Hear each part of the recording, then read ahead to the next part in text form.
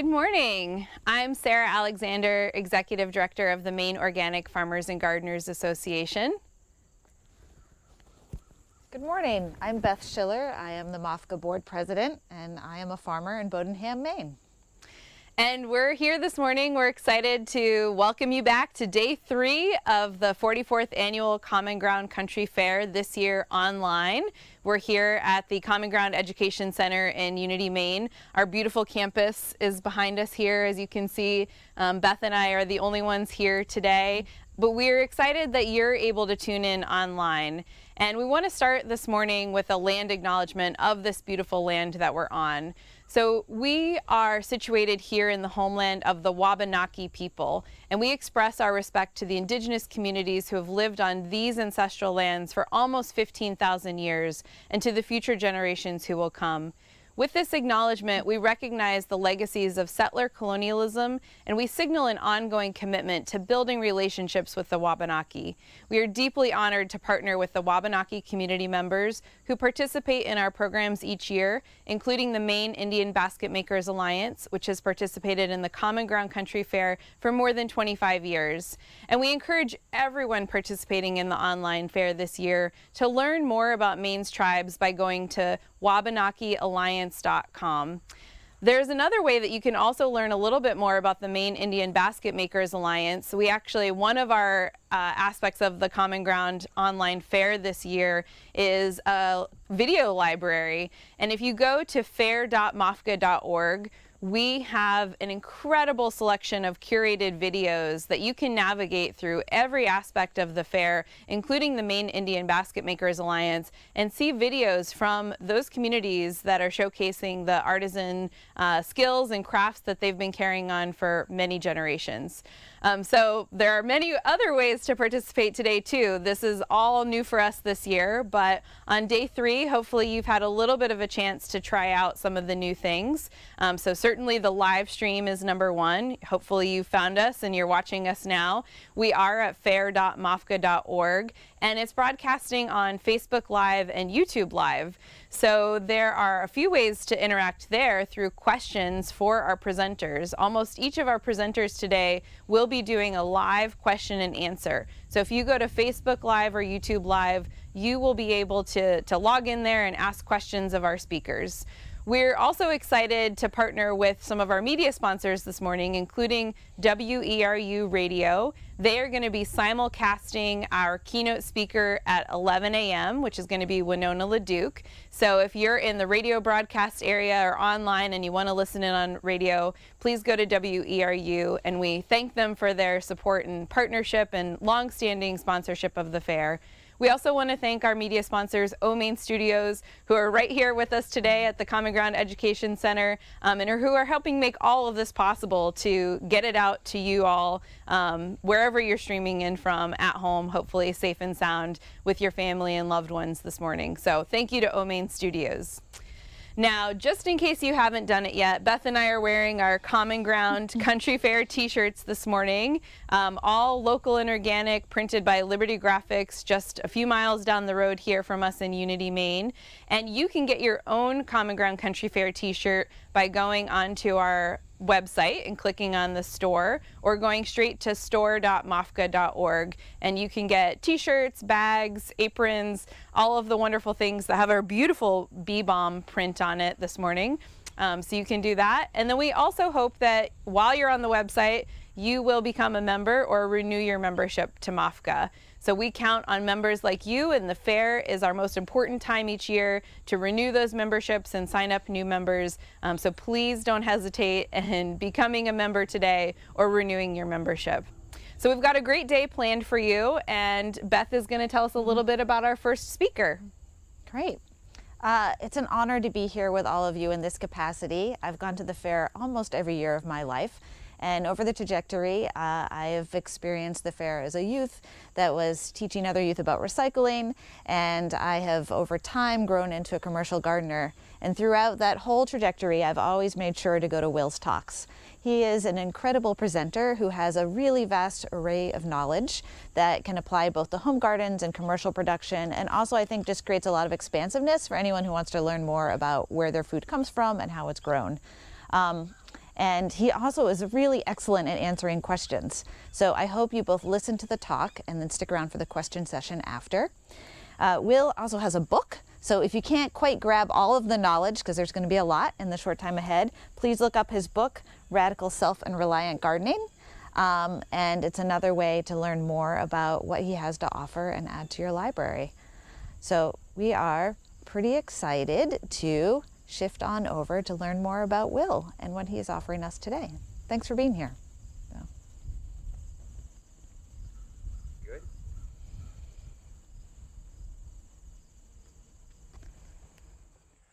Hi everyone, Will Bonsall here from the Scatterseed Project and uh, we're welcome to the uh, 2020 Common Ground Fair, um, virtual fair that is, because of the current pandemic. We can't all get together in person and enjoy this as we have other years, but uh, this is the best we can do, so we're, we're going to go work with that.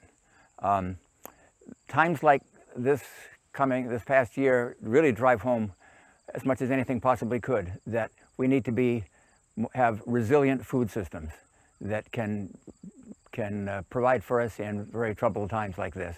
And uh, that implies, uh, to me, being self-reliant for uh, things like water and fertility and energy and seeds, certainly.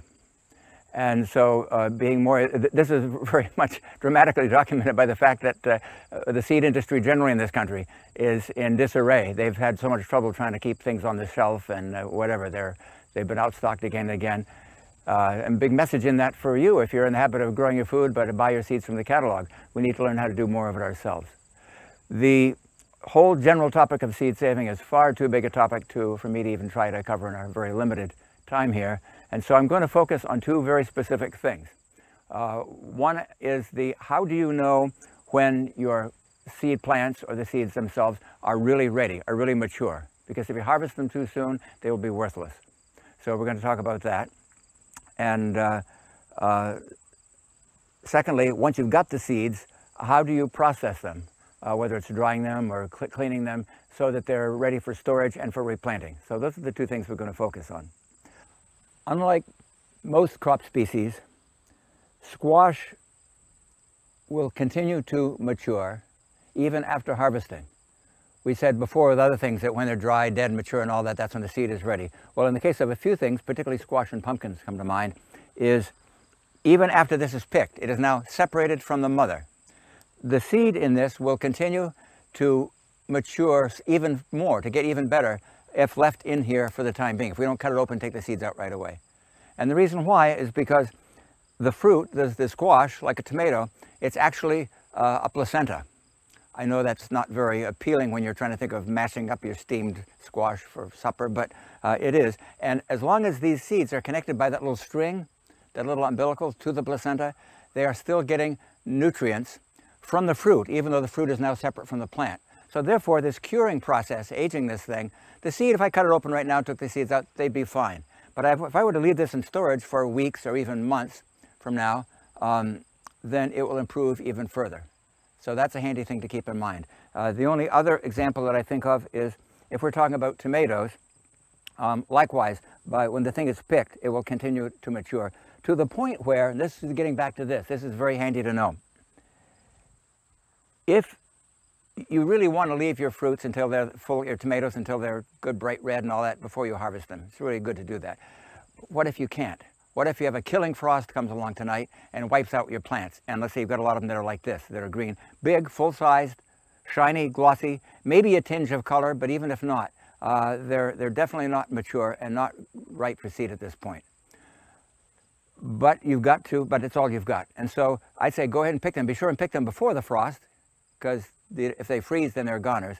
Then put it on a perhaps a warm, sunny windowsill in the house or something, and let them continue to after ripen uh, and they will, and they will eventually uh, get to be uh, ripe enough to cut them open, and the seed, which may have not been viable at the time that you picked it, will become viable. Again, it's feeding off from the placenta for some more time.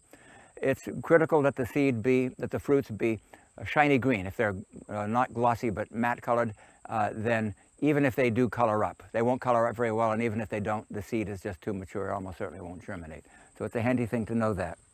Um, now, um, here, just for example, is a cuke. that is ready to eat, but no good for seed. The seeds in are not even filled out yet. It's quite useless. Here, on the other hand, is a cucumber which is totally useless for seed. It's so gone by, but perfect for seed. Okay, so this is what we want. You have to let it go by till it gets like that. In other words, if you'll pardon the expression, you, you can't have your cuke and eat it too. Uh, so in the case of, here's an eggplant, one which is probably not ripe for seed yet. Here's one which is the way it's supposed to be. Nice little zucchini, perfect for eating. Wouldn't want to get much bigger than that, but useless for seed. Here's one which is useless for uh, eating and perfect for seed. Uh, tomatoes. This tomato is useless for seed, although I'll have more to say about that after. This one is okay. This one is actually better yet. It's at the point where you might throw it at a, at a crooked politician or a bad actor on the stage or something. This is, it's uh, overripe. And for seed purposes, that is perfect. However, this is also just good if you want to have your tomato and not, not have your seed and not throw away the rest of it. So there's just some examples. Um, here's a green bean, wonderful for eating, no good for seed. Here is ready for seed and no good for eating unless it happens to be a dry bean variety, of course. Uh, likewise, um, a snow pea. This is rather gone by for a snow pea, but nowhere near ready for uh, use as seed. These are pea vines, which are pretty much dried. They'd be nice if they were a little, had less green in them, but these pods, they're good. They're ready. They're dry, they're brittle. Okay, that's what we, how we know. Um, a carrot. These the carrots are a biennial. So you spend this year, most people have grown carrots all their life, and all they've ever seen is carrots. They've never seen the seed. They've often asked me, where does the seed come from? It's because it's a biennial. Go till the second year, and you'll get something that looks like this. Okay, by the way, Queen Anne's lace is wild carrot or feral carrot, so it'll look just like this. So this is carrot that's gone to seed, but not yet, it's gone to flower, but not ripe seed. Here's one which has got ripe seed. If I clean that off, I've got good carrot seed. So you see, you, if you're if you're doing two different things, you have to decide which are you trying to get food out of this or you're trying to get seed. You can't always do both. Um, now let's see. Uh, then uh, in addition to that, um, the process of cleaning the seeds uh, is based on the fact, the very fortunate fact, that the seeds are always the densest, not necessarily the heaviest, but the densest part of its respective plant. Talk a minute about why that is. Uh, and that helps us if we're trying to clean it, particularly by threshing and winnowing. Um, the densest part is the seed. Well, when you think about it, I mean, why, why wouldn't it be? If you, all the other parts of the plant, the stem, the dried leaves, the, all the other things, those are basically cellulose, or they're, they're basically um, carbohydrate structural stuff, or the leaves are the uh, photosynthesizing part. They don't need to have a lot of density to do that. But the seed, if you'll stop and think about it, is where the most important part of the plant is. It's where the information is stored. And that information is stored in an alphabet consisting of four letters, uh, A, C, D, G, adenine, cytosine, guanine, thymine, the four amino acids that make up DNA. And these strains of DNA, which may be miles long, are all curled up into tight little packages called seeds. And so uh, when you think about it, the seed is a combination of the plant's uh, owner's operation manual, all the information about what, how it's supposed to do different things is in there. It's also the family Bible. It's also that plant's history of its past, its ancestors going back to the dawn of life. And every, everything that happened, every challenge that it met, every success it had, every failure it had, actually no failures, because if it had a failure, then the seed wouldn't be here. But the successes are all recorded in that. So it only makes sense that that incredible amount of material is going to be concentrated in something very, very dense. And so the seeds are, that's where it's at. That's also part of the reason why seeds tend to be the most nutritional uh, for food part of things. That's where the, that's where the good stuff is. Um, so anyway, so that's very helpful to us when we're trying to clean seeds. Um, and I think this is a good point for me to demonstrate uh, a few things. Um, I could start with any number of things, but let's just, for example, uh, I'm going to start with one of the simplest things to clean. I've got some coriander here. Coriander plants, which are very, very ripe, as you can see, and got lots of ripe seed on them.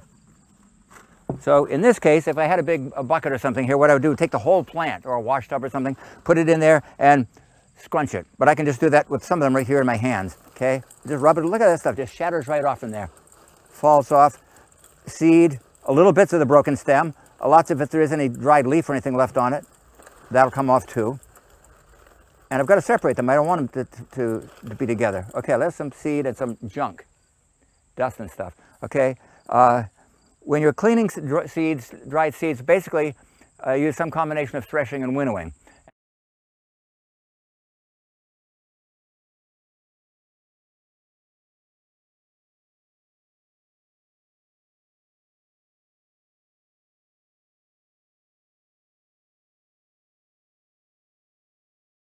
Not enough to break the seed, but rubbing on to get so the seed is separate from the from the dust and stuff. And then here, at this small scale, I just so there goes the junk. I may have to do it more than once because there's something still clean.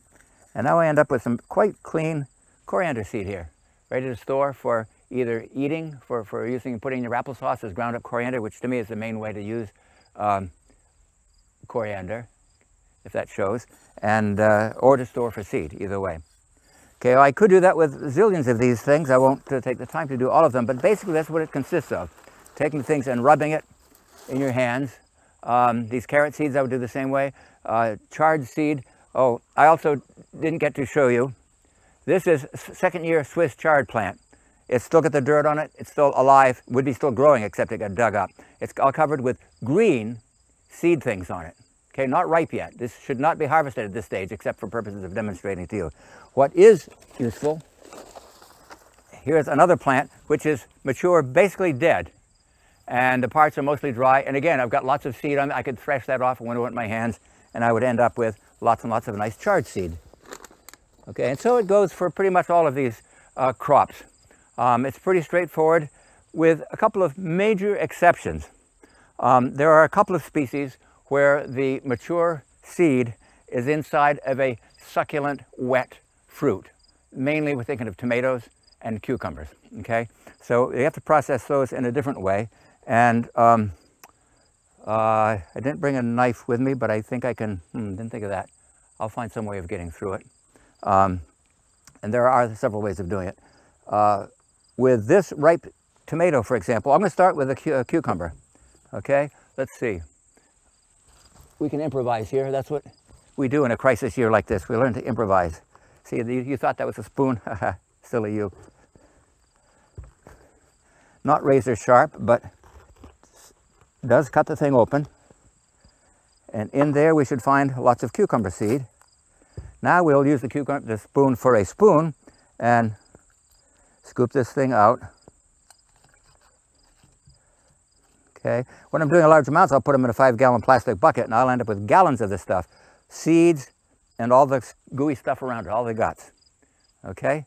That works just fine, except we can't leave it that way.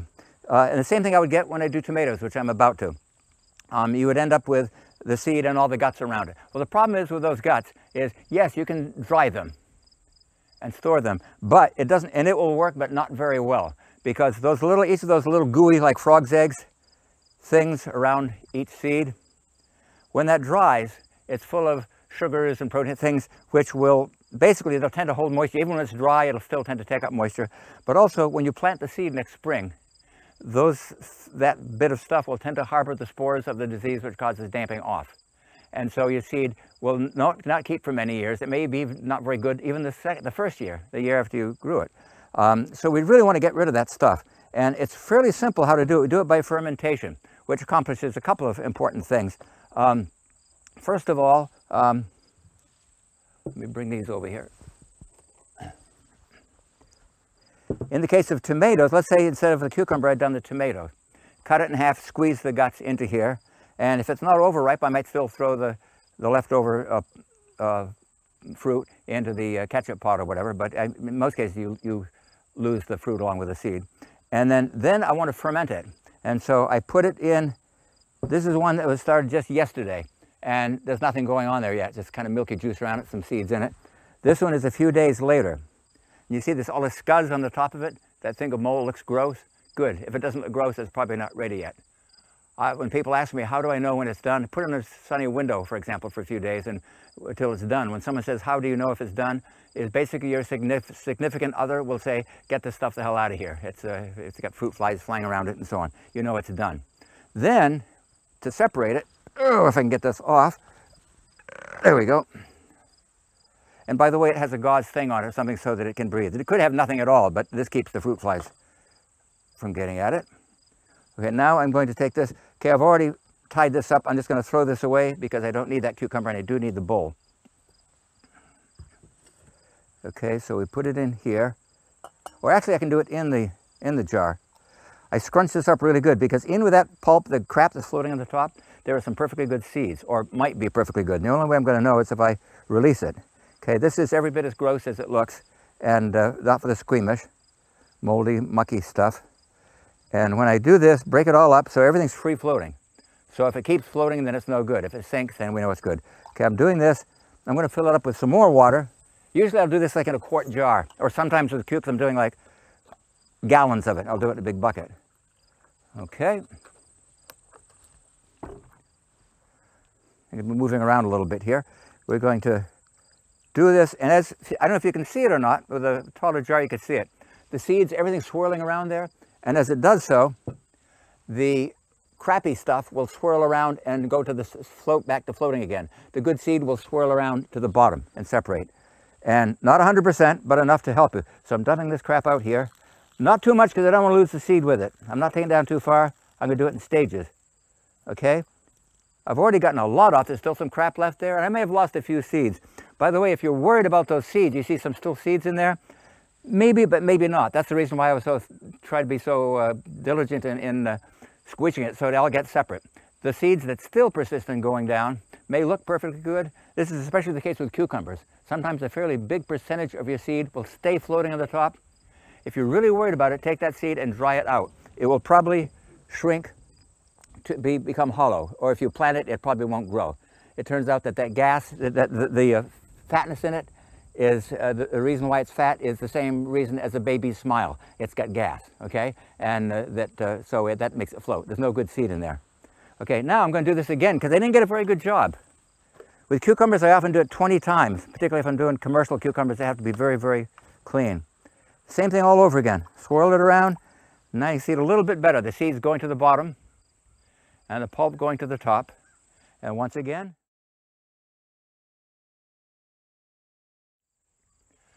Hi everyone, Will Bonsall here from the Scatterseed Project and uh, we're what's to, to concern me. So next, I don't want all that extra water in there and so I'm going to pour it into here using more water to get it all out.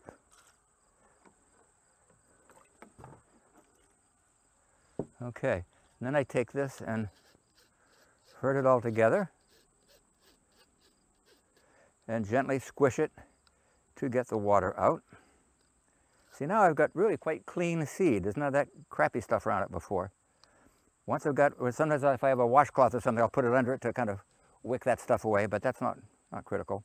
Then I will take, sometimes I just use a piece of newspaper or something, but what's ideal is coffee filter because it's so absorbent. I will spread this on there.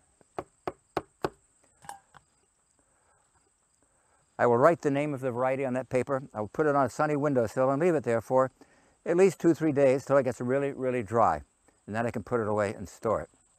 So there are two big reasons for doing this fermentation process with cukes or with tomatoes. In the first place, like I just said, you get rid of that crap that's going to be holding moisture and disease spores and so on. But when you ferment it, it not only gets rid of that, but the fermentation process also um, impregnates the seed coat with some, some kind of antibiotic materials or something, which will basically uh, make it not only, not only not prone to diseases, but make it have some resistance to diseases. And so it's a definitely a good, good way to process seeds. Like I say, with most of the other seeds, it's a case of they're dry, you thresh and winnow them. Unlike most crop species, squash will continue to mature even after harvesting. We said before with other things that when they're dry, dead, mature and all that, that's when the seed is ready. Well, in the case of a few things, particularly squash and pumpkins come to mind, is even after this is picked, it is now separated from the mother. The seed in this will continue to mature even more, to get even better, if left in here for the time being, if we don't cut it open take the seeds out right away. And the reason why is because the fruit, the, the squash, like a tomato, it's actually uh, a placenta. I know that's not very appealing when you're trying to think of mashing up your steamed squash for supper, but uh, it is. And as long as these seeds are connected by that little string, that little umbilical to the placenta, they are still getting nutrients from the fruit, even though the fruit is now separate from the plant. So therefore, this curing process, aging this thing, the seed, if I cut it open right now and took the seeds out, they'd be fine. But if I were to leave this in storage for weeks or even months from now, um, then it will improve even further. So that's a handy thing to keep in mind. Uh, the only other example that I think of is if we're talking about tomatoes, um, likewise, by when the thing is picked, it will continue to mature to the point where, this is getting back to this, this is very handy to know. If you really want to leave your fruits until they're full, your tomatoes until they're good bright red and all that before you harvest them. It's really good to do that. What if you can't? What if you have a killing frost comes along tonight and wipes out your plants? And let's say you've got a lot of them that are like this, that are green. Big, full-sized, shiny, glossy, maybe a tinge of color, but even if not, uh, they're, they're definitely not mature and not ripe for seed at this point. But you've got to, but it's all you've got. And so I'd say go ahead and pick them. Be sure and pick them before the frost, because if they freeze, then they're goners. Then put it on a perhaps a warm, sunny windowsill in the house or something, and let them continue to after ripen, uh, and they will, and they will eventually uh, get to be uh, ripe enough to cut them open, and the seed, which may have not been viable at the time that you picked it, will become viable. Again, it's feeding off from the placenta for some more time. It's critical that the seed be, that the fruits be shiny green. If they're uh, not glossy but matte colored, uh, then even if they do color up, they won't color up very well, and even if they don't, the seed is just too mature, almost certainly won't germinate. So it's a handy thing to know that. So that's about what I have to offer about this. I hope it's been useful to you. Um, I, what I really want to urge you all to, uh, whether you've saved seeds or not, get into it wherever you are on that learning curve, get on it and go from it. It's a very steep learning curve. And uh, if you're starting out and you're afraid of making mistakes, by all means, make mistakes. Make them now and learn how to deal with them because being able to uh, save, propagate, and save your own seed um, is a major step on the uh, path to becoming more self-reliant and having a more uh, resilient uh, food source. Uh, far beyond what I've talked about here in this session, uh, some other excellent sources are, one of the best that comes to mind is the book Seed to Seed by Suzanne Ashworth, um, which is very comprehensive, and I'd urge you to get that. Um, somewhat less comprehensive, but to be uh, self-serving about this is my uh, book that I've written uh, has a unit in it on uh, uh, seed savings, plant propagation, and the book is called Will Bonsall's Essential Guide to Radical Sustainable Gardening. Title wasn't my idea, but it's okay. Um, anyway, uh, so those and other sources, just go from wherever you're at and learn to be more self-reliant for seeds. Um, also, my Scatterseed project has an online uh, website. You can find me there if you have questions and so on. Um, but uh, that's, uh, that's it. And next year, let's all look forward to getting together here in person. And I'll be doing classes on seed saving, I think, every one of the three days of the fair. And uh, we will, uh, the, the, fair will go back to being the glorious event and, and festival celebration of rural living that it's always been. Hope to see you then. Bye. Hi, everybody. Um, we're working to get Will onto the live Zoom question and answer. And here in rural Maine, you know, we, we have internet difficulties and this is a live broadcast, so this is no different. So we're going to take a few minutes and we've got a special video um, that actually showcases John Bunker and his incredible apple detective work and a little bit of our work with the Maine Heritage Orchard here on the Common Ground Education Center. Um, so let's learn a little bit more about apples.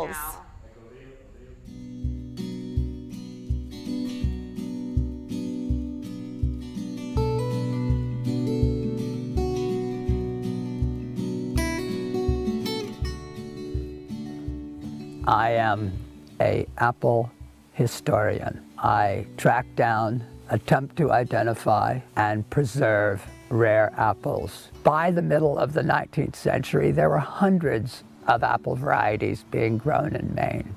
But the commodity form of agriculture forced us into sort of the one size fits all. This apple here is the quintessential Maine apple. This is a McIntosh. Inside this Mac there are seeds. And if you want to obtain a McIntosh tree, You cannot do it by the seed because every seed will yield some new apple, something that has never been before, just like you and me. All of us have two biological parents and we are similar to both of them, but we are not identical to either of them. If the McIntosh seed does not come true to type, how are we going to get more McIntosh trees? Well, we do that by grafting. And when you graft, you take a tiny piece of the variety that you want to replicate and you splice it onto a tree with roots. That's called the rootstock. And here we have a graft that I did this past spring.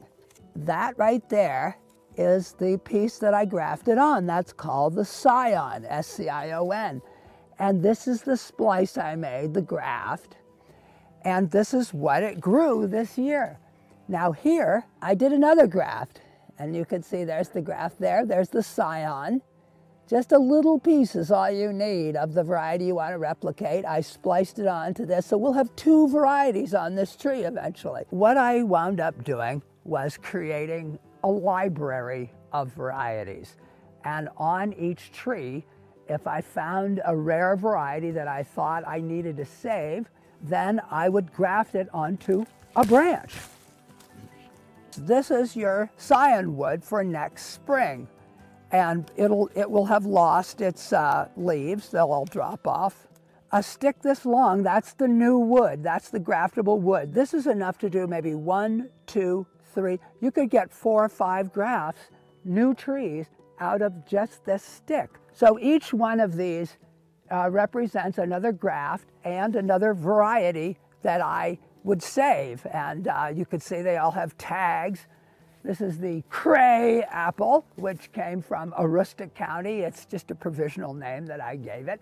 This tree has multiple varieties on it, but it's primarily on the top is Northern Spy. This apple here is Roxbury Russet and makes fabulous applesauce. This apple is yellow bellflower. This is black Oxford. It keeps really well in the root cellar. This apple is called Redfield. I particularly love for its winter applesauce. I combine it with Roxbury Russet and the two together make a fabulous sauce. This is not a dessert apple, so it's a bit tart, but it does make a wonderful pie and a wonderful sauce. So as I was getting more deeply into the varieties that were historically grown in Maine, I decided that I had to find a way of saving them because the old trees were dying, but we didn't have the space to do an entire tree of each variety. And that was when we got the idea of doing the Maine Heritage Orchard, an educational orchard of varieties historically grown in Maine. The orchard here is a pretty important collection. It has so many varieties that were grown traditionally in Maine and are now here preserved for future generations. Almost all of the varieties planted here in this orchard would be considered to be heirlooms, and these trees were the first year's planting, which is in 2014. So some of these trees are just now coming into bearing age. All of these trees have been grafted and grown in the nursery for two years prior to planting. The planting effort is actually done largely by volunteers, which is really excellent. Each spring we have a group of volunteers come to plant trees with us and we'll do a demonstration of how to plant a tree, how deep into the soil it goes, and then people are set out with their, their little trees all wrapped up in shovels and they'll go dig the holes and, and put the trees in there and water them in and put wood chips around them. This is a tree that's just starting to bear for the first year and it has just a few apples on it and it was a one with a tentative name.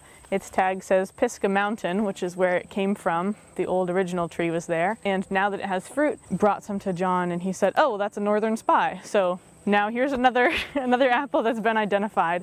Many of them are, are pretty exciting in that way as the first fruits are in some cases people haven't seen for decades. The primary reason for planting them was to have the trees to propagate for scionwood so that the varieties would not be lost.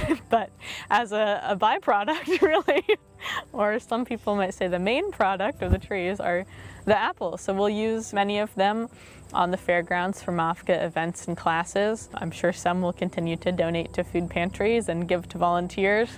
Part of the goal of this collection is for people to be able to, to start using these apples again and to do different test batches and see if this one makes a good pie or a good sauce or is good for apple brownies or uh, many other uses. And to have these trees available for anyone to come and see and to be able to grow more trees from them is a great little treasure we have here at MOFGA.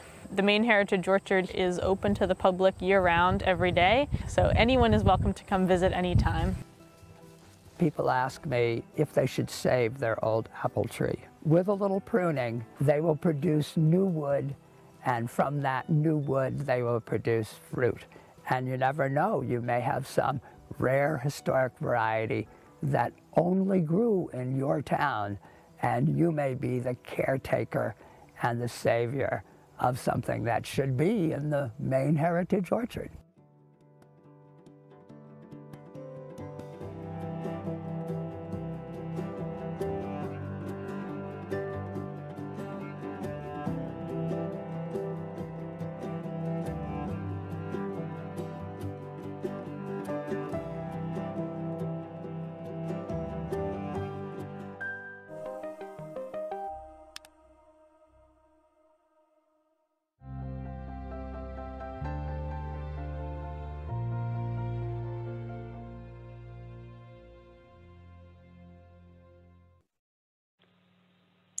Hi, Will. This is Beth again here with you, and thank you so much for your wonderful presentation.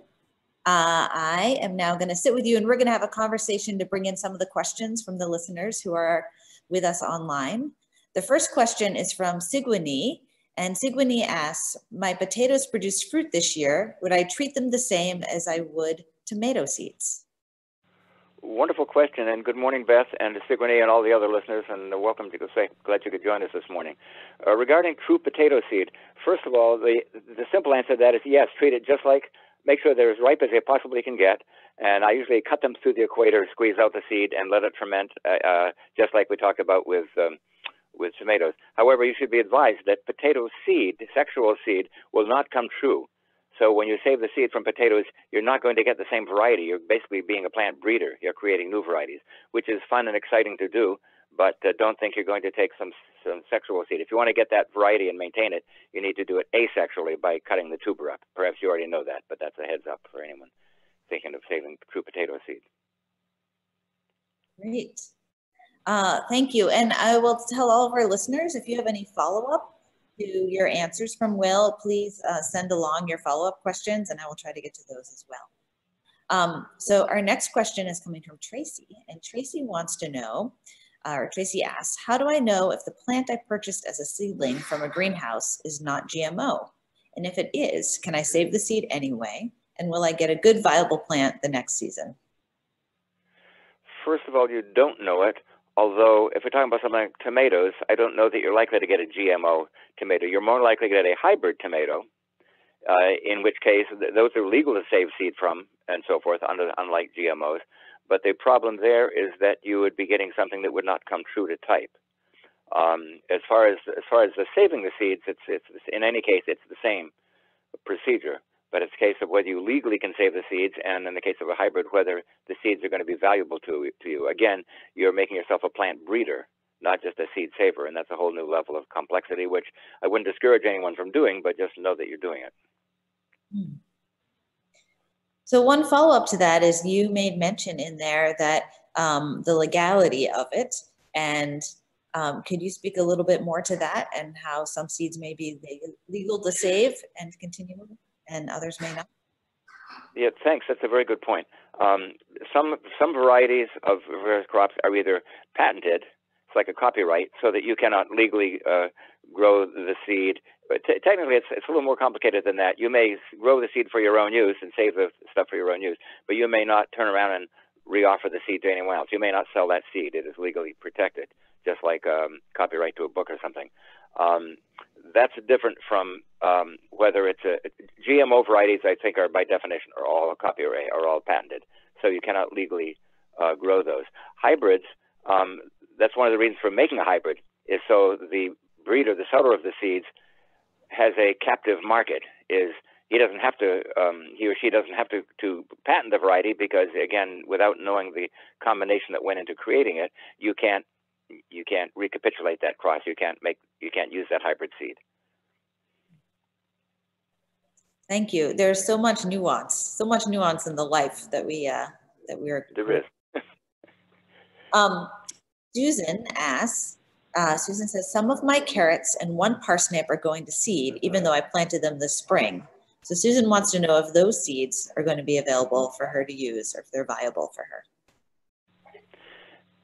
They may be, they may well be viable, but you don't want them. If we're talking about first year carrots that you planted this spring and they're bolting to seed, then by definition you don't want those. They're crap. They're to, the offspring are to tend to bolt to seed. You don't want that. You want them to be strictly biennial.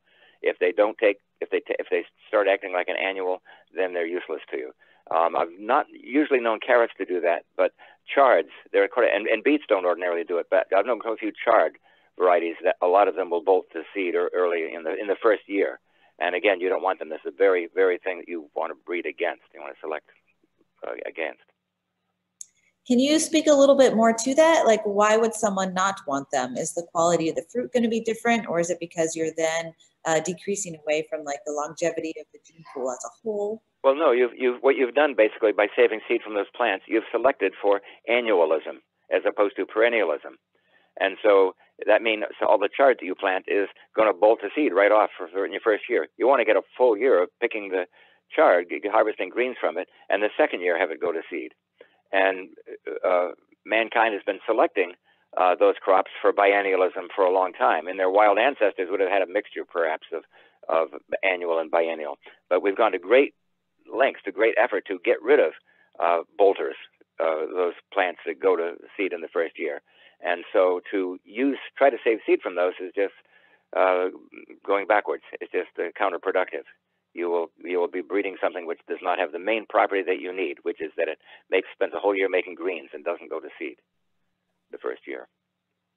Great, thank you. I know. So, like, I think the take home in part is that like uh, we want the crop for its intended purpose. We want the carrot for its carrot roots, not for its seeds, even though the seeds are unbelievably vital and important to the carrot in the end. Exactly.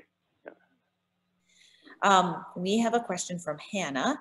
Hannah asks, well, Hannah says that she has a baby Hubbard that's been in storage for almost a year. Can I still save the seeds? Oh, absolutely. And that's a good point, which I think I mentioned in the presentation. Um, in some ways, the seed actually improves by being stored because keep in mind the squash is a placenta and the seed is even though it's separate from the plant being picked from the vine as long as it's within the fruit the placenta it to some extent continues to mature somewhat now, is it possible to do that too much? Yes, it is. But the main thing you will find out when you cut it open, if the seeds have started to sprout, then mm. you've blown and you've waited too long. But if the seeds are still dormant uh, and viable, then you, you yes, you definitely can use them. In fact, it's probably better than if you take them out when the squash was first harvested. Yes. Great longevity. Uh, longevity reigns. It's a beautiful thing to have the plant be and the fruit be its own storage vessel. Yeah. Uh, Krista asks, Krista says, will it, I left my Pishito, I don't know if I'm pronouncing this correctly, P-I-S-H-I-T-O, tomato seeds fermenting for weeks. Can I still save them? So can you over ferment your tomato seeds? Over ferment tomato seeds. Okay, I wasn't sure I was hearing you right at first. Well, you can, but basically, uh, as long as they haven't broken dormancy, if they if you leave them for too long in that gooey, smelly stuff, then they'll start to sprout at some point. Um, it can happen. I've known it happen, but most varieties will keep pretty well for quite a while. Um, so it's possible, but not not likely. And, and you'll you'll know it because they'll actually be sprouting. You'll see little little sprouts on them. Then you've waited too long. Great. Um, what about tomato seeds? It almost seem like they have little sprouts on them right when you take them from the tomato. It seems like some varieties almost inherently look like they have little sprouts. I don't think I know the answer to that. Um, I'm not sure I've seen that.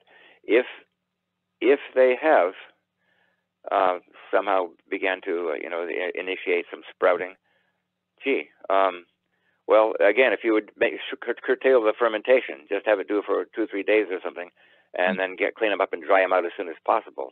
and hope that the sprouting has not gone to the point where they'll die. Uh, I'm not used to seeing that, so I'm not sure whether it's even possible. They, they, if they're sprouted at all, they may be no good right off the top. I, I don't know that. It's a true organic process. So. Yeah, unfortunately. Um, this is your talk is inspiring a lot of questions, which is really lovely. So for those of you, I realize we're going from question to question, and you'll have to perhaps get Will's book to follow up uh, and come to your common ground fairs to get more information. Um, the next question is from Michaela. Michaela says or asks, do you have recommendations for what type of container to store seeds in? She says that she has had, or Michaela says that they have had bad luck using glass jars and getting mold. Okay, um, and thanks for the plug, by the way. Um, the um, if if the, if you had bad luck doing it in glass jars, then the seeds were not properly dried. If the seeds were properly dried, glass jars would be actually ideal. Um, in fact, the only way to make glass jars any better is if you like seal the thing with wax or something. But if they're good, good like jars with uh, that inner seal on them, then that should be ideal. The only, again, the only way it would not be ideal would be if the seeds are not properly dried. In which case, any way you store them is not going to do well. If if you have some doubts about your seeds being stored, then then if you put them in regular seed packets, paper packets, then yes, then they can continue to dry. But um, on the other hand, they'll that's if if they're properly dried, the best way to do it is in a jar or a tight, like a plastic Ziploc envelope, or you know something very airtight. Again, um, it's it's they need to breathe until they're perfectly dry. But when they're perfectly dry, you don't want them to breathe or take moisture or anything from the air. So I think she just should have dried her seeds better if they got moldy. Make sure the inside of the jar also is very thoroughly dried out. No, no uh, condensation on the glass at all. Uh, I guess I, there are like two follow-ups. One is, do you have any hints about how to tell if your seeds are indeed thoroughly dry? Yeah, that's a very good question, and I'm not sure I don't do with with things like beans and peas and large seeds. Uh, they would be very hard and brittle. With smaller seeds like tomato seeds, it's not so obvious. The main thing is to err on the side of of too much. It's, it's, you're not going to by ambient air conditions. You're not going to get them overly dry. So put them in a very dry, airy place and leave them for too long. If it's a week or two, no problem. So longer is better than shorter if you have any doubts at all about it. Beyond that, I'm not sure unless you have, you know, there's equipment for testing moisture in seeds, but you know, you and I don't have it, and most people are not going to, not, and shouldn't need it. It's, it's, it's, there's practical ways of doing it just by letting them sit in the air in a good situation until they get over dry. And I guess the next follow up is where should Michaela then put that container? You talked about condensation in the glass jar, so uh, I suspect their are places one. Uh, if if if if Michaela got the seeds very thoroughly dried and put them in a jar properly with a tight seal, it shouldn't matter at all where she keeps them. Although should not be in sunlight or someplace where what little humidity there is might draw out. In other words, they might still condense on the jar um, if it's in like a, a sunny place. Any place in the dark um, cold is better. It's not essential, but if you want to keep something for a long term, then even in the freezer is ideal. Again, as long as it's moisture, air, airtight and moisture proof, then the colder they are, the better. They, you can you can double or triple the length of time. Uh, seeds that might only good for two or three years in a packet in a, in your seed drawer might be good for eight or ten years in the freezer in a tight jar or Ziploc or something. So um, cold, dry is better than damp and cold is better than warm. Uh, if you have to err on either one, I've I've read this hearsay that research shows that dryness is more important. If you had to store them at room temperature but they were very dry, that would be better than if you stored them in a very cold place but they weren't so dry. Thank you. Uh, so the next question is, um, what is the best way to attract flies to pollinate my carrots? And I will interject that I love that it's a question about pollinators because we're wearing the Bee Balm t-shirts um, and part of this year's MOFGA t-shirt is celebrating pollinators. And so uh, what is the best way to attract flies to pollinate carrots? Um, the best way to attract flies to pollinate carrots is to have carrots. Um, the pollinators, by the way, for, for carrots and the umbellifera family, parsley and parsnips and stuff, the main one, the best one, is the syrphid wasps or hoverflies, they're sometimes called, and they're they're around. You don't have to attract them. You will be attracting them by by having carrots and parsnips and things going to seed. So it's, it's uh, asking the question backwards, perhaps. Uh, have something there for them to eat and uh, build it, and they will come. You know, if they, they will show up if there's a nectar source there. Um, and the the same individual. Let, is, let me just mention, by, let me just mention, by the way, Beth, that an advantage to having those things there, carrots and parsnips and stuff, even if you do not care about the seed, is that they will attract pollinators, and those pollinators uh, will be useful to your overall garden uh, ecosystem. Some of those things that are attracted um, to your pollinators at other stages in their life, they will be eating your aphids and things like that. They will be they will be, become a natural um, uh, beneficial predator. So there's plenty of reasons to have biennials or or things going to seed, um, even if you don't care about the seed. Mhm. Great. Um, uh, I guess the next question, also related to pollination, comes from John, and John wants to know if heirloom varieties of tomatoes will cross-pollinate with other heirloom varieties. That's a really good question. And the answer to most of them is no, they will not. Tomatoes tend to be highly self pollinating, particularly in Maine and in, in uh, cooler climates. Um, and so you could have any number of them all in the same garden and not worry about crossing. There is an important exception, and the, the exception is more commonly found among heirlooms, is there are varieties which the only way to, to identify for sure is to look at the blossom. But as a rule, the so-called potato leaf tomatoes, which have more entire foliage, they're not quite as ferny and divided up foliage as the most tomatoes are. Those types, for the most part, um, will cross-pollinate, and some that are not potato leaf types can cross-pollinate.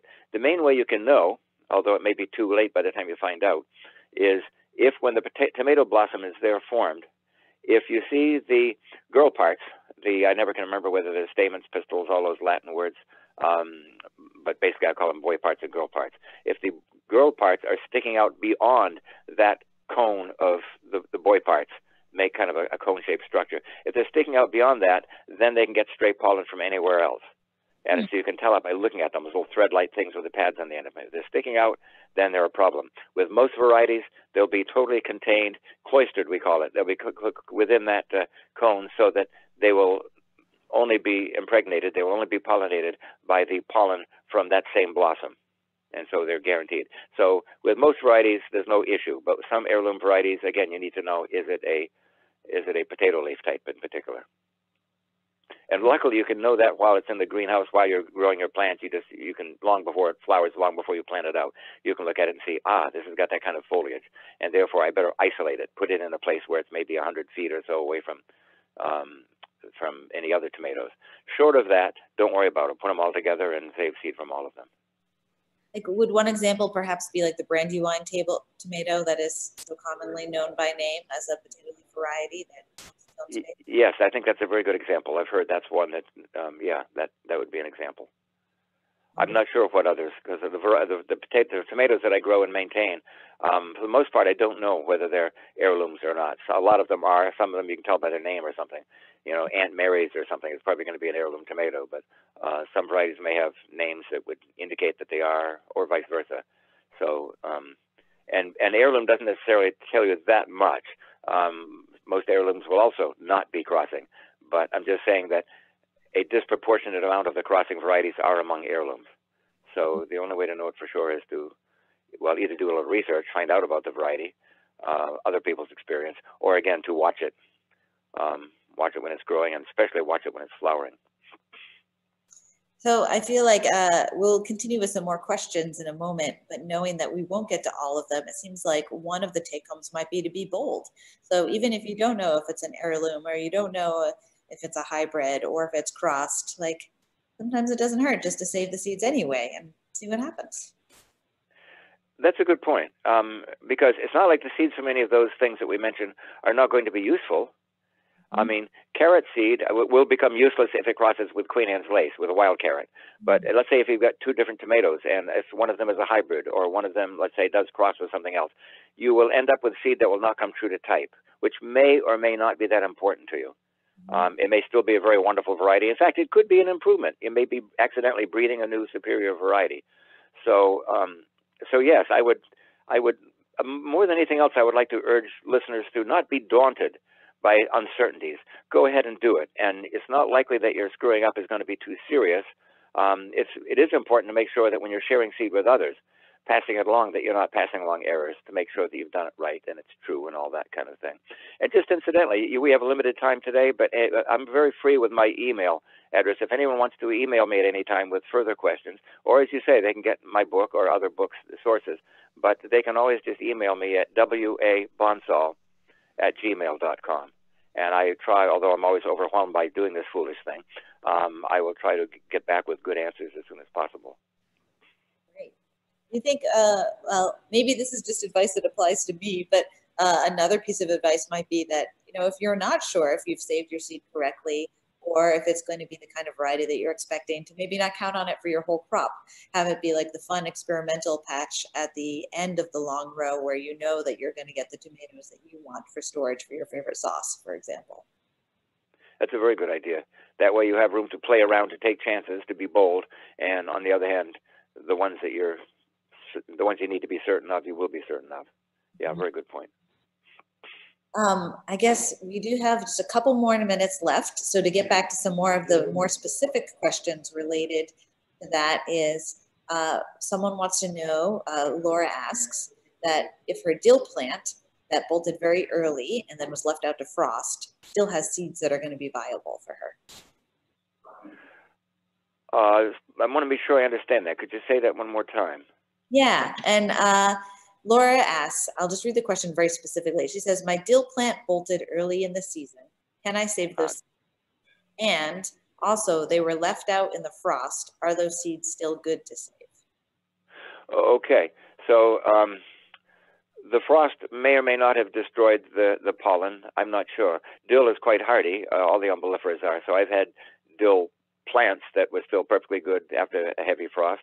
And um, flowers that were good to dry to use for food, whether the pollen in them is viable. Um, on the other hand, by that point, um, if we're talking about uh, late in the season, uh, it probably wouldn't have time. I, I, think maybe what Laura is asking is if the seed is formed mm-hmm. and maybe still a little green and is not quite uh, fully ripened yet, and it gets hit by a hard frost, will it be ruined? And there, there's not a clear black or white answer. Um, it depends how mature it is, how heavy the frost was.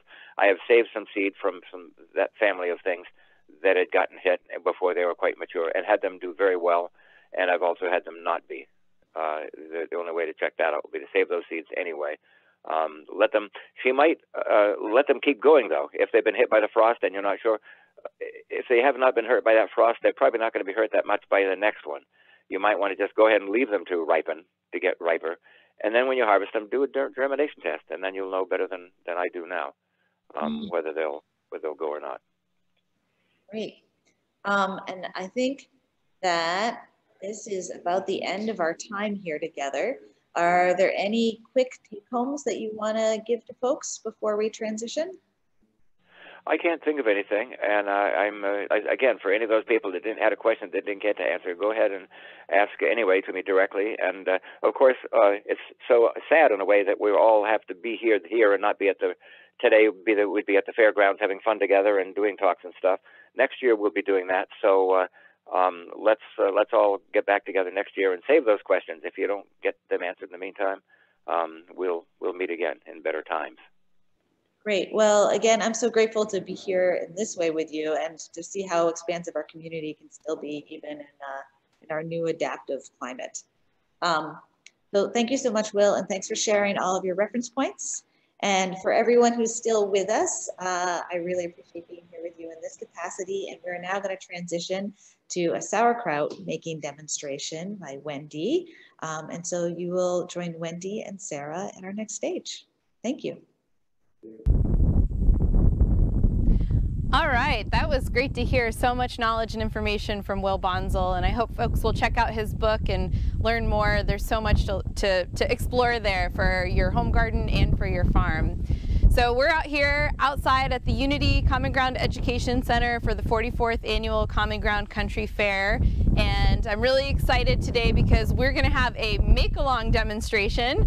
I know many of you out there maybe have heard about fermenting or maybe you've been interested in trying it or maybe you're an expert just looking to pick up a few new skills. So this morning we're here with Wendy Watson She is the Common Ground kitchen coordinator and food liaison for the Common Ground Country Fair in a, in a normal year. It looked a little bit different this year, um, but you are a former chef and have a lot of experience with this. So tell us a little bit about how you got started with this and uh, what you're going to do today.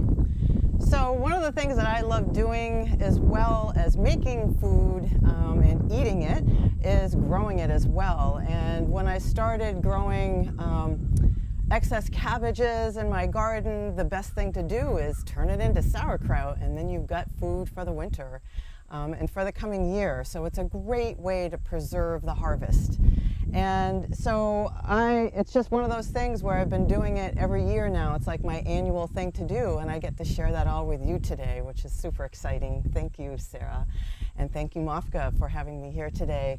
Um, so I'm hoping to demystify some of the um, process of lacto-fermented foods, answer questions, and demonstrate hopefully from start to finish uh, what sauerkraut making in the lacto-fermented style is all about.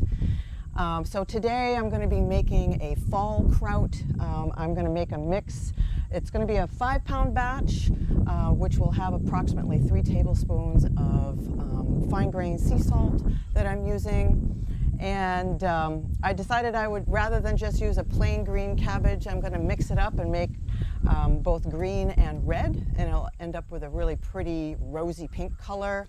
And I'm going to put some apples in, local organic apples, actually wild apples, and some red onion from my garden. And I want to give a shout out to Piecemeal Farm. They were the ones that provided the cabbage for today because my cabbage is already um, since gone and made into sauerkraut. So, and I'll talk at the end too about different flavor combos, additions, flavor variations. Um, but um, super excited to get started. So, um, one of the things, so hopefully some of you did get the uh, post on Facebook, I think it was Friday night for the make along that gave you the recipe ingredients, which is five pounds of cabbage, um, whichever color that you choose, or mixture, and then the three tablespoons of salt. Other things are um, a kitchen scale, hopefully digital. Uh, I, that's what I like to use. It's so super helpful um, for measuring and also um, a little tip I'll talk about is measuring your sea salt. And then I've got a bowl to put it all in and I'm going to be making it in jars today. Um, you can also make it in crocks. Um, I have a, I have like a two gallon crock, a three gallon crock at home. They're a little bit too big to transport, but I have this cute little mini um, one gallon crock um, that you can also get. I've got it from my local hardware store and they're fairly inexpensive, but I wanted to use jars today because that's something that most people can get their hands on easily. So this is really kind of geared towards the, um, the first fermentation that maybe you've ever done.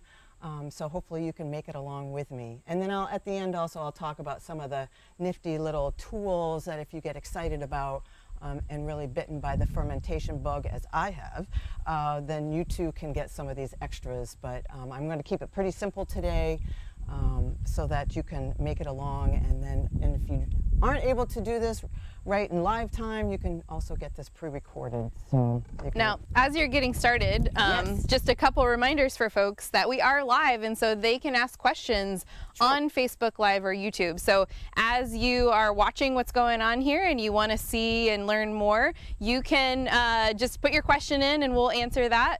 And then uh, my first question for you is actually, so to me, five pounds of cabbage sounds like a lot, and we're going to see what it turns out to be. But as if folks are making along at home, you know, what, how much is this going to be in the end? Is it going to fit in these two jars? Yes. Okay, so. Yeah. So, so you'll end up with basically a half gallon, it's like three quarts um, for a five pound batch. Um, when I did a two gallon um, crock full, I did a 10 pound batch and that fits very handily in a two gallon. But today, the five, um, I'll be able to pack it in. I should be able to pack it into the half gallon and the quart. And these are going to be used as my weights. Okay. So again, kind of a simple um, way to, without having to get a whole bunch of little gadgety things right away, unless you know that you love this and want to do it some more. But in terms of relative size, I mean, this is a pretty dense cabbage. Um, and this, I weighed it beforehand, but this weighs approximately, it's five pounds, five ounces. And this is without any outer leaves removed, without, with the core. And I'm gonna show you um, how I'm gonna do that. So, so if I was just going to do it today with, um, for five pounds, I could probably just use this one cabbage, but I'm gonna start with half of a green cabbage because it is um, so large. And then this one, I believe, weighs about three pounds, four ounces. So again, I'll be using some of this and some of this.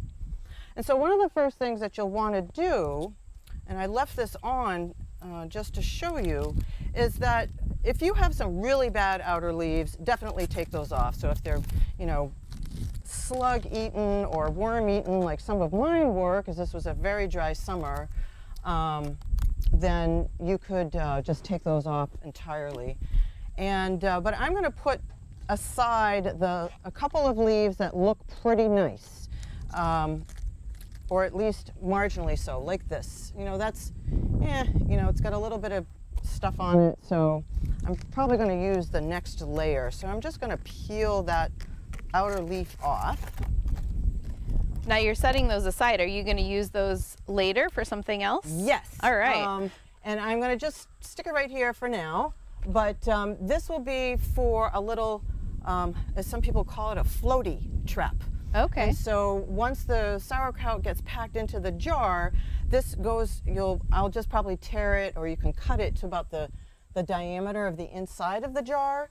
And then that way that keeps like any little floaty pieces that of shredded cabbage or whatever else you've got in there for your ferment from reaching the air. Because as soon as a piece of um, plant material, whatever it's a shred of cabbage or a piece of apple or whatever, um, then mold has something to kind of latch onto. And we know we've got molds all over in our environment. That's not a bad thing, but you just want to keep everything under the brine. And so this is a dry salting, self-brining, lacto-fermented process. And I know that sounds like a lot of terms, but it just means that lacto is um, actually not about lactose, but it's about lactic acid. And um, it's, a, it's a way to um, that, so it's, it's referring to the lactobacillus um, organisms, the healthy bac the helpful bacteria um, that are doing the power work for you, which I need right now.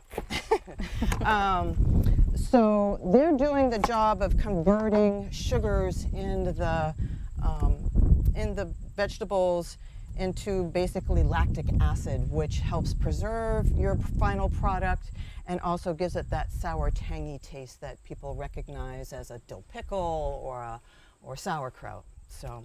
And those are naturally occurring, right? So one of the great things about this whole process um, and what makes it so easy for folks to start trying at home is that we're not adding anything to this. This is all right. naturally occurring, you know, right in what's already in the cabbage. And right. um, so that makes it a little easier. Yeah, it is really easy. And, and I think you know, if you've never done this before, it can be a little bit intimidating because it's like, well, how do, how do I do this? And it just seems so kind of mysterious. But it's one of those things that it reminds me of bread baking, right? You know, it's like you're using some of the natural yeast in the environment, and then they're going to work and doing this like mighty job of, you know, of making the dough rise. And in this case, making this um, sauerkraut nice and tangy. And you're not using vinegar, you're not using heat. Um, those are kind of more commercial um, kind of more kind of indicative of, of the industrial kind of larger kind of we want to make everything the same kind of um, process so this is definitely more kind of home homemade and very safe um, and I'll give you tips and tricks along the way too to make sure that um, you can get a good quality sauerkraut in the end. So I'm going to leave because I'm going to be using my mandolin and not all of you may have one at home. Um, but if um, if you do want to get one, I recommend a wide uh, version versus like a little handheld because cabbage is quite large. And um, I found that, um, you know, you can also use a food processor, but the food processor, it, you know, it just, uh, you have to cut it to fit the feed tube and it's kind of fussy and you just got a whole lot more pieces to have to clean up. So I'm going to take off some of the leaves to this as well on the outside of the red cabbage. Got one more leaf I think I'm to pull off here. And you're just to, because the other thing about fermentation is that you really want to start with fresh, good quality product.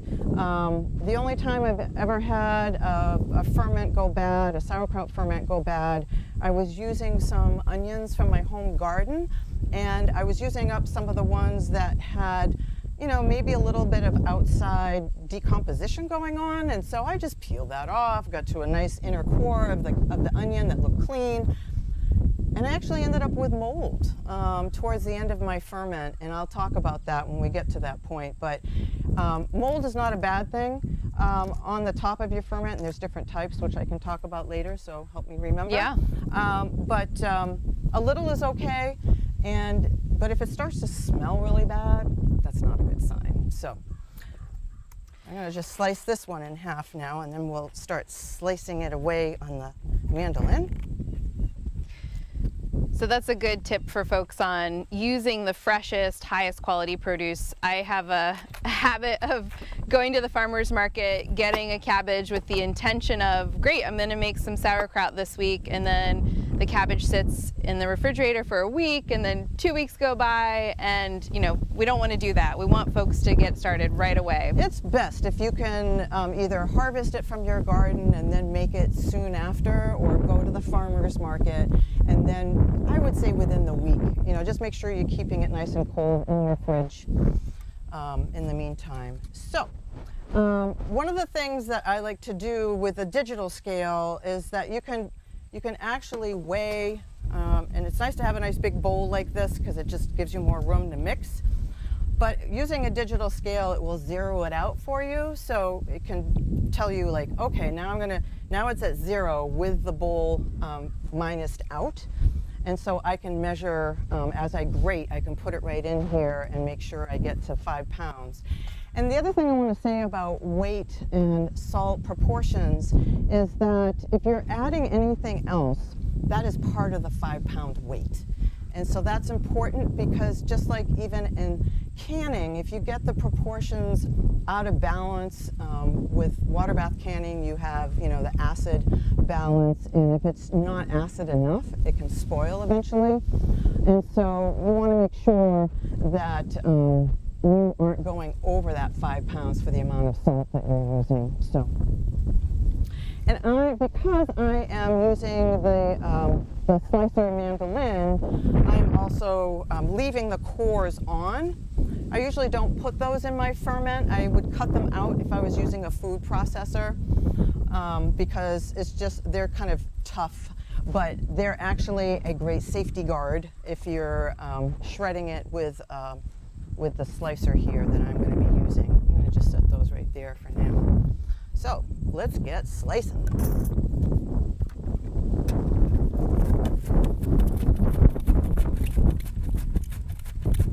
So in preparing for today, I, um, I haven't typically used my mandolin in the past. Um, I've always used a food processor, but they're loud, and as I said, they're kind of a little bit of a pain because you have to cut the, the chunks to fit in the tube. And, and I, I time myself.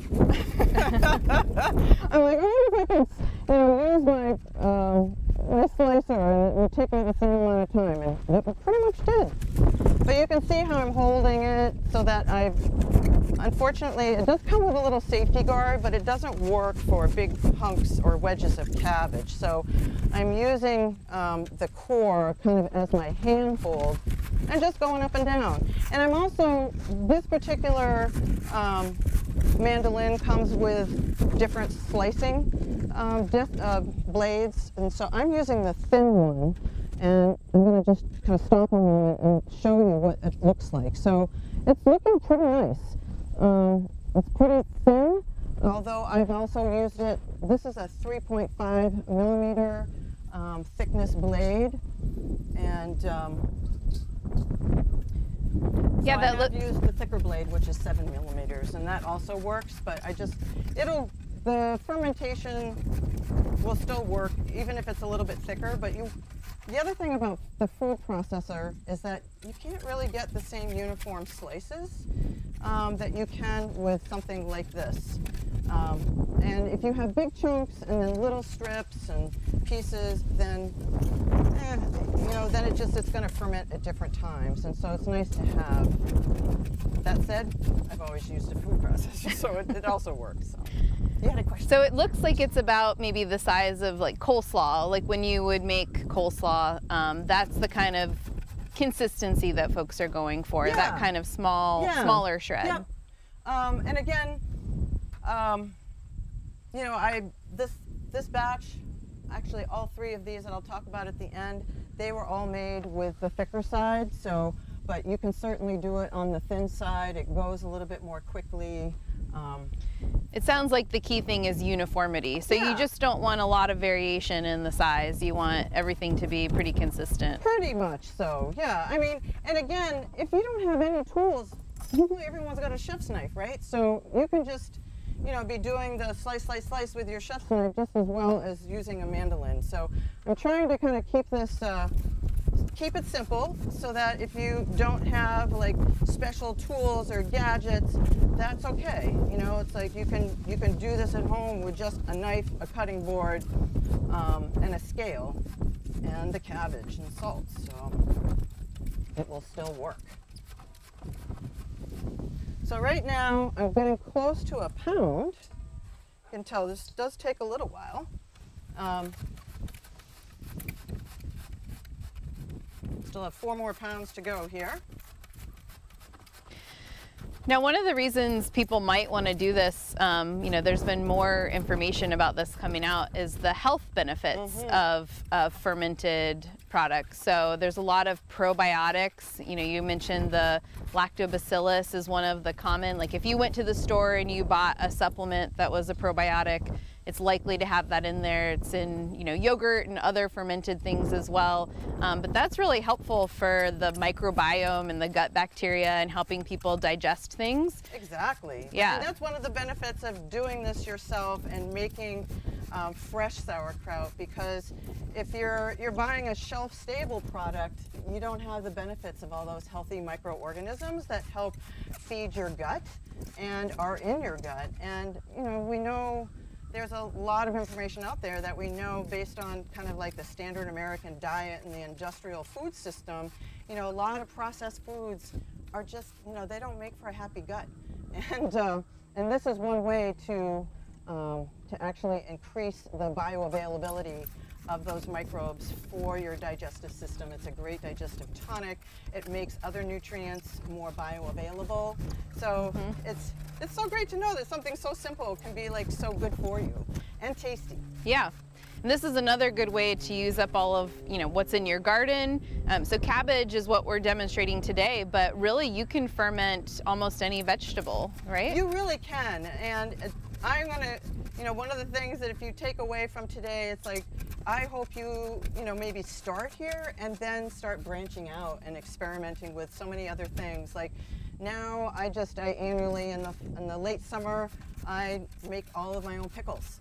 And um, I didn't bring any of them. I'm sorry. I wish I had thought of that. But um, but I do my own lacto fermented pickles, and they're so easy. Oh my gosh! You just like you, again, use fresh pickles, put them in a crock.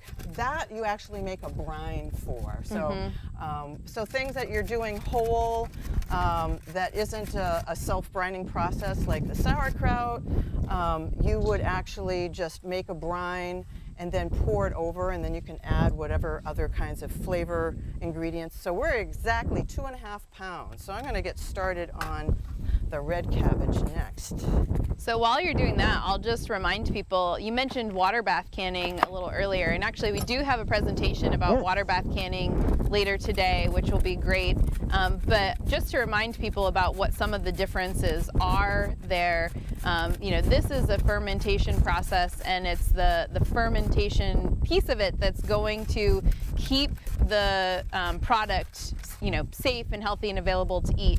When you're water bath canning, you know, for folks who are just getting started or thinking about what these differences are, um, those are products that are not fermented. And so the water bath canning is actually the preservation method. And you add a lot of you, you know if you're making pickles like your water bath canning pickles you're probably going to have a vinegar brine like i like to make um, spicy dilly bean pickles Yes. that i water bath can and so i use a vinegar brine for that versus a fermentation brine um, where that's going to be something that's going to just you know go into the jar with the vegetables um, ferment on its own maybe you know in the open room temperature air or in the refrigerator and then that's going to keep and i'm not going to can that because that heat is going to kill that live you know um, probiotic Right. bacteria that's in there that's really healthy for you Exactly. It's kind of like uh, for people who are familiar with miso, that's another live product.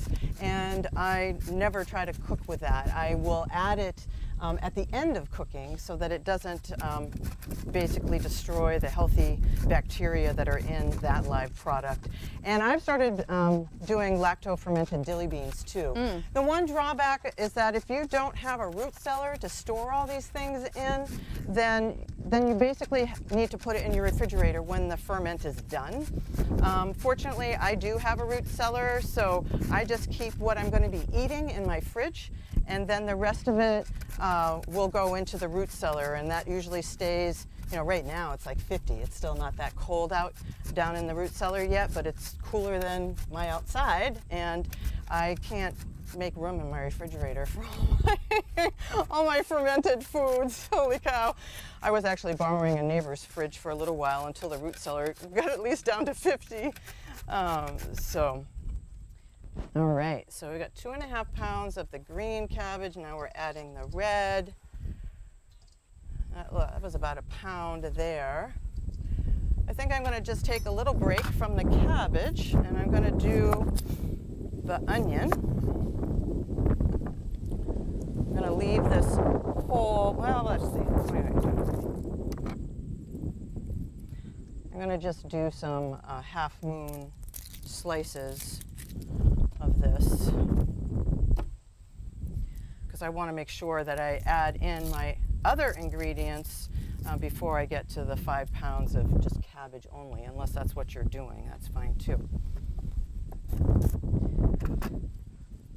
So this is, you know, looks like it's becoming quite a large quantity here, um, and I know it's going to get kind of pounded down a little bit. Yes. But one of the other great things about this method is that if people only have one cabbage, as long as they're doing it proportionally, you can make just a quart jar of this kind of Exactly. sauerkraut. Yep. So whatever quantity you have at home or you have on hand, um, as long as you keep the proportions right, people can really scale that to um, whatever size they want to do. Yeah, if you want to just start with a quart, I believe what you would need is about a pound and three quarters of finished product.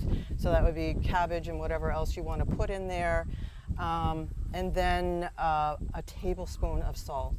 And this might be a good time to talk about salt, actually. Um, so there are many different kinds of salt out there uh, that you could use. And I'm going to talk about what I love to use the most, which is a mineral salt. And um, I happen to use this Redmond Real Salt, and um, it's a fine grain and um, full of minerals as well as sodium and chloride. So it's kind of a more, what I would call a natural salt. And I think it also helps with um, provide a little bit more nutrients to the microbes that are doing the work. It gives it a more well-rounded flavor. Um, and, um, and so like you can either use like a Himalayan pink salt, but this is a really blocky grain. You, you would need to use something finer than that, but that's also a perfectly good um, mineral sea salt to use. And um, so the salt also acts as the preservative and helps what um, the whole fermentation process get going. Um, so if you were trying to do like a no salt ferment, it's not going to work, and you're kind of you're going to end up with like brown mush probably. And so um, you the salt will actually help the um, the mic- microbes do their work, and so you want to make sure that. Um, and if you're using some, something like a refined sea salt, some of those salts have um, additives in them, and you don't want that.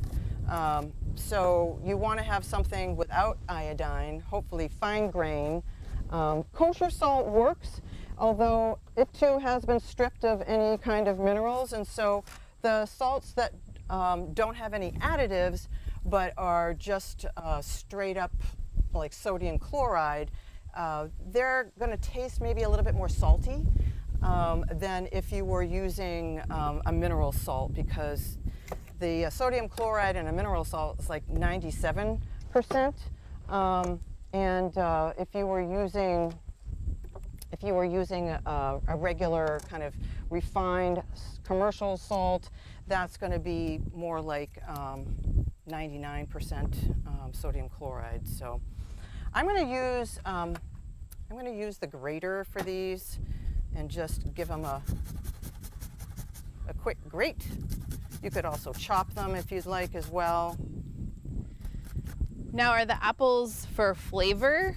Yeah, this is a um, you can both use all sorts of different vegetables um, when you're fermenting as well as fruit.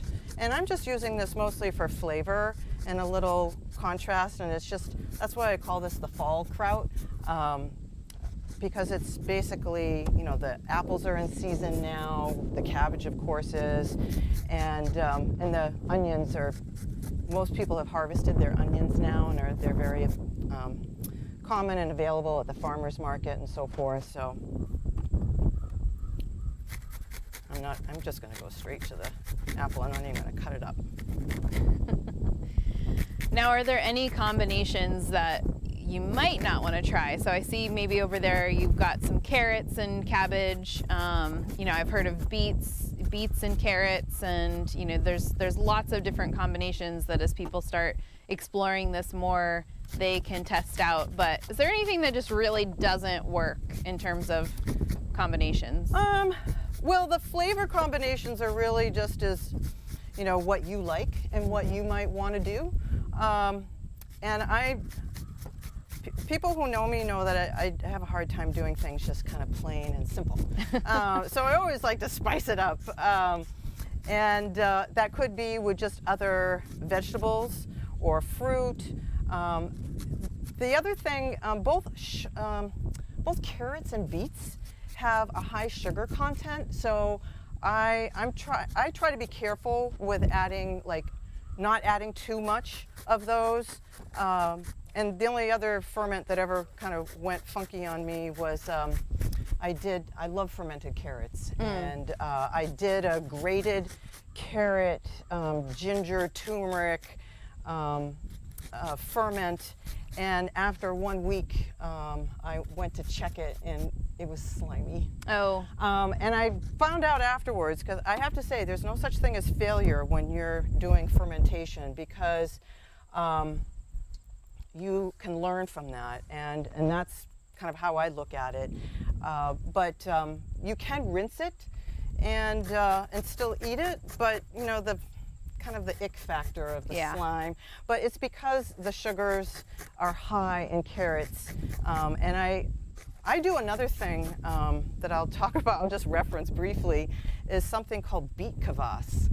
And that's like amazing. I love that, and I can't wait to make it this fall. I haven't made my a batch of it for this year. And that's a beverage, right? It is a beverage, and you make it with cut up beets. You leave the skins on, you scrub it, um, so I want to just check my weight. I'm wow. I only need like three more ounces. Oh, perfect. Of, um, well, actually, a few more. Maybe it's more like eight. Um, so I'm just taking the, the whole hunk of cabbage here, and I'm doing a little bit of grating, and we're going to go back to slicing. Um, so beet kvass is kind of an Eastern European drink or beverage that also is lacto fermented. So you make a brine and you pour it over the um, chopped up beets and you just basically let it sit for a week or two and it will ferment on its own and then um, and you just basically let it go until it's your liking and you can add other things to it. I've done um, grated fresh ginger, um, and I'll talk about that with the flavor combos too, because ginger is another great addition, and I, I love ginger. Yeah. and so I put it um, in a lot of my ferments, and there we go. I just think I nicked myself, but that's okay because it's right towards the end. How are we doing here? All right, we got about five pounds, so perfect. Perfect. I'm gonna put this away. Yep, and you know, just to remind everybody, we, we want everybody to be safe while they're doing this too, and um, you know, to keep an eye on your your fingers as you're getting close on the slicer Yeah. or the grater Yeah. or with a knife. I mean, all of them are prone, can be prone to um, accidents and cuts. So just remind everybody to that, and um, obviously you want to be be safe when you're working in the kitchen. I know another like fermented product that a lot of people I think have been trying at home and maybe it's been even more popular this last six months as a home project has been kombucha. And it's sort of a similar idea, right? That um, I know that there's a mother. So we had a vinegar making demonstration on Friday, actually, and anybody who wants to see that can can go see that. Um, but it's a, the same idea that we're using the natural um, bacteria, whether in cider, it's a mother, in kombucha, um, I think it's called a SCOBY. Um, but you're going to take some fresh product, tea, and you can add ginger, fruit, or other things, and you're going to let that ferment. And the natural bacteria that are part of that mother are going to do that work to to create that fermented beverage and that adds a lot of the great same great kind of probiotics that folks are looking for these days to be healthy So I'm a great kombucha fan. I've been making it um, consistently for years now, and uh, I, I love it. It's it's really, and in the summertime when there's lots of um, fresh um, product around, whether it's fruit or herbs and so forth, it's just delightful. So now I've got my five pounds um, all prepped and ready to go, and I'm going to measure out the salt. And the salt we want to measure because there is uh, a wide variation of um, weights of salt. And also, there's a variation even in terms of a tablespoon. And, um, and so, this is one of the little tips that I learned recently that I've never measured, I've never weighed my salt. I've always measured it. Um, and I was starting to wonder, like, why does one ferment batch taste a little bit saltier than another? And the way to get really consistent results with your kind of that saltiness, so it's just the right amount. And this is uh, three um, tablespoons, 15 milli- mill- milliliters each, um, basically are what um, what makes for like a perfect two percent um, salinity. So. Yeah, and the reason that they might be different weights is based on the size of the grain of salt, right? And how much air might be between those. Um, Right. so, just like in baking, I know measuring things is really important, and um, you know this this helps with that as well. Um, so it's it's interesting. I, I had never thought of measuring salt for fermentation. Right. Me either. And I thought, wow, that's a really great idea. And that way um, you can get more consistent results. So you're doing three tablespoons. Yep. And there, but- it's 15.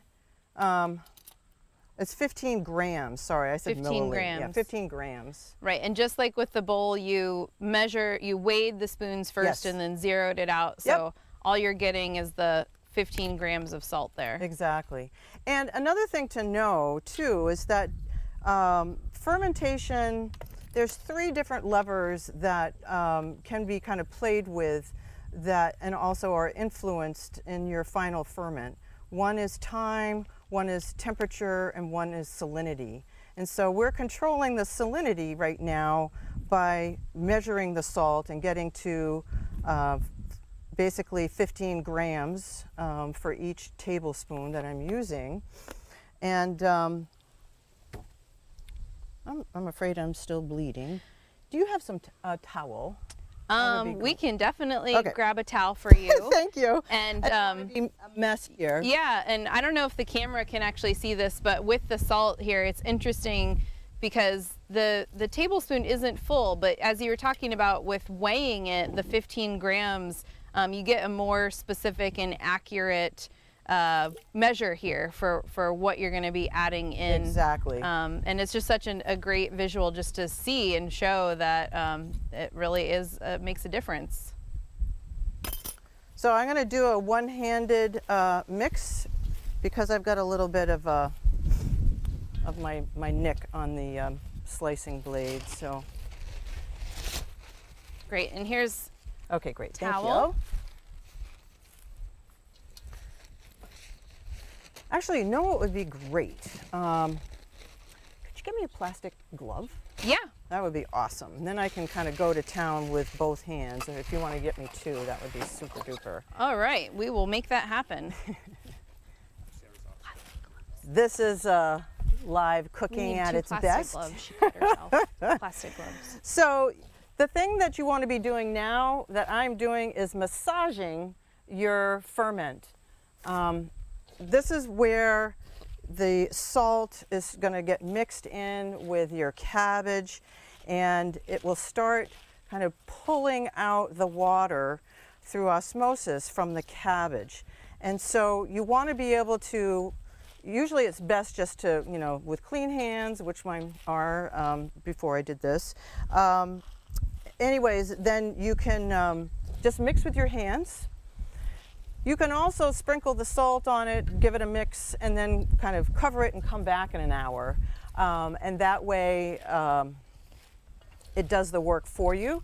But um, at this point, um, this is a great, thank you so much, Sarah, I appreciate it. Yeah. And here's another towel. if you Okay, need that. perfect. And so we've got some gloves here. Oh, righty. And maybe I'll put some on too here, just just in case you need an extra hand. I can I can help out. Thank you. We can swap off now. Um, does it take a lot of um, upper body strength? We're going to do some pounding probably too, right? Do you? Well, does it I, take you a know, lot of strength? I don't. Um, you can pound, but mostly what I do, I am pounding uh, the ferment into the jar versus just pounding it right now. oh, now. okay. And um, I'm trying to get the glove on on wet fingers. Yeah. so- Can I do some mixing with my Yeah, gloved please hands? go while- right in. Go right in here, So I'll just step in here. and you can just start massaging it. All right. It doesn't require a lot of upper body strength. It's just uh, it's kind of a little bit like you know kneading bread dough, um, and uh, you're just basically just mixing it all together. Smells good. I can smell the onion in there. Mm-hmm. And we're trying to get the salt kind of all mixed around. That's right.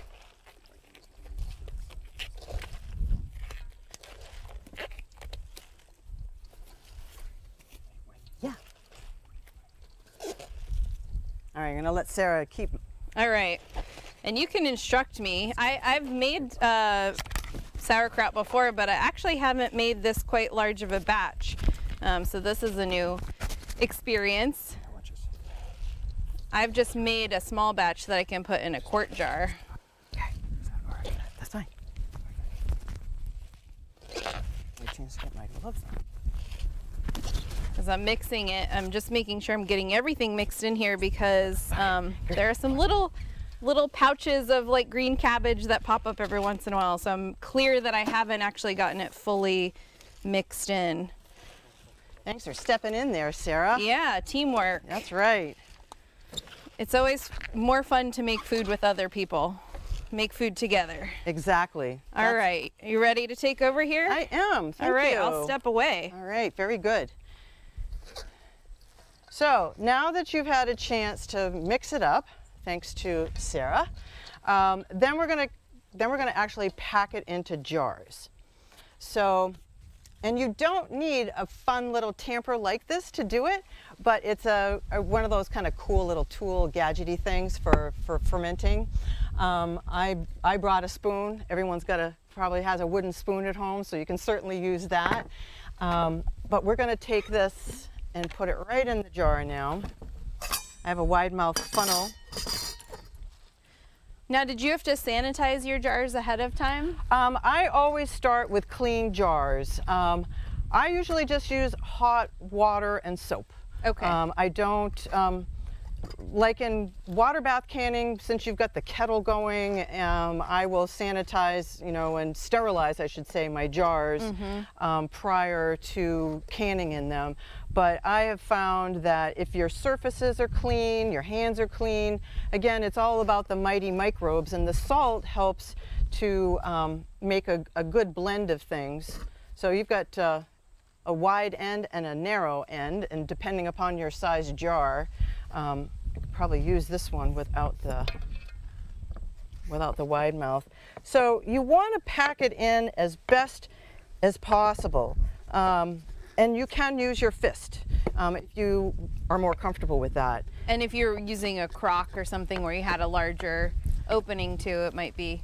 Oh, that's what the really big one's This for. is, the, this is the tool, the wooden plunger, cabbage stomper for your big sauerkraut crock. And it's really helpful because you can lean on it and just like, you know, have the crock on the ground and just like put your weight on it. Ah! All right. right. Well, it looks like the ferment is still in good shape, so Yep. we're okay. All right. There was uh, one Oh, other. yep, there's one more down here. All right, well, live demos at their best. We're dealing with the elements here. right, and, we've uh, got the wind. all righty.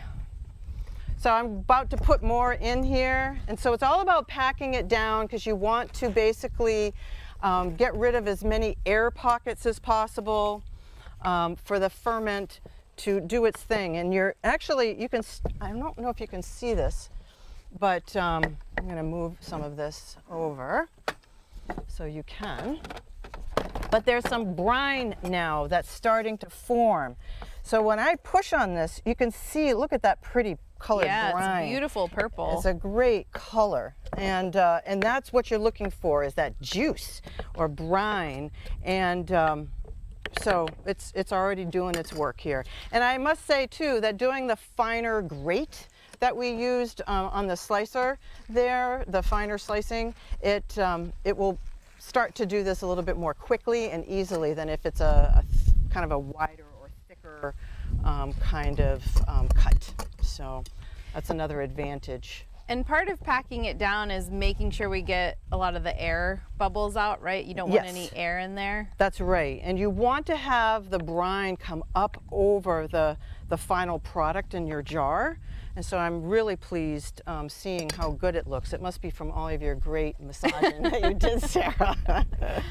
Well, I could tell those were really healthy, nice cabbages. Um, a lot of moisture in there Yes. too, because they're fresh. And like we were talking about earlier, using that really high quality, local organic produce from your local farms or from Yep. your garden, um, that's really going to help with the quality as well. Exactly. And, you know, I, I would say if you had a really dry cabbage, you're not going to get this kind of um, juice. So I'm going to stop here. Um, actually, I might even just take just a pinch out. You want to make sure that you leave headspace, um, partly because um, you're going to be putting a weight, which I'm using one of these jars as a weight, and it fits. So this is like a little jelly, jelly or jam jar um, that, that you can find in the supermarket or hardware store, and I use that as my weight. And so um, you want to leave like an inch, about an inch, no more than two, um, to basically get that in there, and uh, so that you can have the brine and the weight. So when you put the weight on there, you don't want the brine to be up over the top. So, and now I'm going to talk about the final um, piece, which is a piece of your cabbage actually from earlier. That's why I set the pieces aside that are good quality. Um, and so you can basically just tear it and um, to be about the right size to fit on the top. And what this does um, is basically act as a trap to keep all the loose pieces down below the brine. And this is like a great simple way to do that. There's also um, something called a pickle weight, which you can put in there, um, or one of these. Those are kind of like fun little things. But um, this will work, and you want to make sure that there aren't any pieces of sauerkraut up along the outside edge above that, because that too can also attract um, mold organisms. But so you're basically just putting that in just like that. And now you can take the jar and you don't need the lid on that. And I had another, there's the lid. Oh, so it's the lid that's going to hold down the weight. I see. Yep, exactly. So here is your finished sauerkraut. And uh, so these two are still working. Um, I have, um, I can put the rest of this away after we're done. But I'll talk about just some of the different combinations that I've done in the past and maybe give you some ideas of things you might want to try. So this is um, what I called a, a summer kraut. And basically it's just green cabbage, um, of course sea salt, and some grated carrot, and some chopped garlic. And whoa, was that ever um, pungent and fragrant when I first started it. Um, because, but the garlic really mellows over time. And by the end, I, this is actually finished. I, I took it out of my crock this morning to bring it and show you all. Um, but, uh, and I tasted it too. And it was, this is three weeks and there's brine in here. Um, and, um, and it was like the perfect amount of tang and it's nice and crunchy. So that's what you're looking for. So when you get to the point of about, so when you first ferment, again, um, the first three days are kind of crucial. You don't want to disturb it. You want to put it someplace out of your way, but not where you're going to forget it. And you're going to just let it sit for the first week. Um, because that first week, the organisms are really getting busy doing their thing. They're converting um, they're basically con converting you know things like into lactic acid and helping it to ferment and bringing the pH down. So I don't recommend trying to taste it um, in the first week, but just keep an eye on it like on a daily basis um, just to make sure. And another thing that I recommend, put your jar in a bowl or a plate or some kind of dish to catch the ferment um, happening because it'll start the, the types of um, lactobacilli bacteria that are in there the first three days or so, they're basically getting busy uh, just doing the ferment and doing like the, the real work in the beginning. And you'll see lots of bubbles and then you might see some like liquid coming out and that's okay. I just, but I don't want it on my counter or on my floor. So I just, I put it in a tub if it's a big crock or just a little bowl. Um, so we've actually had a ton of questions oh, coming let's in while those. we've been doing this. So let's go to a few questions. So the first one is from Hannah who asks, do you worry about live yeast from the apples and do you need to adjust the salt to account for that? So if you were using, if you weren't using the apples, would you use a different amount of salt?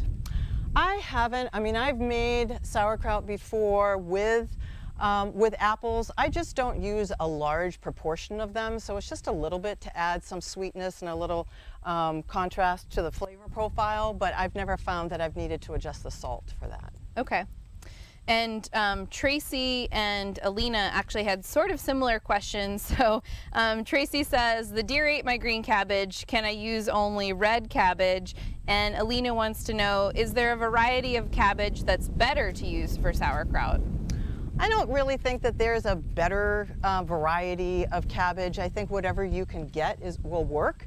Um, and I'll just show you, this is my beet red sauerkraut, and this is nothing but red cabbage and a grated beet. And, um, and so it just comes out really, really dark. And you can see it's, it's stained the wood because it's still fermenting. This is on like week two now. This was three weeks that's done. And then of course we just finished that one today. So you can use like all red and it doesn't really matter what variety you use. Okay. Yep. And then D asks, can pink Himalayan salt be substituted for the sea salt? Most definitely, but just try to get it in something in um, a fine grain, or if you have a way to, to grate it. I mean, some people have like a salt mill because you don't want to use the big chunks um, of whatever kind of salt you're using. Even kosher salt can be a little bit large crystal for the ferment. It just takes longer to distribute and is not as ideal as the fine grain. Okay. And Barbara asks, she says she's been told that like with sourdough, metal should not be used. And obviously we used a metal bowl. So is that okay or is it just that it can't be stored in metal? And then actually on the jar lids, you know, I know a lot of us have the, the metal tops that we use from water bath canning um, and you have these nice reusable um, lids. So is it possible, how does metal play into this? Can you use it in the jars and in the prep? Well, I've never had a problem with any of my ferments when I use a metal bowl. Um, it's not like, like kombucha, like the SCOBY is not supposed to come in contact with metal. And, but um, with sauerkraut, everyone I know and myself included in terms of my own experience, it's not a problem doing it. I wouldn't I mean, some people use food safe plastic to put their ferments in, which I don't particularly care for. I'd rather use glass. But um, I don't think I would put it in metal, but I don't, I don't have any um, reference of why that might not be a good thing. And using the, the metal wide mouth funnel, again, not an issue. But I think glass is the best storage vehicle to put it in. And you can use, um, since that inner jar does not have um, a lid, and if all you have, I mean, I get these too at the hardware store, um, but if all you have are the regular water bath canning lids, that's fine too. You just might notice a little bit of corrosion from the salt on the inside of the metal band when mm -hmm. you mm-hmm. take it off. Um, so just make sure you don't um, yeah. And, and do you want to put the lid as tight as it goes? Do you want to leave a little space for air to escape or how do you do that? Um, I wouldn't crank on it um, and try to get it as hard as possible. And as long as you're leaving enough room between the ferment that's below the brine and the jar and getting the, um, the lid on, you should be okay. Because as I said, like these two have been going now for two weeks and uh, I've had no issue with um, anything else with that. So you could use a metal one. Um, I just, for storage, Again, you're going to have to look at, um, for long-term storage, if you have only metal bands and lids, it, it can, the salt can eventually, you know, do some corrosion mm -hmm. on it, mm-hmm. but it's, it's perfectly fine inside. Okay. Stephen asks, he says, I blanched and froze cabbage to store it. Can I still make sauerkraut out of that? Hmm. Well, that's going to be a whole different thing. The texture is going to be different. The tissues break down when, um, when you freeze things. And so it may end up being too mushy.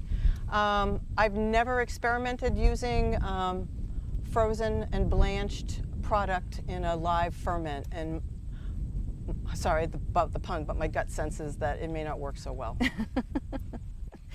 um, so a few folks asked about spices. Um, Martha asked, do you add caraway seed, which is a Lithuanian touch? And um, Krista was asking about Central American traditions of um, putting different color layers in the jar. But, you know, what kinds of different spices and things can you add that might give it different flavors from around the world? Sure. Well, this one is a golden kraut, and this one has turmeric and grated gin fresh ginger, and um, and so that, and also garlic and black pepper. That because black pepper helps the the curcumin, um, the in the turmeric, and so that makes it more bioavailable. And then the beet red kraut that I made, I used caraway, dill, celery seed um, in there. Also some juniper berries, which you can crush or use whole. Um, they help flavor the ferment. But by all means, I mean, you can make a, add some cilantro, you could add parsley, so other fresh herbs can be added. Um, I've never tried layering. The only thing that would be difficult with that would be making sure that everything is mixed equally mm. with the mm. brine. So you'd have to have like little bits, I would think, of different, yeah, that would be a, a an experiment. Okay. I haven't done that before. Um, Laura on YouTube um, is just asking you to explain again why we need to be careful about high sugar vegetables like carrots and beets. Yeah, when you're doing especially a ferment with only carrots or only beets that are grated especially, um, ha they have a high sugar content, so it tends to favor a different type of yeast. Um, and uh, so I'm sorry, a different type of bacteria and they go a little nuts. It's like they're having a big party in there with all the sugar content um, that's higher in beets and carrots. So um, that's why if you're doing a ferment with only carrots um, or a, like a grated beet, um, something or other like a ferment with just grated beets, um, you'll probably want to do that for a lot shorter period of time. Um, I think I did my carrot, um, grated carrot, turmeric, and ginger um, ferment for about a week, and it was already kind of getting slimy by then. Mm. So, um, again, those are just a little trickier because of the high sugar content and the different type of um, bacterial strains that really enjoy that. Great. Um, and we might have a lot of first time people who are making it today. And we had somebody on YouTube who said, I've made a kraut a couple weeks ago, but I've abandoned it. It's my first kraut, so I'm intimidated. Um, and they ask, how can I look it straight in the eye and do what I need to do? Um, so does that mean, you know, can they revive it? Should they compost it? How is somebody going to know when it's actually ready? Really good question. I'm glad that that's one of the last questions that we may have time for um, because this is where I think people get really nervous. Like, is it done? Is it bad? You know, how do I tell the difference? And when it's done, it should it should smell kind of somewhat mellow, a little bit, you know, a little bit of pungent smell, but it's going to have settled down from the beginning. And visually, you want to look at it visually. You want to smell it. Um, and there's something called kahm yeast, and that's K-A-H-M, um, which is like a white film of yeast that may form on the surface, and that's not a bad thing, but um, you can skim it off. The only time that, uh, as I mentioned earlier, that the only time I've ever had a ferment that I felt like went south, it actually had colored mold and mm. it smelled bad. And even if I wanted to skim off the little bit of colored mold, which I could have done, I couldn't get past the smell factor. And I thought, okay, the combination of, of both of those, like if, and I have a pretty sensitive nose, my husband that. So uh, if, if I can't like want to like enjoy it because it smells too pungent or like bad and it's got mold growing on it. But if, if she's got a ferment that's only several weeks old, it's probably still fine. Um, again, it's like the, and she can also take it out and, and maybe just take a little taste and mm -hmm. see mm-hmm. how it tastes. So yeah. Yeah. Well, we've learned so much today. We're, we're, we're so excited. I'm going to come over to this side as we get ready to go to our next segment here. Um, but thank you so much, Wendy, for sharing all of your knowledge. Um, this was this was so fun to get yeah. to do this together out here. And what a beautiful jar of sauerkraut that we made. And I um, I hope that it tastes as good as it looks, and and that maybe we'll get to taste test it in a, a week back. or so. Yeah. yeah, we'll try it out here at the office. Um, well, thanks so much. And next we're going to go to Beth, who's going to share a little bit more about the Common Ground Country Fair Country Store. Thanks, Sarah. Thanks.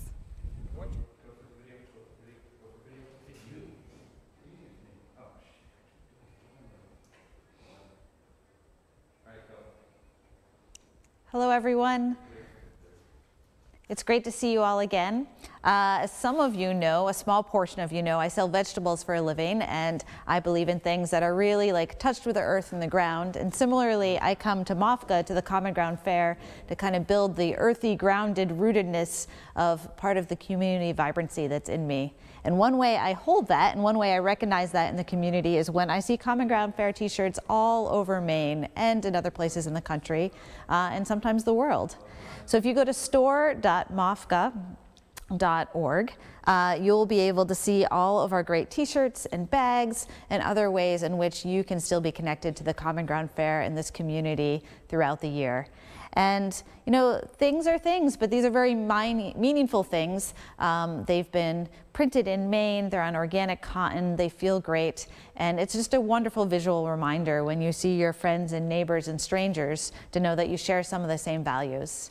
And additionally, with my MOFGA board hat on, uh, the fair is a way that we charge our batteries in so many ways, but it's also a way that we do help our budget. Uh, the Common Ground Fair t-shirts are a meaningful part of our income over the course of the year. And because we're not here in person, we still printed all of these t-shirts and still want you to take them home and you can support our organization and our community by continuing to buy them online. So please, if you normally come to the fair and take home a t-shirt or renew your membership, uh, do so just like any normal fair weekend day. Visit those places online and we'll see you more soon. Uh, we're now transitioning to Sarah, who's going to introduce us to Winona LaDuke. Um, and we will talk together again in a few minutes. Did Beth? All right, well, coming up next is Winona LaDuke. I'm so excited to um, get to talk with her. I actually worked with Winona at the White Earth Land Recovery Project for a number of years, so maybe we'll get to get into a little bit of that. Um, she's an indigenous Anishinaabe activist from Northwest Minnesota, and we've got a great presentation, so we hope you'll stay tuned.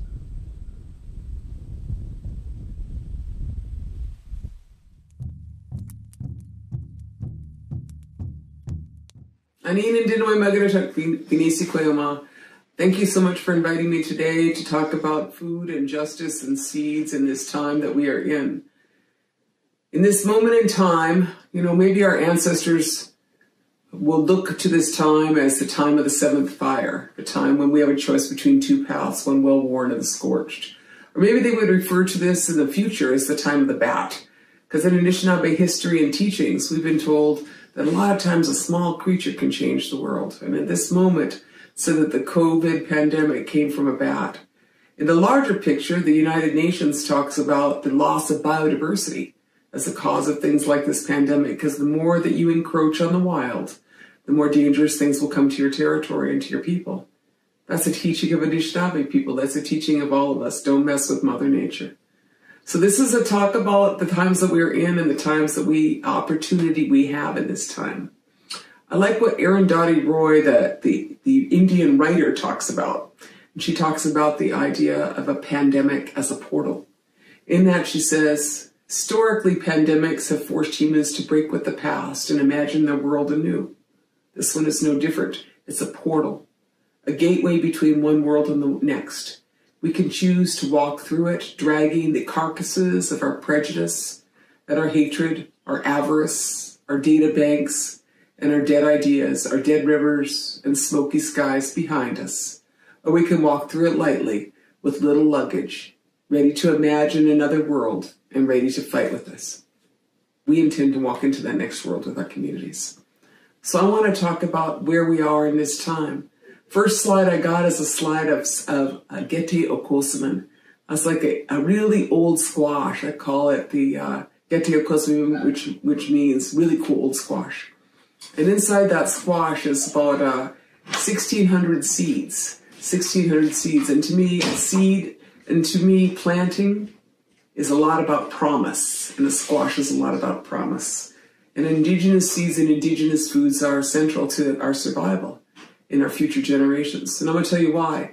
America was once very great, and in that great, there was tremendous biodiversity from the 50 million buffalo to the agrobiodiversity of 8,000 varieties of corn. That's when America was great. The loss of biodiversity is associated with colonization and is associated with globalization. But remember in the great times that we were self-sufficient people and we could feed ourselves. They say you can't say you're sovereign if you can't feed yourself, and I think that's a little of the challenge that we face now. But in this moment, what we find is, is that indigenous peoples' seeds and biodiversity still remain central to the potential to protect our world and protect future generations. That is through adaptation. You know, on a worldwide scale, they're spending about major corporations like Monsanto and Syngenta are talking about climate change adaptation varieties that they're developing. They're introducing those, sucking up pretty much billions of dollars to create climate smart varieties. $136 million is the average cost for climate smart species, seeds per species. In the meantime, indigenous nations worldwide are adapting our pre-petroleum varieties to the times ahead. Combined on a worldwide level, indigenous farmers are producing today 70% of the world's food. That's our future, and that's food security. And remember also that indigenous people are the people that, although we're about 4% of the world's population, we live over and amongst about 75% of the world's biodiversity. That's where the wild things are. That's where we live. And so what you want in the time of COVID and the time of crisis is to figure out how we're going to survive. This is really a, a small snapshot of what the future in a climate change challenged world will be. And it is our opportunity to be smarter, not to try to go back to normal, but to be smarter. So how are we going to do that? We're going to learn what relocalization is about. Oma King, how to be here on our land, here to the land which the people belong. And why do I say that? Because in the big picture, you know, it turns out that size matters. And what I mean by that in this particular case is that big agricultural systems fail us in a time of COVID. That's to say that the average American meal travels 1,400 miles from farmer to table. That's not working. And we're just gonna, we've just taken a pretty big hit because of that. So during the beginning of the COVID pandemic, by mid-March, farmers were dumping thousands of gallons of fresh milk into lagoons and manure pits. Idaho farmers dug ditches to bury millions of pounds of potatoes. 3.7 million gallons of milk daily, and a single chicken processor was smashed 750,000 unhatched eggs every week. Big is not good, can't change fast. But what we have in our own communities is these traditional seeds. And we have this history that we are making of rematriation, the return of our seeds and the return of our traditional foods to our communities. And within that, and the transition to small scale renewable energy, is really the security for our future. So let me talk about the potato. You know, today we are in this, we find that in northern Minnesota, we are battling the single largest independent potato grower in the, in the country. That's RDO Offutt. They grow one or two varieties of potatoes, but you know, climate change scientists are looking at how to adapt potatoes now, and where they go to is, of course, indigenous peoples. The Potato Park in Cusco, Peru is an epicenter of potato diversity today. The Peruvian museums host over 5,000 varieties of potatoes, and the park itself has about 1,300 varieties growing in the Sacred Valley of the Inca. Potatoes, which saved Europe from famine, because you know everything is underground and not above, have uh, saved Europe from famine 300 years ago, but then were also the source of the of the Irish potato famine, are today being looked at to save our future generations. By sowing potatoes at different altitudes and different combinations, these potatoes create new genetic expressions that will be very important to respond to the challenges of climate change. Indigenous potatoes from those uh, ancestors coming into the future. That is what we must do. We must rebuild our food systems. You can't travel 1,400 miles from farmer to table. And when we rebuild them, we, we rebuild them with a lot of our traditional varieties. Now everybody knows, or a lot of people know I'm a corn grower. I've been growing corn for about 30 years. That's because my father told me that he didn't want to hear my philosophy if I couldn't grow corn. Uh, so I've been growing corn, and I, I grow pretty much this year. I'm growing a Mandan variety. I'm growing an Oneida white flint corn, and I'm growing a Seneca pink lady. But I also grow a Bear Island flint. And what I noticed when I first grew my corn is that it was like really short. And I thought, oh, I have failed. But it turns out that a lot of these varieties don't need to grow tall. All they need to do is put on an ear. And if they can put on an ear, then they put on the food that you need. So a lot of our old school varieties from my region, the north, you know, Ojibwe people pushed corn nor furthest north in the world, about 100 miles north of Winnipeg is where we pushed it. Those varieties are not tall, they're short, and they're frost resistant and they're drought resistant. And when the big winds came through, they blew down Monsanto's varieties, but ours stood. So plant for climate change and plant local. And then grow your food for your own community. You know, uh, we have to do some decolonizing to remember how it is that we grow and how it is that we eat. You know, like our hominy, our hominy food, when you know how to grow that and you know how to process that, that can really rock the B vitamins and improve your nutrition. You know, and what's happened to our communities like this whole country is that we took the Pillsbury Doughboy too seriously and we all started looking like him. A time to move on, you know, in this time. And then, you know, we need to adapt our technology because I was out on Pine Ridge Reservation last year and they were trying to grow their varieties of tomatoes and big hailstorms knocked it out, you know, a couple years in succession. So here in the White Earth Reservation and in our territory, first we grew some of our varieties in uh, wigwams and then uh, there were high tunnels like, and then now we're building underground greenhouses because I want to be able to feed my children in the future generations. And, and uh, you know, it's good to keep it a little warmer and a little safer. And then, uh, you know, what we're looking at is post-petroleum agriculture because uh, pretty much we're slathering petroleum on everything in our food system for the 1,400 miles from farmer to table to all the fossil fuels, additions, and all those things called side they put on food. You know, my feeling is, is that the word side, the suffix side, has a lot to do with like homicide and suicide and genocide and fans with side, you shouldn't put it on your food. So we have this opportunity, crisis, this opportunity to rebuild local food systems because the big food systems aren't going to work. And we do that, let's go organic. Let's go climate resilient varieties and let's grow with our hands and our love and our horses. And then I want to talk about uh, hemp. You know, um, I call that the new green revolution. And for the past five years, I've been growing hemp in the state of Minnesota, but I'm interested in fiber hemp. And I'm interested in fiber hemp because it is the new green revolution.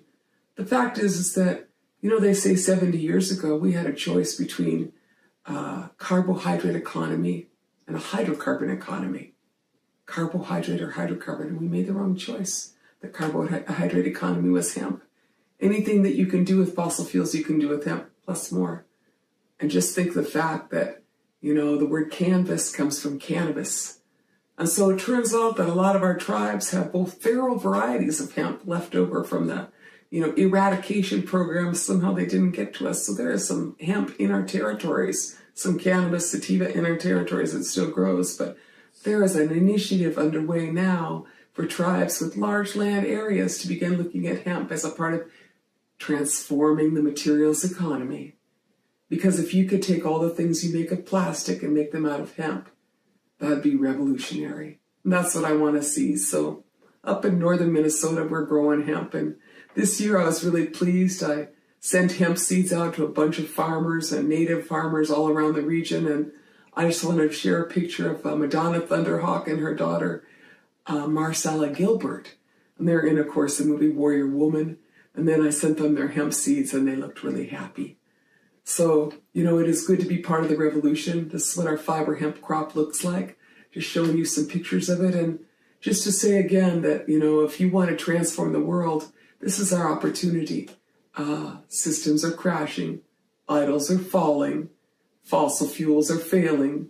Now would be the time to walk through that portal and to make that new, that new economy. And so, uh, from my little neck of the woods up on the White Earth Reservation to all of you elsewhere, let's get local. Let's get renewable energy. Let's get local foods. Let's grow some hemp. And let's use our indigenous knowledge of transition. Remember, we're a people that are post-apocalyptic. We have lived through our own apocalypse.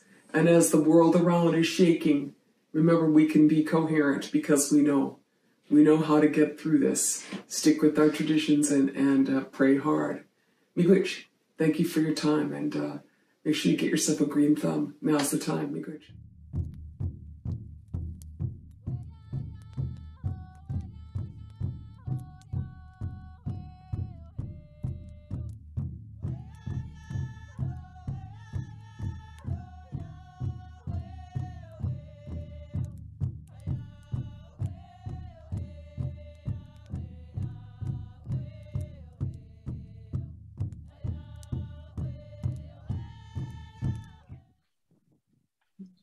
Right. Well, welcome back. And we are here live with Winona LaDuke, who you just saw on video a little bit. And um, Beth Schiller and I are going to be asking her questions. And we're also going to be fielding your live questions. So if you have questions for Winona, you can go to Facebook Live and YouTube Live and put those in, and we'll make sure we can get those in. But Anin, Buju, Winona. It's so nice to see you in person live here uh, on this beautiful day. And thank you for joining us. And it'd be great just to hear a little bit more about your work and, and what's been going on.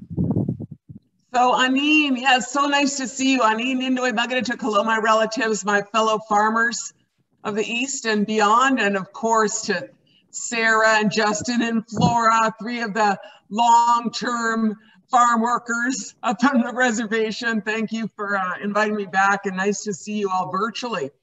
Um, yeah, thanks for letting me show the video. I thought I might try to show a couple more slides of what we're doing, particularly, you know, as we're in the middle of our, starting our hemp harvest. And I want to talk a little bit more about hemp and then a little bit about, you know, some of the changes in the food system we're going to need. So let me see if I can put up a couple of slides. Let us hold our breath here. Oh, Maybe, is that working? Yeah, we can see that. There you go. This is the new green revolution, as we are saying. And um, wait, I'm gonna go back one. So look, this is what I'm thinking, you know, in the, in the moment we're in as systems are crashing, let's just make the next economy. You heard me say that over and over. And a part of that is this work on hemp. So I've been growing hemp for five years. This is my first, this is a picture when a, this is a tribal field and the neighbors complained about the weeds out there. And I was like, what weeds? And I went out there and it was this like nine foot tall hemp plants. I was like, holy buckets. So this is called my 60s flashback photo, which is what the hemp field looks like pretty much on White Earth. And when you're trying to figure out what to do with, with 20 acres of hemp, which we have this year, you're working pretty hard at it, right? So I talked a little bit about it, but um, you know, it's it's really you know, this discussion of having a choice between a carbohydrate economy and a hydrocarbon economy. You know, that's what we had 100 years ago, and, and we pretty much made the wrong choice, and we all know that in light of the catastrophic catastrophes of biblical proportions which surround us from fossil fuels. So I really think that hemp, cannabis is, the, is an antidote to the fossil fuel economy.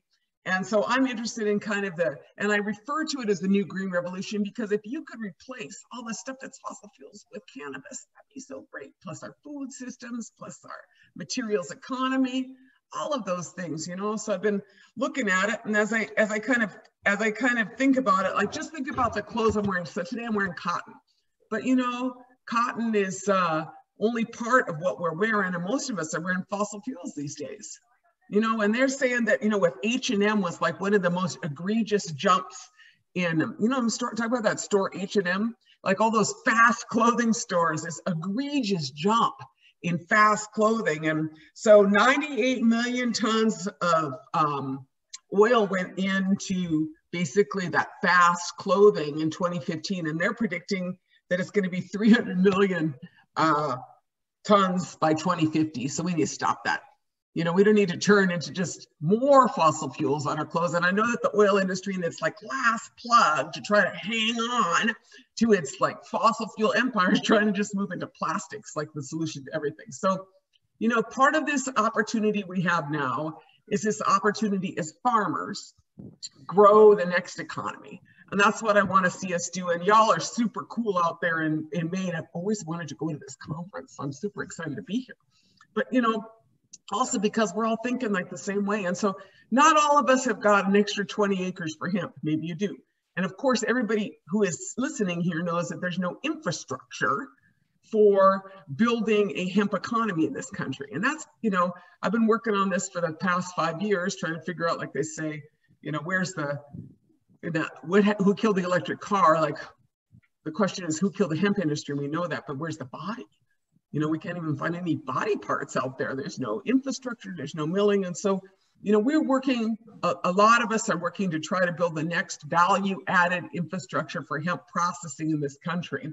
And it could be all kind of scales. And I showed, I think, a couple of pictures previously of our of our more local scale of a lot of hand. You know, this is our team here. And I think I might have shown this picture before of of our, um, this is what our hemp crop looked like a couple of years ago. And of course we had a hand decorticate it with this Chinese decorticator and, you know, uh, and then, um, you know, we, we, we've got the beginning of some of our crop, but the, um, you know, the larger scale, and, and what, the reason I'm saying that is, is that, you know, so say 150 years ago, every farm was required to grow hemp and required to grow linen because you could meet all of your rope making needs out of hemp you know and so i'm just kind of saying like even if you had as a part of a crop rotation some hemp or some some of us in our regions making hemp rope you know for all that stuff we got to do in farming that's like still a good thing within the economy. And i'm just trying to point that out because we want to move out plastics and all of those. And as we look at the industry i mean the fact is, is that it's growing rapidly and there's not a domestic value added part in it. And that's what we really want to see our work up at White Earth is really in uh, building a set of uh, indigenous hemp farmers, supporting farmers who want to integrate into that. And uh, so I've been really proud of that. And then the other photo I want to show is um, a little of our value added work. And I just wanted to talk about that a little bit. Sarah and um, Sarah worked with us in the first time when uh, in 2003, when the uh, slow food movement uh, decided to acknowledge or, or, acknowledged and, and awarded us the, the award for biodiversity um, in defense of our, of our wild rice from uh, genetic engineering and patenting. That was the battle that we had at that time. And, um, you know, we've won that battle so far. And this year was a really interesting year out there parching. This is a couple of pictures of Frank Bibeau, who's our attorney. He, um, you know, in, in our battles against the pipeline company, but Frank is parching on the, on the, I guess it'd be on your left or I don't know, in, in a uh, akik, uh, katakik, which is that um, cast iron. That's one way of processing, kind of old school. And then this is a larger processing facility um, for parched rice, which is like, you know, you get it up the lake in a couple hours and it's done. Um, you know, parching on this and then you got to thrash it or dance on it and then fan it, fan it with a uh, fanning mill or a nooshkaachinaagan. The reason I'm talking about this is the question of as we rebuild a food system, everybody who's listening here knows that we got to rebuild the infrastructure for that food system. And that's the challenge that we face now as the, as the world food systems and the globalized food systems and the big food systems collapse. We're sitting here on White Earth trying to figure out how we're going to process our hemp. And we're working on that one. And then we're looking at our rice. I think we got that one. But, you know, things like uh, flour mills, we don't have that. Portable butchers, we got a couple of those, but we need more of those you know, these questions of how we re rebuild a vertically integrated, self-sustaining food system, which I know you're all grappling with out there, but I'm super interested in what you're learning for our own region because we have the same kinds of challenges. So for instance, me, I decided I want to make hemp pasta. I don't know if anybody wants to, knows any good pasta makers that want to join with me, but I get it all figured out. But in the process of figuring it out, I realized that nobody is milling hemp in this country. And so if you have all these people growing hemp, where are they going to get it milled and it needs certain milling you know and any place you want to go to a miller in in my region you can't go because they're already uh, filled up.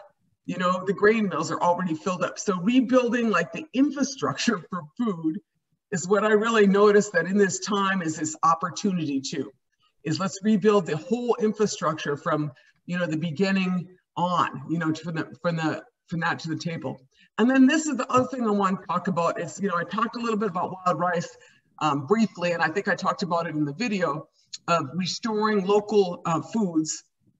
And a lot of those foods are just in your natural world. And up in Maine, you're like us, you know, you got like maple syrup, you know, you got good things that come from trees and good things that come from your forest. Like I always look at the, the, whole area, you know, my whole territory is my garden.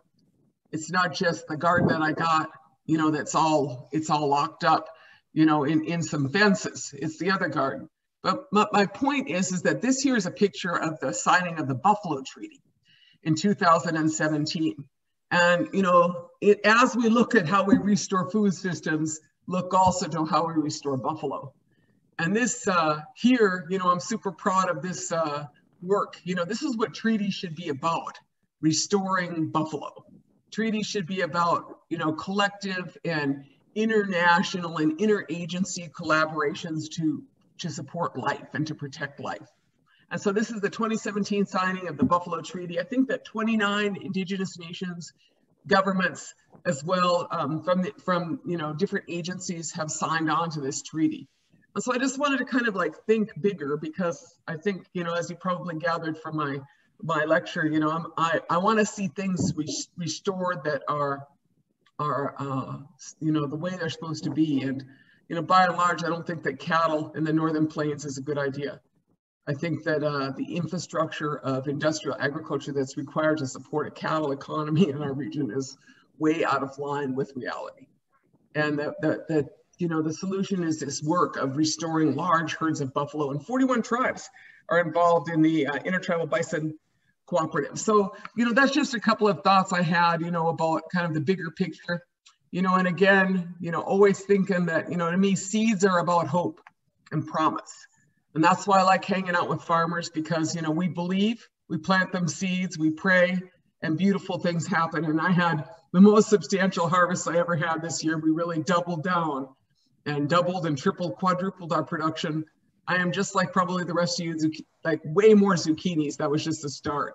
71 Lakota squash. Good thing the Sioux Chef is buying our squash, you know. Um, so much corn, you know, varieties we put in. We put it, we, we, we got, you know, some good acreage of corn and then, um, you know, just happy to be part of the local food economy and uh, happy to be part of restoring all of that, you know, and here's our, um, just to share, this is um, the website for our agriculture work um, here, Anishinaabe Agriculture, where we're working on um, things like uh, uh, hemp curriculum and uh, tribal policies on food and agriculture and hemp. So that was kind of my, um, you know, a couple of pictures I wanted to just share to embellish, um, you know, what we're talking about. And I'm just happy to be here with all the cool farmers um, out there. Um, I don't know if y'all had some questions, but happy to answer them. Yeah, well, thank you for that, Winona. And, actually, just to dive in a little bit further here um, and just to share with an anecdote to start out with a comment that came in from Sikwani Dana, who is one of our uh, Wabanaki community members here in Maine. Just wanted to say she's listening in and uh, she's doing that while she's harvesting Vermont cranberry beans, which is a variety that um, her ancestors have been growing here for thousands of years. So um, using that as a segue to talk about indigenous foods and indigenous food sovereignty, I know when you know we worked together, which it's hard to believe it was you know 15 plus years ago now, um, and some things have changed and some things haven't, but we were working uh, with tribes around the country, and I know you've you've been doing this work for a long time around protecting indigenous knowledge and indigenous seeds and varieties, um, and really fighting against biocolonialism from multinational corporations. And I, I wonder if you can just talk a little bit about how that work has evolved and and what's going on now with that.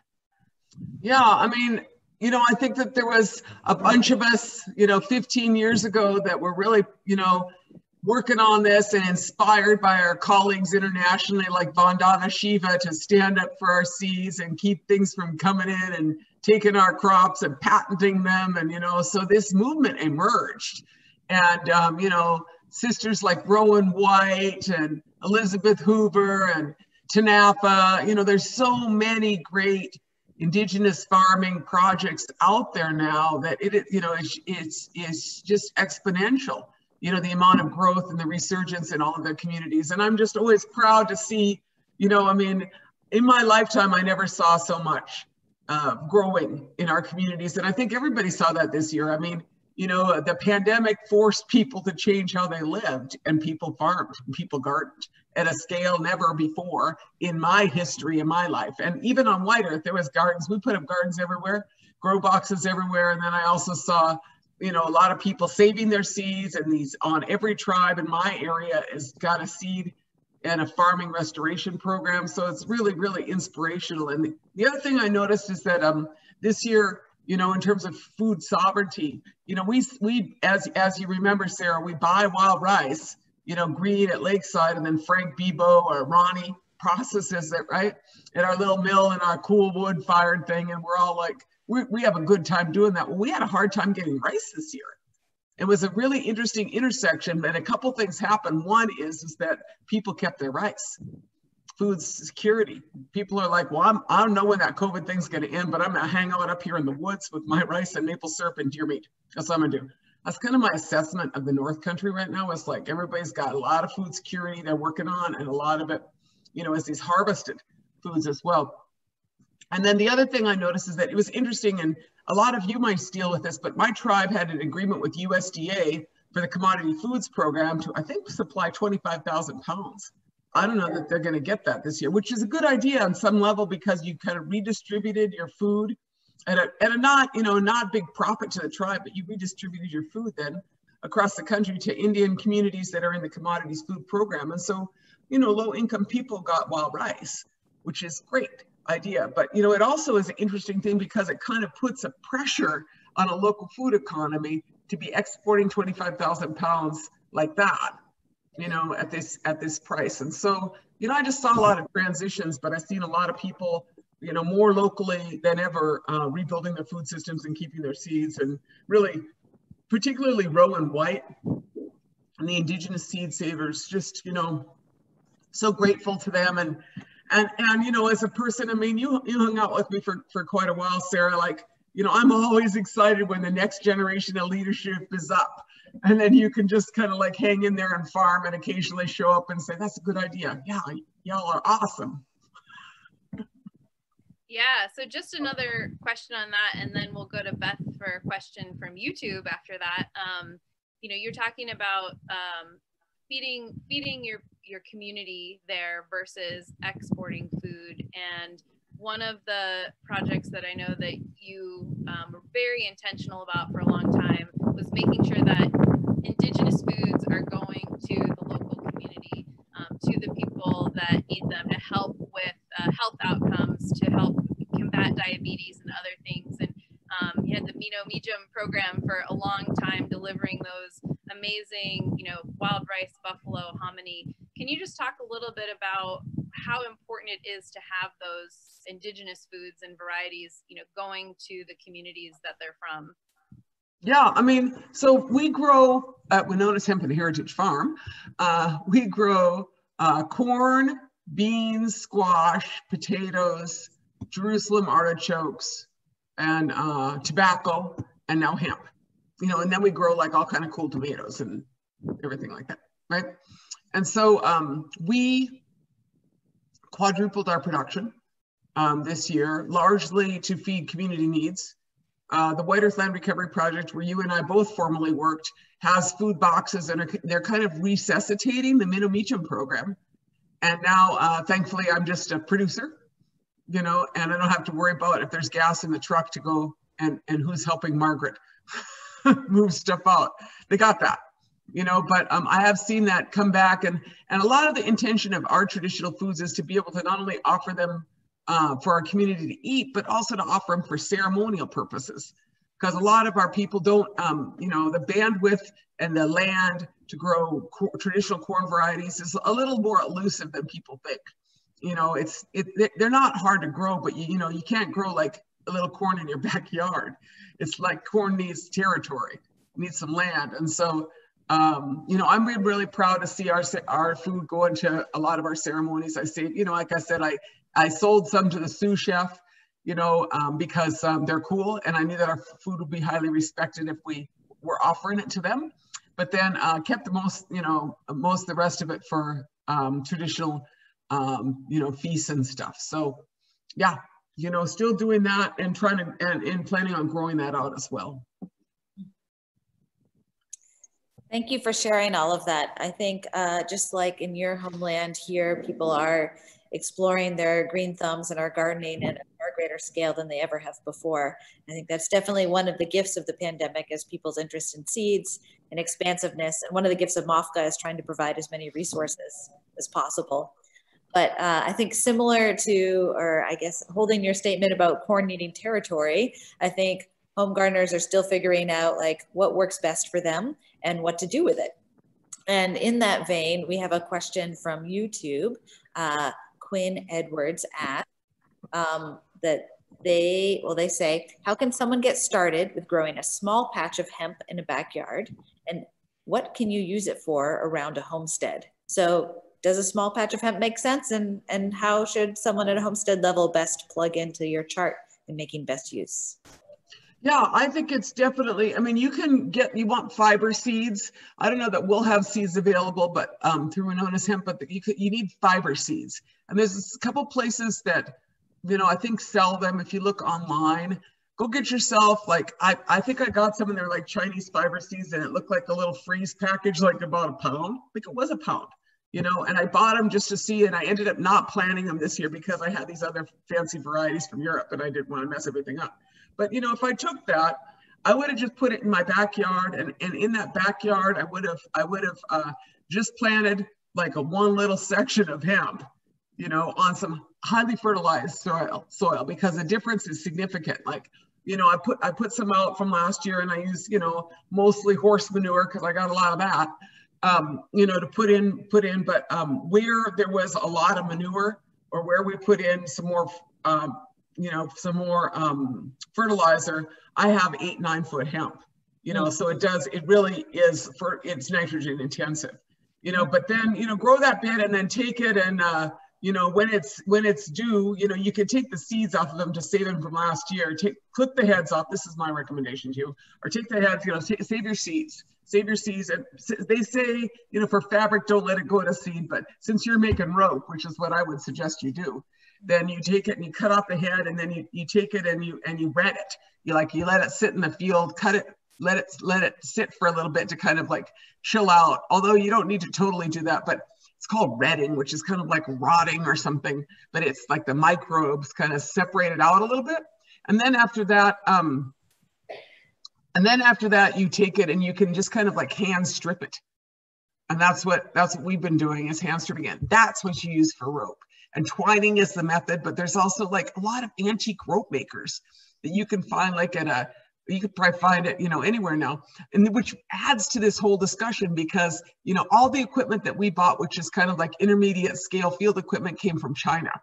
And my point is, is that, you know, when we need to reindustrialize this economy appropriately, so you make stuff that you need here, you know, and uh, this is a good opportunity. But rope making equipment, you know, that's what I would use it for around the, around the, um, you know, twine, all that stuff for around the farm you know, just do a little bit, try it out. I mean, they used to plant a quarter acre of hemp and a quarter acre of linen. That was the requirement by USDA, you know? Wonderful. I think from the cultural perspective in general, uh, how would you how would you encourage people to get to know their seeds a little bit better and get to know the history behind what they're choosing and how to make it right for their place? Appreciating that farming and gardening is really cultural, social, biological, economic. Um, yeah, I mean, I think that you know, there's a lot of places that you can order seeds that are kind of from your area. I try to generally grow from my territory. I think I tried something, you know, because I knew it was going to be a drier year, drier summer, and so I went for these northern, uh, north, you know, Mandan varieties of corn this year, as opposed to the Ojibwe varieties, you know. And I do have some very good Oneida corn that's coming in. I, apparently I have a longer, you know, we have this kind of a microclimate and everybody knows what this is like. You have like three, four parcels that you're growing on and a couple of mine have microclimates and they, they, they just like hang in a little longer. Things are not all frosted, you know, didn't, we didn't have a hard freeze. Mm-hmm. you know, in some of those. And so, you know, knowing your own area and then kind of looking for seeds that are from that area, northern or, you know, and Seed Savers has a lot of them and certainly kind of continuing to grow those out is really important you know, researching it and, and there's people who have knowledge of these seeds and, and, um, you know, it's, um, a lot of it is available. Indigenous seed savers have a lot of this information. Mm-hmm.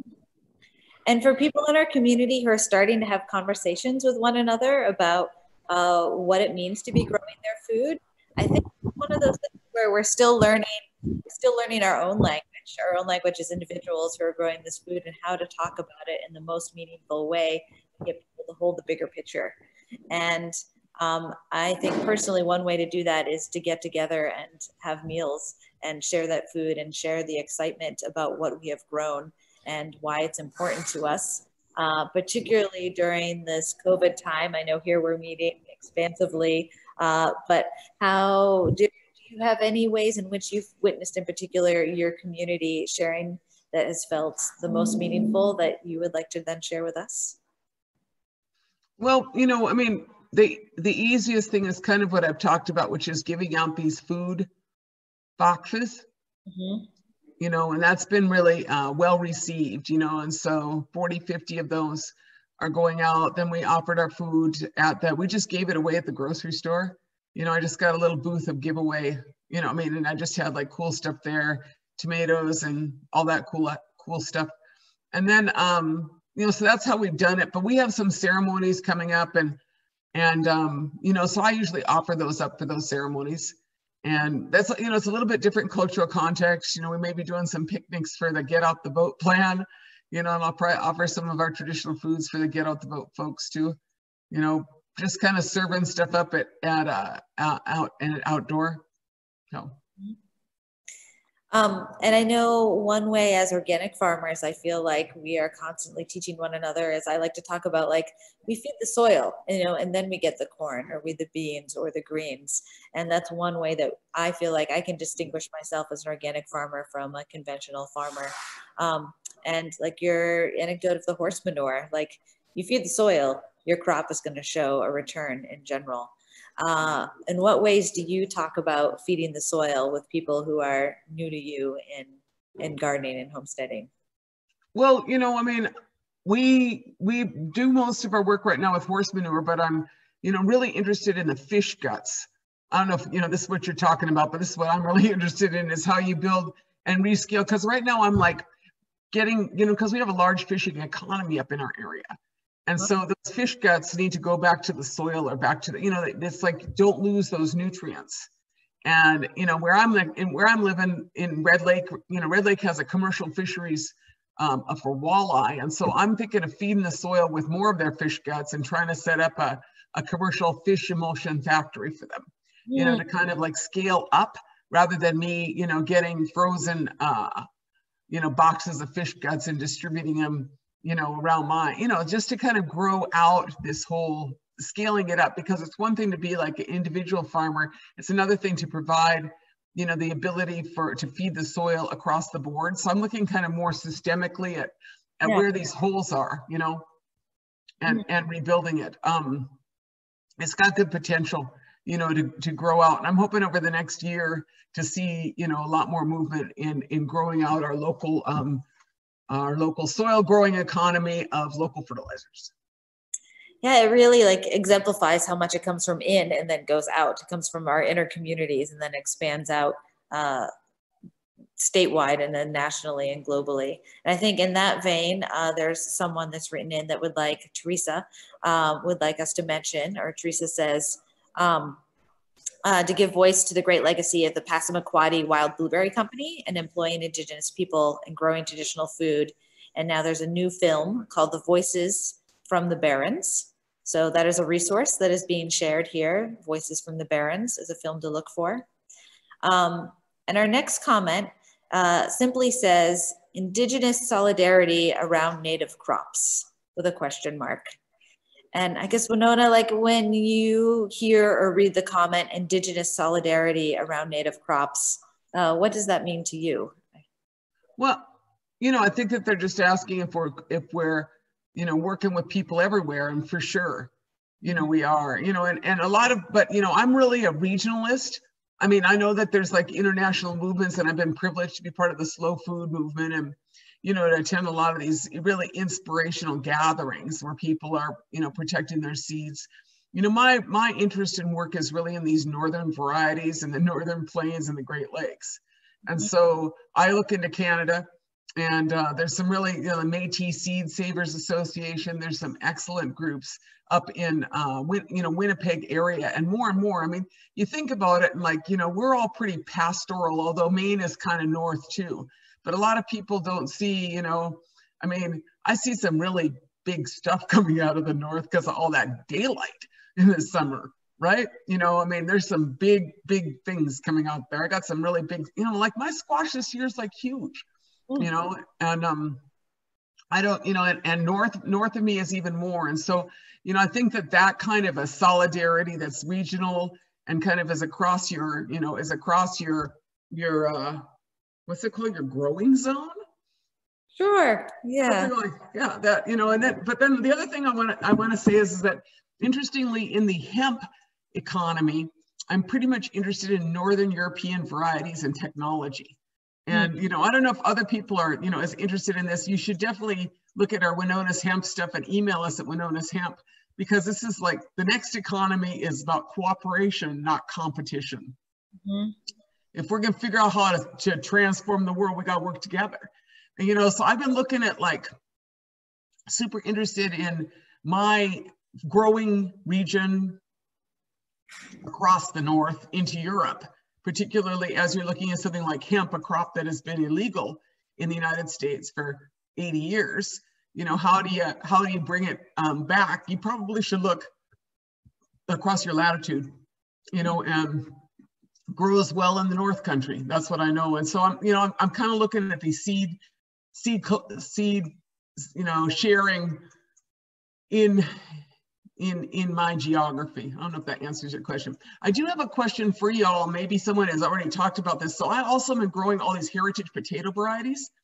And um, Flora, my friend from up there, she told me like I said, how do y'all deal with those big potato companies and all their crazy stuff, you know, because Maine and Minnesota and, you know, Idaho are big potato states, you know, and, and these are evil potato companies. We're fighting RDO Offutt, and Sarah remembers that from back in the day, you know, but um, we, uh, you know, so I was interested in other people's strategies to keep your heritage potatoes out of the fray of, the, of those guys and, you know, when the potato bug invasion comes. So I'm, I'm, we're doing a lot of working on how you restore these varieties and then also how you restore these varieties and push back industrial ag or plan, you know, for trying to protect your varieties. And so I was just kind of, you know, at some point people got some answers for, for how Maine is dealing with that or the organic farmers up there. I'd be super interested.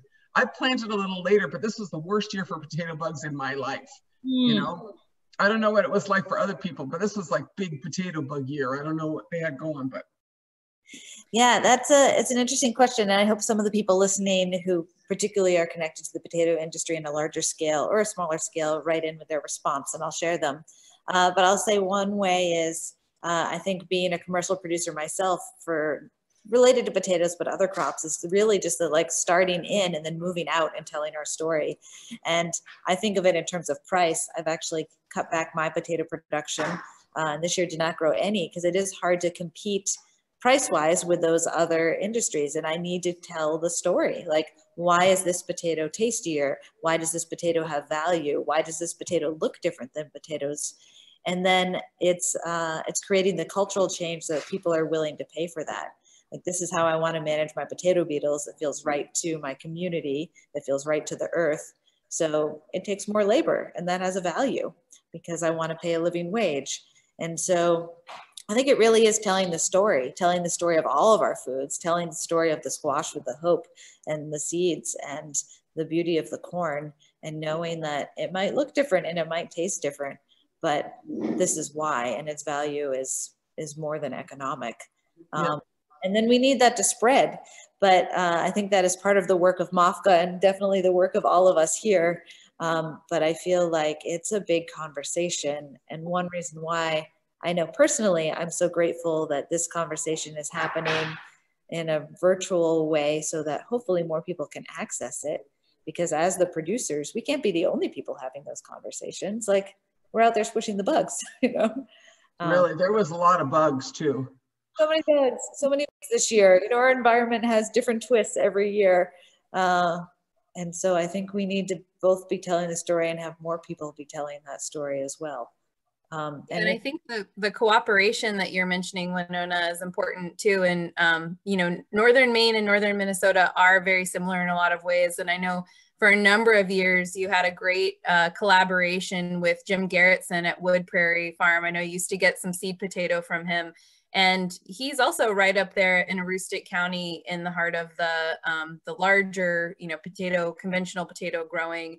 And I know that there's a lot that um, has a lot of work that's been done in that community to make sure that um, there are buffer zones, uh, which I know is one of the challenges right at White Earth. Um, RDO Offutt doesn't really have some of those same practices. And here in Maine, they've been working to do a lot of rotation. So organic potatoes uh, turns out is an important rotation with organic grain, which is critical to our, our brewing economy that's really um, sprouted up here in Maine and our baking economy. So um, doing those organic practices around, you know, crop rotation and really managing and taking care of the soil um, can also help with the the pests and the weeds and the other diseases and and i'm sure our organic growers if you're not still connected with jim i'm sure he would love to reconnect and and really do some of that knowledge sharing for you know what works here and what works what works in minnesota and how we can learn from each other. Yeah i'd, I'd like that and it would be good if you would reconnect us. And then also kind of this question that i noticed on the grains of where do you get your grains milled and who has a wind powered grain mill? You know that's kind of my question now is how you rebuild intermediate scale because as i you know start walking into the hemp industry i realized that this crop has a potential for so many purposes and if you have all those seeds you know what if you turn more of them into this you know i mean i, I did make some pasta out of it we had some you know special people make the pasta for us and but now you know i'm like well now that I've got the recipe, where do I get more milled? You know, how many backflips do I got to do to do that? And then where's my local production, you know, my co-packers? So, you know, I know that in Maine, you have done a lot of thinking about this. Minnesota is obviously, you know, a pretty progressive state too, but very interested because if you guys have got more infrastructure in your milling industry, we need it too. You know, that's what I really noticed at the, at the, you know, as I was looking into, you know, this year, I was like, wow, someone's got to rebuild the local milling structure. But, you know, what an opportunity. You know, what an opportunity. We've been, you know, wringing, not wringing our hands, but we've been pretty pissed off at the concentration in the food industry. And now it's collapsing. So, like, let's just step up, you know, and, and, um, people, you know, that's how change is made. You know, I don't want to say crisis is opportunity any more times, but I'm like, you know, now would be a good time to rebuild those systems because it looks like I won't be getting any pork from Smithfield Foods this year. Yeah, absolutely. And you know, as you're talking about the the Green New Deal, the new economy that we're growing, you know, hemp is part of that. Um, but we're also dealing with climate change, and we we had one of the worst droughts in Maine this summer, and Maine is usually a place that has a lot of water. And so you talk about growing the different corn varieties, but you know, what do you see with climate change coming and and the necessity of how we need to adapt? Yeah, I mean, like I said, I, I picked kind of the drier varieties and then I prayed and did our best. And, you know, as you, as you likely remember, we don't have irrigation, you know, in our fields. And so I'm interested in, you know, non-irrigated agriculture and I'm in Minnesota. I should be able to manage that for crying out loud, you know, but it was dry and last bit. And then last year in comparison to that, we were like bobbing for potatoes. Mm. Right. You know, and so that was, that was crazy and disastrous and time consuming and stressful this year we are bobbing for potatoes, but it was very dry. And then I just watched my varieties adapt. My theory is, is that those heritage varieties are smart and they can adapt. Those GMO varieties and, and hybrids can't, they aren't smart varieties. And so, you know, I watched my corn wait. I watched some of my corn come in lower, you know, shorter. I watched, um, what else did I watch? I watched a bunch of, uh, I watched a bunch of my different plants just kind of like grow out differently that I might have seen them like a little like late, late start, you know, and you're like, are you coming? Are you down there? Are you down there?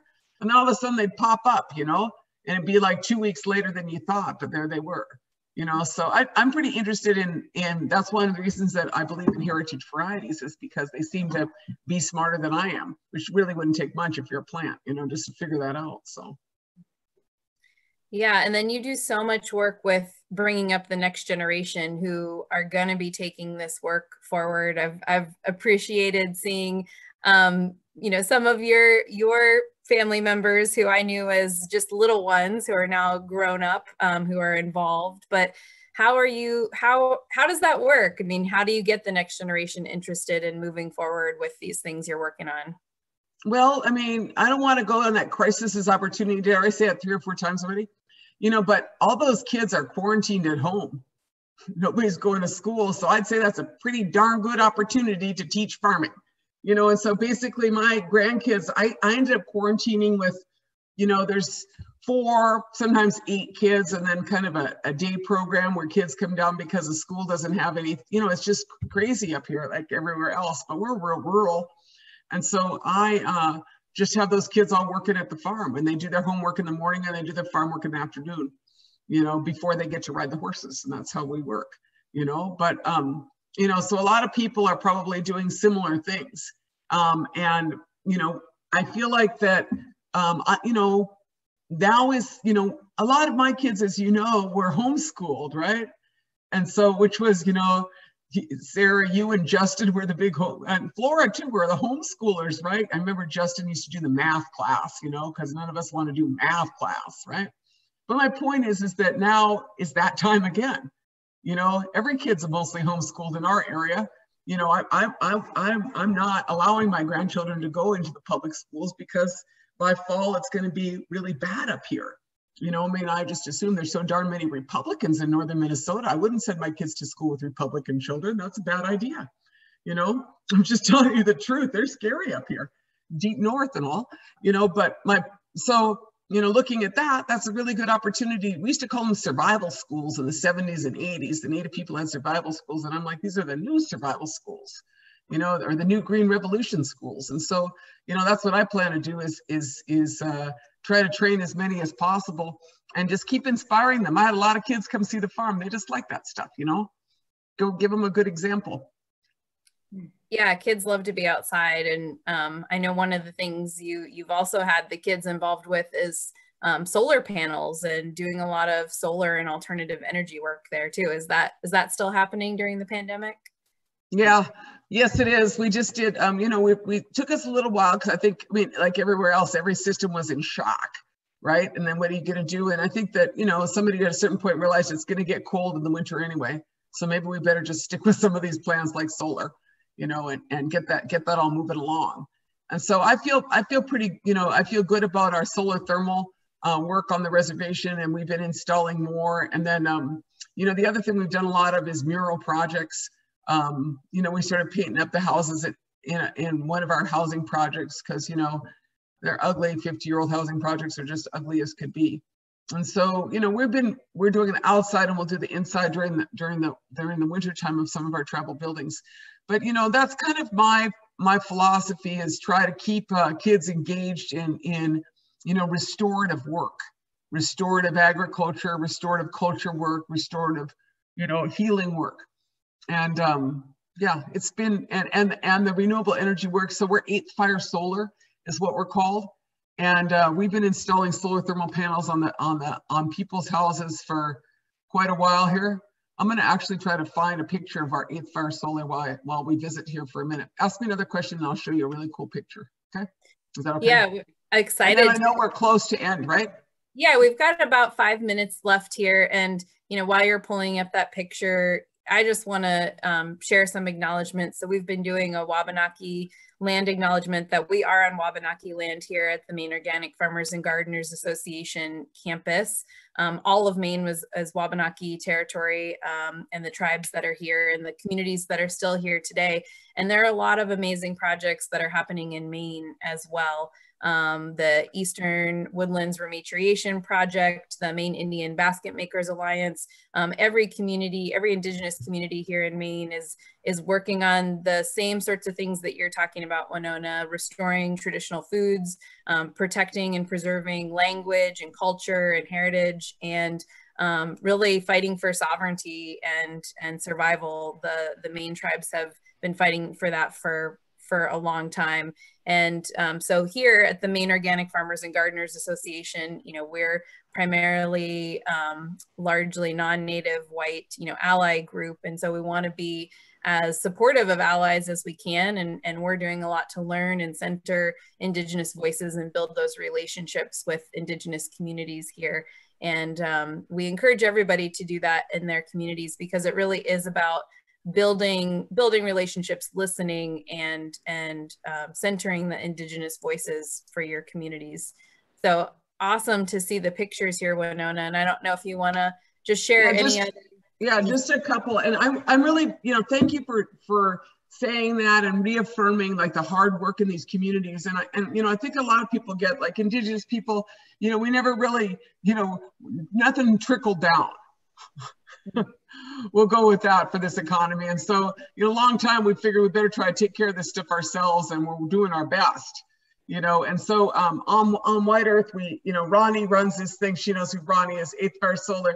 Ronnie is doing these. Uh, this is these solar thermal installs, and this is what you know the equipment looks like. And you can put them on the south side of your wall. And this is in a housing project, and it could save about 20% of your heating bill and you know the intersection between food poverty and energy po- you know or heat poverty you know is pretty significant in the north country. And this is our manufacturing facility here um, and um, so you know we're we're we're doing this on the reservation and and making these solar thermal panels these eight fire solar panels and been really you know proud of of that work. And and and you know in as we as we continue on you know i think that the that the um you know, part of what we need to do clearly is just rebuild local economies, all the facets of them. And this is that opportunity. And, you know, I don't know, um, you know, I don't know all of the mechanisms, and I know that we all better vote so we can like take back the country, if you want to say that. I, I like to take it back a little bit more than even an election, but you know, just just start with that. But you know, just know that as we go through this winter, it's going to be cold, and so let's figure out how to cut our bills and and make things better. And um, you know, a lot of that is relocalizing a food economy and relocalizing an energy economy. Those are two like need needs things for sure.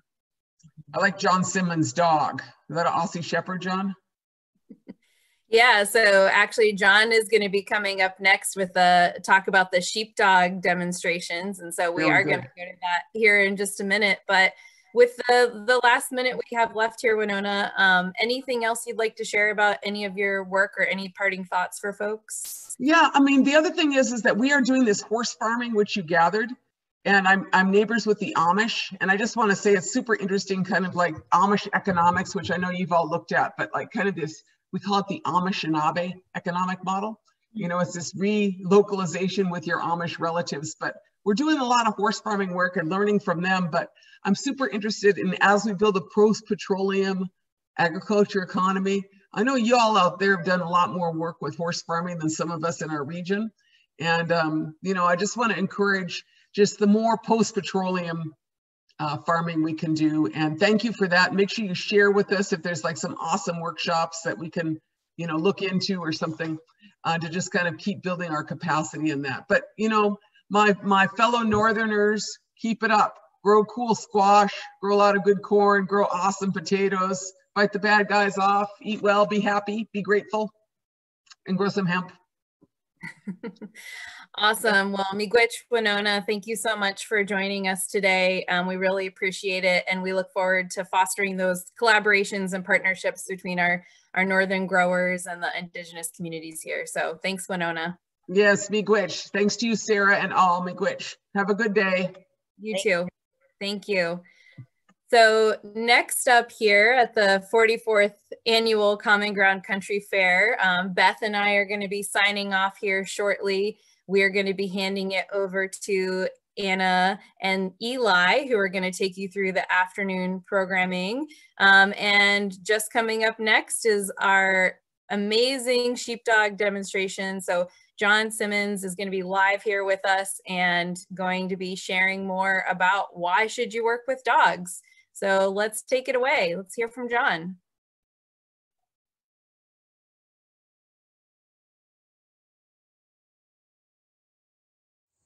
Be here. Lay down. Gwenny, come on. Wait. Good morning. I'm John Simmons, and uh, welcome to Stoneheart Farm. We're here in Western Maine, and uh, we'd rather be in Unity with all of you uh, at the Real Common Ground Fair, but we're going to have to make do with what we can do this year, and uh, we're we're happy to be a part of it. So at our farm, we run about 80 sheep, mostly Katahdin and Katahdin Dorper crosses. And we use Border Collies for lots of things. And we just want to share with you uh, some today of how we use them and how things work and why they work and maybe sometimes why it doesn't work. And give you a little bit of an idea of uh, what it's like uh, living with a, a working Border Collie. I have two dogs that I use on about 80 sheep and really you could you could use one dog, but two dogs is it's number one. It's more fun, but actually uh, the dogs have become so important to us and such an integral part of the farm that you know unfortunately dogs get old and when when a dog gets old uh, you know you can't just go down to walmart and get another dog and have her working the next day so we like to have dogs staggered in age a little bit so one's coming up while one's getting closer to retirement, and, and one is right in the middle, ready to go. So uh, these are my two girls here. Uh, Gwenny is on the left. She's 12 years old, and that's you know that's getting some age on a dog. And uh, you know, in some ways, she's starting to show her age. You see, she doesn't jump over the fence uh, like the younger one does. She can't clear a 42-inch fence like she used to, but she really hasn't lost her heart. Um, and she wants to be part of the game, and and uh, she does. She wants, to, you know, last thing she wants to do is be retired.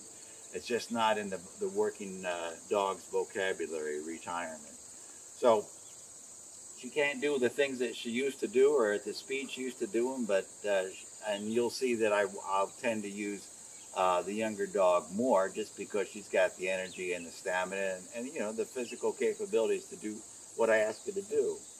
So the other my dog on the on the right is B, um, and she's seven years old, and she still thinks she's a puppy, but uh, she's a lot of fun. She has a lot of energy. Uh, she loves to work. Uh, both these dogs would rather work than eat. It's just it's just what they want to do. Um, you know, it's like they say, girls just want to have fun, and and to to these girls, work is fun, and that's that's what they get up in the morning and, and hope to do. So how do we make these dogs work? How do we talk to them? How do we communicate with them? Well, we want them to be able to move the sheep. And they, they, they do that with this predatory stare. When the, when the dog looks at the sheep, the, the sheep's thinking, geez, this dog wants to eat me. I think I'll move over here, get out of the way. And that's kind of how it works. You know, it's, it's back in the the back brain of that sheep, you know, they were a, they were a predator. So they don't, you know, as far as these they're concerned, these dogs look like wolves and coyotes, and and and they're not to be trusted. You know, the sheep are over there. I can't use, you know, go to the left or go to the right because my left might be their right, depending on our orientation. So we use commands for clockwise and counterclockwise. So, you know, the whole clockwise thing is important for the dogs. And That's why I never let our puppies wear a digital watch because I want them to get the counterclockwise and clockwise down concept path. So if I want them to go clockwise around the sheep, I'll, I'll tell them come by. If I want them to go counterclockwise around the sheep, the command is away or away to me. If I want them to approach the sheep, I'll say walk up. If I want them to lay down, down, lay down. And, you know, that's an important command because it takes pressure off of the sheep. If, if the sheep sees the dog's lying down, it knows it's not going to, you know, go at him or, do, you know, it feels a little bit safer. It's like it's on base a little bit. So those are, I mean, there's lots of other commands, get back, look back, and, and whatnot. But those are the basic things that make things happen. So we'll try to show you that a little bit. You may notice sometimes I whistle and sometimes I talk, but most of these commands you can you can transmit with the whistle too, which is very handy because if you know you look around here, we have some pretty big open spaces. If the wind's blowing, I mean the sheep may be you know more than hundred yards, they may be hundreds of yards away, and you need to communicate to the, the dog what you're trying to do. Um, and it's hard to yell, yell. I don't like yelling, but you know whistle. This things come by go away, lay down, walk up. So those, all those things are much easier to, to whistle, especially in the open, than uh, with the wind, with the wind going. So one thing we always like to say about these dogs is uh, these are working dogs, and everybody likes them. You know, they're, they're like, oh, love a dog like that. But these dogs do not make great pets. These dogs need to be busy. They need to be busy physically and mentally. They got to be working. They got to be thinking about stuff. And if they don't, if you're not giving them something to do, they're going to find something to do, and it's frequently not going to be what you had in mind. And they can come up with a lot of bad habits and a lot of vices, and and uh, worst thing you do is just have a border collie, have a pet in the backyard, you go to work for eight hours. That dog's going to be stir crazy by the time you get home because that, that you know that, that dog's life is not hanging out in, in your backyard. She want the dogs want way more than that. So we don't recommend them for pets. We only recommend them for working situations. And that in that instance, uh, they can be a great part of your family and a great help. The natural instinct of a border collie is to go around the sheep and bring them to you. That they're called a gathering. Uh, it's called gathering. There are some herding dogs that are driving dogs where they are going to be behind the animal and push them away. Uh, that's a driving dog. and these are herding dogs. So let's take B and send her on a counterclockwise uh, run around the sheep and kind of head them over this direction. B, go away.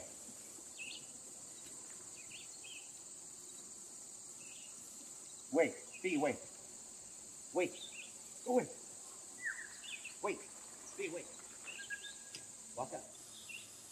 Walk up. Go away. B, go away. Go away. B. Walk up. Here, here, here, here. B, here. B, come back. Right here. Come here. Okay. Right there. So she brought them out, and they they come out, but they see Gwenny's laying here, uh, kind of still, and they say, well, that's about as far as we want to come. So a lot of this works, you know, I, I talk about the predatory stare, and it's about pressure too. The dogs are putting pressure on the sheep, and, and, and conversely, the, the sheep exerting some energy back to the dogs too, about making them uh, to come into a balance. So just for fun uh, and something to try, I've got four stakes set up over here. Let's see if we can make all of the sheep stand in those four stakes. Now they don't have any reason to do that. Uh, the grass isn't any better there than in any other part of the, the field here. And, the, and, and conversely, the dogs don't have any reason to want to put them in there. They don't see the end game. They don't, you know, they, these dogs are thinking dogs and they say, what are we trying to accomplish? Well, to them, that's really doesn't make any sense. So they're just going to do it because I'm asking them to do it. So they're kind of following my my lead, and and hopefully they're going to try to do what I'm asking them to do, because this is a it's really a a team sport, and they have to have a lot of trust in me, and I have trust in them too, and they're going to trust me that I'm not going to put them in a compromising position, ask them to do something where that's, they're going to get hurt or, you know, be sorry that they're in that situation. So they, they trust me a lot, uh, and conversely, I get to trust them too. So let's uh, see what we can do about putting them uh, into the square and having them stand there for a, a little bit. So we'll use our old girl to get things started here. B, come by. Come by. Come by. Right there.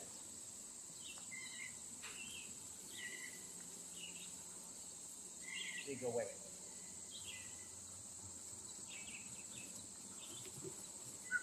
Walk up.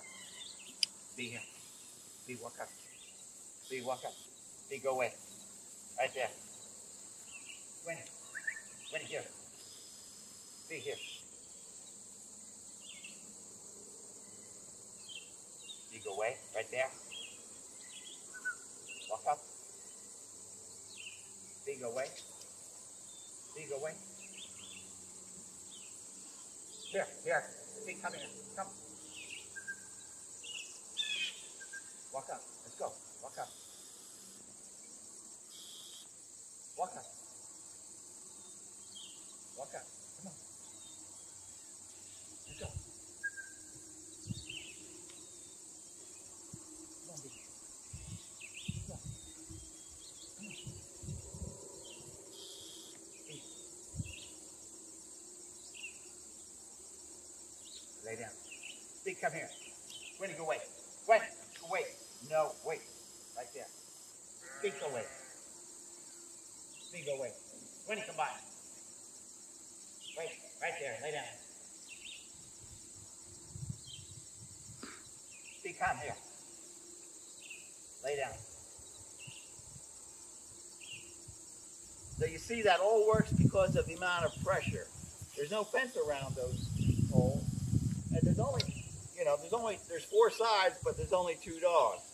But the sheep just get the idea that if they stand right there, the, the dogs will, will take the pressure off the dogs. The dogs will take the pressure off of the sheep.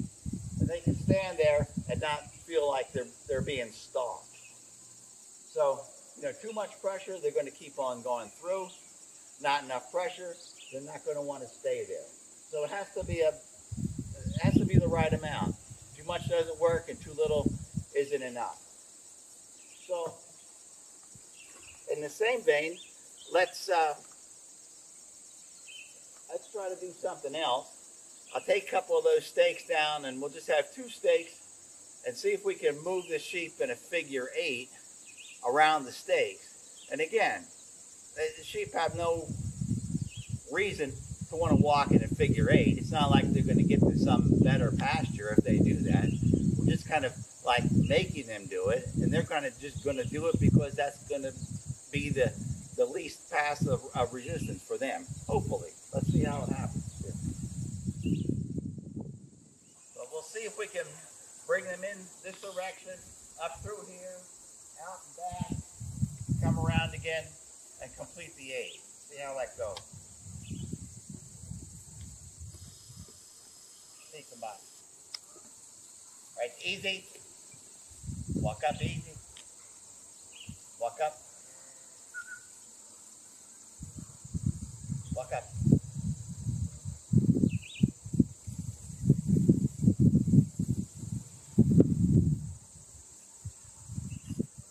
Big, when it by, when it by, when it come by. When it. When it. Walk up. When it come. Go with. It.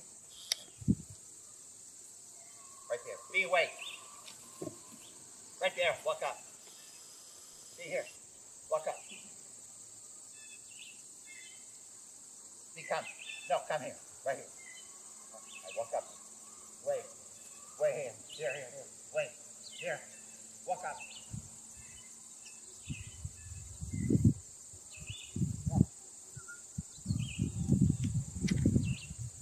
When you get back. When get back. Get back. When? Get back. No. Get back here. Right there. When? Big. Big. Come on. Big away. Here, here. Walk up. Walk up. Walk up.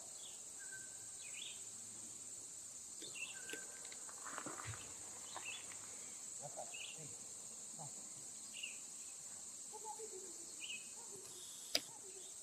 Walk up.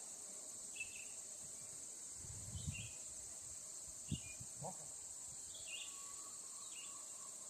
Walk.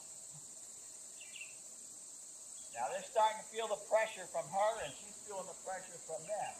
She knows if she gets too close, they're just going to scatter. So she's kind of trying to go slow and deliberate, which is what I'm kind of asking her to do. Walk up.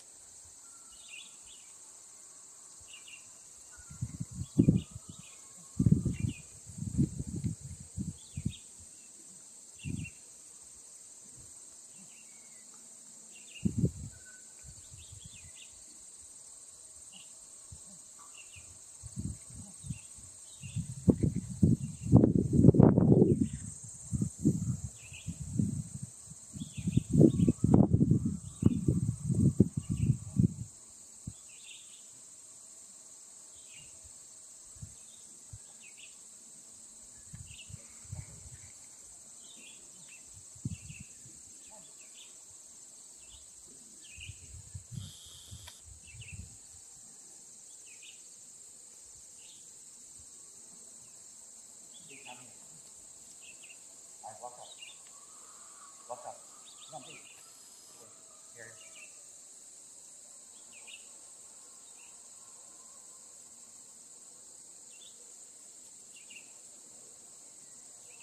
Here, here. No, here, here. Here. Here. Come here. Walk up. Walk up. Come here. Wait. Come on. Here. Here. Here. Here. Here. Come on. Here. here.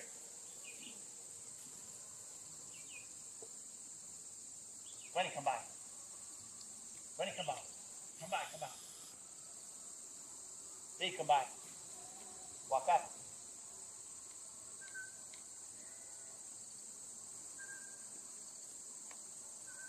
Hey, come on.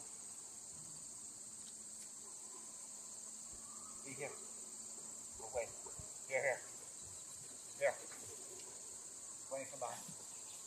Be here. Be away. Right there. Walk up, walk up. Come on. Come on, Be. Come on, Be.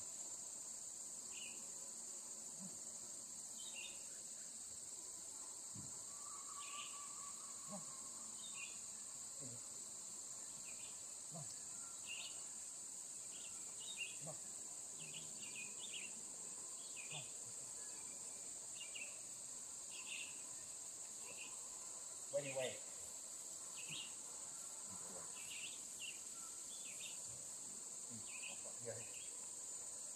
Walk up. Be walk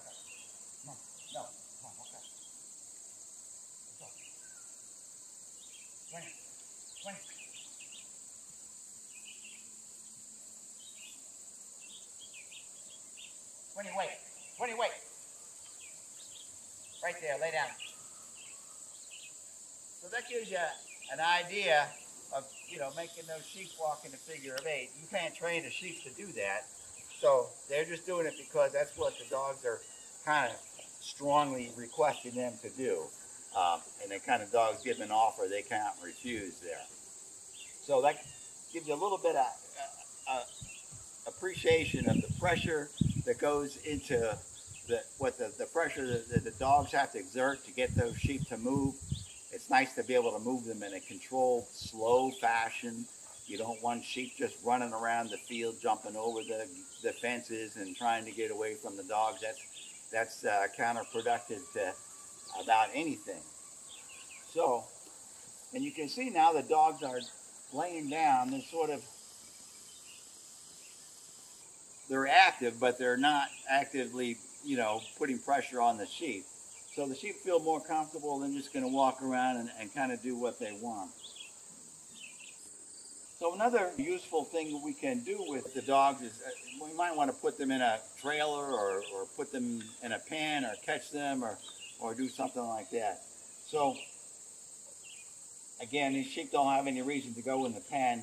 Generally, when they go in a pen, it's not because you're going to give them an award. So we're going to just see if we can get the dogs to make them go in there and uh, see how that goes. Come on. Here, here, here. Winnie, come on. Here. Here. Come on. Winnie. Come on, Winnie. Winnie. Winnie, Winnie.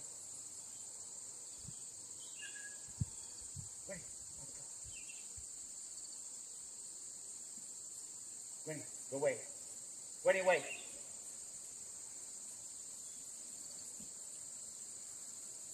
Winnie. Winnie. Winnie. Winnie.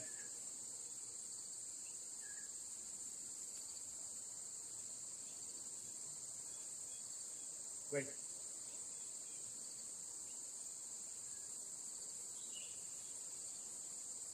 Wait. B, B, B, walk up. B, walk up. B here. B, come here. B here. No, here. Walk up. B, come on. Winnie. B, B, come on. B, walk up.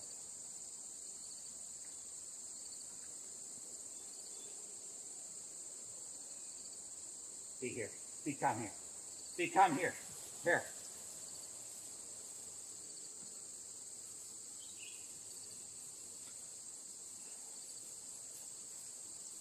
Go away. Right there. Here.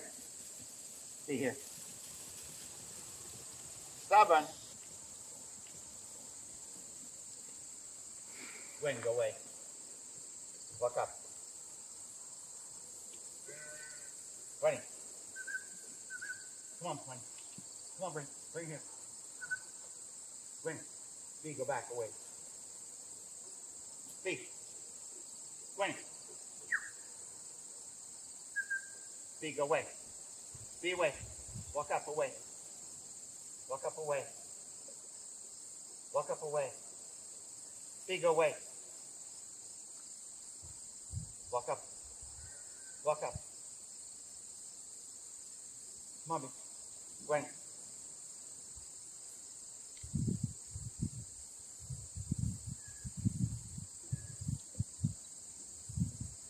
Gwen.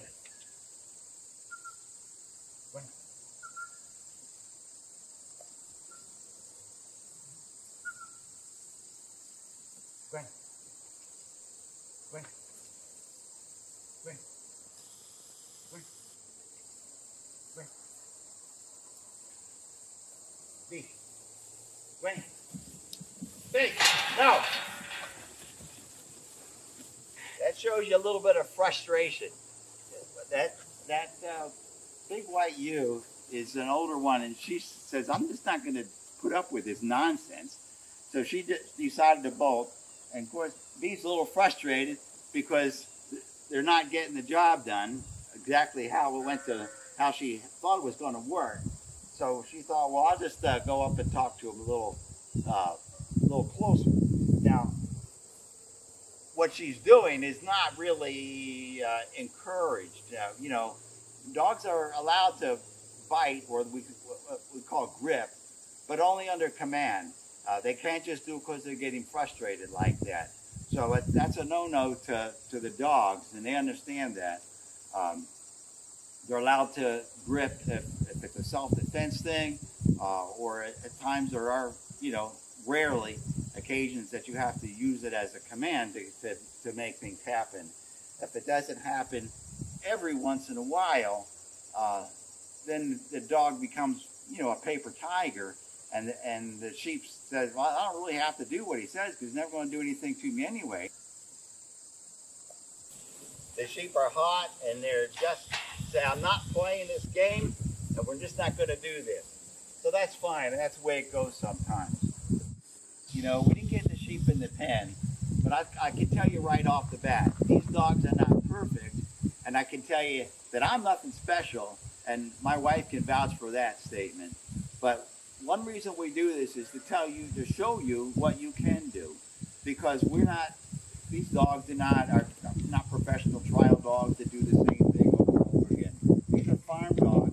They work here every day. They help me immensely.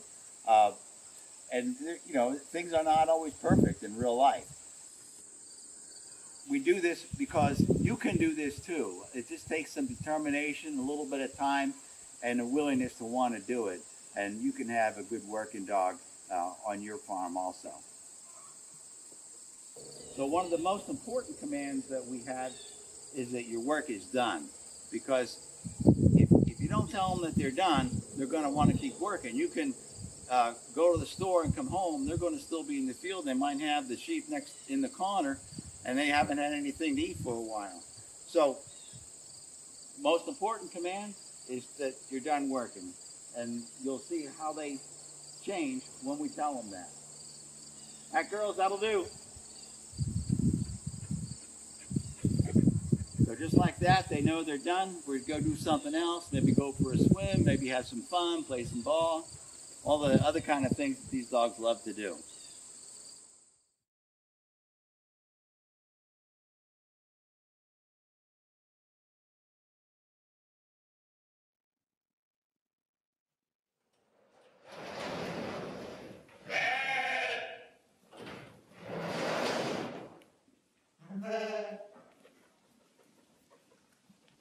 So one of the things we use to with the dogs on a pretty much daily basis is when we're working with animals, we don't like to get knocked over and crowded and have, our, you know, have them take our knees out and things like that. So I'm going to give these these lambs some minerals, and I purposely didn't give them some for a few days. So they're really going to want it. And you'll see that it's hard to even work in there when they know that I'm in there to, to give them something that they want. But when I invite B in, it's going to be a totally different view. Stay there, B.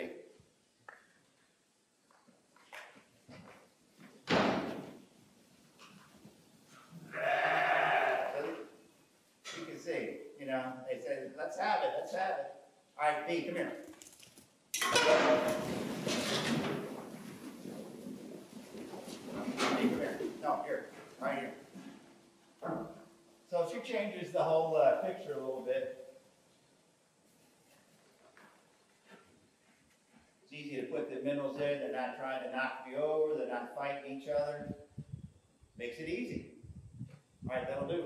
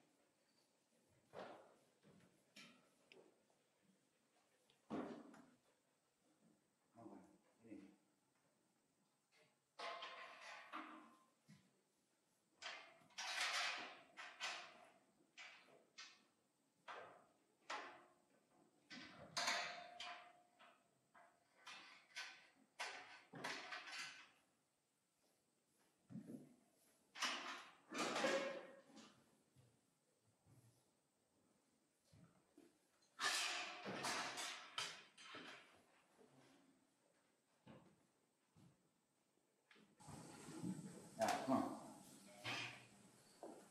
Save it. Right there, in it.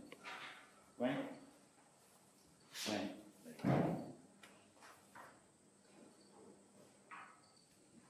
So one of the other things we do here is weigh animals. Uh, on this farm, we raise lamb for meat, and so we go to the slaughterhouse every two weeks with a uh, load of lambs. And I, I want to know what they're going to weigh because my customers want a particular, you know, weight of animal for the most part. And I really don't like surprises unless it's my birthday. So we're frequently weighing animals, marking them, sorting them, knowing what we're going to have. So this, it's another job that, uh, yeah, I could do it myself, but certainly a lot easier and more fun with a couple of helpers. So come on, girls, let's go.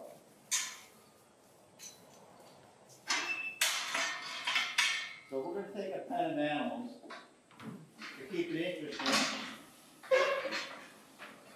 We're going to put this, we're going to take the middle pen and run them through the way. So just like that, these girls up, this, this kind of boys is outside, out of the way. That was really easy with the dogs. Come inside by yourself and try to chase them out. It doesn't work that way, I can guarantee it. That will bring them up here.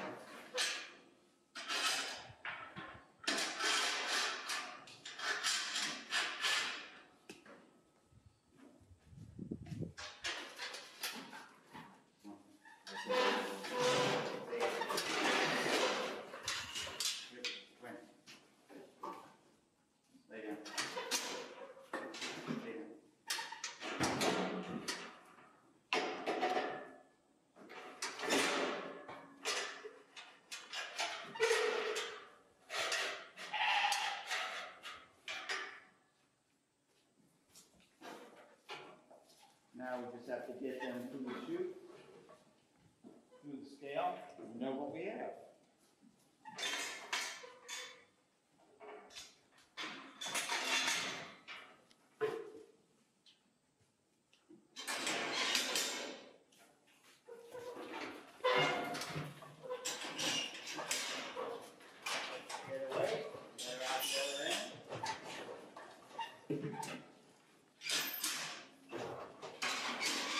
Repeat. Take it away. Then go back.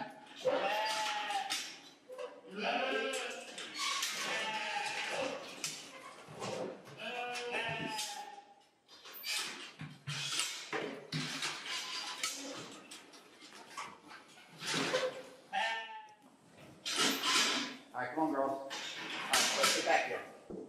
All right, come on, girls. And that's all there is to it.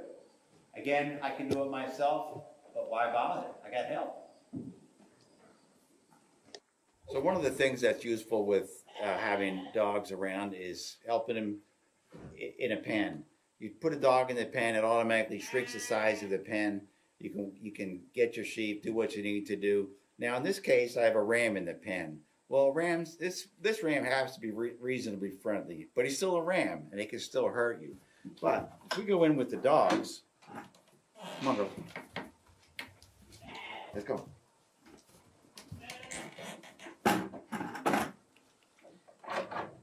In general, the ram's going to be less thinking less about hurting me and thinking more about are those dogs going to hurt the ram. So you can see he's just he's watching him. He's just keeping an eye on him. And if I wanted to catch him, do something with him, because the dog's got him there. And again, this guy's a little friendlier than most.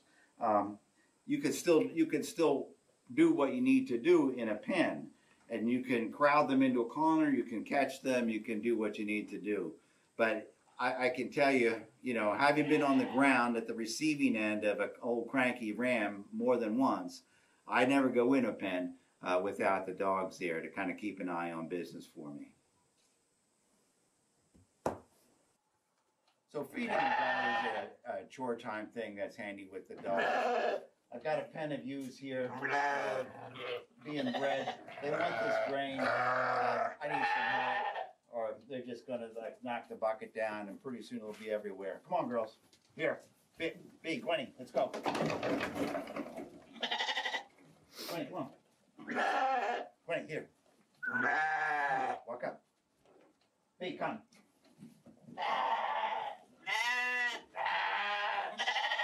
B, come here. Here, B, come. Lay down. Stay there.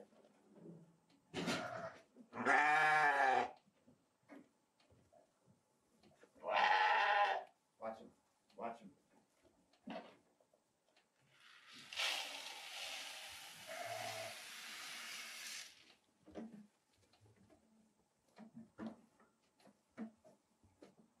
So that dog's only 40 pounds. She's she's uh, got those sheep pretty much under control. They know that they're not going to come in until she says okay. All right, B, that'll do. So here's a pen of lambs that, that need to be fed. Uh, you know, lambs are a little bit different. They don't really, they're like, they're children. They don't play by the rules all the time. Uh, they're not going to knock me down because they're not so big, but yet, but they're still a nuisance to work around. So again, we use the dog to try to put a little bit more order into such things. Come on, Gwenny.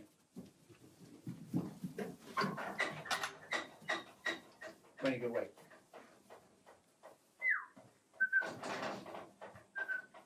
Gwenny, B, go back. No. B, go away. Gwenny, walk up. Be here. Come here. No, over here, right here. B, come.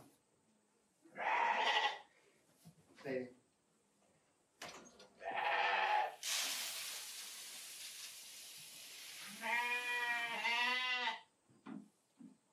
Now they don't really want to be down there waiting. They- They'd rather eat, but they know that kind of that's that's just the way it's going to be. So, one more thing, you can do it yourself, but it's easier with some help. All right, girls, that'll do.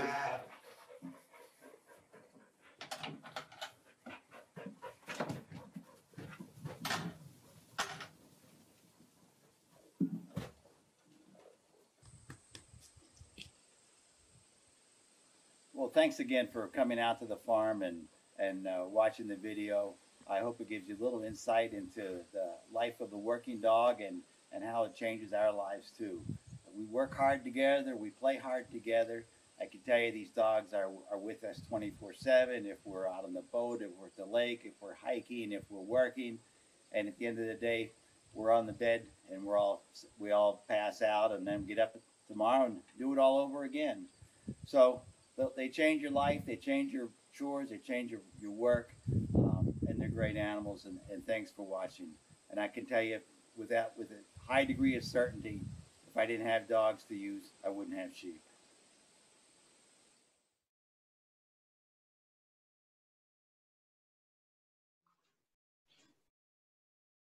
Well, thank you for those wonderful videos of the dogs working. I'm Anna Libby. I'm the Community Education Director here at MOFGA. And John, thanks for joining us. Thanks for working to put together that beautiful content for us. Who do you have with you here today? Happy to be here. I got my two favorite girls with me.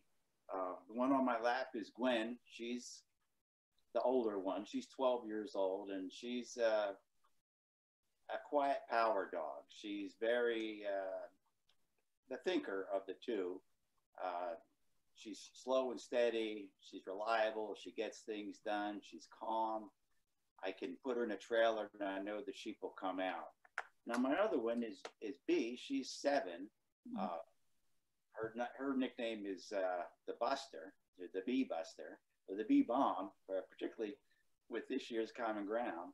But uh, she's sort of the rock and roll girl, and she likes to get things done, and she likes to to get things moving. And her she has a total different kind of energy. It's not a quiet power like like uh. Her energy is kind of in your face sometimes, and and when she goes in the trailer, the sheep will come out, but they they might just jump out through the window because they just they just it's it's kind of you know they really are doing the same thing, but just the amount of energy that they emit is done very differently. Is that partly due to their age difference, John, or just their personalities and who they are as as dogs?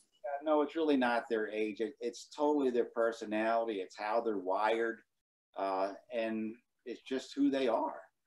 And you can't really, I mean, you can change it to a degree, but you you can't really change the kind of energy a dog has and how it emits it.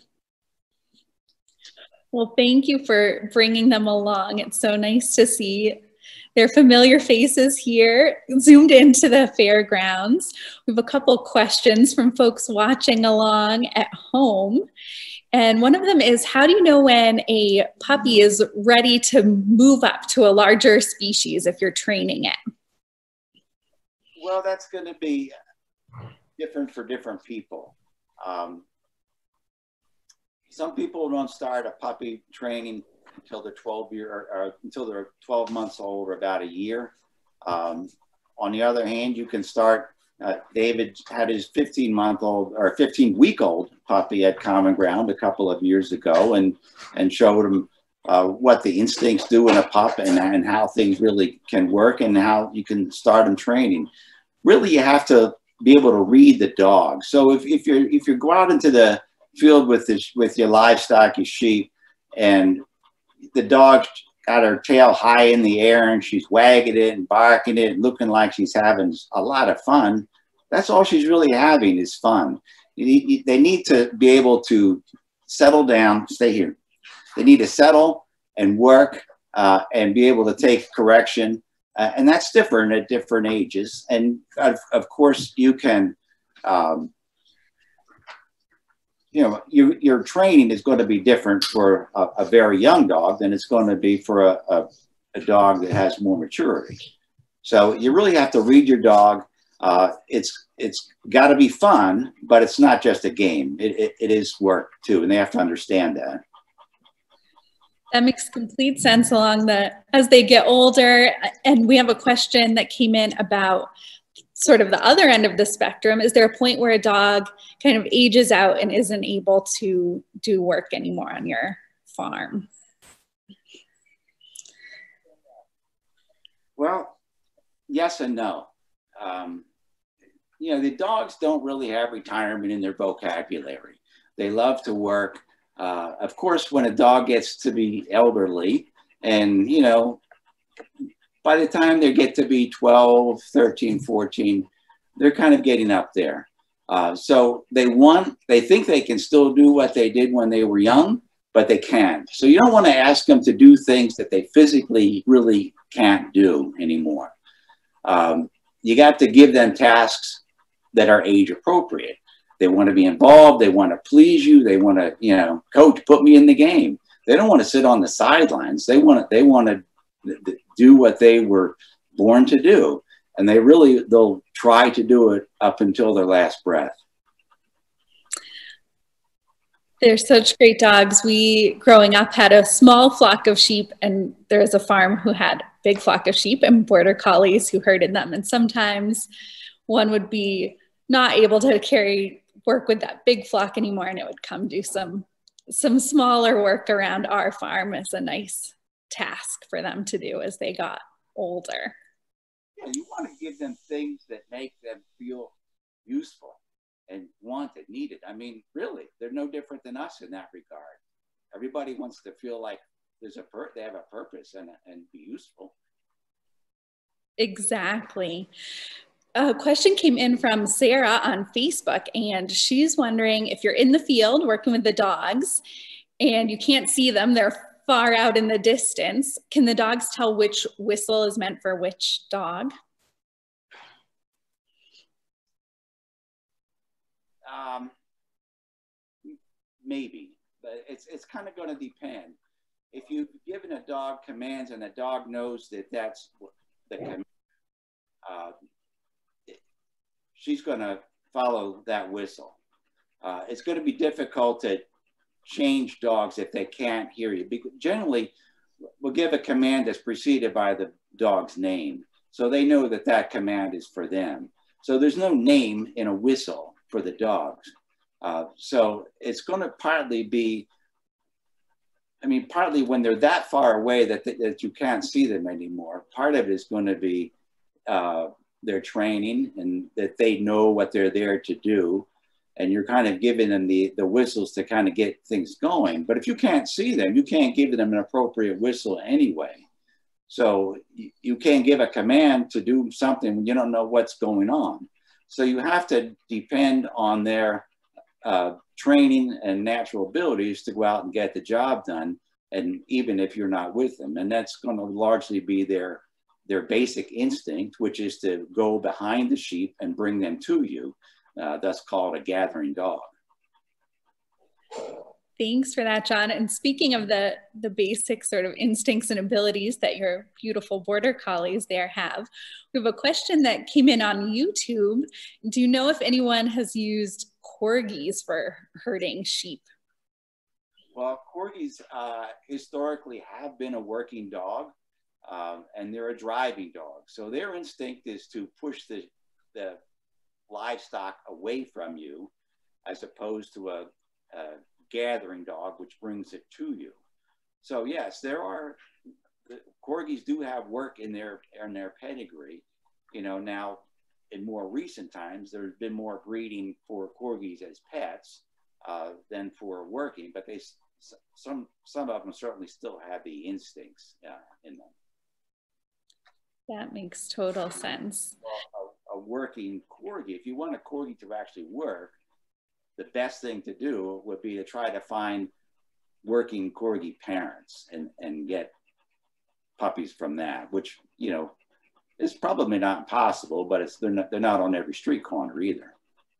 You have to do a little research there to find the, the right fit for your homestead. John, it's a beautiful afternoon here on the grounds, and I am remembering one time when I saw the demonstration here at the fair, and it was the part of the demonstration where you invite some of the audience members to come out and give a try to herding and working through a course which I've seen happen a few times, and usually it doesn't go particularly well for the people giving it a try. The one time I'm remembering it was a group of um, young middle school aged kids and they did a great job they were so coordinated and got the sheep and chickens right through the course. I'm wondering if you have any particular memories of a group that did very well at the fair or maybe not so well um, herding through that demonstration. Probably the group that I remember that was maybe the best was the senior citizens. And of course, you know, uh, I'm approaching that age, so I'll always have to root for the old people. But uh, yeah, the senior citizens went out there and they're calm. They didn't run around. You know, probably they couldn't. So they moved slowly, methodically, and they didn't want to waste their energy and they were efficient and they, they did a good job. They got the job done. I think they beat us on that day. It happens sometimes then. Different groups can beat that time. We have a question that came in from James on Facebook. And he's wondering about another dog breed that maybe you're familiar with called um, McNabs. Have you ever heard of or worked with that breed at all? Uh, I really have no knowledge of that. So unless you want me to just make something up, I think we should just move on. about that. But, you know, lots of lots of breeding herding dogs that work, and you know we're partial to the border collies, but by they're, they're by no means the only ones. There are other working dogs that can certainly get the job done. When you started out working with dogs, John, did you start with some border collies or did you think about other breeds as well? No, I, I started with border collies. I tell you, I got my start through MOFGA back at Windsor Fair because we had an old hunting dog at the time and she was she passed on and so we're looking for a new dog and we had sheep and then getting more sheep and I thought well geez it'd be nice to have a dog that could actually help me do something around the farm. So we used to go to MOFGA anyway or go to the Common Ground Fair when it was at Windsor and we watched David Kennard do the demos and I sort of became a groupie. I would go to every demo of the day and just sit there and watch it and try to figure out why it works and how it works. And then I'd pester him with information and try to pick his brain. And, and that's kind of where I got my interest. Uh, and so it's grown from there. But yeah, we've always had border collies and I, you know, got mine through David and he kind of helped me along the way. And we've developed a good friendship over the years uh, through border collies. I love that fair fair connection going out into the world and making a difference on your own farm. We have a couple questions that have come in. Um, one is with more and more people keeping herding breeds like those beautiful border collies as pets, do you have any advice for how to keep them occupied if they aren't working on a farm? Well, that's a good question because these are working dogs uh, and we do not recommend them to be in non, non-farm situations. Uh, they've got to be busy and they got to be busy physically and mentally. And if you don't give them something to do, they'll frequently find it. And it's not going to be what you had in mind. And it's, it's oftentimes destructive. So these are not the kind of dogs that you can have in your backyard and they're going to be happy to see you when you get home. Um, we only recommend these for working farms because uh, you know people see them at the fair. They pretty well behaved. They ask, seem to do what you ask them to do, and they say, "Well, I'd like a dog like that." But if you take a home and put them in your backyard, you're not going to have a dog like that. You're going to have a dog that's developing a lot of bad habits, and it's going to be a lot of friction. And they frequently wind up in rescue situations, which is unfortunate. Good advice. Thank you, John. A question came in from YouTube from Ruth. She's wondering what you feed the border collies and if there are any health problems that are common in that breed that folks should watch out for. Uh, you know, you have to feed them a quality food. I mean, there's lots of different dog foods. Uh, different people are different, partial to different brands.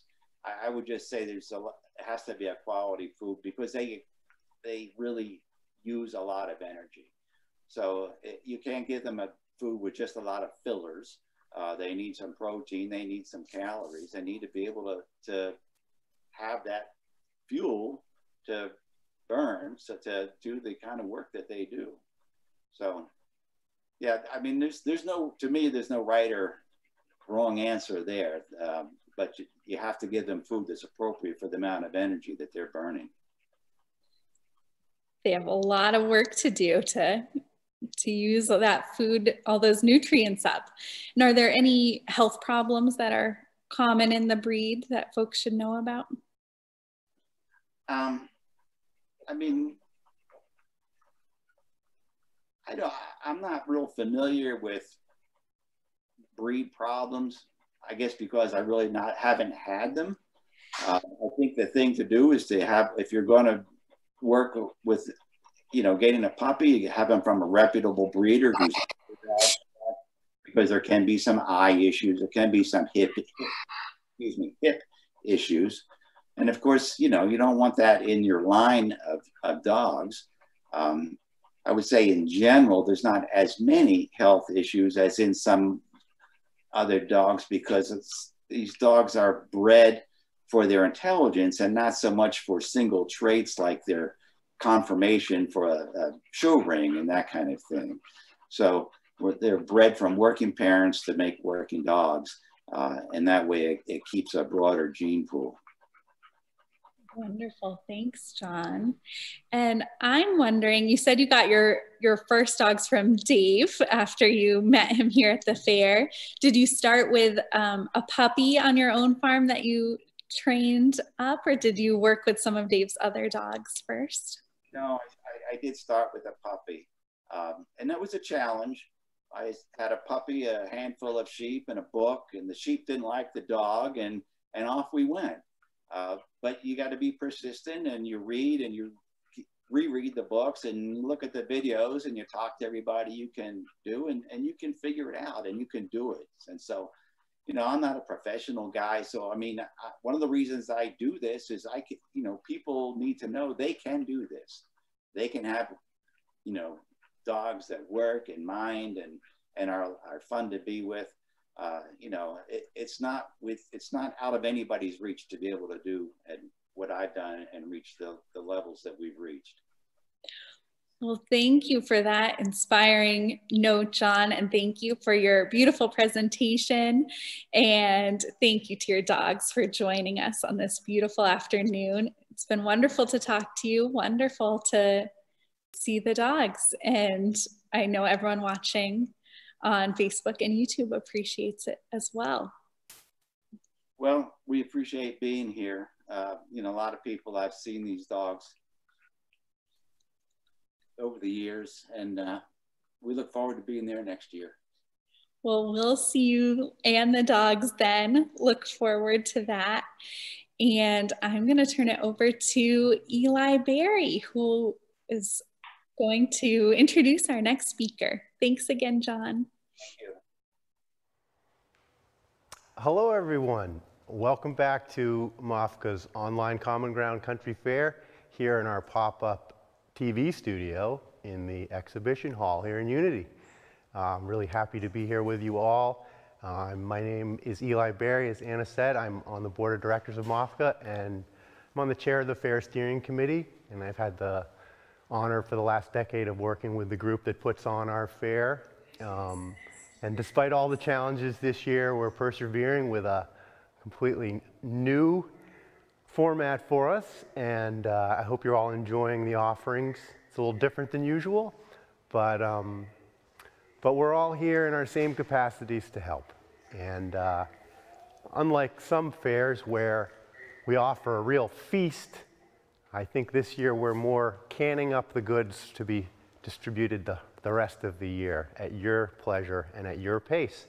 So uh, take this opportunity to encourage you all to join. If you've not been a member before, this is a great time to join. If you have been, this is a great time to renew. And we really look to all of you to help widen the circle of, of members and to grow our community. Um, we also have a tremendous offering from the Common Ground Country Store, which I'm standing next to some of and modeling some of the fine products that we have. There's back catalog from our inventory in the past and um, lots of offerings from this year's uh, Bee-Balm inspired uh, design. And one of the real perks of being involved on the Fair Steering Committee and the board is we have the opportunity to help pick the designs, all of which are, are volunteered and offered from our wonderful membership base and we get a tremendous offering of art every year and uh, this year's no exception. So I encourage you all to look at the offerings on the online country store.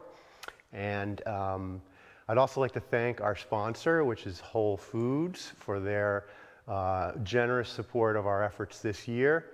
And uh, encourage all of you to support them and all of our sponsors this year.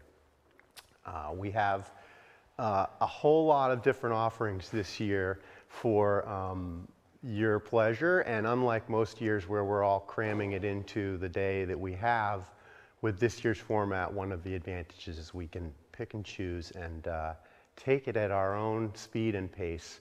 There's an awful lot out there. I encourage you to get into the fair.mofga.org website and uh, check it out.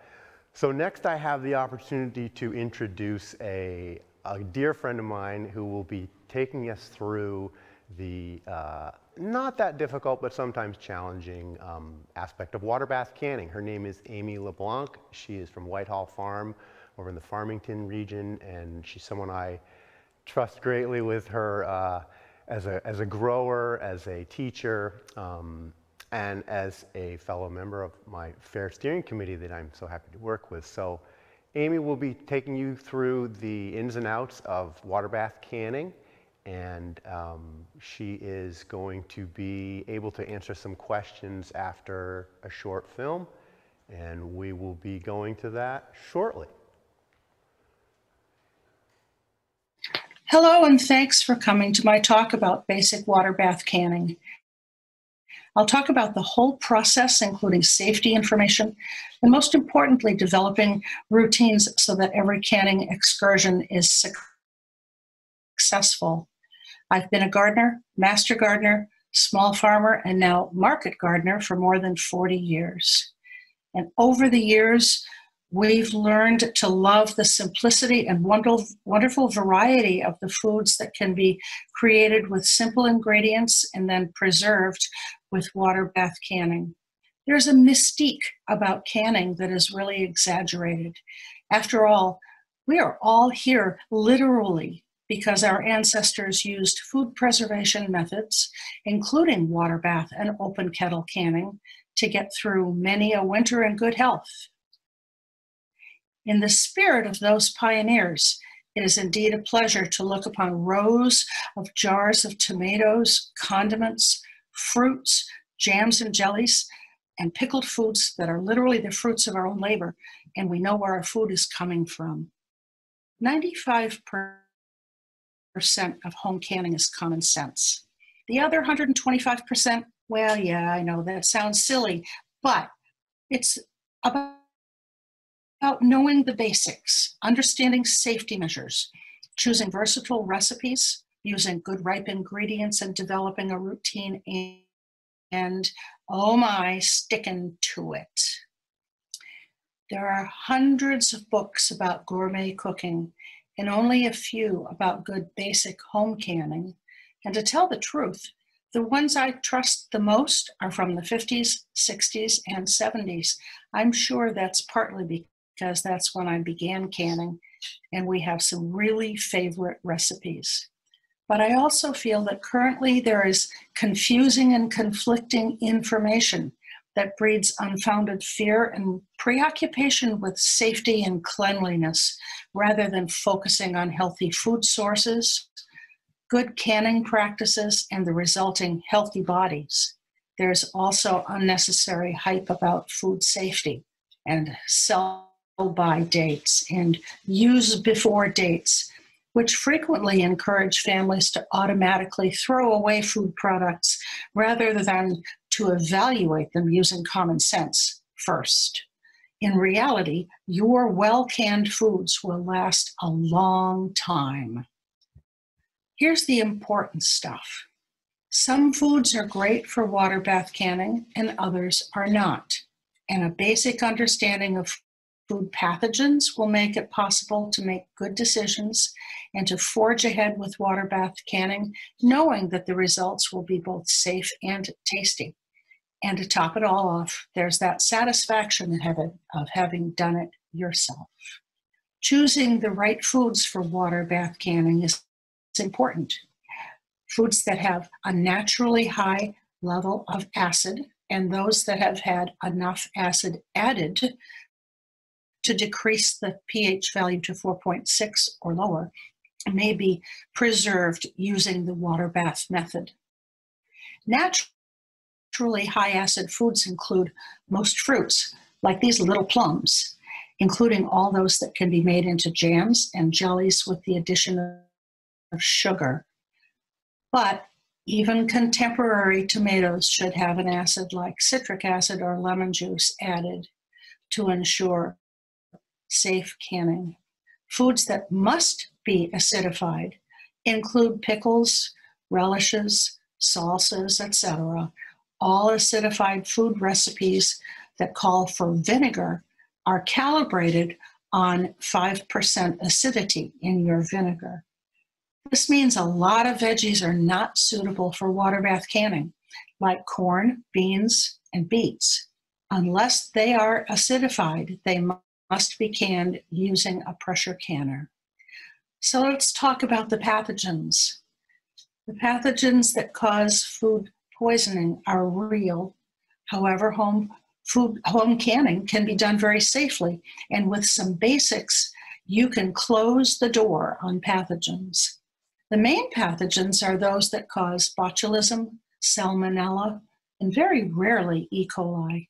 Since these organisms are ubiquitous, it is important to follow routines that will always render them ineffective, as in dead. Here's the actual process. Water bath canning involves heating the jar and the contents to a high enough temperature and holding the temperature there long enough to kill pathogens. It's instructive to read newer canning instructions, like in the annual Ball Blue Book, and use the recommended processing times for similar recipes that you might find in older cookbooks. The water bath process heats the air in the jar, making it expand. When the jar cools after processing, the remaining air shrinks and therefore creates a vacuum seal, sealing out air. And the resulting lack of oxygen in the jar then prevents any growth of pathogens. The function of the headspace recommended in most recipes is to create the right amount of air at the top of each type of product so that there's a much better chance of creating a good airtight seal. The liquids and recipes vary, and the headspace needed depends on the composition of the liquid. For example, jams and jellies with sugar typically need a quarter inch headspace. Most pickles need a half inch headspace.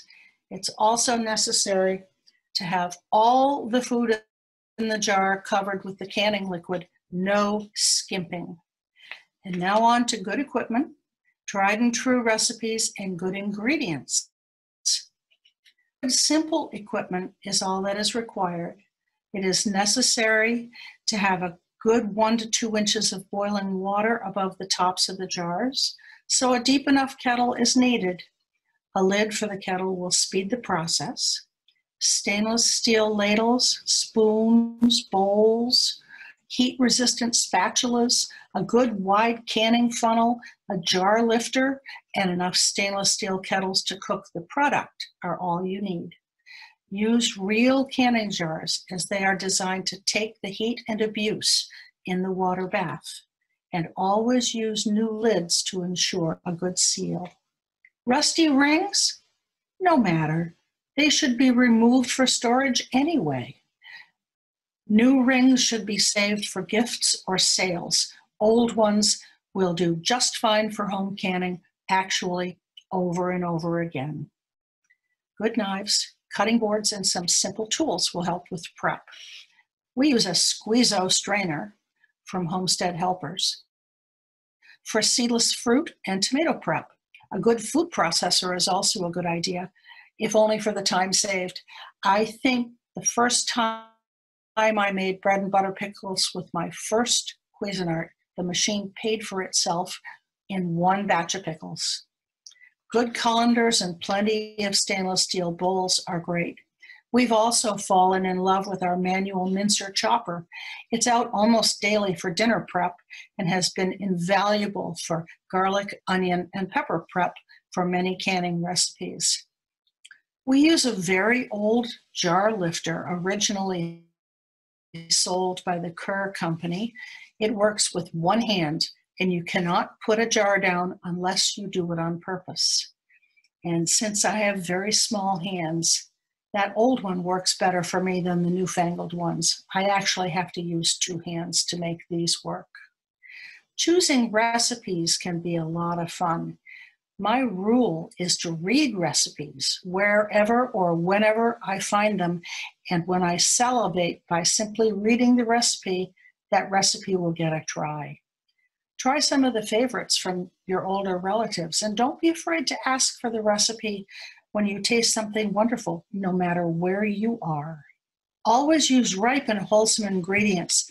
The fresher the better and with no spoilage. And remember that the vinegar called for in recipes must be 5% or higher acetic acid for safety. All recipes, even older ones, are formulated with 5% vinegar in mind. Gather every last bit of equipment if you even dream you'll need it. Have a few extra jars, count your lids, and really figure out the sequence of things for your recipe. There's a wonderful French term used by chefs. Uh, it's mise en place. It means to have everything in its place, everything at hand and right at the ready. A wonderful term for the canning process. This includes preparing and pre-measuring all your ingredients, including those little bits of spices. Now on to the routines and how to stick to it. It's very important. The routines will ensure that you don't skip a step and have consequences. The sequence for each canning product is affected by the recipe, by how many ingredients need to be prepped, and by the timing of all the steps. But the actual water bath canning process stays the same. Read the recipe, plan and prep, gather equipment, and sterilize the jars and lids. Cook carefully, following the recipe instructions. Fill your jars carefully, always respecting the headspace that is specified. And as a last example of good routines, always wipe the rim, the top of the jar before lidding. If you skip this important step, it's simple, but a seed or a bit of tomato or a cucumber could prevent the jar from sealing. And of course, last but not least, tighten the rings firmly no need to get too enthusiastic. Firm is just fine. And after the right amount of time in the boiling water, you should start your timing when the water begins to actually boil after you've put the jars in. You'll take your jars out and it's time to hear the satisfying ping as the jars seal. You can test the seal by seeing and feeling that the lid is depressed in the center. Well canned and well stored foods will keep for years. Be sure of every seal and remove all the rings. If something were to go wrong inside a jar, the lid will pop off and you will know right away that the contents should be discarded. Leaving the rings on can lead to broken and spilled jars, as well as potential health problems. Find a cool, dark place that's not damp. I hope you've gotten a better understanding of the life and times of food pathogens, and that will help demystify canning recipes and the process for safe canning, and that this will give you a clear go ahead to preserve foods for your family. Collect good, simple equipment. Start with simple recipes like canned tomatoes, applesauce, or jam, or dill pickles. Then expand your repertoire and enjoy. You can download my handout, which includes a brief bibliography of some of our favorite recipe sources. Then get on with creating wonderful preserved foods. And thank you very much. We're live. All righty, thanks everybody. Uh, we're gonna have a brief break before we get to the Q&A and we're gonna go to one of our sponsors. As a proud sponsor of the Maine Organic Farmers and Gardeners Association, we want to express our support. My name is Bill Whitmore, and I lead the Harvard Pilgrim Healthcare's team here in Maine. While we won't be able to gather and see each other at the fair this year, I want to take a moment and convey our unwavering support for the work that MOFGA has always done and continues to do around our state. At Harvard Pilgrim, we're committed to building healthier communities, and we know that partnerships with organizations like MOFGA will help all of us move toward achieving that goal. Thank you and enjoy the programming this year.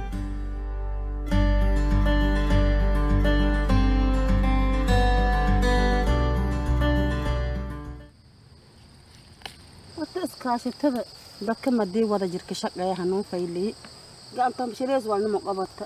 Markuu galnyana wada jira walka gooyaan. Dadna madii wada jir iskala shaqeeya walna suubsado koraan.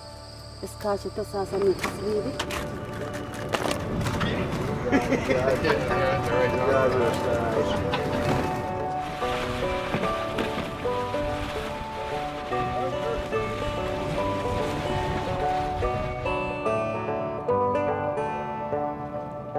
I think co-ops are uniquely, and employee-owned businesses are uniquely well adept to help businesses transition from generation to generation. And I think for Maine in particular, that's a huge, huge problem that we have to solve.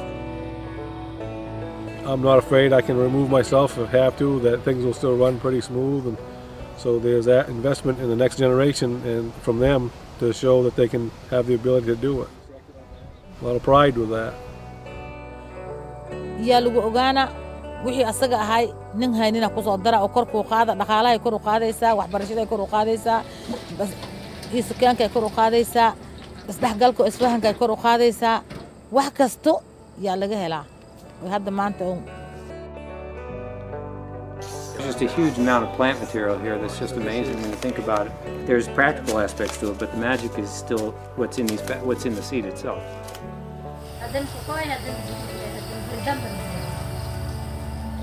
More and more food cooperatives are, are looking at how can we get more local food into on our shelves or how can we buy more from uh, immigrant-owned farmers and get ethnic crops onto our shelves.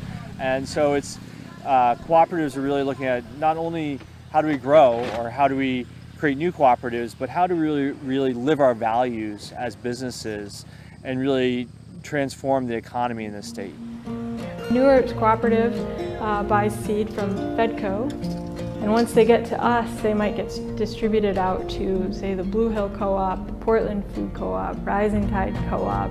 So there is a world that exists where we can have cooperatives in every facet of the food system. It's a one-week ride, but it's 550 meals a time, three, day, three times a day, that we're able to access 50 to 75% of that food from local sources within 100 miles of the ride. So we just really want to set that bar and say, no, let's go do this instead of talking about it some more. We wanted to open a 4,000 square foot, $1.3 million business, and I was like, how can this small group of people actually make that happen? And just over the last eight years now that I've been involved, watching it happen and realizing when people join together, really amazing things can happen.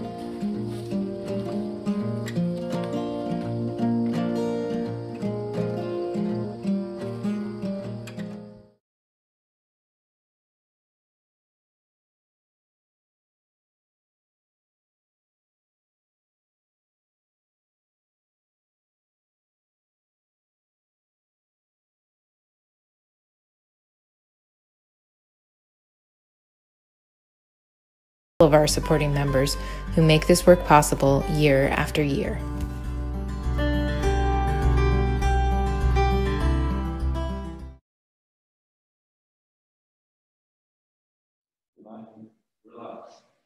Welcome back, everyone. Uh, we're here for our Q&A with Amy LeBlanc.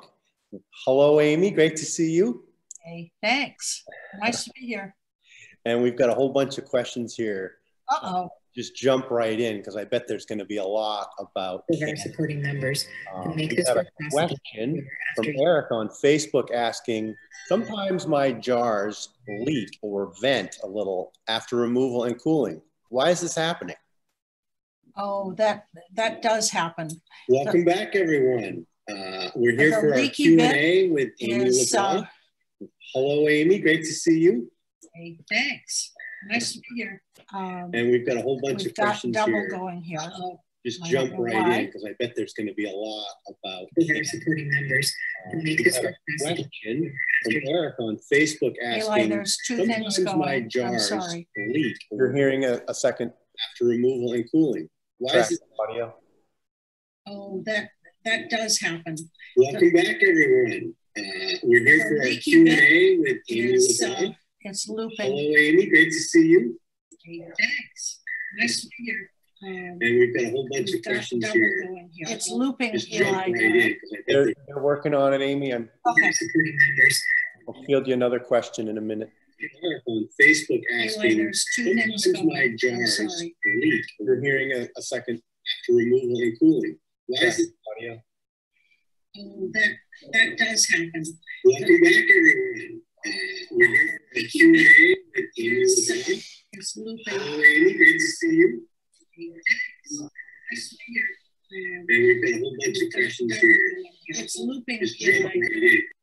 So we're going to have a, a little moment before we get back with Amy, and uh, I just want to take this moment to thank you guys all for being here and encourage you all to look at all the offerings that we have at fair.mofga.org.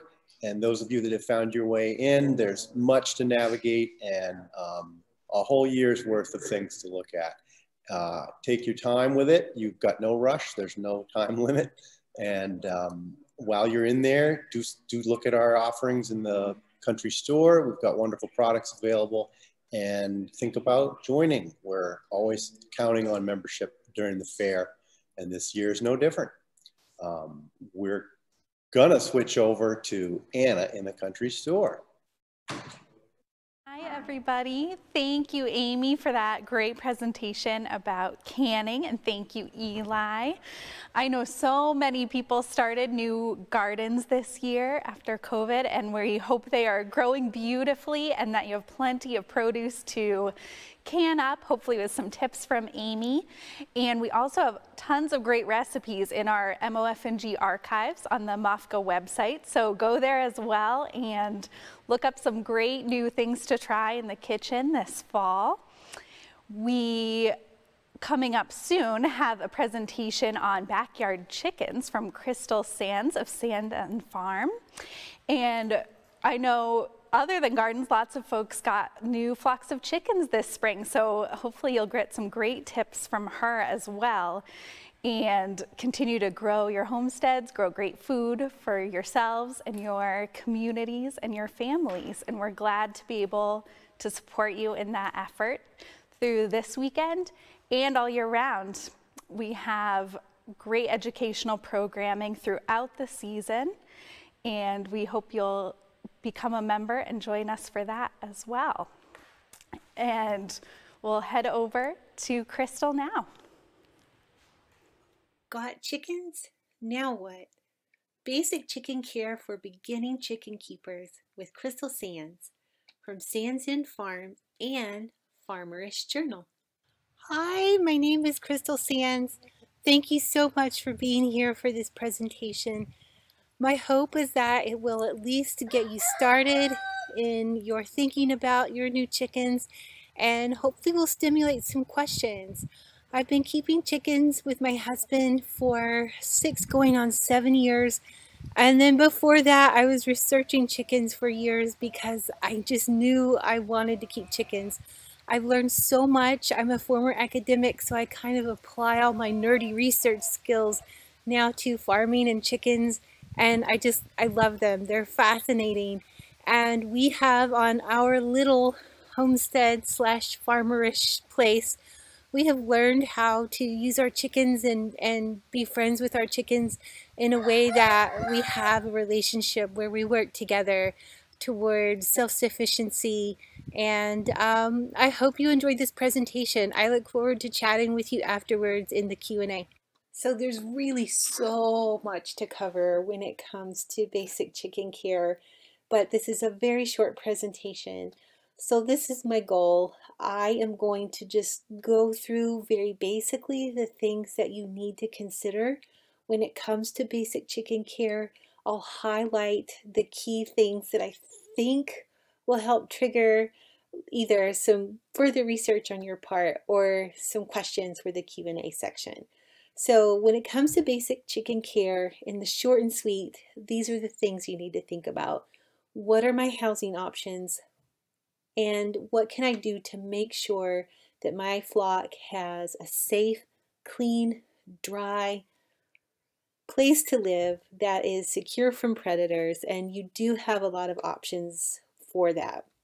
For us, we have an old shed that we converted into a coop and it works wonderfully, um, but there are many options for housing.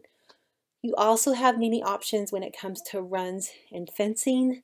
You do also want to make sure that things are secure and that um, you have enough space for your for your flock. This leads to questions of free ranging and this is such a great question. If your chickens can free range, they're going to be able to eat bugs, scratch around, and live this like healthier chicken life in many ways. However, there are risks to free ranging. One of them, and I would say maybe just one of them, being predators. I can't tell you how many stories I've read on the internet about the neighbor's dog getting to a flock and just taking everyone out. Um, so there are definitely pros and cons to free ranging. Neighbor disputes come in. What we do is we have a very large fenced area. So it's about three quarters to a, to a full acre.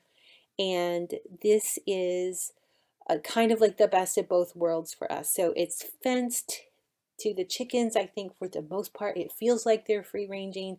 They get to go into some woods, they get to scratch around, they get to eat lots of bugs. We get great eggs out of it, um, but they're all in a fenced area. If you can do something like that, it is fantastic. Not everyone can though, so I would just make the argument for always use fencing of some kind. If you are going to free range your flock, only do it when you're sitting there watching them. Other things you need to consider are nest boxes, food, water. Nest boxes, a good rule of thumb is to have one nest box for every four to six hens um, that you have. You have options on food. You can buy the layer pellet. You can get organic. You can make your own food. The biggest thing I would say is make sure it's always clean. Water, same thing.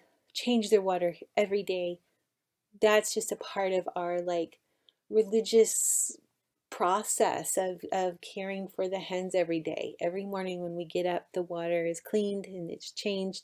And this really helps prevent a wide variety of health issues. Treats, you can do treats. Be careful that you're not giving them too many. You don't want your hen to get too many fatty treats because there are some health problems that can come from that. Some people say never do treats. I feel like life's too short for a hen to never get treats. I also use treats to help build a relationship and trust with my flock. They know me. They know I'm the one who gives them the treats. I'm not a bad person so that whenever I'm having to do health inspections or do something that they do not want me to do, like check their vent or check their feet, um, they're a little more okay with me, I think. Um, just make sure, of course, that the treats are safe. Um, our chickens eat a lot out of the garden. They also eat, we make a lot of bread. They eat our leftover bread. Chickens are great with table scraps. They love it. Um, just make sure you avoid things like garlic, onions. Um, also, um, we feed our chickens a lot of tomatoes. You may hear that tomatoes are not good for chickens, and that's actually not true. It's actually the leaves of the tomato plant that are dangerous for chickens. Be aware that there's a pecking order. It is the pecking order that keeps the structure and organization in your flock. Sometimes it can be tough to see when you have some girls who are at the bottom of the pecking order and it just seems like life is tough for them.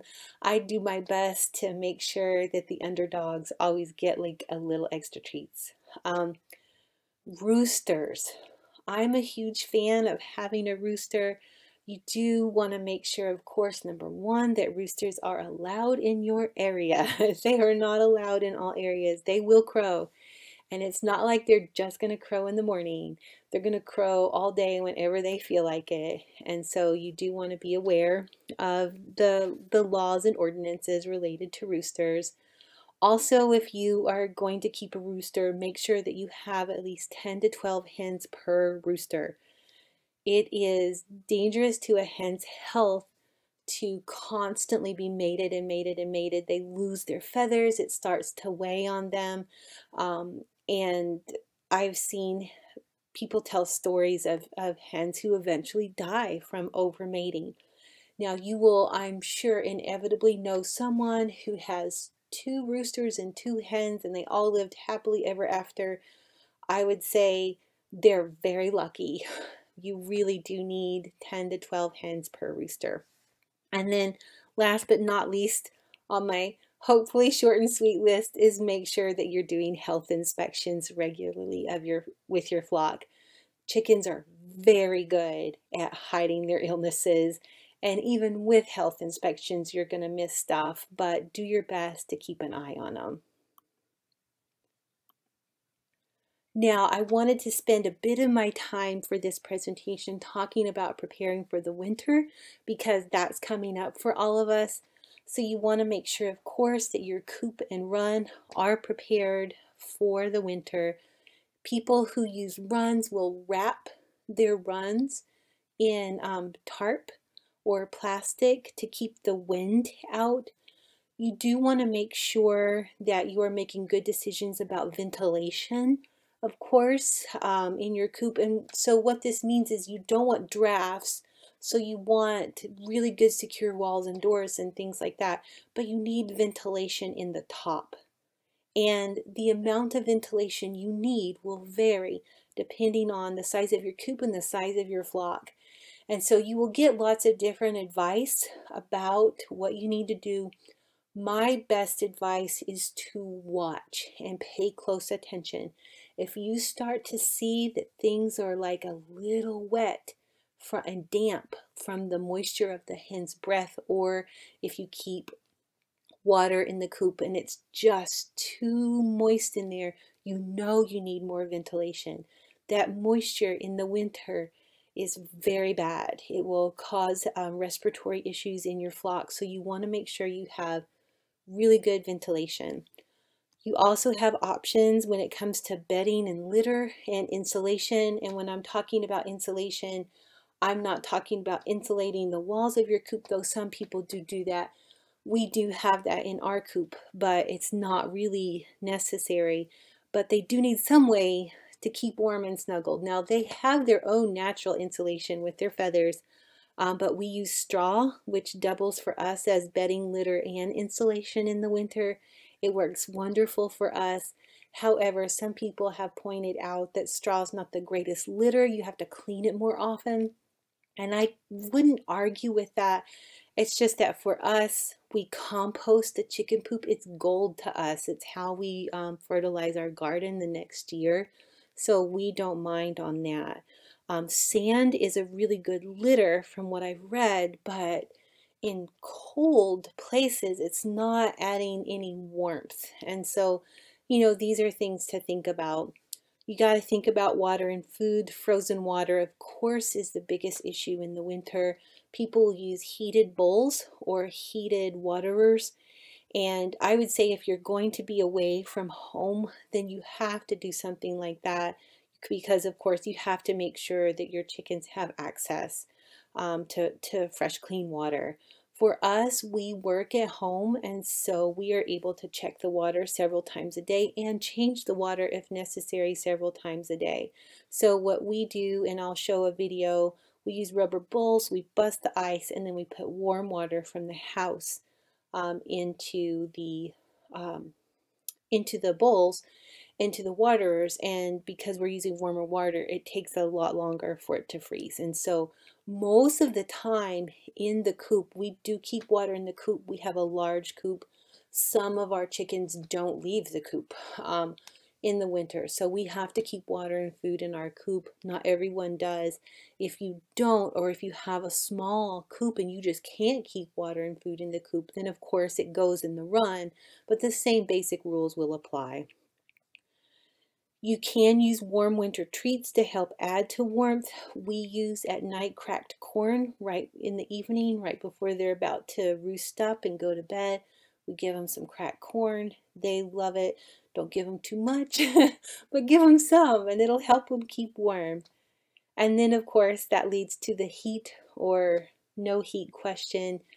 Again, you're going to get so many bits of advice when it comes to this. I would say for the most part, you do not need heat, even in a really cold place like Maine. And it's because the chickens come with their own insulation. And if you have a nice, dry, safe coop for them, they're going to huddle together and they're going to be okay. The few exceptions I would say is like if there are like really sudden temperature drops, like sudden, um, and then for us, we do, when things get pretty far into the negatives, we will add heat in our coop then. I don't know if it's necessary, um, but our chickens have never had frostbite anywhere. So there's that. but if you add heat, never use a heat lamp. We use an oil-based ceramic heater so that it's not hot to the touch. Just to be safe, we cover it with a crate so that there's no way a chicken or straw can touch that thing. Um, never use a heat lamp. They are really dangerous when it comes to fires. And again, I'm sure you will hear someone tell a story of using the heat lamp every year for 20 years and, and never having any problems, and that's certainly possible. But they are a known fire hazard and so it's you know it's something to think about. Last but not least do you add light or not? There are pros and cons. When the chickens go into the winter with when the light goes away it puts them into a rest in terms of laying eggs because light is how the hens make the eggs and so if the number of hours of daylight that they have drops, then of course egg production will drop. You can add a little bit of light. Some people add a lot of light. The, the thing is, if you do add light, um, I would recommend just a little um, because the rest does help extend the life of the hens. Like it really does kind of, you know, add to their overall health when they have that rest. And I'm sorry, my dog is growling. but if you are dependent upon eggs to feed your family, um, then you know you might want to add a little bit. If you do add light, make sure that you add it in the morning and you add it 15 minutes at a time. We used to add light to our coop. The last couple years we have not. And just to give you a, a, kind of a guide, we keep between 25 and like maybe 27 or 28 laying hens. Gus, hush, I'm recording. Um, that's my Great Pyrenees. so we have between 25 and 28 laying hens and in the like darkest of it uh, between like Thanksgiving and the winter holidays, we would get like maybe two to three eggs a day. So those are things to think about. We have a really um, large coop. It is an old shed that has been converted to a coop and it's over there. Um, but the key thing is, is that every day they need access to fresh, good, clean water. So in the winter, this becomes more of a challenge If you have a small coop, you'll have to keep your water in the run and at night it will likely freeze. And so what we do is we use a rubber bowl and this is one of them. Um, and it's nice because it bends and what I do every morning in the winter is flip it over and bust ice. Um, there was actually a little bit of ice this morning already and it's September so I'm like oh it's coming. Um, so this is the rubber bowl. We use a big tractor supply bucket food grade and then you just drill holes and then we flip it over and I'll show in a minute what it looks like. Here it is all set up. Ready to go for another day of chicken drinking I wanted to quickly touch on the topic of eggs because that's one of the most exciting things about keeping chickens is you get these wonderful little gifts that feed you and your family and they're they're wonderful. Um, but a lot of people start worrying when is my hen going to start laying and it really depends some breeds will lay as early as 16 17 18 weeks other breeds won't lay until much later, 22, 23, 24, 25 weeks. So don't panic if your hen is late to lay. It doesn't mean that something's wrong. It can also be dependent upon the light. If you have a hen who isn't old enough to really start laying before the light starts to fade in the fall, sometimes when that hen starts to lay will be a lot later. So it's light dependent and somewhat temperature dependent like extreme temperatures will impact laying if it's really hot or really cold. Um, but for the most part, as long as there's light, hens will lay. There are some annual cycles, so don't panic if your hen stops laying for a bit. There are many reasons that they rest. In the fall, when it's time for the molt, they will not lay. In the winter, if it's dark, they're in cold, they're going to take that rest the spring is the busy time. That's when, of course, you know, they want to make babies. So the eggs will really kick in. Summer is usually pretty good unless it's really hot. Um, especially if you are like me and in Maine, I keep breeds that are really winter hardy. Um, but that means that summer takes a toll. So when it's really hot, they will take a break. Very quickly, I just want to run through the 10 tips I have this is the best advice I could think of to give to someone who's just getting started. Number one, never let up on clean food and water. Just be relentless with that. Number two, take advantage of all the ways a chicken can help you and your family. We compost the chicken poop. It fertilizes our garden. The chickens feed us in this way too. They're tick patrol. We use them to prepare our garden in the spring. We use them to glean the garden in the fall. There are so many benefits of keeping chickens that, well, I could talk a long time on just that. Um, number three, do regular health inspections. Number four, I learned this the hard way last year. Always quarantine new chickens. I knew the rules. I broke the rules. I paid. Always quarantine new chickens. Um, number five, practice biosecurity. Wash your hands, clean yourself up after you've been um, hanging out with the chickens, um, and have separate shoes for the chickens. Don't wear your chicken shoes in the house. Six, know that they're very smart, really smart, sometimes shockingly smart. Um, number seven, understand that they're very resilient, almost too much so. You gotta watch them. They will hide their health problems. Number eight, find really good resources and be careful what you read on the internet. There's so much misinformation out there. It's exhausting. And that leads me to number nine, which is find a mentor if you can. Someone you know, someone whose flock you can see. You can see that this is working for them and they have a healthy flock. Find out what they're doing.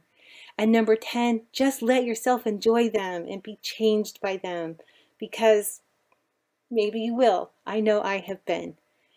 Thank you so much for being here. There's so much more I could say. Hopefully we can cover more in the Q&A. I just want to encourage you to please visit my journal. It's www.farmerish.net. There we talk chickens and a wide variety of other topics such as making, cooking, farm animals, and other farmering topics. Well, hello everyone, and thanks, Crystal, for that great presentation. And apologies to those listening for our little Zoom challenge earlier, but we'll talk to Crystal about chickens for a few minutes, and then we'll circle back to Amy to answer those canning questions you had. So thanks all for your patience, and thanks to Crystal and Amy for being here on this beautiful afternoon to help folks gain some new skills and learn some new techniques for their gardens and homesteads and backyards. So Crystal, thank you again for talking to us about chickens. I know a lot of people got new backyard flocks this right. spring. Right. Have you been talking to lots of folks who have new chickens this year? Yes, yes. I there's a lot of of new people and I think it's exciting that so many people are are getting interested and getting started. And I think of course it's important. Eh, there's a lot of information out there to try to process and so it's important to do I think your best to try to keep things straight and try to make a plan um, and and there is a lot of information. well, that is a great point and actually reminds me of a question we wanted to ask you, which is if you have favorite resources for folks who are starting out and might want to have something going on they want to look up in a book or online, any trusted people you learn from? I would say um, when I was first starting out, I used a lot of Lisa Steele's um, work from Fresh Eggs Daily. Um, and that kind of was a lot to, to get me started, to get me going. Um, there's also um, some great guides, like the Storey's Guide to Chicken Keeping is also a really good one.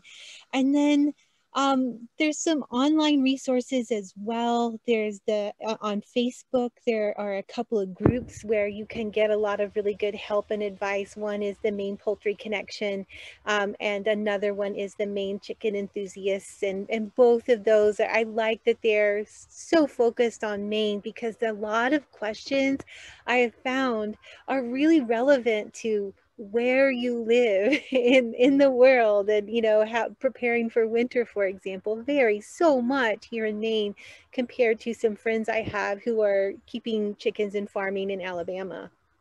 Yes, we have our own own cold winters and uh, own predators, lots of things to think about. Right. right we're getting a couple questions, Crystal, about um, washing and cleaning your eggs. I know fair weekend is often when my pullets will start laying their very first eggs of the season. Maybe that's true for some other folks too. So how do you clean those eggs and store them after you? Okay, so first of all, it's important to note that you actually don't have to wash them. Um, they come freshly laid with the bloom on them, um, and that is a protectant that keeps bacteria out. Um, if you don't wash them, they're fine to be kept on the counter um, for even up to a few weeks. Now, we sell some of our eggs, and our customers do want the eggs washed. Um, and then sometimes too, you just, you know, you have a poopy egg and, and you've got to wash it. Um, and so what we do is just very, very minimal um, washing, uh, but just keep it clean. We use a very, very mild soap. A lot of people say do not use soap. We use a very mild um, organic kind of soap that's not too bubbly. And we we do store ours in the refrigerator. If you do wash them they need to be refrigerated immediately because they've lost that protective bloom. But you don't have to wash them. They if, unless you know someone you're selling to wants them washed they are or you want them washed wonderful thank you for those tips hopefully helpful as folks start getting some eggs in there yes. on their counters. I wonder if you have any recommendations. This is a question from Andrea who's listening for a breed for a first time chicken keeper. Oh, this is so great. I would say to, oh, there's so much to weigh, but I would say if you are in Maine, make sure that you choose a winter hardy breed. Um, one of the things that you will find is that, you know, silkies are wonderful, adorable chickens, but they don't have the same kind of featherage that, uh, or plumage, feathers and plumage that, um, so like a breed like a Rhode Island Red will have. I am very partial to Rhode Island Reds, Barred Rocks, um, buff Orpingtons, um, kind of like the thicker, sturdy birds. Um, Rhode Island Reds are also really great, fantastic layers. Um, so that, you know, is, is, something, of course, there are pros and cons to fantastic laying breeds, of course, but some, uh, like a sturdy breed uh, is, is a good one to start with here in Maine. I think one that's going to be able to handle the winters better. That makes total sense. We have cold weather for those chickens to deal with coming right up. We have a question that came through on Facebook about um, making your own chicken feed. We have not made our own chicken feed yet. This is something that we are looking into. Um, I, I think especially in probably March and April when we were seeing like a little bit of concern about shortages um, with some of the the feed at it was never too bad in our area, but there were some shortages. Um, so I think that there are a lot of different recipes out there. Um, it's one of those things where I think for us a factor is access to those grains that you use. So like what we're looking at is the like the multi-grain where there's you know dried peas, dried corn, but also um, some wheat and barley and those kinds of things. And I, for us, one of the challenges is getting access to those grains without having to have them shipped in um, from far away. Um, but that's something that we haven't tried yet. We've been sticking to layer feed, uh, but it, it is something I think a lot of people are thinking about. Thank you for that, Crystal. And you'll have to let us know if you give it a try. yes. We have a question from Hannah on YouTube, and Hannah's wondering if you can keep layers and meat birds together or if you need to separate them. All right, I would say it depends on the kind of meat bird that you get. Um, there's the Cornish cross, um, and those as meat birds are going to grow up a little differently than like we have always used the Freedom Rangers or some you'll see them called like the Red Rangers. Um, we have done some mixes when we've had the the freedom rangers um, and and things are fine um, is i guess the rule would apply just as any rule would apply and that is it depends on the ages of the chickens that you're keeping together if they are the same age and are going to grow up together um, to a certain point then that is just fine. Um, it, when you're mixing flock ages, then things get more complicated. Like, will they be able to access food? Will they get picked on? Those kinds of things. So, in a way, theoretically, you can, but then, of course, there are other factors to consider. And I would say probably most important is age, because obviously, if you're raising meat birds, you want them to have access to food all the time, and you don't want them getting pecked away from the food dish because um, you know then you'll have birds that grow slow more slowly that perfect sense. Thanks crystal. And we do have one last question here and someone is wondering um, what you do on your farm to help prevent predators. For us it's really about fencing. Um, i am uh, a big believer in fencing as much as you can I am very regular in the chicken forums, and there are so many incidences of, of predator attacks. And even in, like sometimes it's just the neighbor's dog um, that will just come in and take out a flock. Um, so fencing is very important. And then just making sure that your coop is sturdy, um, making sure that there are no holes in the floor where things can come in. Um, you know, I think that to a certain extent, there's, you know, only so much you can do. I, I've found some people who've done everything you're supposed to do and they still, you know, have a predator. We had actually had a bear um, in our coop one year. It it got in, but thankfully it just ate the chicken food. Um, so it, it wasn't interested in the chickens. It just ate the food.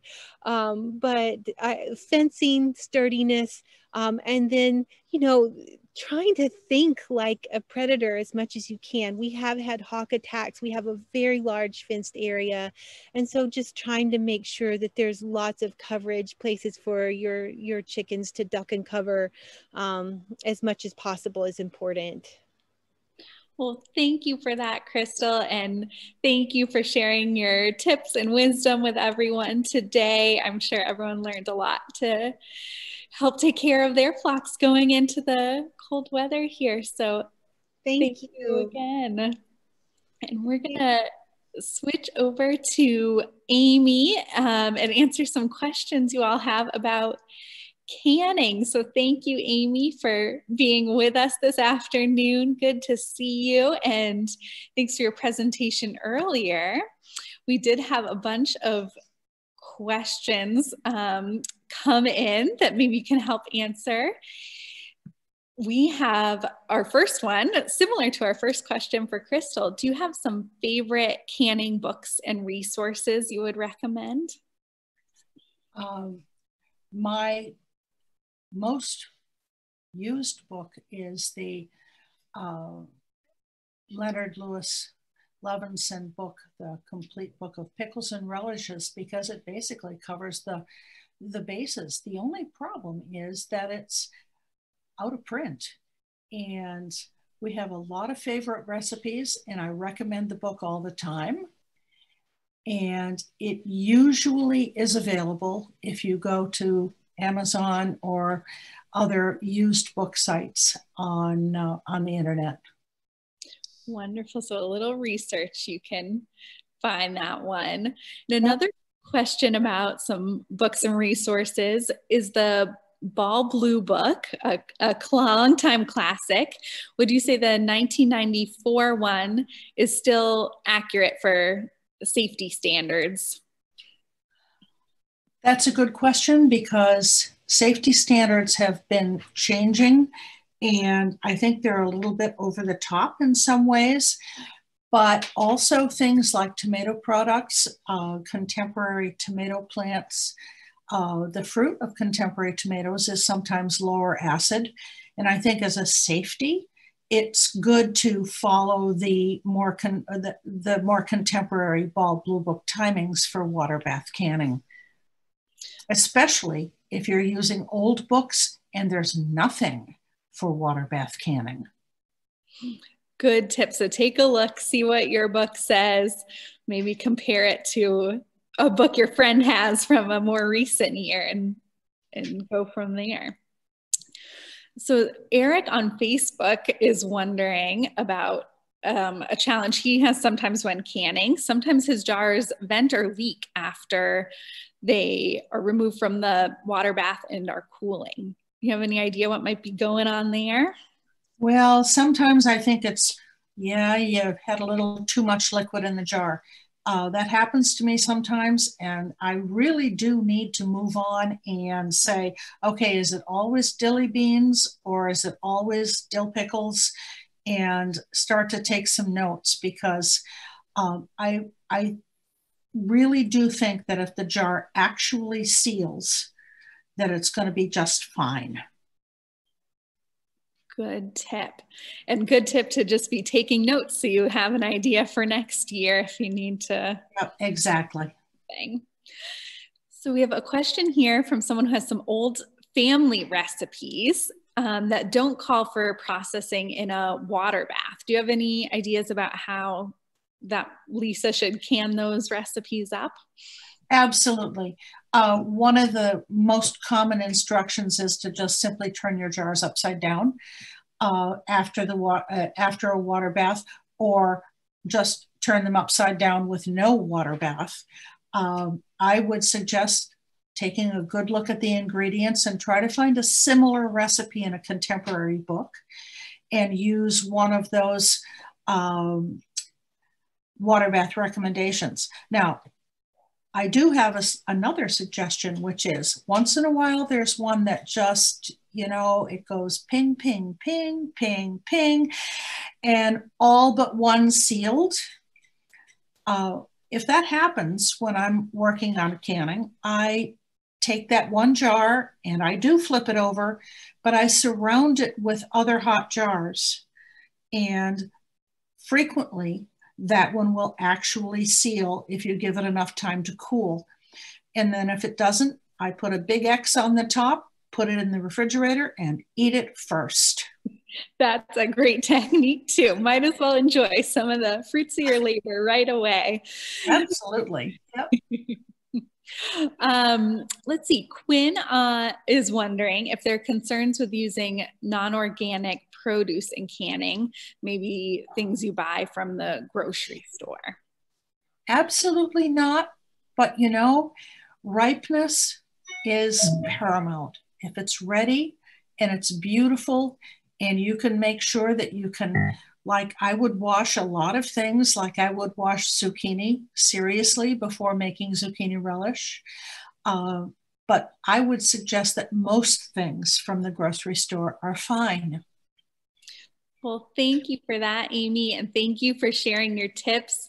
I'm hoping everyone is filling up their pantries with lots of delicious canned goods from their gardens or from farms nearby. Thank you for sharing your wisdom with us this afternoon. And we're going to go over to Eli to introduce our next speaker. Thanks, Amy. All righty, bye-bye. Hello, everybody, and welcome back. Thank you, Anna, and uh, thank you, Amy, for the information there. We're going to transition now over to Daniel Mays, who's a farmer that's doing a lot of no-till food production. And it's something very exciting in the world of agriculture. No-till is a great way to protect our climate. It's one of the critical ways to do so. And Daniel has been doing this for a long time, has had a lot of done a lot of experiments and is doing some great work. Um, I have a personal interest because I do a lot of no-till in a tree nursery operation that I have at home. So I'm really excited to hear from Daniel and I thank you all for joining us here today. Um, Daniel will be coming up shortly and we can go right to him now. Thank you.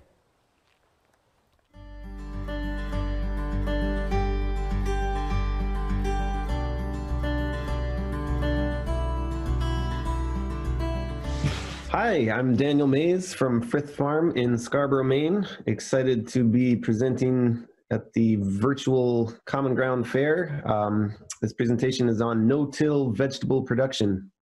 Um, so I'll just jump right in.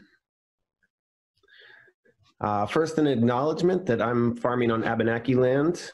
Uh, there's a long sordid history of, of farming on this continent that, that relies on stolen land and, and stolen labor. And I think acknowledging that um, is a kind of crucial first step toward making amends.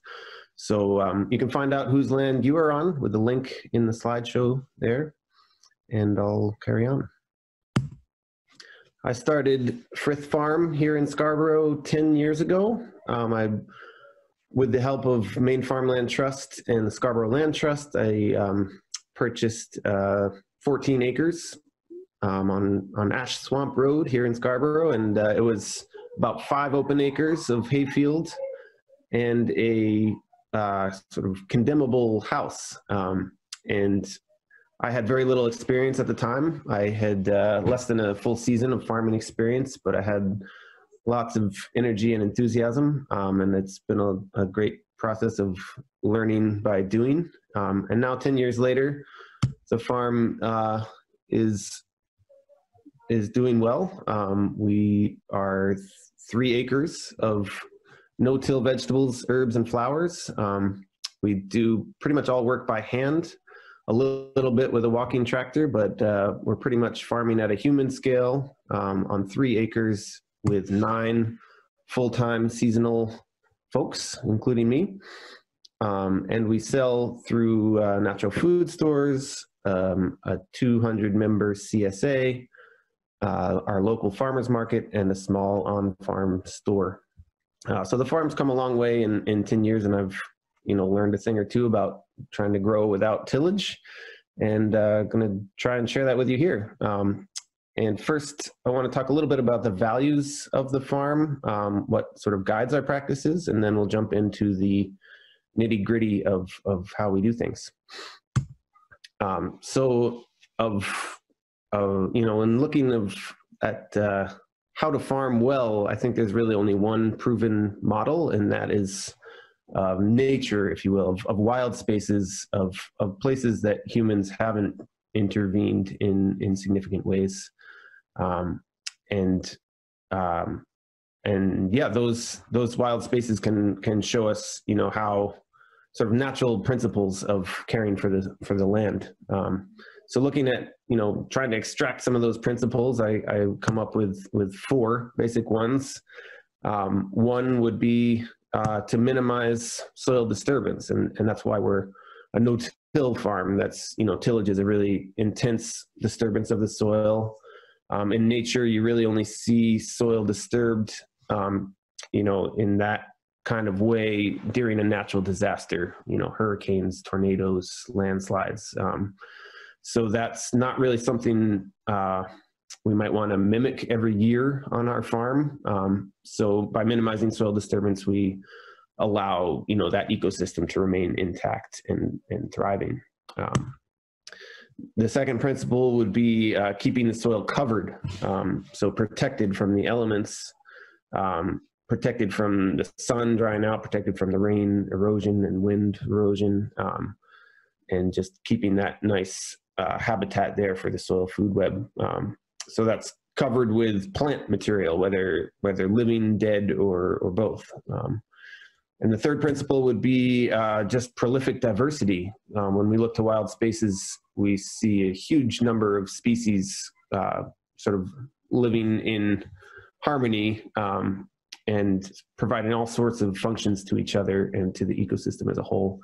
Um, and then the, the the last or maybe main principle um, would be to maximize photosynthesis. Um, photosynthesis is the engine that drives the soil food web. Um, that solar energy getting pumped down into the soil is is the only way to create soil. Um, it's how we have all the soil we do on this planet. Um, so, so by maximizing that, we we maximize the the life and vitality of our of our farm.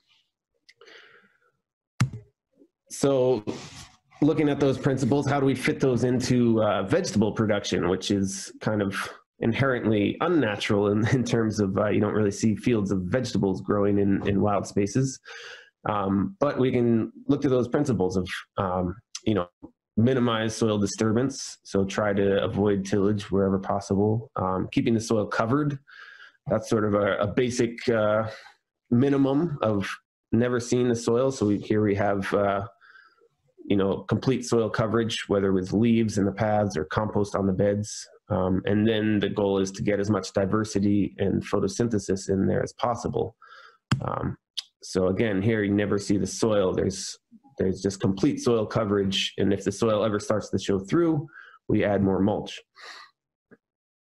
Um, and yeah, and then maximizing you know photosynthesis and diversity. Uh, this photo you know, shows an interplanting of basil and tomatoes. And believe it or not, there's a path in the middle there that you can kind of squeeze through, but, uh, but really trying to just cover that soil with as much photosynthesizing diversity as possible. That's kind of what, what drives us um, to, to farm well here. Um, and then, uh, yeah, another example of, you know, cover crop of sorghum Sudan grass um, next to a perennial planting of, of flowering um, bee balm and, and goldenrod. Um, so just, yeah, that diversity and photosynthesis, uh, lack of soil disturbance and complete soil coverage, that's really what, what drives soil health. Um, so yeah, getting into the nitty gritty of, of how do we go about this, you know, growing vegetables in this way. Um, here's how we establish new beds from sod.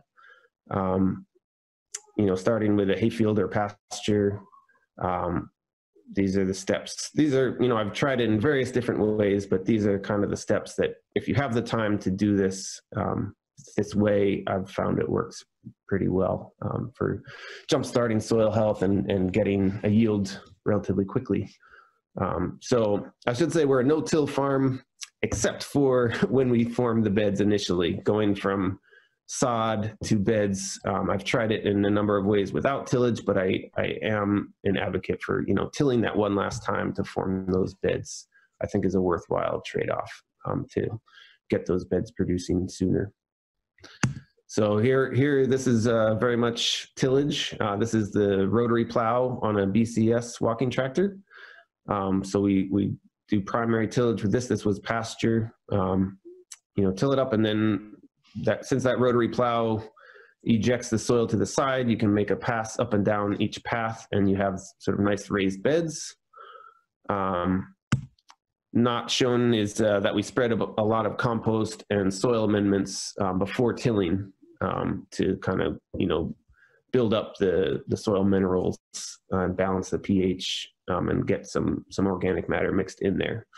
Um, so, you know, since it's one-time tillage, it's kind of that one-time opportunity to mechanically mix in those amendments to, to jumpstart soil health. Then we, uh, once those beds are formed, we tarp it. So we, we drag on um, silage tarps. Um, they're like six mil polyethylene tarps, black tarps, and we leave that on for um, long enough to smother the sod. So that will depend on the time of year and how hot it is. But um, you know, if you tarp during the summer, that might just be three weeks or, or you know, three to six weeks, somewhere in there, um, depending on the species you have in, in that field. Um, when the tarps come off, then we spread a layer of um, compost on the beds. Again, trying to keep that soil covered at all times. Um, you know, pulling that tarp off, that's that's exposed soil. That's you know fragile. You know, exposed to the elements. So we want to get that covered as soon as possible. So we do a layer of compost on the beds and wood chips in the path. Um, and you can use whatever mulch material you have um, on hand, whether it's leaves, straw, wood chips, um, what have you. So, but the compost on the beds is pretty nice, is pretty key to be able to then plant directly into it. Because um, we then seed a cover crop mix that will uh, that will winter kill. Um, that means it'll die back in the cold of winter. So that that mix could be any number of species of cover crop as long as they all die reliably with the winter temperatures. Um, and since these are direct seeded right into a layer of weed-free compost, there's very little weed pressure. Um, and especially since uh, since these beds were tarped before the compost went on, a lot of the weed seed, you know, was was maybe it started to germinate before the tarps went on, or maybe the tarps just got hot enough to actually kill the that top fraction of an inch layer of, of weed seed um, but when we pull those tarps off and then spread a layer of compost without disturbing the soil again, we really get super low weed pressure so that you can seed this diverse mix of cover crops. And maybe, I think we walked through it one time just to look for any errant weeds, but basically it was completely weed free.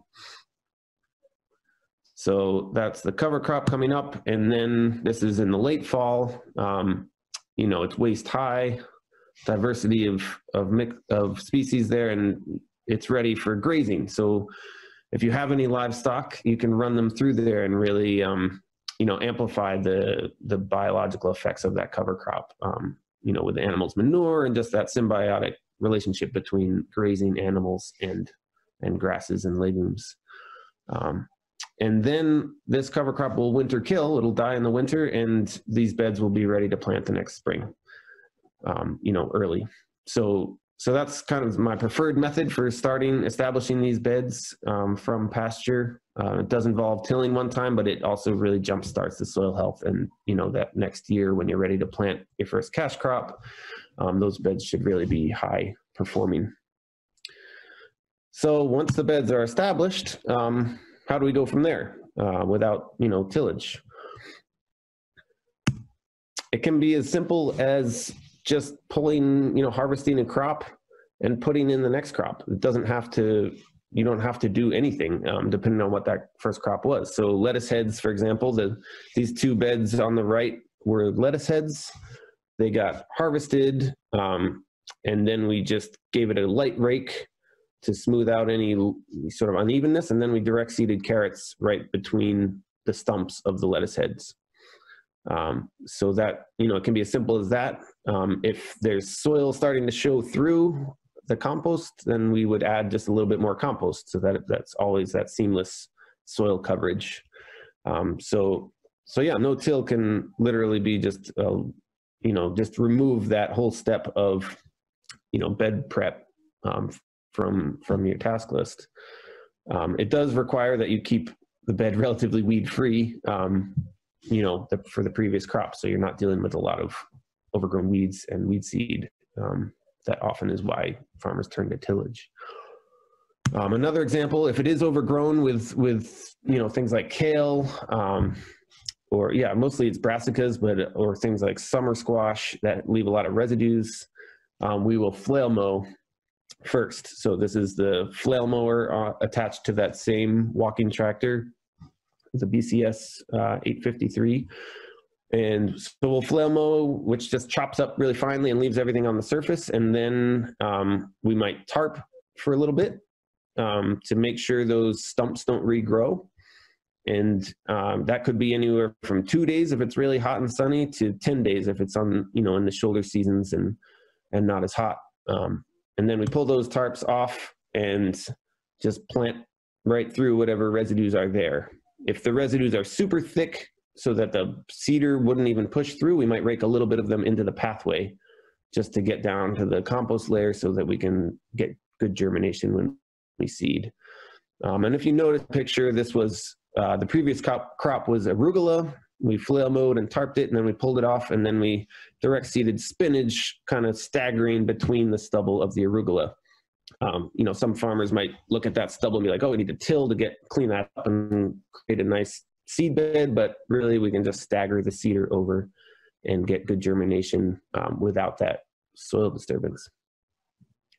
Um, and like I keep saying, anytime the soil starts to show through, that's when we'll add some more compost. Um, and we do that with wheelbarrows. We have a little tractor loader that never drives in the field, but does load the wheelbarrows at the head of the bed. And then, you know, the crew pushes them down and applies them right where needed. Um, and yeah, remember this is complete soil coverage at all times, which not only is good for soil health, but makes working in it a dream. Uh, you know, the soil is just always very soft, friable, um, dark, rich, easy to transplant. Um, and maybe the biggest benefit is that it's very low weed pressure because there's that constant mulch layer um, preventing weed growth. At the end of the season, um, we will try to prep the beds for the next season, you know, adding whatever amendments we want to add, and then spread a layer of mulch. Um, we've done a lot of leaf mulch. Um, we're going to be switching to more straw um, just because the leaves are starting to get more and more trash in them. Um, but leaves work great otherwise. And, and so we'll mulch right over those beds with leaves. Um, these are any beds that it's too late to plant a cover crop, a fall cover crop. Ideally, remember the principles of soil care, uh, we would be maximizing photosynthesis, not just covering the soil with dead plant matter, but covering it with living plant growth. Um, but if it's too late in the season, like after your fall crops, uh, root crops come out in you know late October, November, um, that's too late to plant a cover crop. So then we'll just mulch those beds. Then in the spring, those beds we just rake off that mulch into the paths to expose the compost underneath, and we'll plant right into that uh, with no further prep.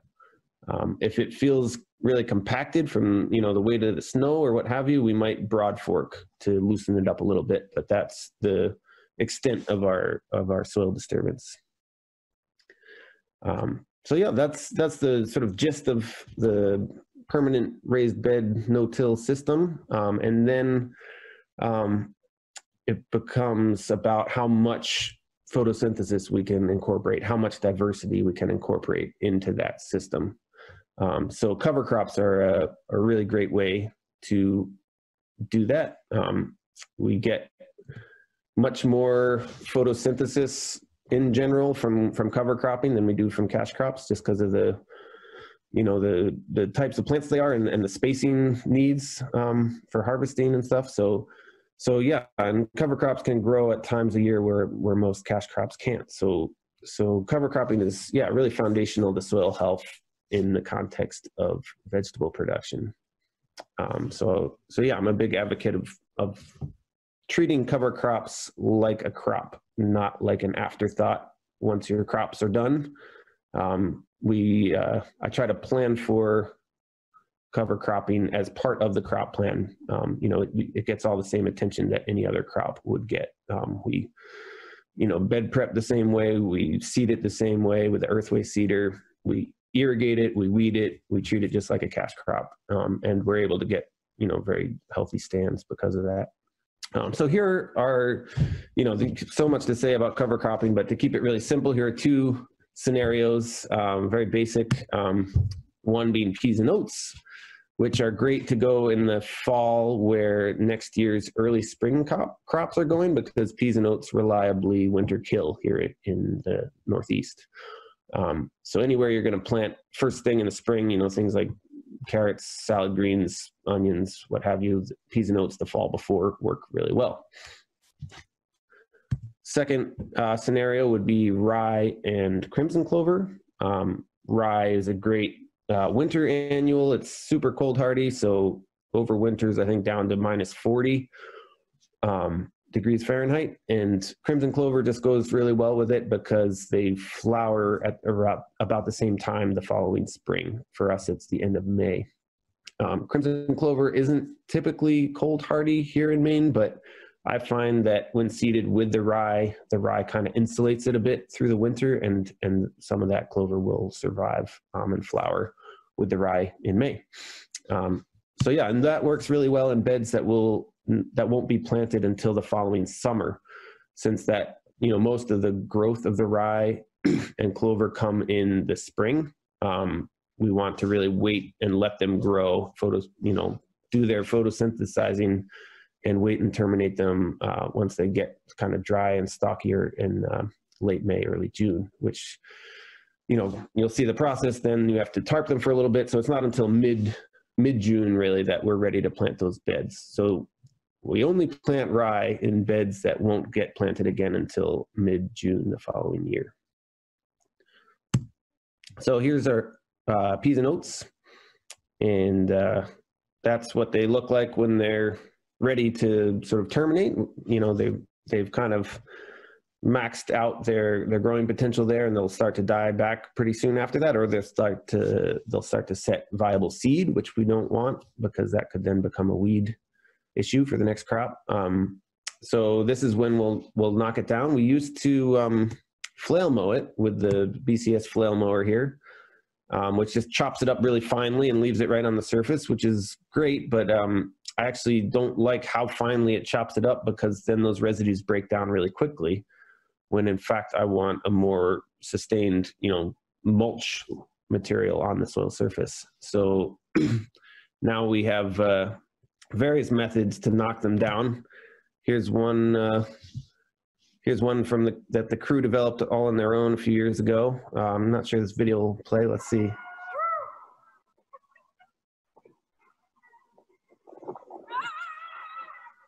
Yeah, so we call that rolling uh, rolling the peas and oats at a human scale.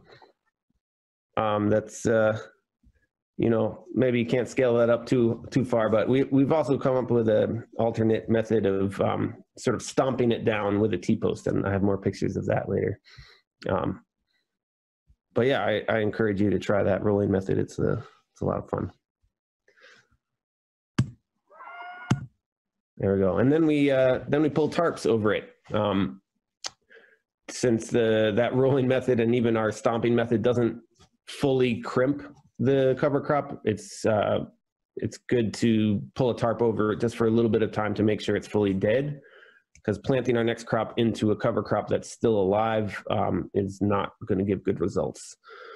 So we tarp it um, usually for just a week. Um, if it's cloudy, um, cooler, then maybe up to two weeks. Um, and then when we pull those tarps off, we have this nice dried out uh, sort of, you know, pea and oat straw that rakes right off into the paths. Um, and that's that same pea and oat stand as the first picture. So when it's raked into the paths, you have these nicely mulched paths and you expose that sort of, you know, brownie batter bed um, to plant into without any kind of soil work. Um, and these, I think we were seeding uh, storage radishes and turnips. Um, so there they are coming up, and there they are in the fall. Um, and and yeah, we pulled maybe a few weeds from that whole area, um, just because without disturbing the soil, and because we have that layer of compost initially, anyway, there's just very low weed pressure. Um, and this, granted, this is because we've kept up with this over time. If uh, if you're starting with really weedy fields, this is not a silver bullet to cure that. Um, I think it can help, especially with tarping. Um, tarping and then putting, you know, compost as mulch um, is a is a way to get out of that, but it's still going to require, um, you know, a lot of weed removal as you get work your way out of that weed seed bank. Um, so yeah, that's the peas and oats uh, cover crop method.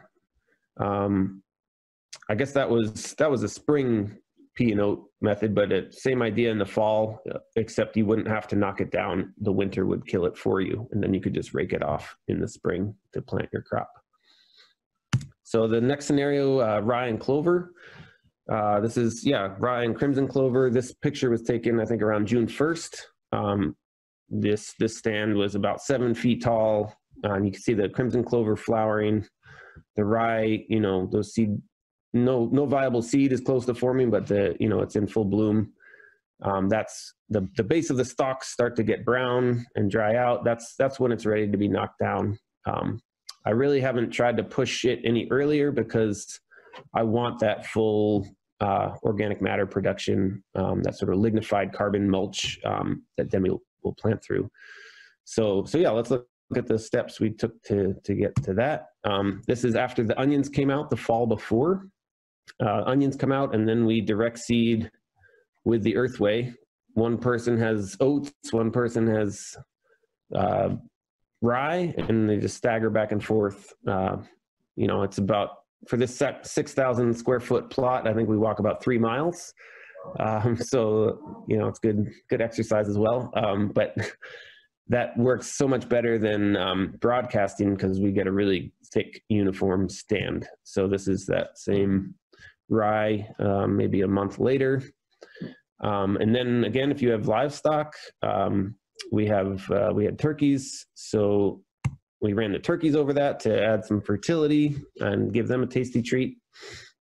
Um, and then, but you don't want to graze, you don't want to overgraze it because you want to make sure that rye, you know, grows back in the spring. So, so you know, just run them through there quickly, move them off, and then in the spring we have uh, you know, it grows up again to, you know, about six feet tall. And, and uh, this is end of May, right around June 1st. Uh, we knock it down.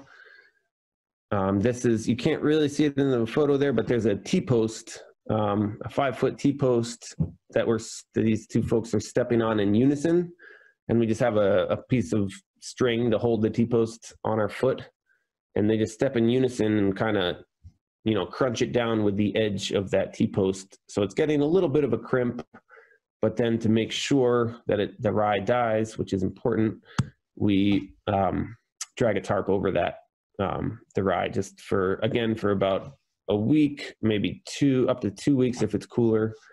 Um, we weigh them down well. Um, you know, we use concrete blocks. Uh, you could use sandbags, whatever, but make sure they're adequately weighed down it's a lot easier to move a few extra weights than it is to go chasing around a uh, you know 24 by 100 foot sail across the farm. Um, so yeah, use adequate weights, and uh, and then yeah, when that oh yeah, also note how far behind the peas and oats are here. I, I wanted to stress that that often people it's tempting to just stick with peas and oats because they're so easy, so easy to kill. Um, they winter kill, but notice how far behind they are here. They're only, you know, calf high when the rye and clover was was six or seven feet tall and and you know the amount of biomass that created in the spring is just so much more than these peas and oats have created at this point. So there's a real advantage to overwintered cover crops. Um, they're a little bit harder to manage in the spring, but their potential to, to generate soil health is, is much greater than the winter killed alternatives.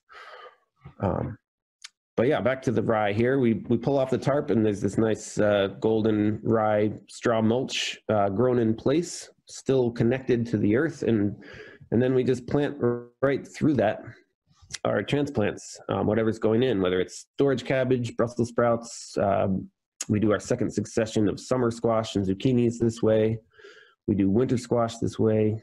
Um, you could do a, a slightly late planting of um, you know cucumbers or tomatoes this way. Um, the timing doesn't quite work out for you know that first early planting that might go in late May um, because this these beds aren't ready again until you know mid June. That's when that's the earliest we can really plant them with this method. Um, but it works for the you know those great the summer crops plant summer planted crops that then you harvest in the fall. So here's the storage carriage storage cabbage. Um, you know later in the fall. Um, again, we pulled just a handful of weeds out of that whole plot and had really good yields. Um, no no row cover, no no pesticides, no you know I think we put a little bit of fertilizer in the holes as we transplanted through the through the straw mulch, um, but but very low input. Um, you know, this whole system, you know, doesn't rely on any machine machinery. Uh, very low input um, since the straw mulch is being grown in place. Um, and then, yeah, just to stress integrating livestock where you can, especially on those fall, that fall cover crop time, um, since that will generally fulfill the waiting period over the winter uh, for organic production. You know, applying raw manure in the fall, then those those beds are plantable in the spring. It's 120 days later. Um, by the time you harvest, uh, and and yeah, just the the amount of um, just thinking back to you know the principles of of soil care that we see in nature. Like this is you know complete soil coverage, no disturbance. Um, you know prolific photosynthesis and diversity you know we can put as you know as many species as we want in these cover crop mixes and then integrating the livestock adds just that whole other dimension of diversity um, that can really generate soil health um, also wanted to to note that humans are also animals. Um, so integrating humans into the landscape, I think, adds a huge amount. Even if we're not adding our manure to the land, I think we add so much just with our presence. Um, that that's a key part of of biodiversity on on a farm. Um, so another way to to get more diversity and uh, soil coverage and photosynthesis into vegetable vegetable production is to um, to interplant or companion plants or multi-crop and all these different terms for combining multiple crops together um, instead of just growing blocks of one species at a time. Um, so this is this is pretty challenging for vegetable production because there are all sorts of other considerations of you know efficiency and simplicity and management that that um, you know interplanting can really make harder. Um, but I think I think doing some degree of interplanting really increases the the net yield potential of of a vegetable farm, uh, let alone the soil health. Um, so here's one example of uh, kale uh, undersown to parsley, and we do that because uh, kale is a brassica, and anything in the brassica or beet um, families um, does not support mycorrhizal fungus growth. Mycorrhizal fungi are, you know, fungus of the root, beneficial fungus um, that forms a relationship with plant roots and extends its reach into the soil. And is a really amazing, wonderful thing. I'd encourage you all to read um, read about it. Uh, Michael Phillips has a book called Mycorrhizal Planet. Um, there's Teaming with Fungi, which is also great. Um, there's all sorts of books coming out now. Our understanding of mycorrhizal fungus is really, we're just scratching the surface. Uh, it's a relatively recent uh, bloom of, of understanding. Um, but really, there's uh, this is a real argument for no-till because tillage really destroys um, that mycorrhizal network pretty pretty effectively. Um, whereas if we leave it in place, there's all sorts of benefits to the plants um, in terms of access to more nutrients, to more water, uh, to natural pest and disease resistance. Um, you know, mycorrhizal fungus is has been called sort of a natural communication network, uh, nature's internet of the way plants communicate with each other underground. Um, so yeah, there's there's a lot of magic happening under there. Where if we just grow a plot of nothing but brassicas or nothing but um, you know beet things in the beet family, beet, spinach, chard, uh, we can starve out the, the mycorrhizal network. Um, so we undersow our kale to parsley, which does form mycorrhizal connections. And uh, as as just an undersown cover crop. I mean, we can harvest it too, um, but it's it's really there to cover the so cover and feed the soil. Um, so another interplanting um, along those same lines, you know, Brussels sprouts we transplant right into the grown in place rye that you see there. Um, but they take a while to to get big. So in the meantime, we plant a, a row of lettuce heads down the middle um, to again to offer the mycorrhizal fungus some some photosynth some photosynthesis, um, but also to get another crop out of there. Um, another example uh, in the high tunnels, planting the shoulders of the tomatoes to celery um, the shoulders of the cucumbers to uh, salad turnips or bok choy that, that don't need as much sun and heat, so they're a little bit shaded out there, um, but they do all right. And um, one of my favorite combinations is uh, carrots and ginger. We plant them at the same time, um, and the ginger kind of pokes up through the carrots. It takes a while to come up, and in the meantime, the carrots are growing, and then when it does come up, it pokes up, you know, through the canopy, and and um, then the carrots can pull out and give more space to the ginger when it needs it.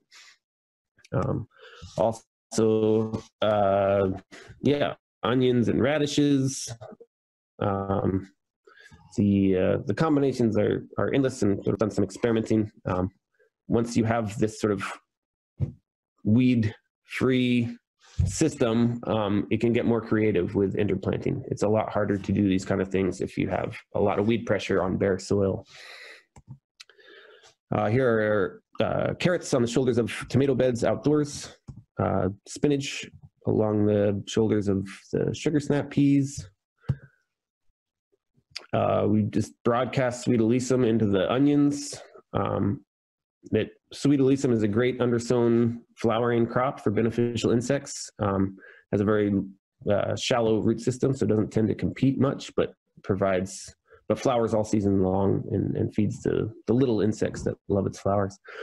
Um, and yeah, we do sweet alyssum between tomato plants, and then those are some beets on the shoulders of the beds. Um, there. And uh, yeah, I mean the interplantings, the combinations are are endless. Um, again, it's it's creates management challenges, but I think it's worth experimenting with to um, you know in the past we would grow tomatoes and just leave the beds shoulders mulched which was great for soil coverage but it wasn't photosynthesizing it wasn't producing more crop you know revenue um, so by uh, by branching out and doing these companion plantings, we can feed the soil better and you know, feed ourselves better too. Um, another way to get diversity into the farm is to incorporate uh, perennial plantings. Um, you know, most vegetables are annuals, um, but that doesn't mean we can't plant uh, perennials in amongst them um, to integrate that diversity. Um, so that's great for beneficial insect habitat. Uh, it provides a diversity of living roots in the ground year round, which you know is very hard to do with vegetable production. Um, it provides economic diversity. Um, you know, a lot of these perennial plantings may produce fruit or medicinals or flowers that you can sell, culinary herbs. Um, so it's a great way to diversify not just the life on the farm, but the, the economic revenue streams. Um, and they're just beautiful, and and that's pretty hard to calculate the value of that. But when when you have a crew of nine people or, or however many people and they're working around in a beautiful location, you know, how much more happy and productive will they be? And, and you know, what's the value of that?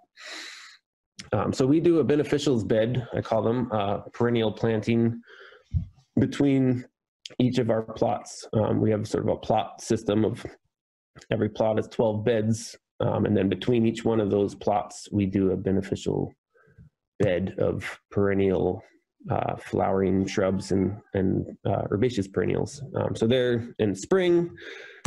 There's another one in the in the fall. Um, notice we put birdhouses in there um, with holes sized for the eastern bluebird. We get those nesting each each spring and summer. Uh, we get field swallows, um, and the goal is to have uh, a continuous supply of nectar for the beneficial insects throughout the, the season. So from early spring through late fall. Um, so choosing a diversity of species to achieve that is, is the goal. Um, and it also means that there's just always flowering beauty on the farm uh, for us to enjoy. And, and these strips of flowers, you know, flowering beneficial beds um, help orient us on the farm too. They show where one plot ends and the next plot begins. Otherwise, it would just be sort of an endless stretch of beds. So they, yeah, they help us navigate the farm and they just create a, um, a nice place to, to live and work.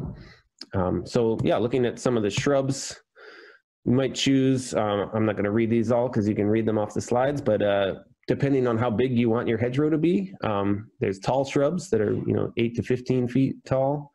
Generally, shrubs are about as wide as they are tall. Um, so, you know, plan ahead on that. You don't want to try to squeeze a 10 foot shrub into a five foot wide bed because you'll just have, you know, it'll start to overtake your crop beds on either side, or you'll have to prune it aggressively.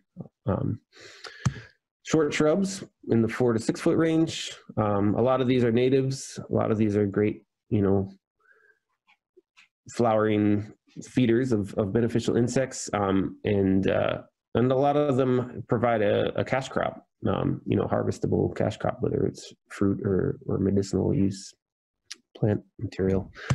Um, and then there's this whole list of uh, the herbaceous perennials, the ones that die back to the ground each year. So um, listed here in, in order of bloom approximately. Um, again, you can read these yourself and, and really finding what, you know, what makes you happy and what, what is native to your region of the country and, and um, with the goal of just, you know, prolific diversity, abundance, and a continuous supply of nectar for the for the insects, um, overlapping bloom periods throughout the season.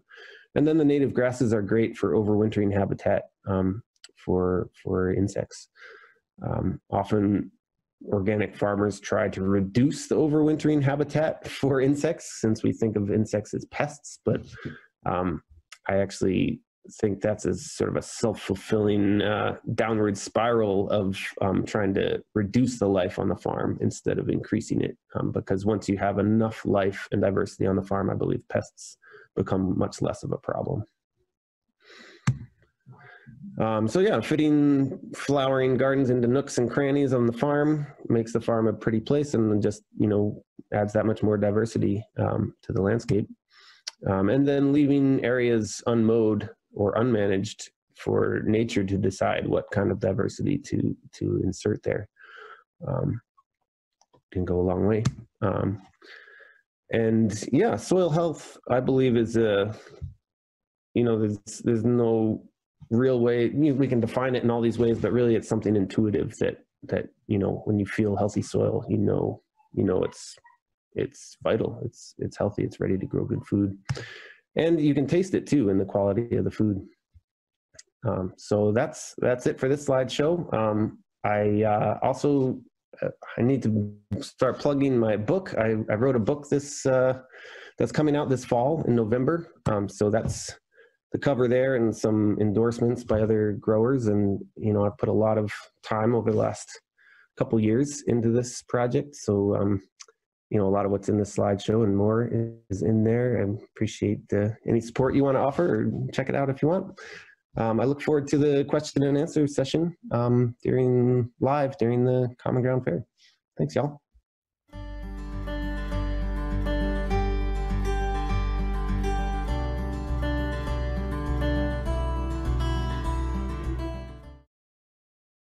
And welcome back. Thank you all for being here. And thank you, Daniel, for, for all of that wonderful uh, topic there, no-till gardening. This is Daniel Mays from Frith Farm, and he is here to answer any questions we have. And we've got a lot of questions. So I'm just gonna jump right in. Uh, Daniel, we have someone from uh, Facebook asking about silage tarps. Cynthia would like to know, how long does a silage tarp last? Yeah, good question. I've had some for as much as uh, four, five years now, and they're still holding strong. Um, so that's all I can say is at least four to five years. Um, I imagine I'm hoping I could get another four year, five years out of them. Great, and it's it's UV that breaks them down. I would assume. Yeah, I think it's UV, but they are treated for for UV. I think. Um, yeah. Great. Uh, we've got another question here from YouTube, and it's a little off topic, but um, specific to cabbage moth worms. Um, I guess storage cabbage, cabbage for storage sometimes can look great, but uh, cabbage moth worms, I don't know. That is a little off topic, but you probably dealt with it. Yeah, yeah, we get some cabbage moths. Um, I mean, yeah, I guess it the broader question of what do we do with pests, um, and if if there's a real pest pressure that I that develops, we'll use uh, row cover um, to just physically exclude pests. But for the most part, I um, I don't mind feeding a, a few bugs uh, as long as everything's kind of in balance and we're not losing you know a significant portion of the crop. So so yeah, like that cabbage in the in the slideshow didn't have any row cover on it ever, and um, you know we probably had a few cabbage loopers in there um, in the storage, and then we sort of you know cull those cabbages, cut off the bad parts, eat them ourselves. Um, but yeah, not much loss at all. Was this maybe a part of a concern that by not tilling, there's a issue with pests maintaining in the soil and we can't get around? Yeah, I think that's that's a great topic because I think that is a, a, a frequent concern um, with tillage sort of breaking up life cycle of pests. Um, but I would argue that it's also, and maybe even more so, breaking up life cycles of the good, the beneficial insects. Um, and the amphibians and everything else in that soil food web that can keep those pests in check in the long term. So I think breaking out of that cycle of, of you know, killing life in order to keep pests at bay can actually let the ecosystem start to develop and, and uh, you know, checks and balances build up so that pests aren't a huge problem. You know, they're not going to go away entirely, but at least there'll be a balance of, of predation and, and um, population control. Great. Um, so you you said earlier, and we can tell by the by the video that you you use every inch of your uh, few acres that you're cultivating there and, and growing. Um, I, this is probably a common problem for folks. Uh, beds and paths kind of migrate sometimes of their own accord. do, you, do you have some way to keep it all straight? A grid? I don't know. Uh, lasers? no, nothing nothing fancy. I mean, we do raise the beds um, you know, when we form them. Um, so, and then we mulch the pads with, with either leaves or wood chips. Um, so that, that will last, I find for three or four years.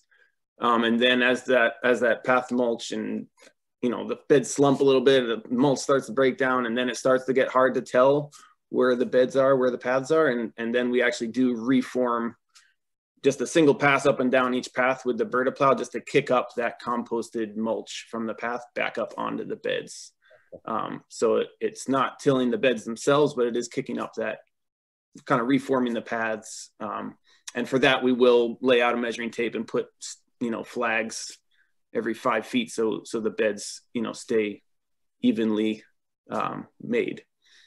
So the tape measure and the roll of string is a is a plenty of a tool, plenty to have in the toolbox. Yeah, so that's a good one. Uh, when you are forming beds, since you know we only do it every four years or so, uh, it's yeah nice to get them right so that the tarps and the row cover and everything's you know fits on them uniformly. And you said you raise up the beds, and I think there is some confusion about what exactly a raised bed is. Uh, a lot of folks seem to think it's a you know belt high construction, um, which some certainly are, but I use the term about raising beds up just to def define them from paths and, uh, and, and create a, a, the soil that I want to be working in. And I think that's often what people mean and others might receive that as, I need to make a huge thing. I need to make yeah. Yeah, I think I think there's what the term means in sort of a, a, backyard garden context versus in a you know farming commercially context. Um, you know, I'm a commercial farmer, so for me, it just means the beds are raised, you know, a couple inches above the the, the land as a whole, um, and we do that just by mounding the soil. There's no, you know, borders to them. Um, but in the backyard, sure, some people, you know, build a whole, you know, wooden box and fill it with soil. Um, those are also raised beds, but I'm not familiar with those. Yeah. So uh, this is a common question, uh, I think, to a lot of us that that use that use organic compost. Can you talk about your sources? I think we're all looking for more all the time. Yeah, this year was a weird one for sourcing uh, a lot of different things because um, with the pandemic, everybody, you know, there's a run on on compost, on seeds, on canning jars. Um, so a lot of those things have been hard to source. Um, but normally there are, you know, organic, uh, I think has a list of organic compost producers in Maine. There's maybe a, a dozen or so um, options. Um, I've bought a lot from Benson Farm in Gorham. Um, there's a newer company, uh, MB Bark, that, that supplies commercial compost. Um, we make some of our own compost too. It's a, you know, we don't have a commercial sifter um, or, you know, all the equipment to make, you know, perfectly weed-free compost. So ours is a, you know, a lower grade, but if you want that real finely sifted weed-free compost, you know, there are sources out there um, throughout the state. And for the other other sources like uh, wood chips and and leaves and stuff, a lot of that, are you getting that you're on your own property? yeah, yeah. So wood chips and leaves, some we get from our own property, but we get a lot from our just sort of local community here. We're we're in a somewhat suburban area, um, so lots of competition between humans and trees. Um, so there's a lot of byproducts of of uh, clearing and um, just maintaining power lines. So we get a lot of wood chips from landscapers, from the utility crew. Uh, we get leaves from our our local town uh, transfer station. Um, and yeah, and you and you know I've bought some straw in too from farmers up north. Yeah.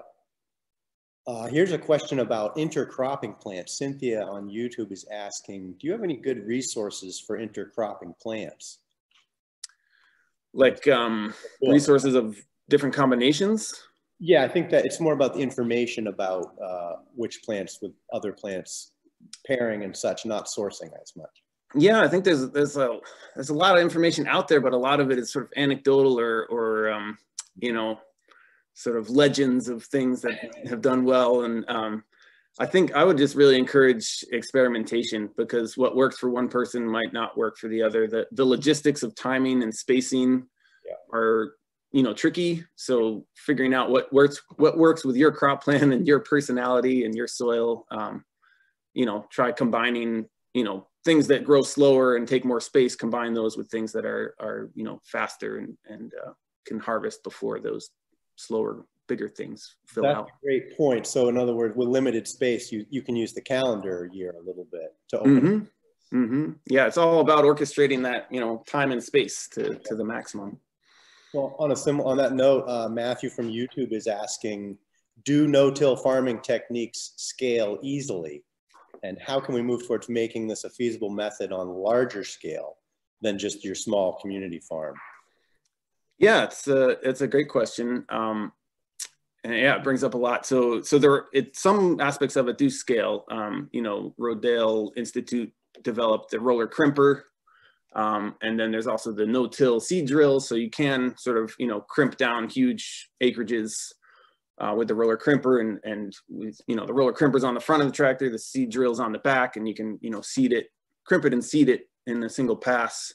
Um, there's real potential for that in grain growing and in sort of more commodity vegetable cropping, um, you know, large scales. Um, but in terms of, um, you know, I'm a believer in, in vegetable, you know, the market garden sort of small scale community based um, vegetable production. Vegetables don't store and ship well. They're better consumed, you know, fresh and and and I just love the you know community aspect. So that's very much my perspective. Um, but certain practices do scale up. And I would assume that in that that smaller end of the spectrum, like maybe going from uh, uh, several two foot beds to maybe like doing a half acre, that again, your experimentation, trial and error on your part, what fits your schedule, your lifestyle. Yeah, yeah. I mean, it certainly scales up. We grow on three acres, um, you know, pretty packed. So it certainly scales up that far and, and I, you know, farther. Um, but if once you start to get to tens and, you know, hundreds of acres, that's, that's sort of a whole different kind of farming. All right. Um, yeah, we have, you know, nine full-time people on three acres. So that's, that's kind of the, my magic ratio is three people per acre.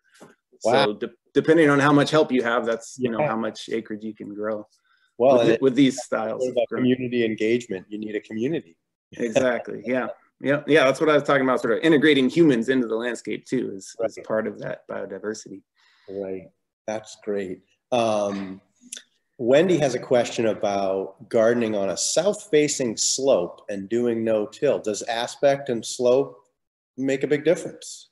I guess is the root of that question.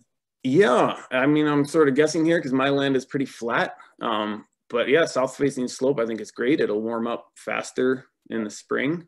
Um, depending on your soil type, you can decide whether you orient beds, you know, on contour or slightly pitched so that they, the soil drains, you know, down the paths.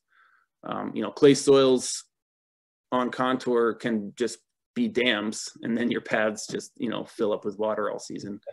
Um, so so yeah, but I, I see no no reason not to grow on a south facing slope. That sounds good. Uh, out of curiosity, have you noticed um, different responses in no-till growing in this year with this such a such a drought year? Are there are you, you finding advantages to the no-till system with water? Absolutely, yeah. That's one of the real selling points of no-till in my mind is um, you're not breaking up that soil structure, that that capillary action that can actually wick moisture up from deep down in the soil, those deep reserves. Um, you know, when we till that up and turn it to powder, that that you know we break that capillary action. So it, then we rely on overhead rain or irrigation instead of the earth itself. Um, you know, soaking up water to the plants. Yeah. Um, this is a good one. Penny from Facebook asks, "Where can we buy your book?"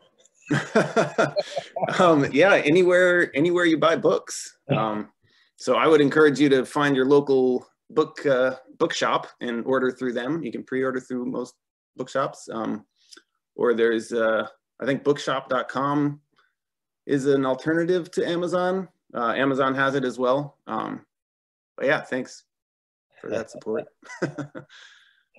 we don't want to give you all hard questions.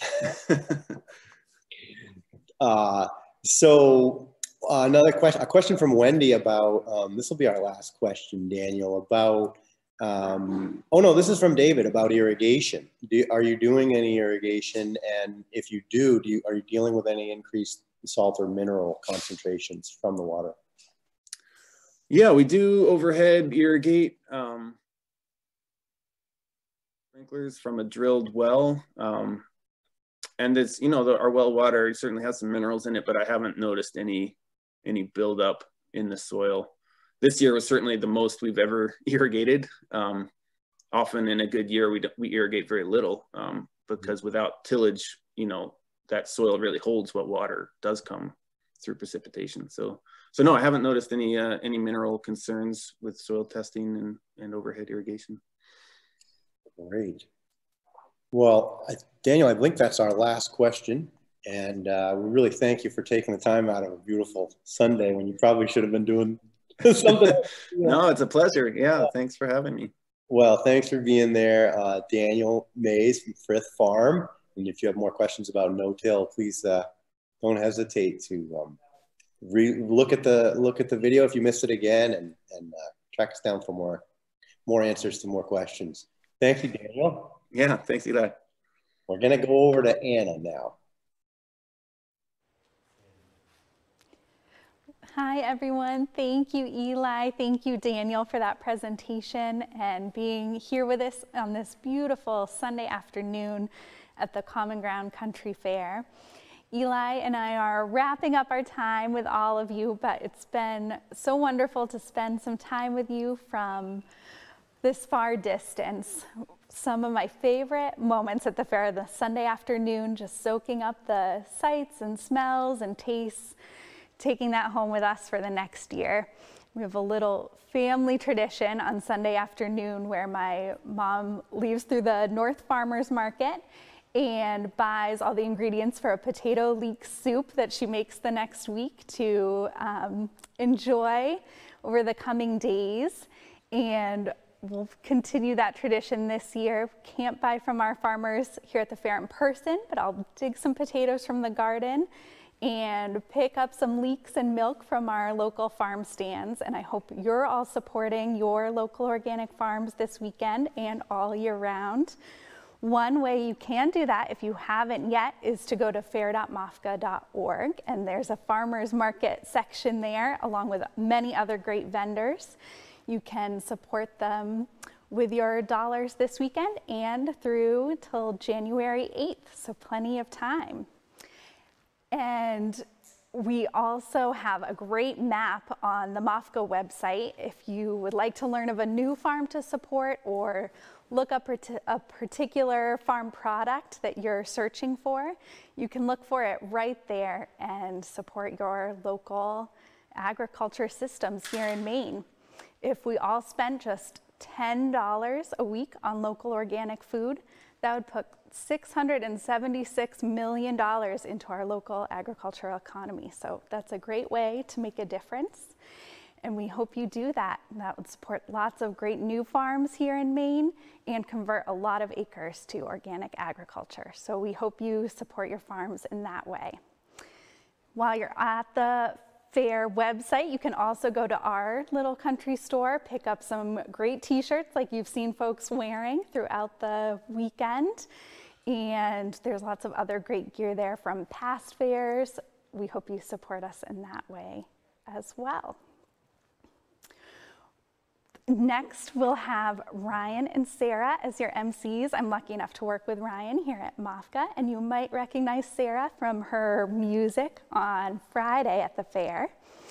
Before that, we'll have a presentation from Tim Libby, who volunteers with us here on our Low Impact Forestry Committee, one of many great volunteers we have working on the fair weekend and all year long here at MOFGA. So we thank him. We thank all of our other volunteers. When Tim's not with us here at MOFGA, he works for the Midcoast Conservancy, and you might have seen him at the Hidden Valley Nature Center. If you ever go for a walk or hike over there, he tends to the forest and cares for those many acres, so you might see a familiar face. This afternoon, he'll be demonstrating with his chainsaw how to fell a tree, so you'll learn some great information from him. Take that home to your own woodlot to cut some trees this fall and winter and he'll be here to answer your questions afterwards as well. So thank you to Tim and Ryan and Sarah. Thank you to all of you. If you haven't yet, the fair.mofga.org website will be up for many months, so go to the store and check out all the great educational content that's there for you as well. Thanks, and we'll go to Tim now. All right. I'm Tim Libby. I am involved with MOFGA's Low Impact Forestry Project, and this is the open face directional felling demo. Everything that you see here will be part of a larger chainsaw safety course. We offer two a year through MOFGA's Low Impact Forestry. If you are interested, check out MOFGA's website. Okay, so the first thing we talk about is our safety gear whenever using a chainsaw. Start with my Sawyer's helmet. It's completed with head protection, intact face shield, and hearing protection mounted right on it. It's very convenient. I have my cut resistant chaps on and I am wearing steel toe boots today, okay? With good heavy tread for traction, okay? The chainsaw itself all right, this is a modern, smaller style, professional size saw, but there are many models around like it. But there are a few very important safety uh, features that you should keep in mind. Number one, I think, is probably a working chain brake. Okay, the chain brake's designed to be engaged with two hands on the saw. Anytime you take a hand off the saw, the chain brake goes on, okay? Anytime I take more than two steps, I put the chain brake on, okay? Underneath, a chain catcher to shorten the distance of the chain in case it comes off the bar, all right? Throttle lock right here that, that works, working throttle lock. The only way you can engage the throttle is if you have your hand fully engaged around the rear hand hold. Forward hand hold is connected to the saw, okay? So those are a few important safety features of the saw, all right? So, when coming out into the woods to do our job out here, we want to take in all kinds of information all the time. Um, so one of the first things I like to do is assess what kind of hazards are in the area. And there's all kinds of hazards and uh, they can depend on the season. So a lot of a lot of forest work is done in the winter time, so there's often ice and snow, all right? Limbs on the ground, if you're working in the same area for a while, you might be piling slash up, so footing is often a problem. I always like to take a rugged stance and brace myself when I'm walking around, okay? Wind is a considerable hazard, all right? If uh, you see treetops swinging back and forth, you might decide that's not a good day to go work in the woods, all right? Uh, other trees, uh, trees in the way of your tree that you want to fell, those can be hazards. Dead standing trees or snags can also be hazards. If there was a snag or a dead tree leaning up against this one, I would have to take care of that first. Any tree in the radius of your, fell of your working area that is dead is also considered a hazard, okay? Large glacial erratics, uneven ground, logs in your direction of fall, those can all be hazards too, okay? Looking up at the tree itself, I don't see any considerable dead trees in the way. There's a popples next to us here that, has, that is partially dead, but I don't identify that to be a concern now. This is a pine. They often have dead, spindly, dry branches that can fall when the tree is moving. Those are a hazard, but when the tree actually does move, I will be away from it, okay? The workstation itself, I'm gonna to want to clean this up, but that can be part of the plan for later. So now, this is the tree here that we're gonna remove today, okay? And I want to know first, which way is this tree gonna go under its own power? Which way will it go with gravity? And I like to assess it from two vantage points as a quick, quick way. So if I stand here and look up, I can see that there is a slight lean in this direction, okay? And there is a slightly more branch load oriented in this direction. If I come over here about 90 degrees, I can see a small crook in it, but it evens itself out and is more or less straight here. And I still see a little bit of a branch load on that side of the tree. So maybe this tree would fall this way under its own power. It can be really hard to tell with pine, especially when it grows in close quarters with other pines around it. They tend to grow very straight. But I have a very cheap insurance here, okay? So if for whatever reason I misjudged which this way this tree will fall, I'm gonna put this in the tree and I'll show you how to ensure that it, this tree will go the way I want it to fall and I will not lose my saw in it. All right? So now I need to know which way I want this tree to go because it's not always going to go the way it wants to go because other trees can be in the way, might not be good access if you want to get a log out, or you might not want to drop it in the road or whatever and clean it up. So I want this tree to go this way and it does happen that it is going to go on our road here and I will have to clean it up, but that's the way it goes. So I'm going to get it to shoot between the canopies of these trees around it, all right? And I can aim, and I will. And I'm going to aim right through this canopy at a point out in the distance. I see a tree out there that I'm going to actually aim at, okay? And I can aim with my saw Many saws have witness marks on them that are either relieved or raised in it. I actually painted one on here. Okay, this is 90 degrees to my bar. So if my bar is cutting into the tree and my open face cuts, all right, I'm aiming, looking right down my avenue of fall, right at that thing in the distance that I've aimed at. And I can be pretty accurate, all right? So now that I know that this is my direction of fall here, as soon as I release this tree, I need to escape. So 45 degrees away from the direction of fall, okay? That way, it's gonna be about right here. I'm not gonna fuss too much with the angle, but I want to not get away from the tree directly behind it, 45 degrees away from its direction of fall. Three, four good steps. I'm behind a couple of large trees here. I will be safe when that tree begins to fall, okay? I will not be standing next to it watching. Okay. Now that I know all that, I can think about the cuts themselves. And this is a good thing to go over in your head before you make the cuts so that you know what they're going to look like. You try to shoot for that, and it's a good way to teach yourself. So there's a handful of cuts. The first cut is going to be a top cut. I'm going to cut this tree low because if it's a good tree, I'll get a log out of it, and I want to maximize. So like I said before, I'm aiming. So I'm going to start this tree, this cut at an angle like this because I don't want to go deep into the tree right now. And while I'm beginning my cut, I'm watching my aim until the bar gets deep enough into that cut that it's stable, and I'll stop at about 10% of the diameter of the tree. So if this tree is about 10 inches, which it might be, I'm gonna go in about an inch deep, all right? I don't need to go that much further.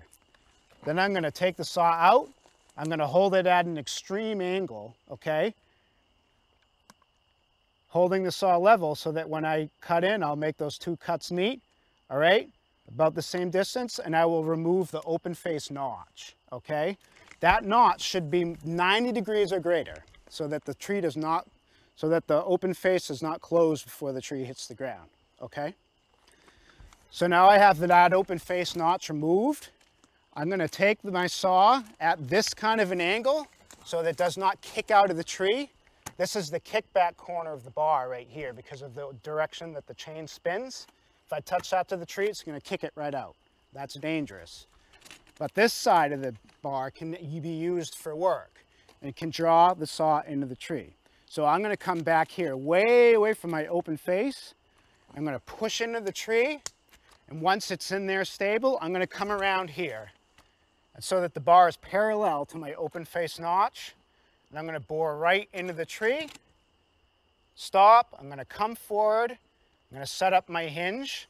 My hinge thickness, at least when looking at it from the side, is gonna be about 10% again, the diameter of the tree. So about an inch, okay? Then I'm gonna come back to about here. And I like to stop at an angle, all right? and then pull my saw out, leaving these fibers intact. I've severed all the fibers in the middle of the tree, except for in the hinge and this back strap here. Take the saw out, the tree's still stable and standing. I put in a wedge from back here at this angle, right? Because I'm gonna be working from here. If I need to drive this tree over the with the wedge, and I can if I need to, I'll have my axe right here I'll drive it right in, okay? So that was a lot. That's going to be hard to see, but I'm going to cut the tree down quick, and then we can take a look at the stump, okay? All right, so I'm going to start my cut. So first thing I'm going to do too, I didn't mention, clean up my workstation. If my footing is not good, I will work my way through. I'll remove small trees, I'll remove debris. This is in the way, I'll cut that down. All right, if it's a nice tree, I might actually do this kind of thing, but We've got plenty of little pines out here, so I'm gonna cut that and make my working area safe. All right, here we go. Start the saw with two hands on it. two points of contact, I put it under my leg like this, so it, no throw starts, okay?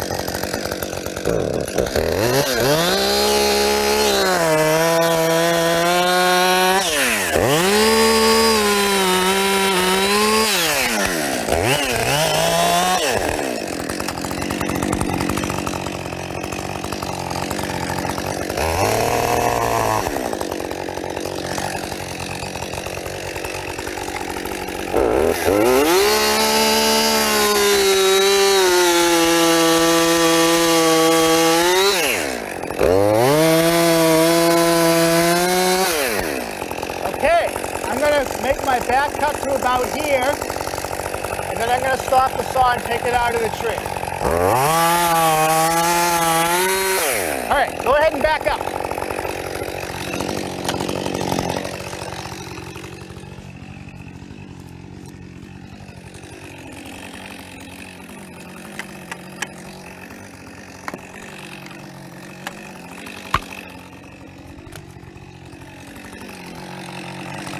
Now's a good time. Make sure everybody is in a safe place.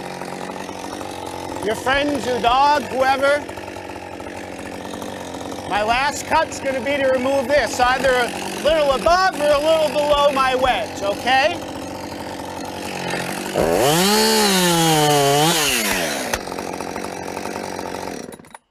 And there it goes.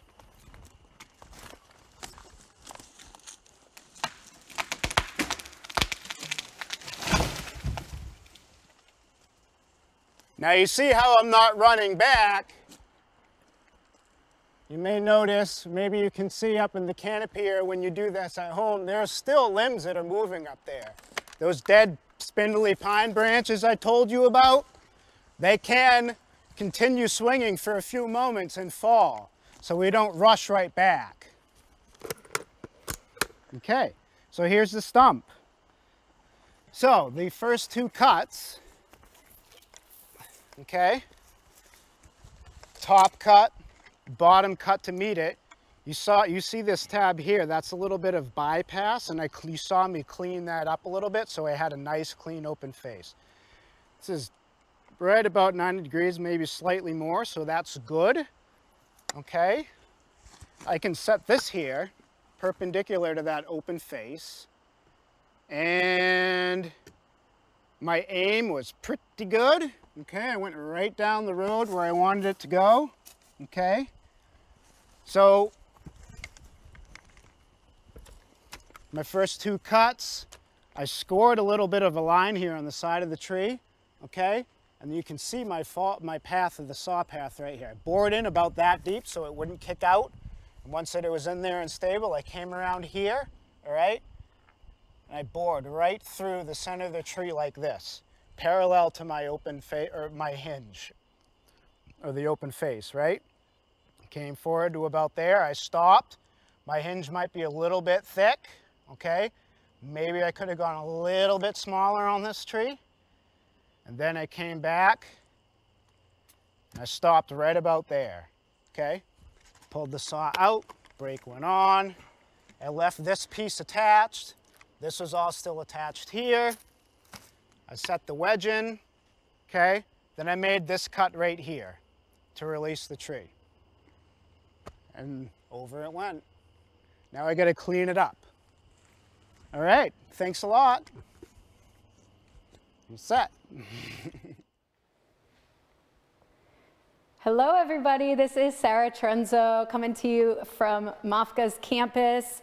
Um, thanks for sticking with us through that uh, great video about safely felling trees, which featured Tim Libby, who's here with us in the exhibition hall. Um, if you've got any questions following that video, um, either looking for more details or looking for a little bit more on that topic, you can go ahead and punch them in in the Facebook comments and we'll be able to answer them in real time with Tim right now. But for now, I just want to say, Tim, that was awesome. Great. This is a really, I think, really helpful video um, for getting folks the lay of the land of how they can manage some of their woodlot issues on their own and safely. That's the idea, yeah. So part of what you do with MOFGA, uh, I know you wear many hats in this community, but part of what you do is um, working with low impact forestry Mm-hmm. group. So can you talk a little bit about what the goals of that program are and what you guys are up to as the year progresses? Yeah, well, uh, we are approaching our traditional um, November uh, forestry workshops. Um, and we usually offer chainsaw safety uh, course, a mechanical logging course, a draft logging component, and uh, a introduction to forestry. So we usually that's November. We, we spend a lot of time getting ready for the fair um, and do felling demos for the fair as well. Cool. So those are programs to help people who are like beginner, advanced. Who are those programs for um, as they run? Anybody that wants that wants to get involved. Um, but we get a lot of uh, uh, landowners, new landowners, folks that want to learn. What I like to use the word responsible for stewardship. Mhm. Yeah. So for somebody that's um, totally new to using a chainsaw, to managing their woodlot, are, do you have some tips that you would share? I mean, I'm thinking in particular around things like safety or equipment needs that might um, keep somebody too intimidated to get into it on their own. Yeah. What are some of those first steps that people could take? Well, I think a great first step is the chainsaw safety course. Mhm. Um, and my, the felling demo I do is only a small component of it, but major component of chainsaw safety is the personal protective equipment. Mhm. And so that ranges from steel-toed boots or Kevlar line boots to Kevlar line cutting pants, cut resistant pants, and a Sawyer helmet system. Yep. All of it is stuff that we saw in the video. Yes. Um, and was that de- was that demo being done right here on MOFGA's woodlot? Yep, we have uh, woodlot. Yep, and uh, that's where the, the uh, felling demo was done. We have a, yep, we have a woodlot that's being managed with uh, low impact forest principles. I was just going to ask about that because um, for those of you who have been to MOFGA's campus, and I assume that a lot of you have when you're coming to the fair on a normal year, um, you can see like agricultural methods in demonstration on the campus and also some forestry methods in demonstration.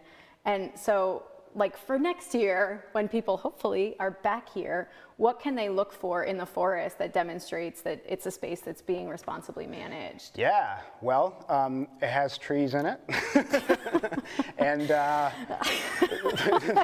the, uh, one of the gates into the fair is called the Pine Gate, and it goes through the pine lot. And um, it's a old pasture regenerated forest that we have thinned. And uh, one of the things that excites me about low impact forestry or the the methodology around it is uh, a continuously closed canopy as one of the forestry practices.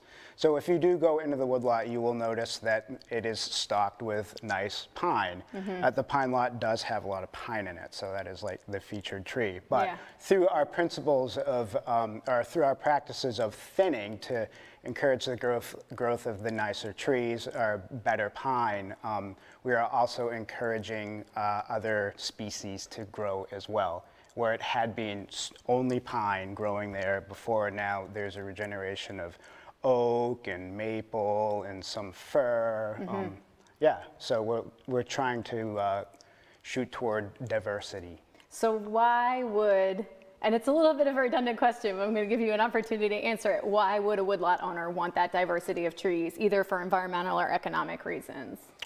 Both. Absolutely. A healthy forest is, is better off all around, in my opinion. Yeah.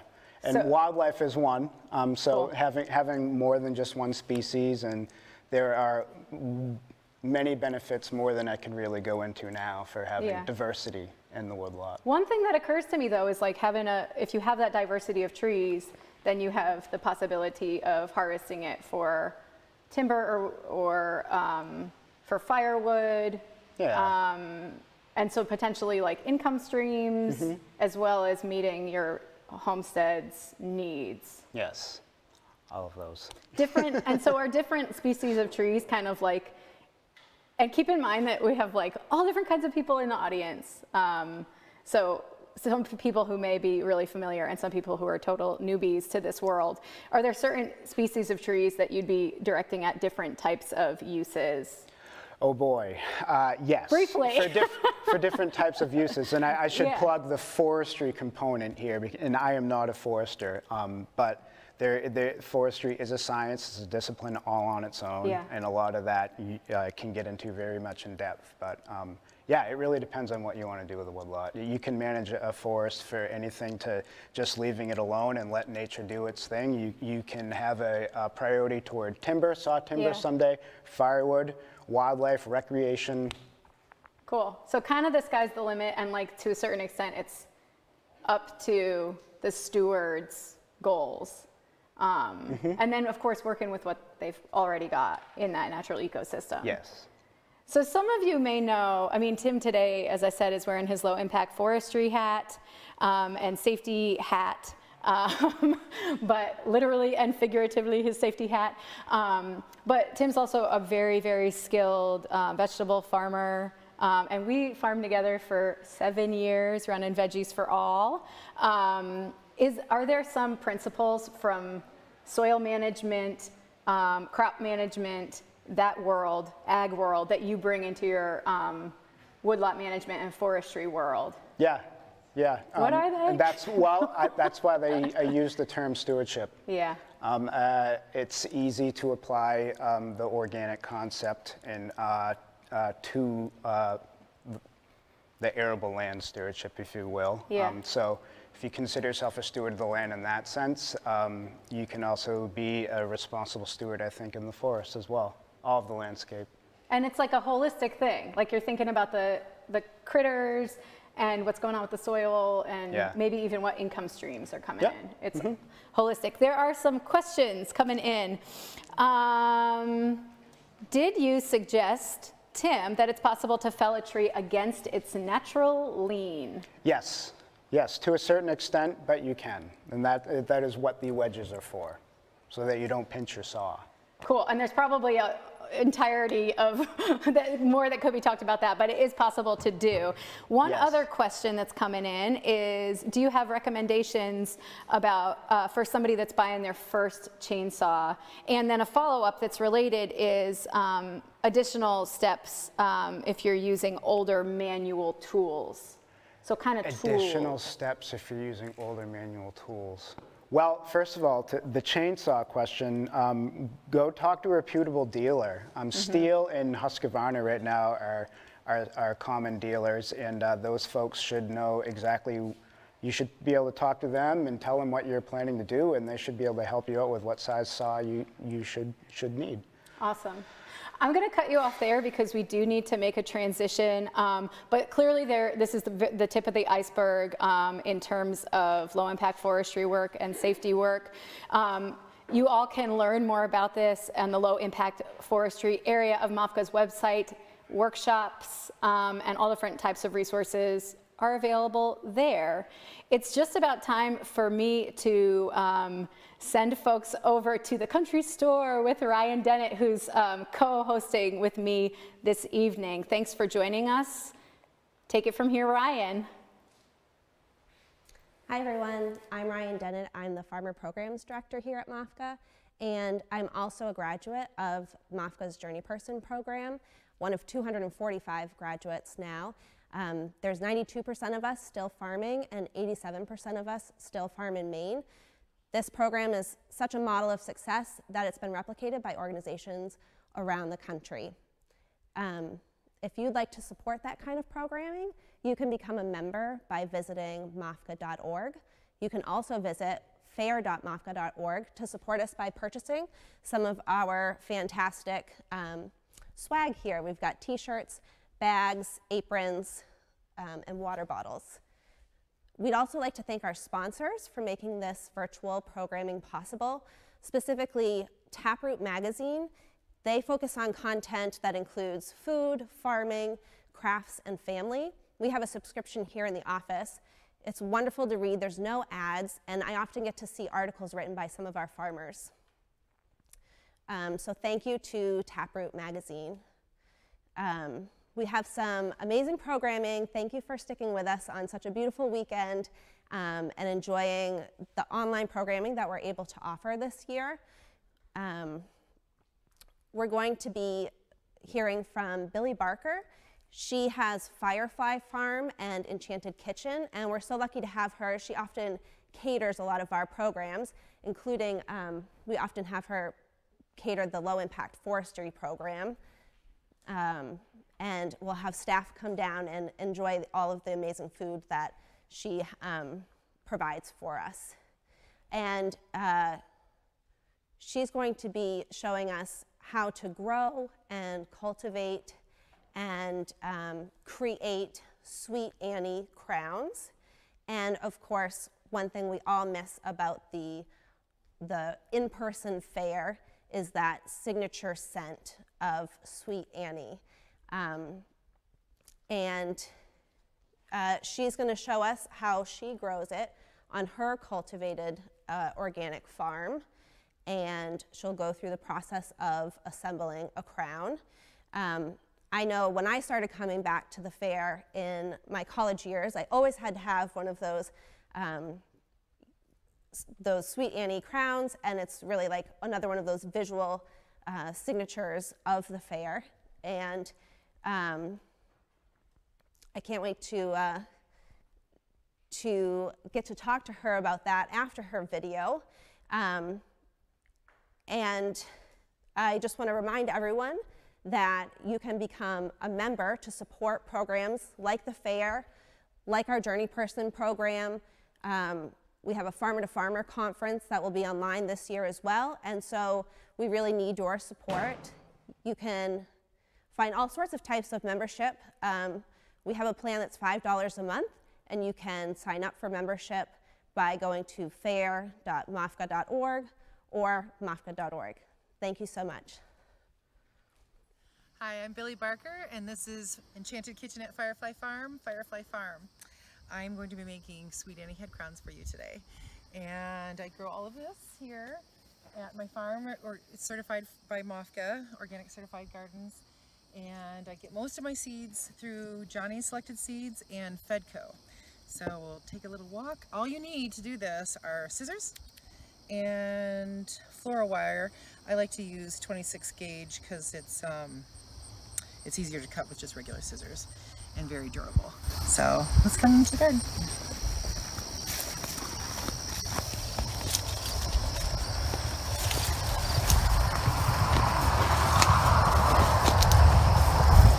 forest of tomatillo and torch flowers, sunflowers, and ground cherries.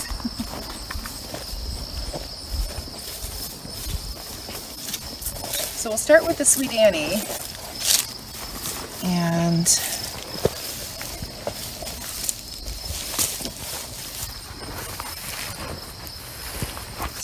Sweet Annie grows anywhere you want it to. It doesn't need really wonderful soil. It can grow in gravel. It likes good soil, but it will really grow anywhere. And you can start with it earlier in the year, or now it's kind of a yellow hue because it is starting to go to seed, and you probably won't ever need to plant it again. it definitely, it's an annual, but it likes to self-seed. So this is a more than enough amount for one crown.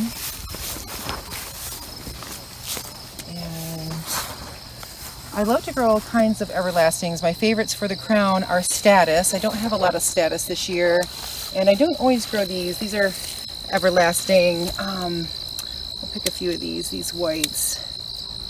These are called everlasting wings. I have to double check that. I didn't haven't grown these for a few years. And then celosia is such a, I love the vibrant colors. All of these everlastings hold their color. It's just so exciting that you can make a wreath now. All these magentas and these oranges and, and yellows, it's just amazing. And when we harvest these flowers for Common Ground Fair, we do it all on Thursday before the fair. So the fair being Friday, Saturday, Sunday, we do all the harvesting on Thursday, so everything's as fresh as can be. And these can use a few more weeks at the celosia.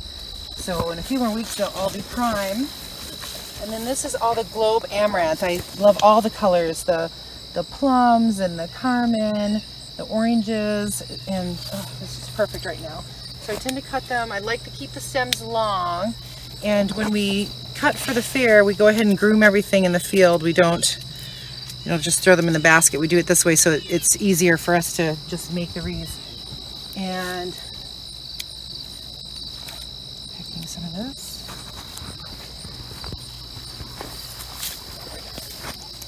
This is the one I grow the most of because I just love these colors. They, they just pop. And the backdrop, oh, actually, one more thing. The Nigella, or Love in a Mist. These are amazing. They almost look like the larkspur flower when they're in bloom. And then this is their seed pod. Like an alien bug. I just love them. And then the backdrop is the Hopi Amaranth. I just love this plant. Can go for a small piece, or if you want to be really bold, go for a larger. And again, I tend to just kind of clip all the leaves off while I'm in the field.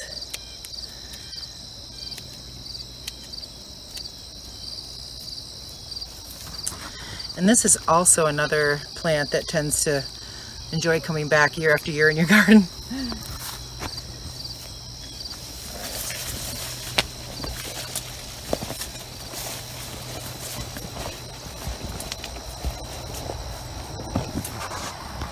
And you can use any flowers. I tend to use everlastings all the time for the fair because then people can enjoy the wreaths all year. But when I'm making them for family or weddings or events, I use any of the flowers. The sunflowers, the, the torch sunflowers are just brilliant. Maybe I'll cut one just to put,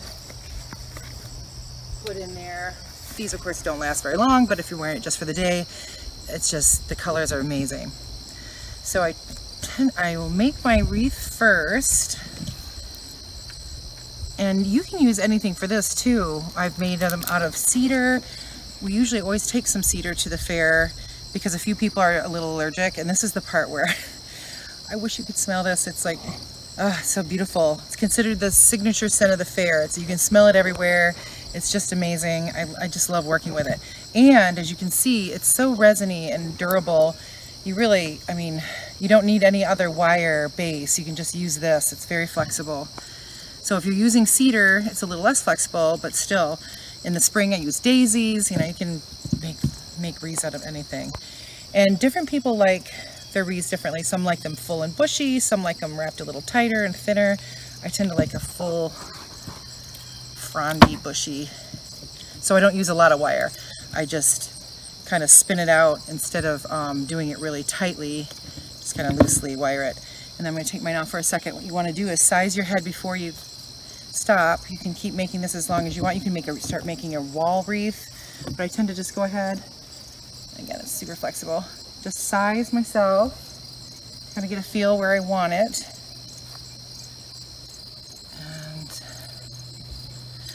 You want to go ahead and make it a little tighter than you think you want it because your body heat will make this stretch out a little bit. But you can also just make it tighter by um, cutting it, overlapping it, and, and, using some more wire. It's, it's actually, these are so easy to work with. Mine back on.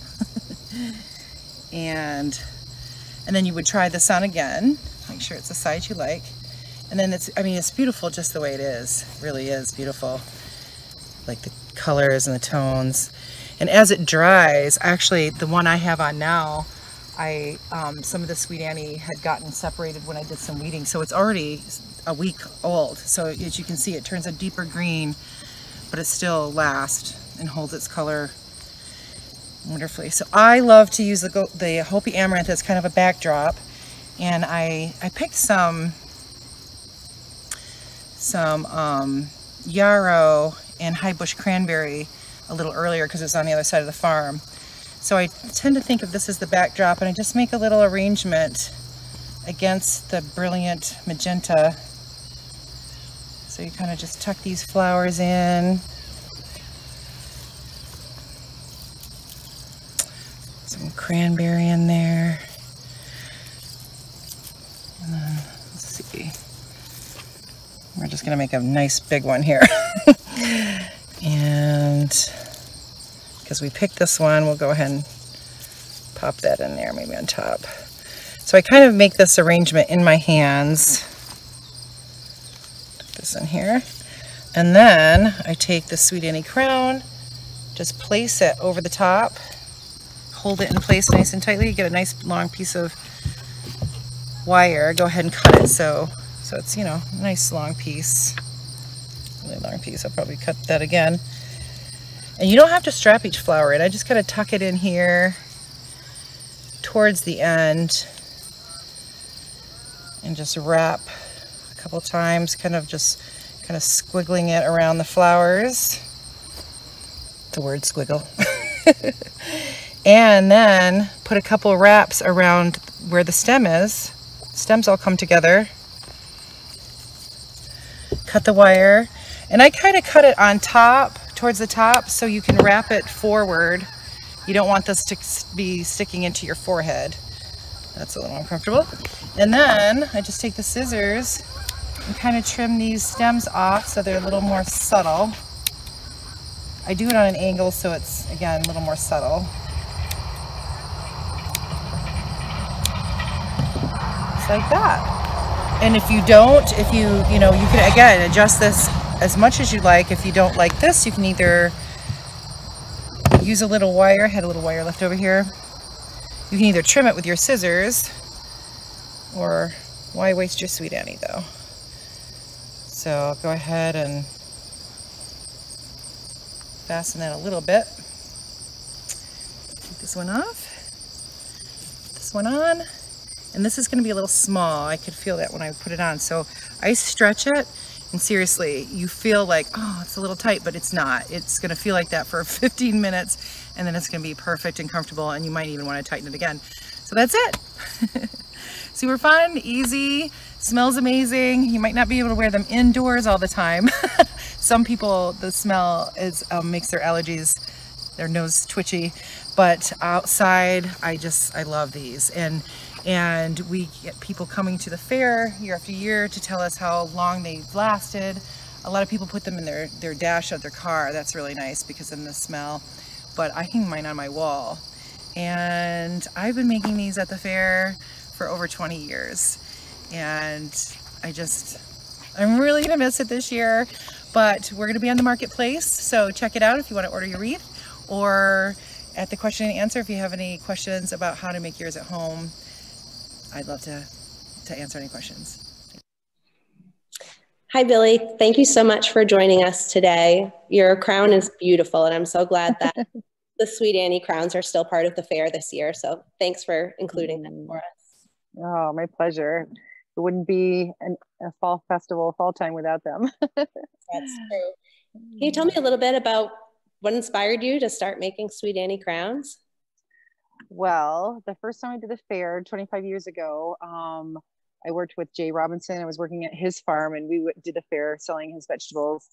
Me and um, two other women that worked on his farm that summer and we didn't have a tent or anything. It was rainy, and we just had our rain gear, and we were getting pretty wet and feeling pretty, you know, soggy. So I just spun up these Sweet Annie wreaths to wear and to brighten our mood. And people wanted to buy them, and we were like, well, you know, we just made them for ourselves. And but then a little light went off, and I thought, this is this is what I need to do. so that's how that's how it started. Oh, that's great.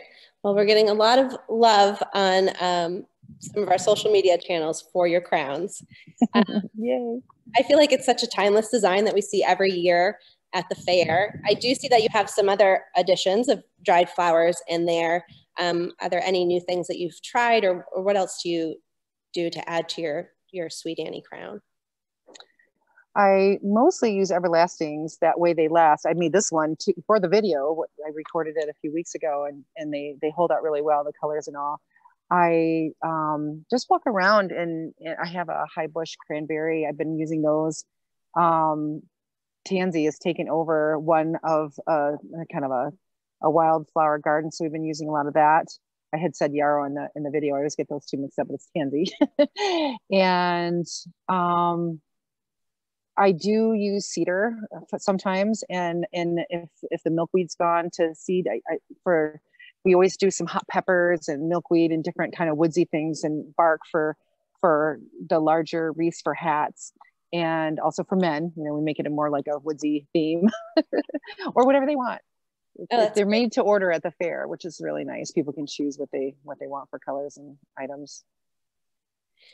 We have a question. Do you have any tips for drying the crowns and Sweet Annie in general? Mm-hmm.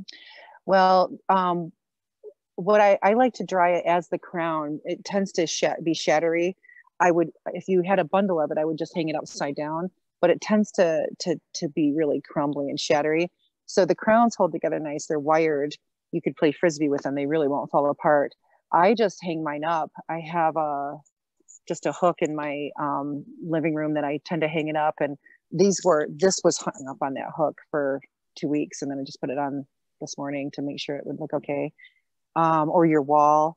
A lot of people tell us that's what they do with them through the years. And um, uh, some of the women that work with me, they just put them on their dashboard too, which is nice because then it, when you turn your heat on in the car, it kind of smells nice if it if it doesn't bother you to have it in close quarters like that, um, allergy wise. But um, yeah, yeah just they're very durable i mean really and and if you wanted to crumble a little piece and just throw on your wood stove or just you know that's that's nice too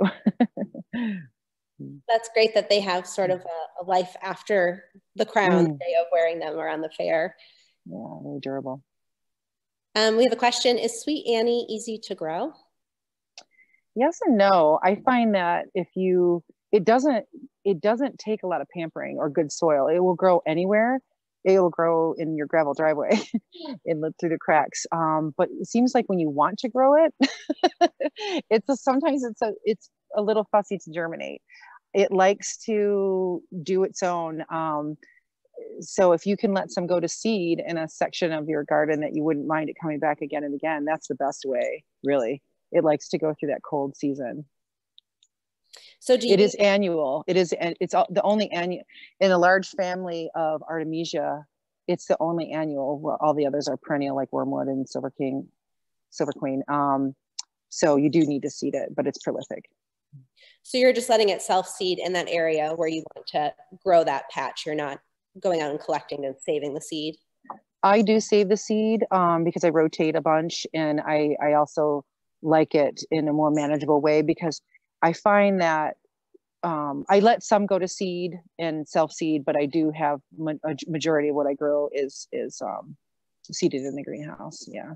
Mhm. And transplanted, yeah. Then I can manage where it is and rows and weeding and stuff. It tends to seed in a carpet, which um, which won't grow as tall as I'd like it. So, but but then you just need to thin it. So you just um, would work with it. But I, I it depends on the season sometimes when we harvest for common ground fair it's not to seed yet it's still really frondy and beautifully green still. But this year with the dry season i will definitely be um, having some self-seeded sweet annie. It's got it, it went to seed um, early which it's still beautiful it just has the um, it's more deep green and um, and the you know the little yellow yellow t- um, tinge i guess or hue to the the flowers How much do you harvest for a typical three day fair? I grow a plot of probably, oh, I'm trying to think. Um, I didn't grow as much this year, but typically it's a it's a whole length of my field, which is probably uh, close to probably 100 feet by um, six, yeah, 100 by six foot bed, and just as much in in um, in the the flowers, the um, everlasting flowers. And I have favorites. I I stopped growing um, star, uh, straw flowers. I just couldn't. They they just they're hard to work with. They shatter. They don't hold. They just don't hold themselves very well. So so I've given up on those. What are some good sort of entry level everlasting cultivated plants that you would suggest people try out? the globe amaranth um, and also the Hopi amaranthus burgundy. This is beautiful. And I often, that self seeds wonderfully too. And I, I don't often have to plant that because it grows so nicely on its own. And the birds love it. Like they're just all over it right now. It's, it's, they just love the seed. And so it seems a nice addition to the garden. but the globe amaranth and, and, um, and the Hopi is very prolific. You, you don't need very many plants either. They they they give you a lot for what what you plant. Um, another favorite is I love the Nigella, love and mist. I love those. They're just they're so much fun. They they look almost like they're a flower, like a lark, almost like a larkspur during the season, and then they grow into. I think I have some on this one. Oh, I'm on my phone, so I can't see as well. But um, like a alien bug with a little green wrap around it like a beetle. But um and those also you can save those for seed too. All these things you can save your own seed which is great you know once you purchase the seeds you'll have them forever.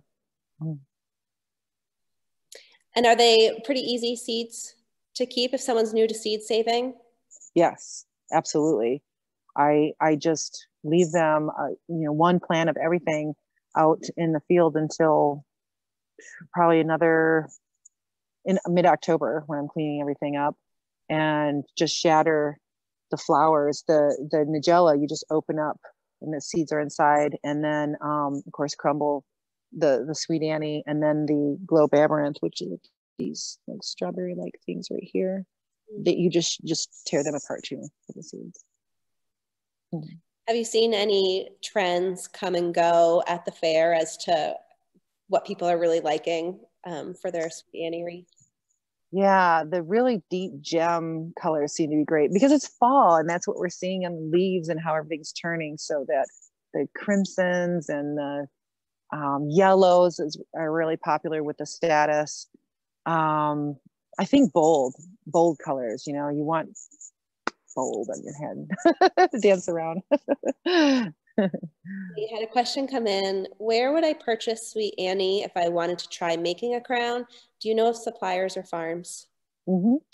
I get my seed from Fedco um, and also Johnny Selected Seeds. Both of them are always have it, really reliable grower seed seed um, companies, and and you can order online and you'll get it. If you're in Maine, you'll get it in three days, and um, anywhere else too. I'm sure they, they they usually get them out within 24 hours to you. It's really nice, quick turnaround. That's great. Um, do you, pri you primarily, I assume, grow the everlastings for the crowns at the fair? Are there any other sort of products that you use your everlasting flowers for? Pretty much always the crowns, and um, I will get some wedding parties that will ask me to make crowns for them. Um, besides the fair and some baby blessings and little you know crowns for newborns um, but that's pretty pretty much it I, some people want wreaths and I love making wreaths also. I, I, it's pretty much the same except a more bushy um, base with the with the sweet Annie, and then of course you're you're putting the the flowers on them on the side instead of just the front. But yeah, yeah, the fair the fair is the priority for them for sure. And, but it's nice to always have some around. Um, some people like to get the scraps of sweet Annie from me afterwards. They put some, they stuff them in their dog beds um, for yeah, or make satchels and different things with just the pieces. You make little satchels. When growing Sweet Annie, when is it typically ready to harvest and how long can you harvest it? You can harvest it right up for the frost. I did cover, we, you know, we had a couple nights there of frost, so I covered it and it's resilient. It, it did well under, under just the Reemay cover. Um, I love to harvest it when it's still really green and resiny. It's very resiny. That's why it holds its scent so long. And um, I just love it when it's that ferny, frondy. Like now, it's it is in its post state, um, but it's still great to work with. It's just a little drier, and but again, it's it's so bendy. You don't. I don't use a frame for them when I make a wreath even a wall wreath it just it's you can just bend it the way you want it and just wire it and it holds its shape that way which is great um, but yeah all stages i think probably the latest i would do it if you didn't cover it i would want to get it in before a hard freeze because if it does get a hard freeze it just turns really dark like almost a black color and it does lose its scent now, it sounds like in addition to cultivating some of these everlasting flowers, you do use some wild plants in your crowns. Do you have any tips for selecting um, or harvesting those plants for your crown? Um, the time of year, or, or the? Uh, what kinds of plants are you using? Where are you finding them? Are there certain mm -hmm. parts that you're harvesting? Mm -hmm. I like to use, I like to harvest them when we do the fair, we harvest everything on Thursday um, before the fair. I really like to work with the stems where they're still green. Uh, they're flexible, they hold well. And once they're wired in place, then they stay. I find that if you, you have to harvest the statice though all summer long, you, I harvest them when they're when they're ready, which is just looking at them and going, yeah, that's ready, and and um and dry them. But then, but when you work with everlastings, once they're dry, they're kind of prickery. so it's it's so much nicer to to work with them fresh. And like I said, they hold they they dry so well in the. You, you don't have to work with work with worry about it after that. The um, milkweed I would be harvesting now, and um, the high bush cranberry beautiful. Now I, I harvested some early for making this and they were half like yellow and half um, red but now they in the wreath they turned full red. And yeah the everything's yeah pretty like i said the only thing i really harvest before thursday of the fair is the statice. i just walk around the farm and collect things that look pretty. Hmm Do you have any advice for making winter crowns? Have you ever used pine bows? Mm-hmm. Pine bows and cedar. Cedar works really nice too. I love actually I love working with cedar and and I'll put pine in there um, because they're really the stems are also really bendy. And what I tend to do is um, bunch them up smaller. So you're starting with a bunch maybe no no taller than I'm sorry I'm holding my phone in my other hand so as tall as your hand so like not five six foot and and you just overlap. So you take a bundle and then overlap your next bundle and just be wiring it as you go. So it's almost like you're making um, a, just a, a cord and till you get the, the length that you need, it's beautiful. And, and then in the winter, I've done some winter wreaths. I'll use milkweed and some, you know, the berry, the different berries. Um, and I, in my field, I have some red osier so in the winter, if it's young red osier dogwood, the tips are nice and red and beautiful once the leaves drop. Those are beautiful in the wreath too. Just kind of stick them in little places. It's just beautiful. and are those something that you typically make for sale? Mm. I do on request. I, I tend to make them mostly for gifts and friends, but yeah, any special orders. I'm just wondering if you can tell us um, where people could find Sweet Annie crowns this year or some of the winter crowns that you make. Yep. I have, I'm on the marketplace, um, the MOFGA marketplace. And if you just search Sweet Annie, I'll come up in there. I, we did a couple test runs and I pop up. And so, yeah, find me there. You can also just message me on Facebook, Billi Barker.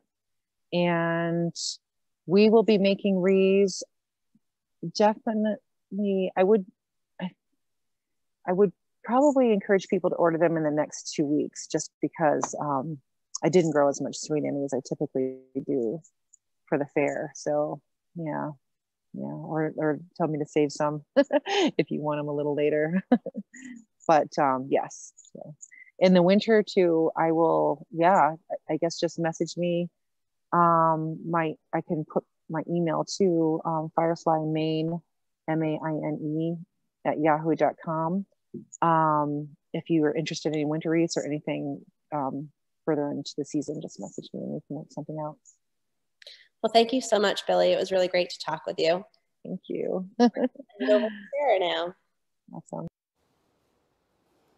Hey everybody, this is Sarah Trenzo again coming to you from the MOFGA Country Store. Um, thanks so much Ryan for um, hosting Billi Barker, a Common Ground Fair staple, um, both her crowns and her food. Um, just great to see her face and, and kind of a little bit breaks your heart too because it makes you think of all the other people and food and products that we're going to have to uh, miss out on seeing this year. But as Billi just mentioned um, in her presentation, she's got products in the marketplace Tons of other vendors have products in the marketplace. So that's something that if you're feeling a little bit itchy for Common Ground Fair celebration feeling, um, you can check things out there. Uh, not only you know is it a way for you to bring home some of those items, but obviously this is a year that's going to be tough for every small business owner and farmer that you know. Um, so it's a really good time, I think, for us to be kind of putting our our money where our mouth is and investing in our neighbors' businesses, folks like Billi, folks like Herbal Revolution, um, and all the other variety of farmers that you know and love, that you, and craftspeople that you know and love that come and do business at Common Ground Fair and, and build community here.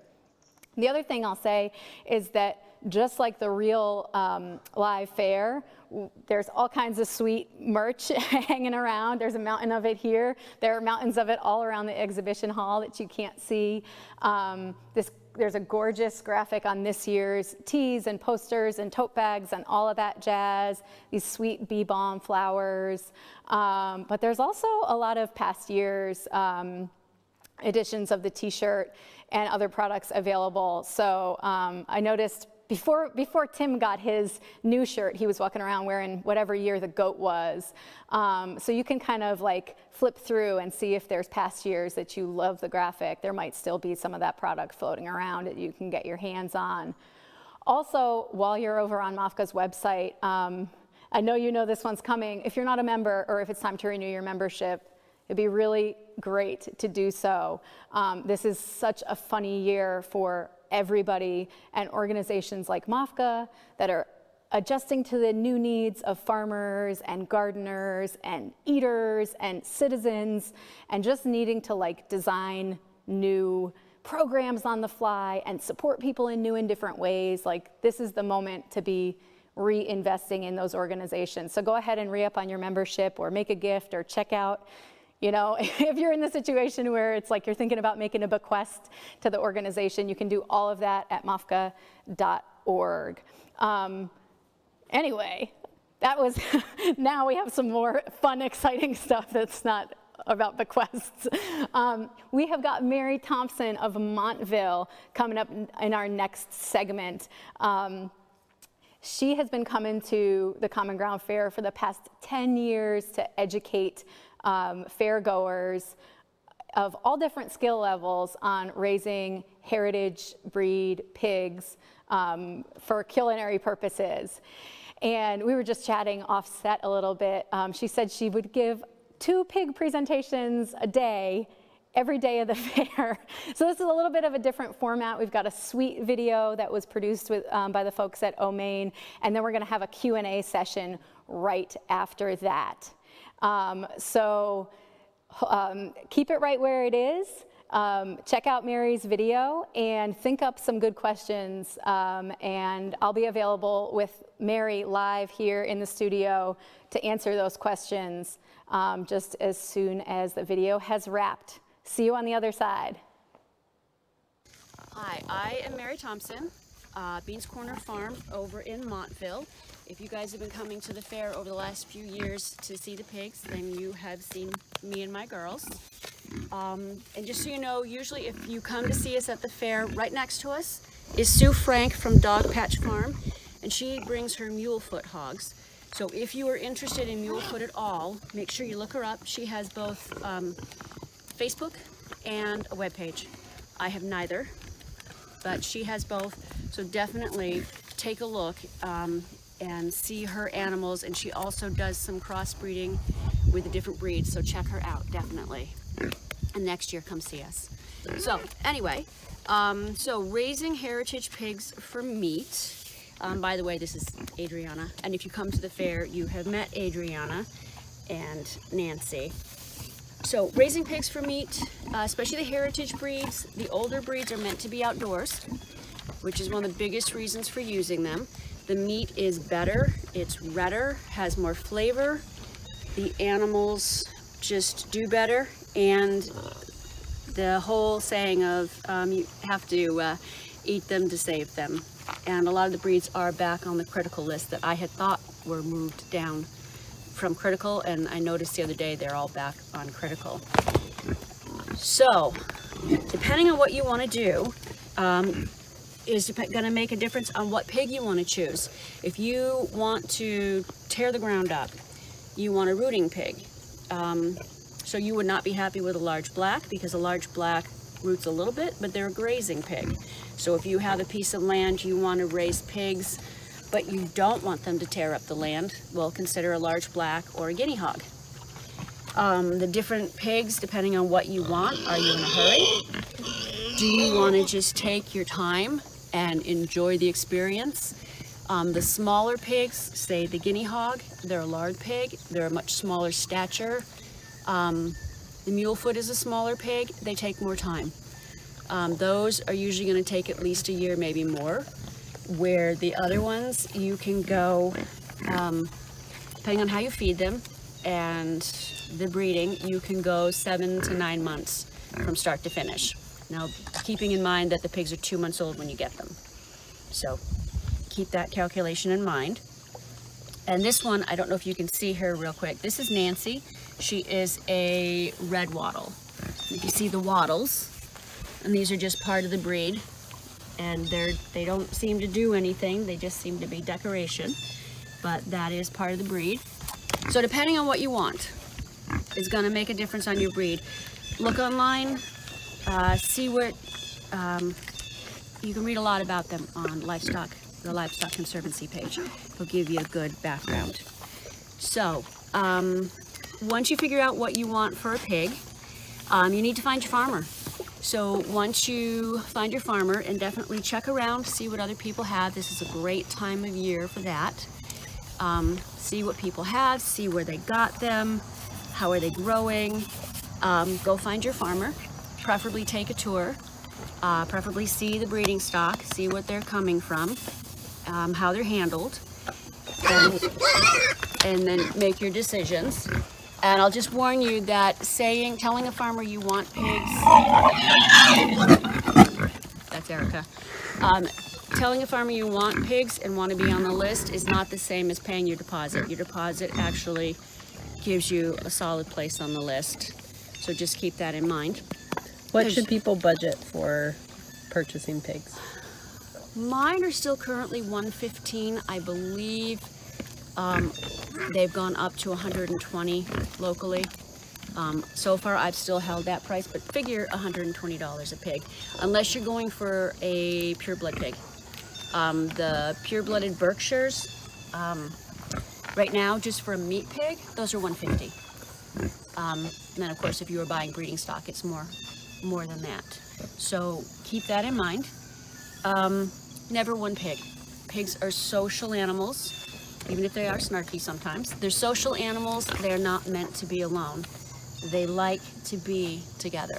Even on a hot, sunny day, you'll see them, you know, laying down and touching each other. They just like to be together.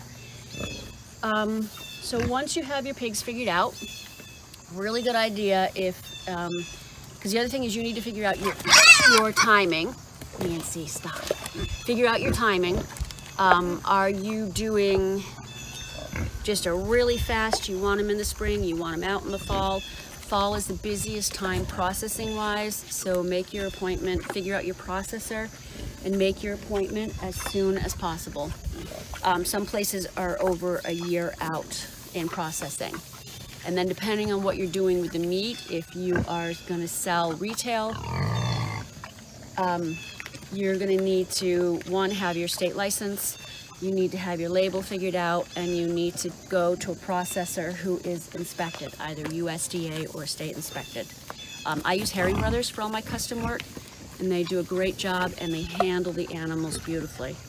Because that is one really important thing when you figure out a processor. Again, go check it out. Um, and make sure it's not a place that puts the pigs all in one air. Make sure they don't put all the pigs in one um, one corral. You absolutely don't want that. There's always going to be Nancy, be nice. There's always going to be a pig who's dominant. First of all, you just don't want to mix pigs like that. And there's going to be a pig who's dominant who beats on the others. And all the work you've done to have a nice, happy, healthy, stress-free pig is undone at that point. So that's really important. Nancy, stop. stop it. Okay, so once you figure out your pigs and figure out your processing dates, Nancy, um, you're gonna wanna figure out your fencing and your housing. Fencing can be as simple as hog panels. I've seen people using pallets. Um, for me personally, the more space, the better. Um, I have acres for the pigs to run around and play in. Um, if you're going to use a small space, you need to keep it clean. If, if you can move it, that's best. Um, but if you can't move it, you've got to keep it clean. You've got to clean the manure out of it. Um, if you're feeding um, slop or anything like that, make sure you're feeding it in a dish because it makes everything really rancid and stinky, draws bees. Um, the manure is going to draw flies. You just, it's not good for you. It's not good for the pig. Um, the smaller the space, the more bored the pig is. A bored pig has lots of time to devise ways to get out. So, you know, try to give them as much space as you can. The other thing is they're going to compact the soil. Um, if you get rainy weather, it's going to mud up really bad. And then when it dries, each time it goes through that cycle, it's going to get harder and harder. So if you're planning on turning that into a vegetable garden, might get a little a little harder than you were planning on. So if you can move them eh, when you have a small space, that's better. Uh, fencing options is um, I started out with a uh, net fence, an electric net fence. And that's really handy if you're not in a spot with a lot of things to get caught on. When you're ready to move it, just feed the pigs up at the edge where you want to go.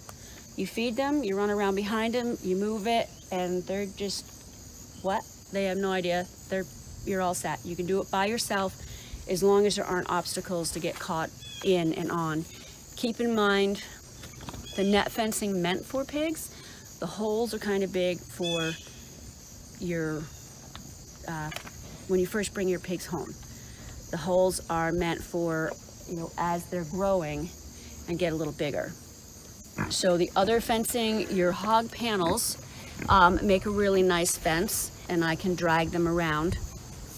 When they're younger, um, you don't have to get too crazy with uh, fence posts, but um, as they get bigger, you're gonna want the posts to keep them from just pushing through the fencing.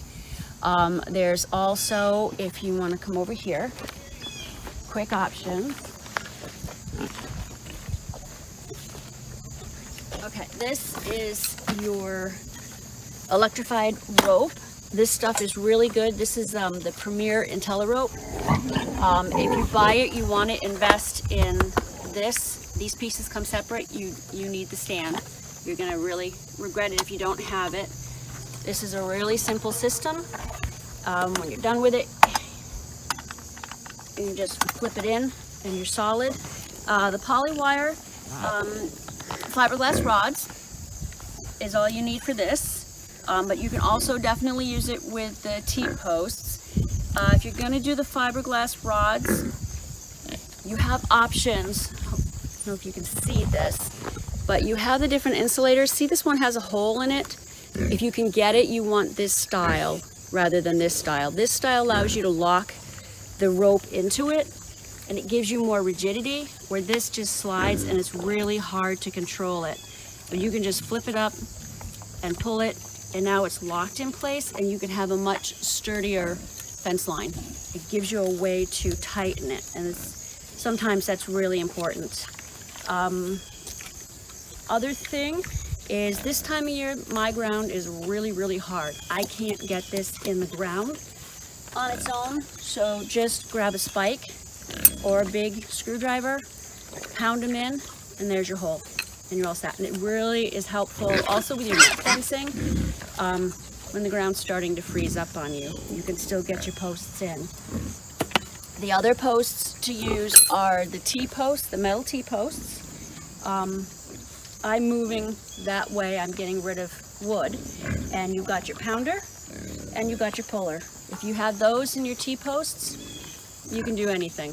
Okay, so housing wise, those I mean those are just basic basic, but housing wise, um, over here, I can show you. This is just a, and if you want to just show it, this is just be right now that is a cattle panel, and it's for shade because I have another structure. But if I want to turn that into a house, all I have to do is add another panel to it and I can close in the, the ends with lumber or whatever you have handy and obviously tarp it farther and now you've got a structure and if you want to move it you just pop the uh, posts out with your handy dandy post puller set it in another place and you're all set I will warn you just keep it on a higher spot um, otherwise if you have a lot of rain the water will go in and of course the pigs have dug a nice hole so they're going to be wet. Um, in the spring it's really important you need the pigs, your young pigs need dry and out of the wind. They're still susceptible to pneumonia at that age and of course it's usually spring and if we have a wet cold spring you're going to have the potential for more problems so just make sure that they can be dry and out of the wind and you'll be much happier. The structure, um, I built this. There are four stalls, um, and then what I'm attempting on the different buildings is there's eventually going to be extensions coming off so that the pigs also have an outdoor area during the winter months. And it's really helpful when you have piglets and stuff to be able to keep them controlled, let them outside, but have some control. But the pad that he's standing on, that actually is a grant from NRCS. It's a heavy use pad to help um, keep the animals from destroying the ground in wet weather. Um, and it's, it's really helpful to have a, a place to feed and water when it's really, really muddy and really nasty. And because the, the ground just gets churned up so fast. Uh, the solar panels are for my electric charger to run the fence lines. Um, and those panels are supposed to be, what do they call them, amorphous? So they're supposed to also charge in low light. So we'll see how that goes this winter. Because there's nothing better than coming out and finding out your charge is down. And the pigs are going, hey. so once you have an idea of how and where, um, when you go to pick up your pigs, first you need a decent sized container. Um, not a small carrier, you need a carrier. Pigs are always bigger than you think they are. Um, the metal dog crates work really well. If you're going to put them in the back of a pickup truck, um, just make sure that if you have a cap on it, if there are screened windows, that those windows are more than just screen. Pigs can go through the window and have. Um, you need to make sure you have a cover. If you don't have a cap, whatever crate or something you're using needs a cover. Pigs jump. Mine are really good at jumping. Um, make sure any openings are not overly large. You want small. Pigs are like mice. They can stick themselves through openings you'd be surprised of. Um, the other part is have a plan so when you get home and you're unloading, first you don't want to just let your pigs loose. You want to keep them confined for the first few days. You need to make friends with them. And the other part is even if they know electric fencing, they're scared and they are going to go through that fence. And you want to avoid any of those problems. So just plan on having a way to confine them behind something solid for at least the first few days while they calm down. They get used to you. You're going to bribe them with treats to make friends start handling them because you really want to socialize your pigs. Um, so that's really important the first week. So now if you are coming, say you got them in the pickup truck, how are you getting them from the pickup truck to their structure? Just think about all these things in advance so you don't end up, say you open up that big old tailgate and there goes a pig. So just think it all through and try to do everything you can to minimize um, the stress on the pigs because they're already stressed and so it's guaranteed that they are going to be having diarrhea for the first few days because as soon as you start grabbing them and hauling them around that's one of the things that happens. Should go away in a couple of days but also bear in mind that you're changing their food. So there's going to be a little upset there. They may be off their food for the first day a little freaked out. Uh, if you need it um, pumpkin is is helpful for uh, diarrhea. But after a few days, everything should be fine. If it's not, then you might want to um, provide some kind of electrolytes or something just to make sure that they're not having too much of an issue. Um, once you've made friends with your pigs, now the other thing is, okay, my pigs know the electric but they also, when you go to move them, they are throwing themselves through things. So don't assume that the pigs you've picked up, because they know electric, that you're not going to have a problem. Say mine are behind high tensile. High tensile is not the same as net fencing. Net fencing gives, and the pigs are going to be going through it. Are they going to get tangled? You need to make sure that they've learned, you've taught them your fence system before you let them loose. So something like that, um, put something solid behind it. So when the pigs go into it, they can't get through. They'll get zapped and they can't get through until they learn. And then you take away that danger of them getting tangled in the fence and you're not there to deal with it. So just try to think it all through. um, a really easy way is when you first start out, just a hot wire in the bottom of whatever enclosure you're using. And that's a good teaching, teaching tool. Feeding time. Piggers! Pigger pigs! Hey, come here. Now, feeding, I use a, what they call a complete ration. I get the pig pellets. Feed them in a line. Just make a nice straight line. Don't make piles because again, one pig is going to take over that pile and stop the other pigs from eating. I like the pellets because I can feed it directly on the ground in dry weather. So if I am out trying to um, clean up a, a piece of land, I'll just broadcast the pellets where I want them to clear it, and they'll just keep going back all day long looking for more food. Um, I don't like mash because I find mash very wasteful. Um, it's basically a dry powder. If you get it wet, you need, that's better for the pigs. You waste less, but you need food dishes. Um, you can't really broadcast it. If you feed it dry, if you ever watch the pigs try to eat it, they're just trying to eat powder. So make sure that there is fresh water right nearby because they're going to go back and forth and they're going to just muck that water up nasty. So you're going to want to give them another fresh water shortly thereafter. Um, pigs love treats, absolutely. This time of year, all the leftover produce, all those different things are perfect.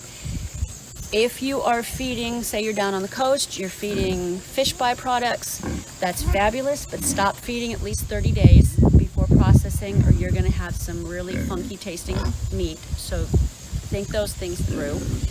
Pasture, the more pasture you can give them, the more forage, great, but you still need to feed them. Protein and their minerals, um, and they're not meant, they're not ruminants. So they do need more than just pasture. And now, of course, the more space you have, and that gives them more things to eat. Okay, so water. They absolutely have to have fresh, clean water. Um, they go through multiple gallons a day per pig. I don't remember the amount. You can look that up. But water dishes, um, there's a, an array of dishes you can make over here out of barrels. Keep in mind that when you're when you first bring home your your pigs, they're going to be short and small. So something this tall and rigid, they're going to have a hard time getting to the water if it's not completely full. So a shorter one is easier. The rubber buckets are bendable. Um, they're also really, really easy to tip over, so you're going to be wasting a lot more water with those. The barrel cut in half makes a great water container. Make sure you put wood around the sides because they will collapse. Well, they will eventually break it, but that works really good. Um, best choice of all is over here. That is the 55 gallon Rubbermaid container. They're expensive, but they're worth every penny. How to get an estimate on the weight of your pig. So you're gonna, you're gonna tape them, and you can look this up online, or it's in the like the Storey's guide to raising pigs and stuff. It is heart girth times heart girth times length divided by 400 and that gives you an estimate of your live weight. If you take that number and multiply it by 72%, now you have an estimate of your hanging weight, um, which is what you're charged for at the processor. And bear in mind, your hanging weight is not going to be your end weight as of what you're getting back in product. So don't think that, you know, I have a 250 pound hanging weight, I should have 250 pounds in meat. Just keep that in mind because that includes, hanging weight includes bone, you know, bone and fat and all of those things. So um, get yourself a handy dandy tape, obviously, and um, usually I do this while they're eating or while they're hanging out. This is another reason to make friends with your pigs because otherwise it's an absolute rodeo. So let's see if I can get Nancy here. So heart girth is right behind, right behind the back of the legs, coming up. So Nancy, that's 59 inches. Usually the length is from behind the ears to the top of the tail, but that's meant if the pig is standing straight, which obviously they're not. So come up, you know, I don't know, four inches or so. Hang on a second. Nancy, come here. so come back a few inches to, to, to Nancy, seriously, come here. Okay, so, and sometimes you just have to be really quick. All right, so 57.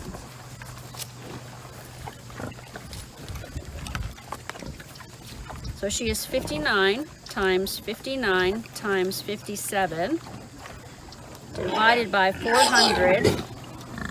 So Nancy is approximately 496 pounds.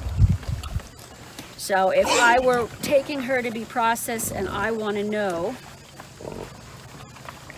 what her hanging weight's going to be, and that's not it. Whoops. 500 times 2%. Okay, so her hanging weight is going to be around 360. So if I were turning her into sausage, I would expect to get back half of that as finished product because now there is no bone or anything involved. Um, and bear in mind too, on your smoking, that say you have 20 pounds of meat being smoked, your end product is going to weigh less. You're still being charged on the 20 pounds, but your end product weighs less. So don't freak out and think you're being shorted on meat. It's just that's the way it works out. And again, you can look that up online. You can Google that and you'll find that information. Okay, so really, really important. Um, what are you transporting in? If you are going to use a utility trailer, an enclosed utility trailer that is not meant for livestock, does not have air openings, do not do that in the summer. Pigs have arrived at the processing plants dead or nearly dead because you just, you can't do that. There's no way for them to breathe.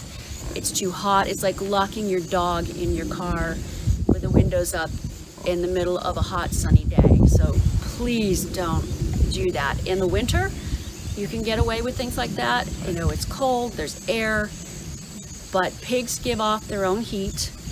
And a situation like that, if you can't be in there and not be in danger, neither can they. So please don't do that. Um, the other thing is if you are using your truck, I've been at the processor and I've seen this where especially trucks today are really tall. However you got your pig into the truck, you get to the processor, you need a plan to get the pig out of the truck. That's not the processor's responsibility. And if your truck is up here and the floor is down there, how are the pigs getting down? I mean, the processor's in a hurry. They're gonna grab that pig, pull it off the truck.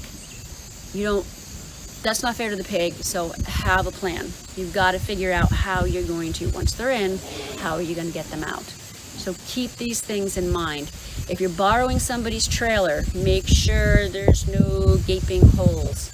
Make sure the gates actually latch. If you're not sure, tie them. You know, just really think about it and it's really important for the animal as much as anything.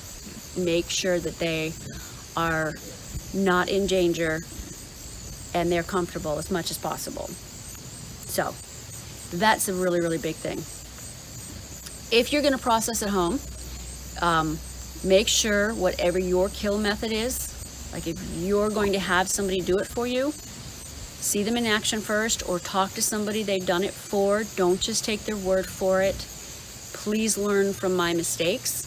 I had someone, I had a pig who was injured. It needed to be put down. I trusted the person. It was a nightmare. The animal suffered. It, please check first. Make sure they know first. Um, there are different kill methods. I've had bad experiences with two of them. So again, right now I've got somebody who's fantastic. All, if I have an animal for whatever reason, like an old boar or something that needs to be put down, all I have to do is walk them where I want them to be, put some food on the ground. They're munching away, they're eating. The person shoots them behind the ear into the brain pan. They're down, it's over, no suffering. That's what you're looking for. So just please, if you're gonna process at home, very important. So just make sure you're looking in, into that. Um, the other part too is your processor, which you've already gone and you checked it out, so you know that they're going to handle them really well. You don't want any stress. Most processors, they want the pigs there the day before, so they know that their system is clear of feed, because you need 12 hours between last meal and processing. And you just need to make sure that everything is, the handling will be quiet and calm. Adrenaline in the system at the end will ruin the meat and of course, you don't want that anyway, just because you don't want to undo everything you've just done. All your hard work for raising that animal humanely and safely. So that's really important. Um, and that's your main, those are your main things, really. And I'm sure you have questions, and we can go there. Wow, thanks for joining us in Montville um, at Mary Thompson's farm, Beans Corner Farm, through that great um, video. A lot of personalities uh, captured on film. I'm yes. sure it's just a small sliver of what goes on day to day. Um, this is the portion of the presentation where you all can send in messages through Facebook, through YouTube, whatever platform you're watching in, and Mary's available to answer them live, just like the real fair, but kind of not as good because you're not here. But um, there are some questions in already, so let's just jump in. How okay. does that sound? Yeah. Okay. There's a question from Hannah, who's watching over on YouTube. Um, Hannah asks, how are red wattles for beginners as a breed? They're pretty good. Um, I started with large black, and they are the most docile because of the ears. They're easier to keep fenced. Although there's an exception to every rule. Um, the red wattles, I haven't had any problems with them being too hard to keep in place. I've never raised Tamworth, but I've been told they're tough ones to keep fenced. Okay. So I stayed away from them. Yeah. But the red wattle are good. Are there any breeds in particular that you would say uh, maybe in addition to Tamworth, that are not a great place for a beginner to get started with? Not that I have personal mm -hmm. knowledge with, because so far what I've raised is large black, red wattle. um, I've got some guinea crosses in there. I've had a um, Idaho pasture, and then now the uh, the Berkshires. Okay. So, and I've I've been happy with all of them. Cool. And so that like it sounds like you've got a diversity of different breeds and, and crosses mm -hmm. um, in your flock, herd. What do you call it? I guess herd. your crew. crew, definitely. Um, what are the what are some different qualities that in those different breeds that might help someone make a decision like that's a good breed for me yeah. or that might be something I'm interested in growing? A big part is size. Okay. There's so much variation in size. Um, your lard pigs, well, size and composition. Your lard mm pigs, like your um, guinea hogs, they're smaller, fatter, slower growing. Mm -hmm. um, so you're talking about a pig who's only going to be at full size a couple hundred pounds versus, you know, the large black and red wattles. Mm -hmm.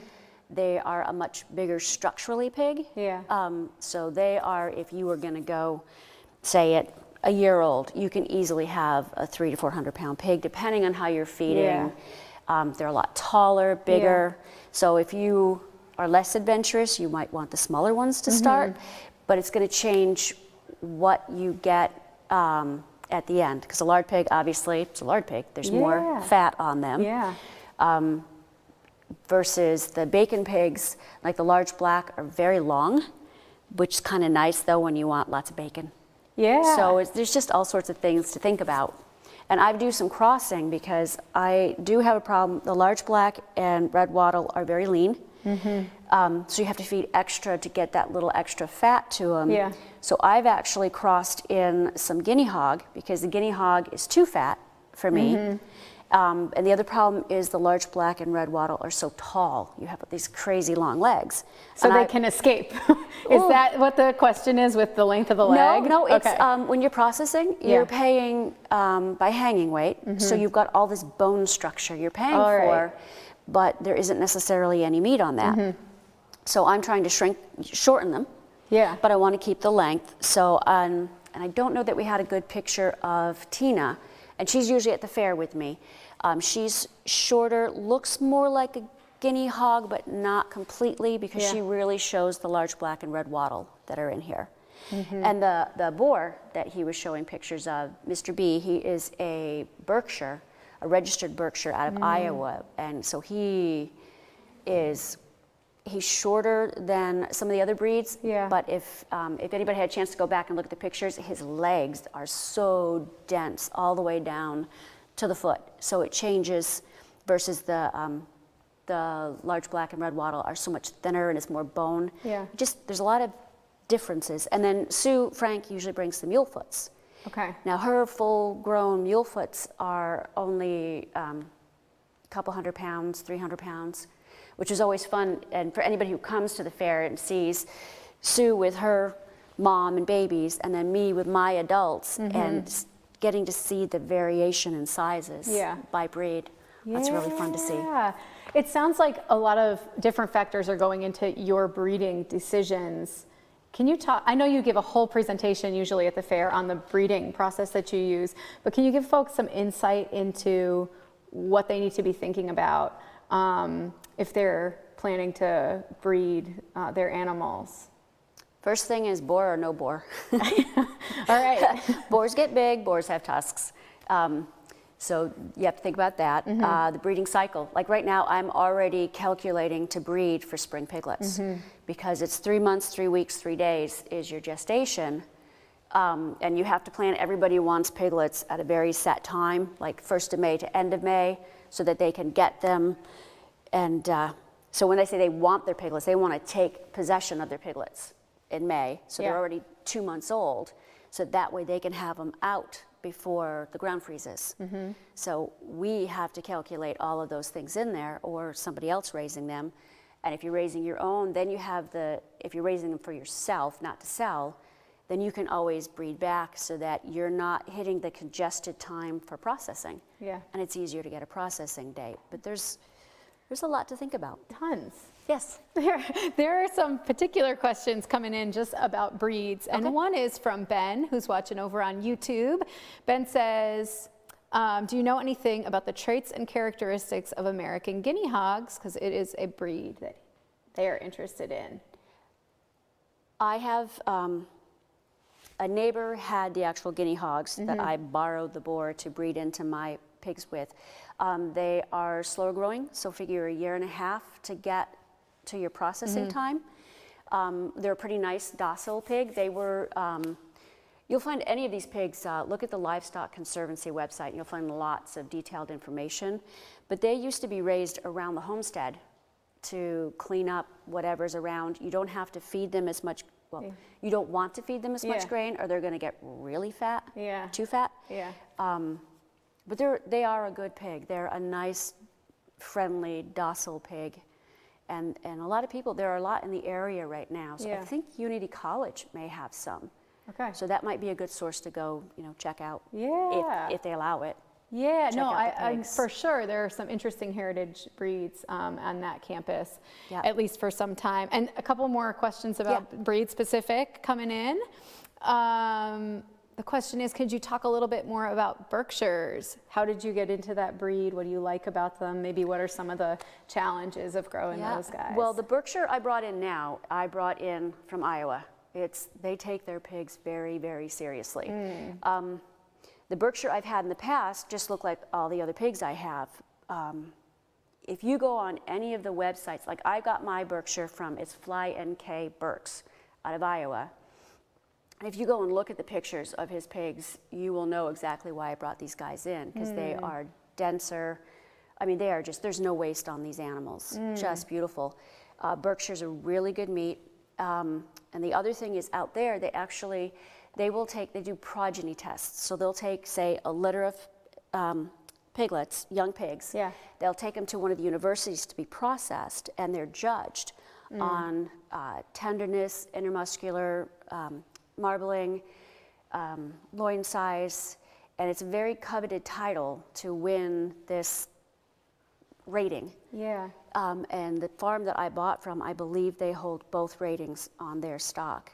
So it just, it's, there's different versions. I mean, you can buy a local Berkshire that's just looks like all my other pigs, or you can buy, you can invest and buy in one. I just brought in a little girl, the little Berkshire who was running around outside the fence.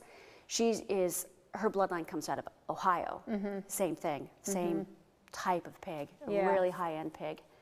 And I think they're going to go a long way mixing them with my large black and red wattle, which honestly I've given up on large black for a while because there's a lot of genetic problems and physical problems with them. Yeah. So until um, the Livestock Conservancy is bringing in some, they're working in to bring some new genetics in from, from Okay. England, where the breed originated from, and are still in better shape. So they're working to help fix our genetics here in the States. So Mhm. maybe once they get a little better, I'll start bringing them back in. Okay. Does that have to do with them being like too closely bred? Yes. Okay. Too closely bred, and um, it may have changed, but when I was raising registered stock, there's no standards. Like the Mhm. Berkshire has an incredibly strict standard through the association to register animals. Mhm. Large black was just whatever you wanted to register and set out there. So there was a lot of animals who should never have been bred. Mhm. And it just perpetuates over time. And it's a shame because they're a Mm. great pig, Mm. great personalities. I was just going to ask about the personality. Oh, what I kind of are some? What are some of their traits in terms of how they are? Very friendly, very docile. All of the pigs are very affectionate. If you give a pig a chance to be affectionate, they will be affectionate. And sometimes if you're, if you're rubbing them, you have to be careful because they will just take you down when they flop for belly rubs. Yeah, I actually had that question because some of those animals we saw in the video are enormous. So for folks that are starting out, that are either smaller people or maybe elders or that have, you know, little kids on the homestead, are there, do you have tips for folks about how to f- stay physically safe when interacting with these critters? Biggest thing, especially if you're bringing home young pigs to raise yourself, is socialize them. Mm-hmm. That is the biggest thing. If you socialize them, you rub them, they get used to, they want to come up to you, Yeah. and they're going to rub and love. It- it- They're pretty much going to stay that way. Mhm. Now, not every pig is going to socialize. Some are just snarky, and you, you're not going to get over Yeah. that. But most of the old breeds, they will socialize Yeah. fine. And I mean, you couldn't really see a lot of the times when I was talking. I had pigs just leaning into me. you could hear Nancy, and they're you know anywhere. My pigs are anywhere. My adults are five to six hundred pounds, Mhm. and I have no problems. We can Mhm. just love and rub and all that good Yeah. stuff. And when I need them to come to me, I could just clap my hands and call them, and Yeah. and they come. So the more you can socialize your pigs, the better their life is, the better your experience is. You know, it just, you know, treat them kind of like a puppy when you're when you're starting out. Don't let them nip. Stop them from nipping. and if they get behind you when you're trying to feed, a lot of people have problems where they, they kind of they get behind you and knock you over. Just Yeah. just swing a small stick. Just you're swinging it just to keep them from getting under your legs, and then they'll go Mhm. around you. Mm-hmm. But you just you have to train them because it's not fun to get knocked over. You know, Right. I am small, so you know Yeah. you have to be careful. And I farm alone, so I'm out there by myself. Yeah. You know, and if I fall down and get trampled by the pigs, nobody's gonna know. No, I think safety is a serious consideration, right? Because Yeah, and then like if you yes. compound on like a wet day, an icy day, Icy, yes. Um, so it is something serious to Yeah. think about. So speaking of the ground conditions, um, you were talking about in the video about how they'll just kind of turn over the the ground in hours or minutes. Um, can you talk a little bit about impacts on the landscape, both positive and negative, um, and how someone might integrate um, some critters into the way that they're managing their property? Yeah. Um, I started out with the large black, and I had them in a field that has a wicked slope, because I have very little flat land, Mhm. um, and they graze. Yeah. So it was never an issue. And then when I got the red wattles, I put three red wattles in the same, it's like a couple acre space, and within three days they had turned every inch of that soil over, every bit, which I didn't want because it's a wicked slope. Yeah. Um, so you have to think about it, about where you're doing, and if you don't want them to do too much turning, you need to move them. Just keep moving them. And then you can just keep cycling them through. You know, sometimes you want them to nuke an area, like you- Yeah. you want them to kind of dig up stuff so you can stay longer.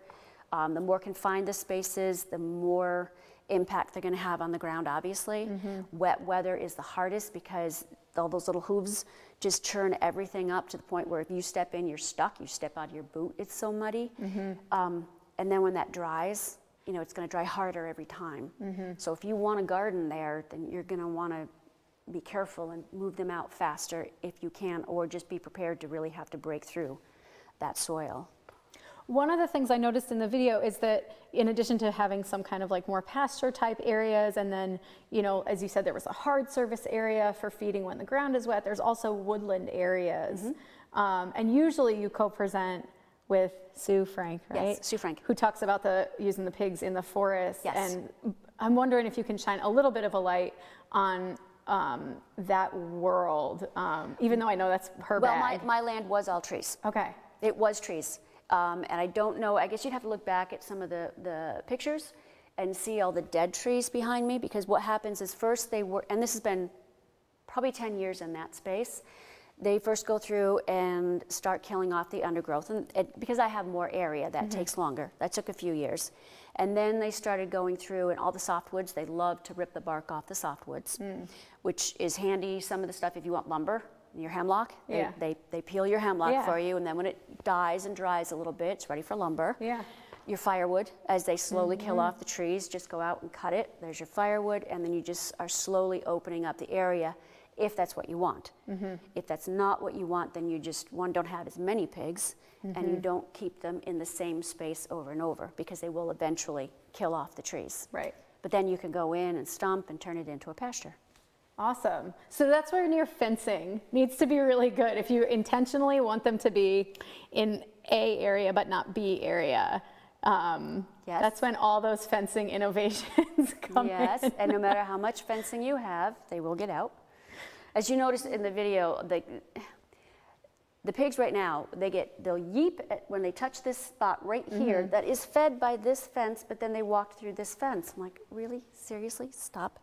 But Right. they're more controlled in my place. But I did have one go visit the neighbors a couple of days ago, which is fine. My neighbors are cool about it. He just went, one of the big spotted ones in the video, decided to go to the neighbors. Um, and usually, no problem, I just grab a bag of, you know, I grab some treats, I Mhm. have a little bit of grain, I shake the grain, they come right to me, we go trundling back home. Yeah. He found acorns in the woods. Yeah. He didn't, he, acorns trump everything, so I, it took a little while to get him home, but we eventually wandered back home and, you know, so it was no problem, and my neighbors are really good about it. Acorns sound like something that would be fantastic to be feeding a pig if Absolutely. you have them. Absolutely. Is there anything, I mean, of course, and pigs have this reputation of like, you throw the slop out, they'll eat whatever. Is there anything that you would advise um, new growers to not send out in the slop bucket to their pigs? Well, first of all, when you get, most people go to the local convenience store and they get their compost or slop or Yeah. whatever. And, and I've been with people where they just heave it in without looking at it first. Yeah. So um, even when I used to get years ago, I would get the compost from uh, Belfast Co-op. Well, their compost is they took an end of your veggies that have a rubber band on it and they Mm. whacked off the end. Mm. So the rubber band and all is in that compost. Um, people throw coffee stirrers in there. They Yeah. throw in tea bags with the strings. And Yeah, yeah. So you and you just uh, twist ties. Mm. So you need to sort it. Mhm. You need to sort it. Um, I, one thing I don't know if it showed up in the video is um, if you are feeding slop, you are supposed to cook it. It's actually a state law, Okay. especially if you are like I sell my meat to restaurants and so forth. So if I were feeding that, which I tend not to because it's just with that many pigs, a little bucket, it's just, I give them all my kitchen scraps. But if you are going to feed slop, you are supposed to cook it. You're Okay. supposed to bring it up to, it's somewhere between 185 and 200 and some degrees because you Mhm. have to kill off the bacteria that's in there because things like trichinosis, all of that Totally. still exists. So you are supposed to do that. I don't know anybody who does, but you are supposed to. Yeah. So, and, and mold. Try to avoid as much mold as possible. I mean, they can have a little moldy food. If it's not going to make you sick, it's not Mm. going to make them sick. Mhm. But a lot of people go and they get lots and lots of the bread. They Yeah. get like bundles of Yeah. bread. And um, I had somebody get in touch with me because his pig was sick. And, you know, he's asking me what about this Right. and what about that. And I finally got down to the point of what are you feeding them? Mhm. And he was feeding the bread. I'm like, is it moldy? Yes. Okay, so think about what you just told me. Right. You're feeding your pig mold. Right. Of course he's sick. Yeah, yeah, yeah. So you just have to watch out for things like that. There was a question earlier about um, about whether folks could get in touch with you to buy pigs or to ask more questions. And I'll, I'll reframe it in case you don't want people coming to you with questions. But certainly, if you have pigs for sale, please share with us and let us know how to get them. But I'd Mhm. love to hear um, some great resources that, that you know of that pig growers, beginning, you know, middle, advanced, should be aware of. So that was a many part question. I'll go back to if folks, are, do you have pigs for sale? Do you, are you selling out piglings ever that folks could get access to? I sell piglets in the spring. Okay. I'm already, my regular customers are already in contact, Okay. um, sending deposits for next Yeah. year. So I don't know that I would have any available. Okay. Um, but you never know. And Okay. people usually contact me from the fair. Um, you can use my email address. I don't know if it's Beans Corner Farm at fairpoint.net. And I warn you, I only check my email about once a week. So don't, you know, Yeah. don't think I missed you. And I also, I think before people holler at you with a lot of detailed questions that you they're asking you to answer for free, I think it would be great to hear what some of your favorite resources are for raising um, pigs. You mentioned in the video the Storey's guide, which I know lots of people Yeah, use as a reference. But are there other ones that people should be looking for um, from the library or looking for resources online that have helped you? Honestly, the most that I read are reproductions of old books from the 1800s to the 1900s because I want to know how they did it before. I don't necessarily want to do everything Yeah. because they used to think it was okay to like put kerosene on your pigs, which I don't think we're going to do today. But there's uh, Google Books has if you just go in and put swine swine husbandry, you will find all sorts of books. I have, and I usually bring them to the fair. Um, all sorts of books on raising swine and um, from again from the late 1800s to the like 1920s and there's so much interesting information Cool. because they were that was more geared for not motorized not electric Yeah. so and, and you, again you're not going to do everything they say but it gives you ideas and just really checking other people Yeah. looking around youtube joel salatin has so much good Mhm. content on youtube Um, speaking of YouTube, a question came in from Valerie, and this is a continuation of what we were discussing regarding um, putting pigs in the woods. Any specific um, breeds that are better suited for that application? Any of the old breeds are good. They're meant to be outdoors. Okay. They are not meant to be kept in cap- captivity, which is why their numbers, one of the reasons their numbers dropped so low. The other Mm. reason is everybody started going, even 100 years ago, they started going towards more lean. Yeah. But, um, and if you look at the pictures, if you go online and look at some of the old pictures of what a Berkshire, you saw my Berkshire. If you look Mhm. at the picture, I wish I had it with me. I mean, they were just like these rotund because they raised them differently. Yeah. So, but um, I don't know, there's a lot to be, a Yeah. lot to look at. But, but the heritage breeds are meant to be outdoors. Uh, pink pigs, sunburn. So make sure you've Ah. got, don't freak out, but make sure they've got shade. Make sure any of them have shade. yeah, But yeah. Pink pig sunburn. I didn't know that. And they don't sweat. Pigs don't sweat, so they Mhm. need a water source, like that big tub. They climb in there and they, they get all wet and everything. Um, otherwise, a wallow, because they need to cool down. And a wallow helps, the mud helps get the biting flies and stuff off them as Mhm. well, helps protect them from that. Earlier, when you were talking about the the registered um, breeds who've been assessed by the university and whatever you're talking about the fat marble and all that and i was like well i'm a little bit hungry now so one question i had and this is maybe a little dorky but it's like you had such a, a great rapport with all the animals around you and everybody's got a name and a personality that you Mhm. clearly know um, can you talk about how that those relationships um, kind of play out as you're sending some of them to slaughter and to become food and to you know be part of the food system kind of Sometimes I cry. Yeah. but I, I look at it this way: they are giving, they're the making the ultimate sacrifice Mm-hmm. to us. So they should have the best life they can possibly have and the Mhm. best ending they can possibly have. That's where it's so important on finding the right processor, making sure they handle the animals humanely and Mm. well. Make sure that you have a good way to transport them that isn't stressing them, that isn't injuring them. Um, it's our responsibility to make sure that their end is as good as their life. Mhm. And that's so important. To me, that's, that's like really important. Um, so we're just about ready to wrap up. Mary, it's been really great to have you. Is there anything else that um, folks should know before we sign off? It's hard to say because um, there's a million things they could know about. there's so many things pigs. to say. Just the big thing: pigs are really cool. Pigs are very affectionate, and not one pig needs to have at least two because they are affectionate and they need each other. They need each other, just like us. They need each other. They do. Um, thank you very much, Mary. It was great to have you. Thanks. Out, come see us next year. Yeah, hopefully. We'll be here with all the pigs next year again. Yeah, two talks a We day. will be. A whole talk focused on on forestry too, with um, with Sue, and um, just kind of scratching the surface. But yeah.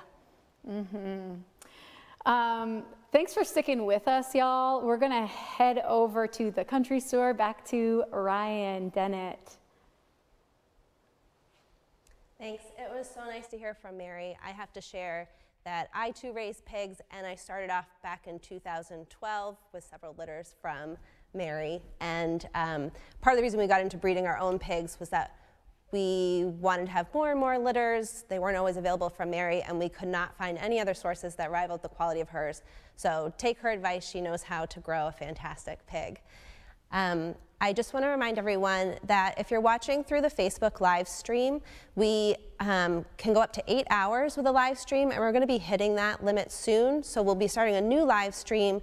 If you find the live stream stops for you, you can just hit refresh, and this should not be an issue for you if you're watching at fair.mofga.org or on YouTube. Um, as Sarah mentioned in our last transition, this has been a really tough year for farmers and a really important year to support MOFGA and the work we're doing to help folks.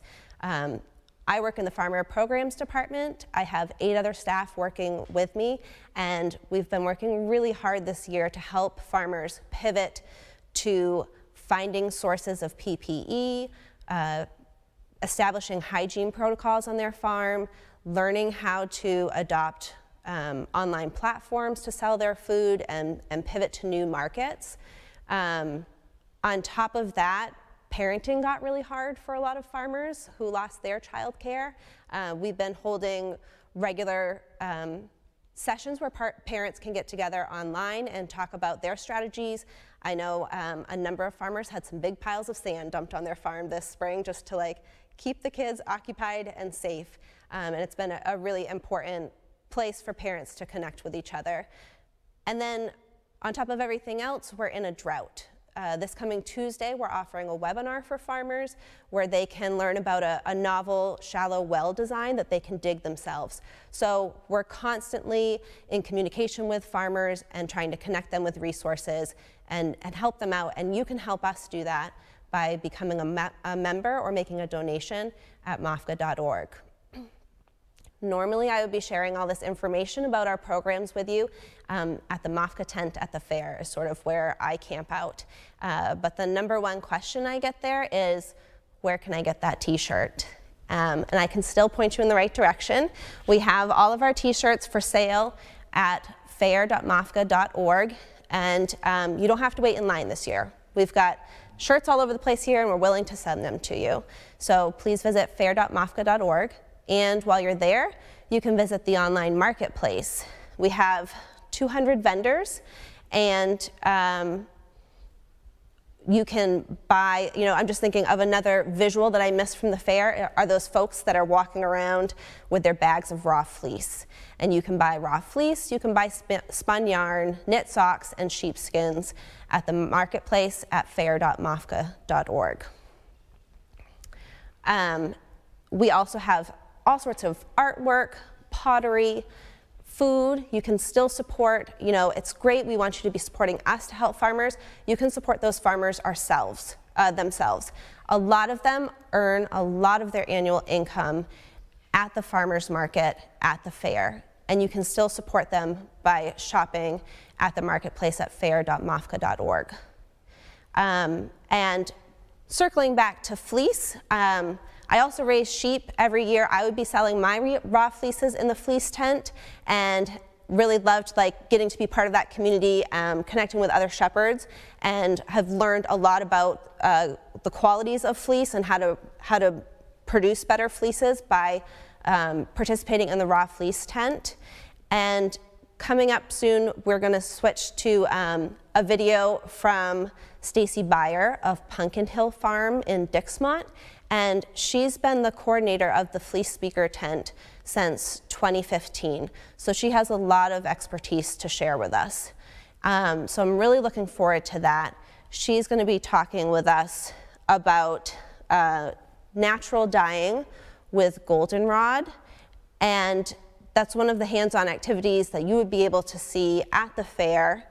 Um, and we're so thankful that we're still going to get to present that to you today. Um, and I'm really looking forward to doing some Q&A with her after. Uh, I myself have not um, tried out dyeing with natural fleeces, so I think I've got a lot to learn, and I'm really excited to hear from her and share that all with you. And now we're going to present Stacie Beyer. Hi, my name is Stacie Beyer, and I live in Dixmont, Maine. Prior to moving to Dixmont three years ago, my husband and I had a farm in Levant, Maine. Among other critters, we raised sheep and goat. I have knit since I was very young, but I learned to spin yarn while living on the farm. I also became very interested in dyeing natural fibers with plants that are locally grown. I have dyed with the classics, indigo, madder, weld, and a host of other plants from my backyard.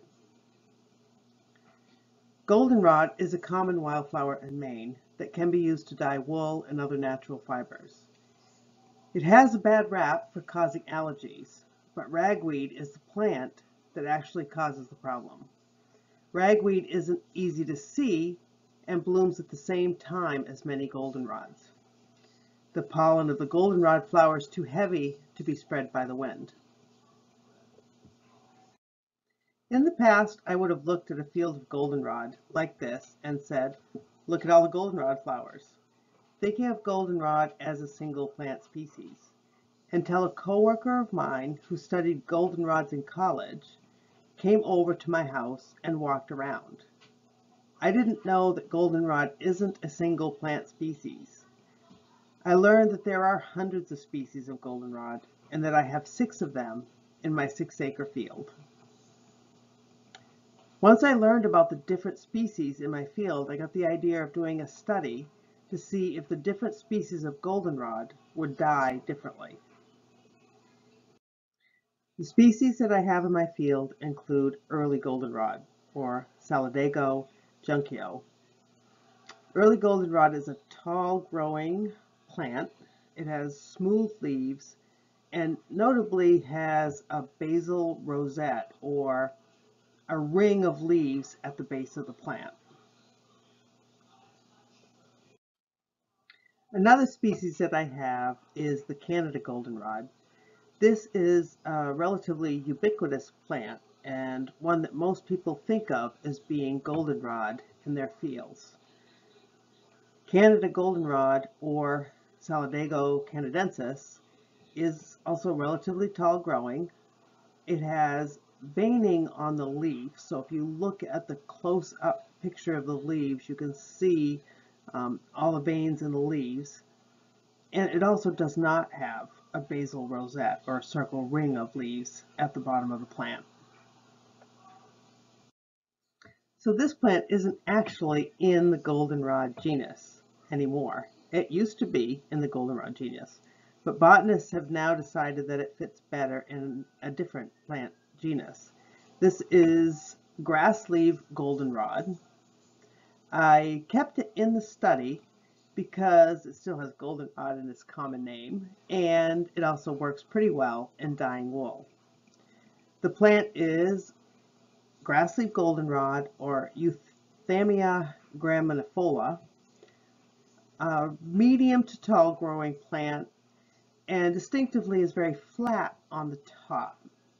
It has really thin grass-like leaves that can have black leaf spots on them.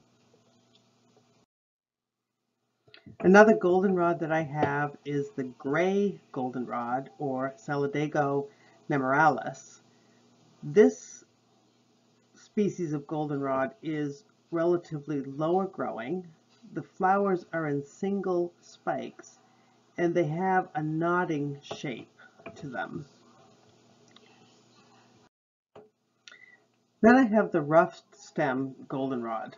During the study, my coworker and I started calling this the hairy goldenrod, and that is likely what I'm going to call it forever. The rough-stemmed goldenrod, or Solidago rugosa, again is another relatively tall growing goldenrod.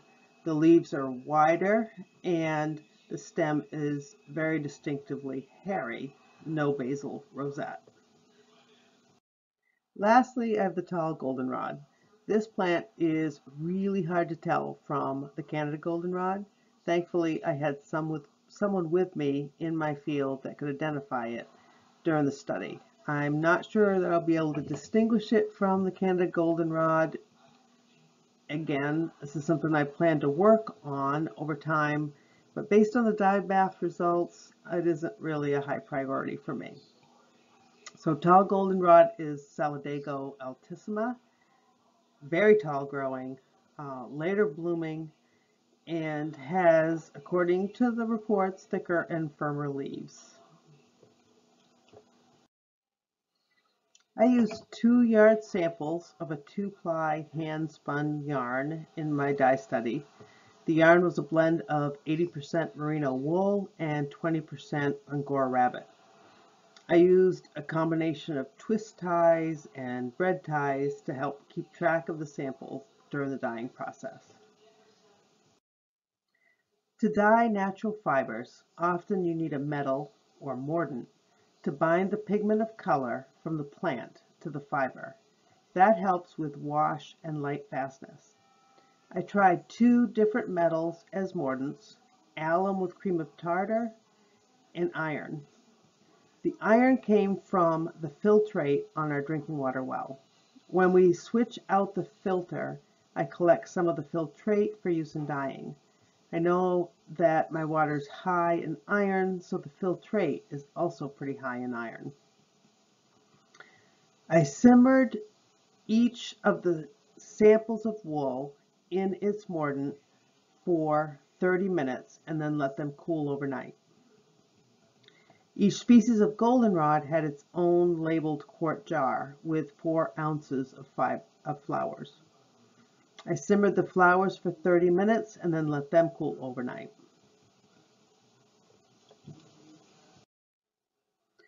So each quart of boiled flowers had to be strained out individually to keep the flower species dye baths separate throughout the process. This shows the results from my notebook for the study. The first page has samples with the alum and cream of tartar mordant that were only left for 15 minutes in a simmering dye bath for the flowers. Notes in the second page kept track of my study data, including the fiber type and quantity, mordant type and quantity, plant type and quantity, and the simmering time. What I found was there was variation between species, albeit somewhat subtle at times. My favorite from this dye bath was the early goldenrod, and you can see that sample down near the bottom. It's the second to the last sample in the picture. The early goldenrod produced a pretty intense golden yellow right away. Although most of the study was done in September of 2019, the early goldenrod run was done this spring in 2020. Early goldenrod had gone by in September 2019 when I was running the rest of the flowers. One thing about natural dyeing with flowers is timing can be really important. I'm pretty sure that I hit the early goldenrod just right because I was competing with the bees for the flowers in the field.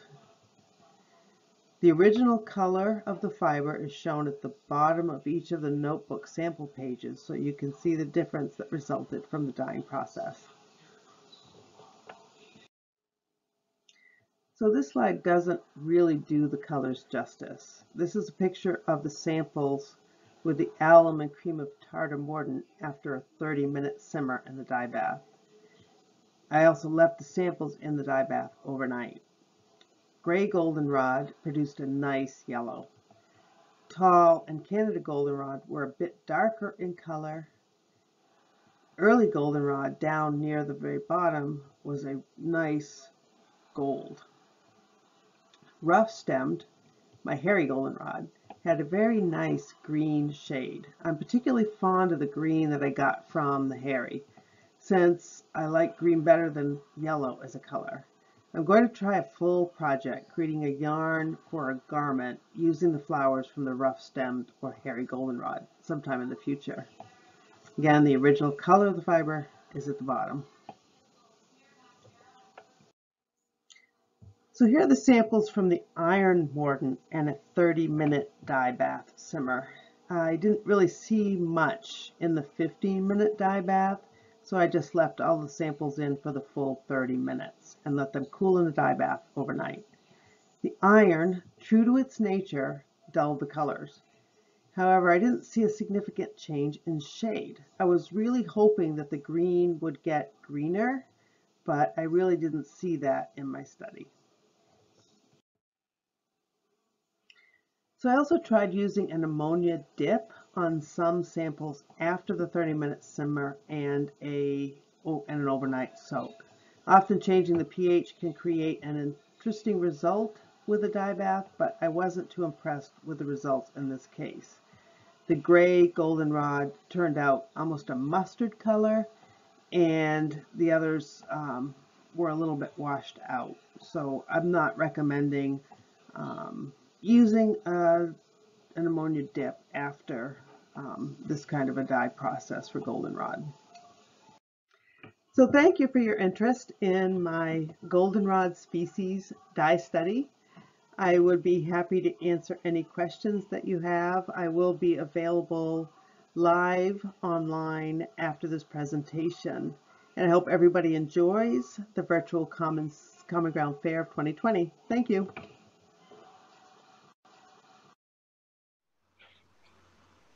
Hi, we're here with Stacie to do a live Q&A to follow up with her video presentation. Thanks for joining us today, Stacie.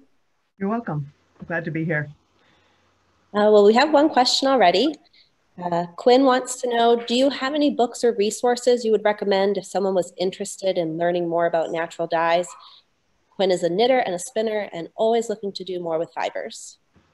Great. Um, there are a lot of resources available both on the internet and, and as books. I do have um, three books that I go to on a regular basis. One is it's called Wild Color, and that's by Jenny Dean. And then I have Harvesting Color, and that's uh, Rebecca Burgess. And then the last one that, that's a good one, I think, is um, Craft of the Dyer, and that's um, Karen Leigh Casselman is the author for that book. So three good ones to get started. Great, thank you. Uh, let's see, what tips do you have for someone who has never dyed before? Are there any beginner mistakes we should be aware of?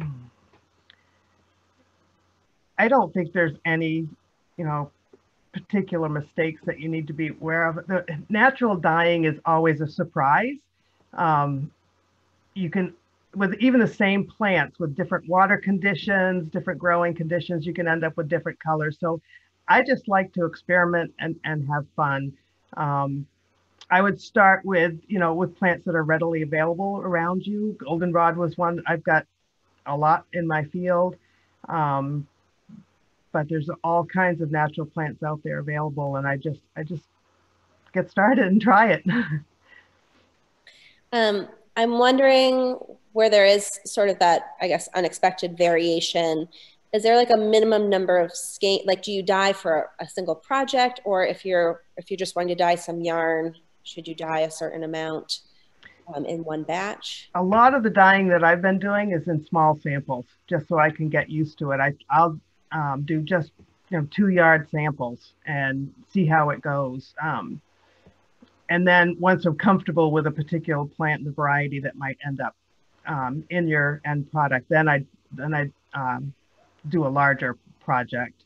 For example, I did on on the the um, dyeing with um, goldenrod in the field. You know, I had one particular species I I like the colors so ready to go do a larger, you know, full game project.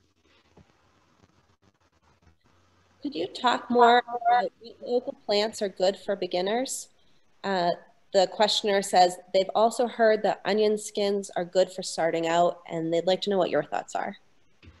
Yeah, onion skins are um, are good for starting out. Um, onion skins have yielded a yellow for me primarily. One dye project that I really loved was I did an, an indigo dye and then over dyed with onion skins and got a variegated bluish green. It was it was gorgeous. That was probably my favorite dye project. Um, some other plants, I've got a, a, sumac going right now outside, um, doing a solar dye with sumac. Um, that's available right now. Um, some other tansy, if that's a that's an invasive, but if you find a patch of it, that's um, it's a really easy plant to dye with, and it's a good use of getting rid of an invasive species to get all of get all the flowers.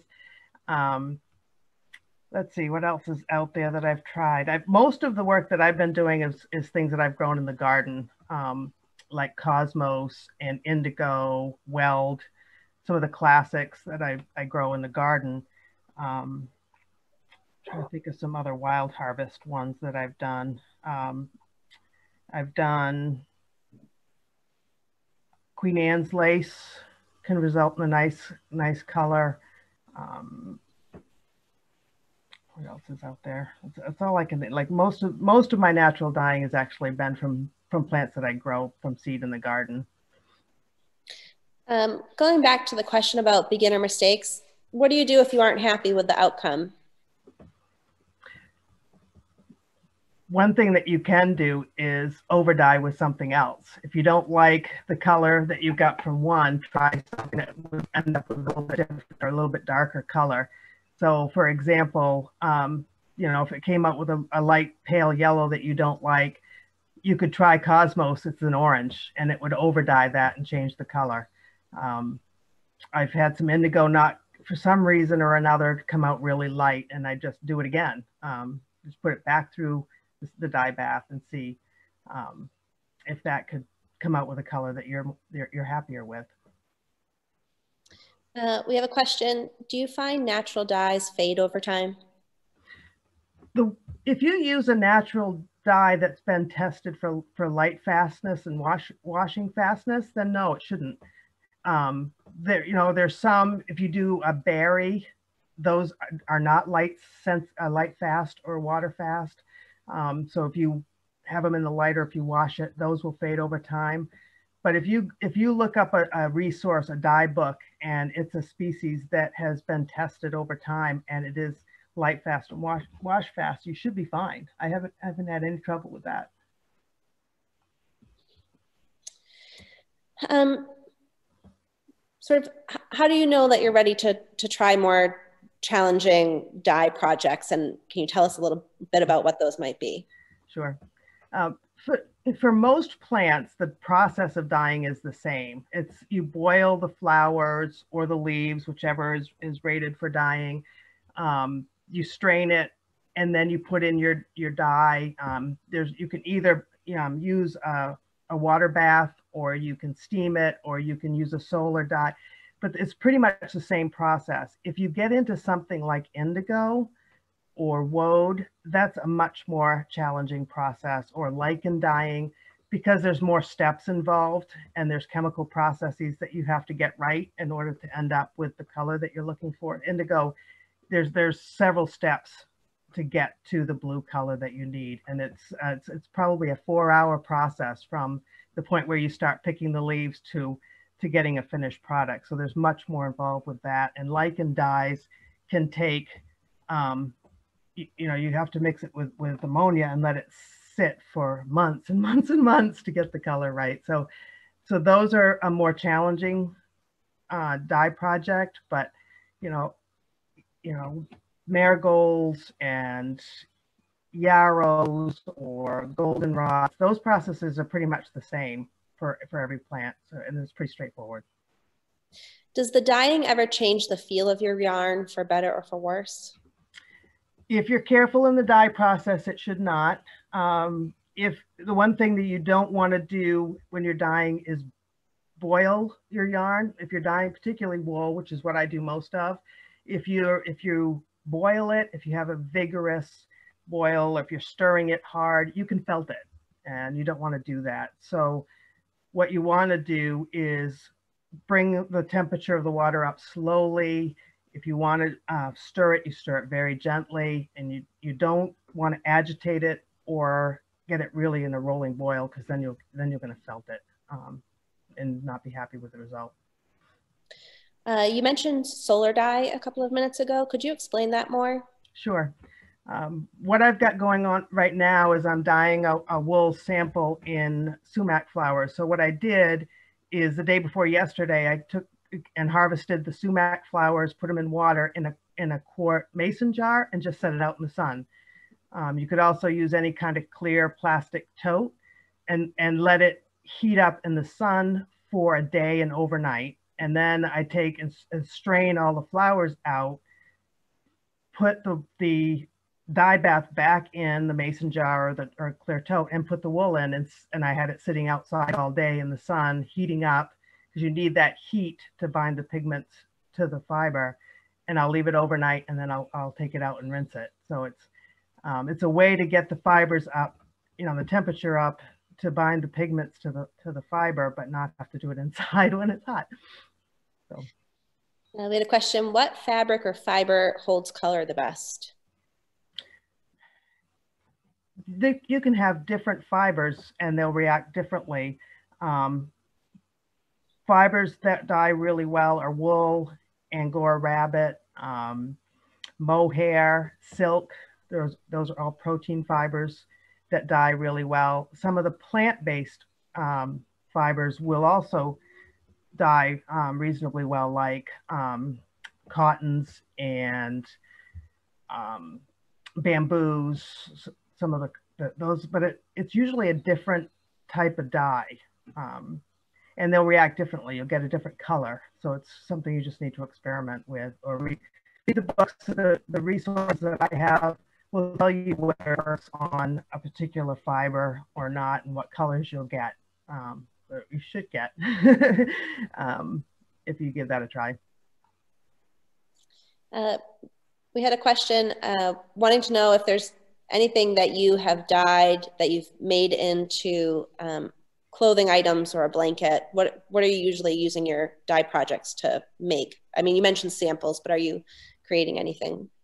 Yeah, I've uh, I've made socks mostly from the wool yarn that I've dyed. Um, I've got a pair of socks that I did. Um, I did actually that was food, food coloring, solar dyed with food coloring that I that I turned um, into a nice pair of socks. Um, turmeric dye socks. The a lot of what I've been doing, because I, I, haven't been doing this all that long, is just doing samples though. Um, we did have a question from someone who missed the beginning of the presentation. So if this is she, they apologize if this has already been answered. But what breed of sheep is the dyeing done on in your presentation? In the presentation, that was a Merino and Angora blend. I think it was an 80% Merino, 20% Angora blend. And there's not really much variation among wool fibers as to what's most suitable for natural dyeing. Other than, it's just really the felting concern. I think so. Yeah. If you blend the fibers, so if you have a, a wool and you blend with Angora or with mohair, then the wool and the mohair, the wool and Angora might take the color differently. So you end up with a little bit of um, variation, slight variation in the um, Angora, the mohair has a luster to it, so it gives a different look.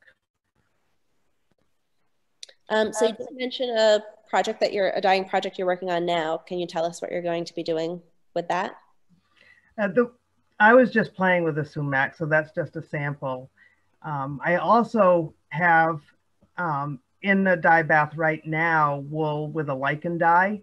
And I've been working on trying to dye all the colors of the rainbow with natural plant dyes, plants from Maine, harvested in Maine. And the lichen was from Maine. Um, I've been really struggling with trying to get purple and it's coming out a really nice purple, really nice purple. I'm excited about it.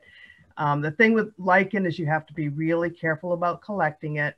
Um, it is a slow growing plant species, um, takes you know hundreds of years to grow a colony.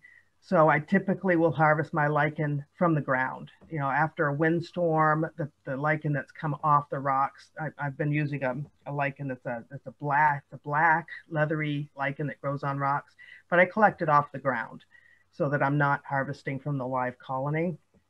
And that one, you know, if you make a dye bath with ammonia, like I said, it takes months or almost a year to get the chemical change from red to purple. Um, but I did get one that uh, that did change to purple, and it's going to be a nice color. So the only color I have left is red. Um, I harvested some madder root today. I'm going to dry that. It's going to be, you know, probably a month or so before I try madder again the last time I tried madder, um, went through the whole process and it uh, it ended up with a, very beautiful rusty orange, but it wasn't red. so I'm going to try that again and see if I can get red. It's my last color. Will you be sharing your rainbow project and will you be publishing a list of what you use to create the rainbow? Again, yeah. I'm interested in doing that. If I can successfully get the rainbow. Yeah. That's great. And when you're harvesting the lichen, because it's already dead, it doesn't matter what time of year you're harvesting it? No, I don't think so. Uh, we have a question from Donna who would like to know if you buy undyed yarn to dye, do you have to pre-treat it somehow? You do want to wash it. If you're buying a commercial yarn, there's a possibility that they used a spin oil in the process of spinning the yarn and if that oil, spinning oil is still on it, it's not going to take the dye as well. So you do want to wash a commercial yarn before you dye it to try to get some of that oil off. So um, there are some, some good soap products out there that you can use um, to wash the yarn with. Um, often I will just use Dawn dish detergent. Um, it tends to get oils out pretty, pretty quickly. Some other folks don't like using that, but it's readily available, but you do you do want to wash it. And then if you're doing a dye, most dye projects, as I talked about in the presentation, you need to use a mordant. Um, it's a, a, metal that will bind the pigment to the wool fibers or you know, whatever natural fiber you're using. Most natural plants will require some kind of mordant. The mordant that I like to use the most is alum and cream of tartar um, because it's a, a little bit more environmentally friendly metal um, to use, but you will you'll need it to wash out the oils and use a mordant for most natural dyes. All right. Well, thank you so much, Stacie. Um, I really appreciate you sharing your expertise with us today. You're welcome. And now we'll send it over to Sarah. Thank you, Ryan, and thanks, Stacie, for your great presentation. Um, we're coming right down to the end of the fair. It's the time of Sunday evening when you would normally hear that announcement come over the loudspeaker and you'd run to get your last, I don't know, fried shiitake mushroom if you're me or whatever those other treats are. Um, but tonight we're ending the programming with um, some really sweet music that's a kind of a landmark of Common Ground Fair. I know I saw these women performing together for the first time at the fair in 2004. So that's 16 years ago. Uh, but they've been playing together for over 30 years. Inanna Sisters in Rhythm is a super dynamic group of Maine women who have studied with drumming masters from around the world. They've brought in uh, they have brought their music into schools and communities all around Maine, and of course to the fair every year, where not only are they presenting really fun, um, vibrant music, but they're also dressed in fantastic outfits and dancing, and it's just like super vibrant and super vital and just kind of a perfect cap to a weekend full of amazing programming here at Common Ground Fair. Um, these folks have um, put out over seven records in the history of their uh, performance, and it's really just kind of scratches the surface um, of all the different kinds of great music that comes across the stage at Common Ground Fair. Something for sure to look forward to next year, something that you can actually look back at um, because each evening of this year's programming there has been a bit of live music. So check that out. And stick with us for the next half hour or so to listen in on Inanna. Thank you.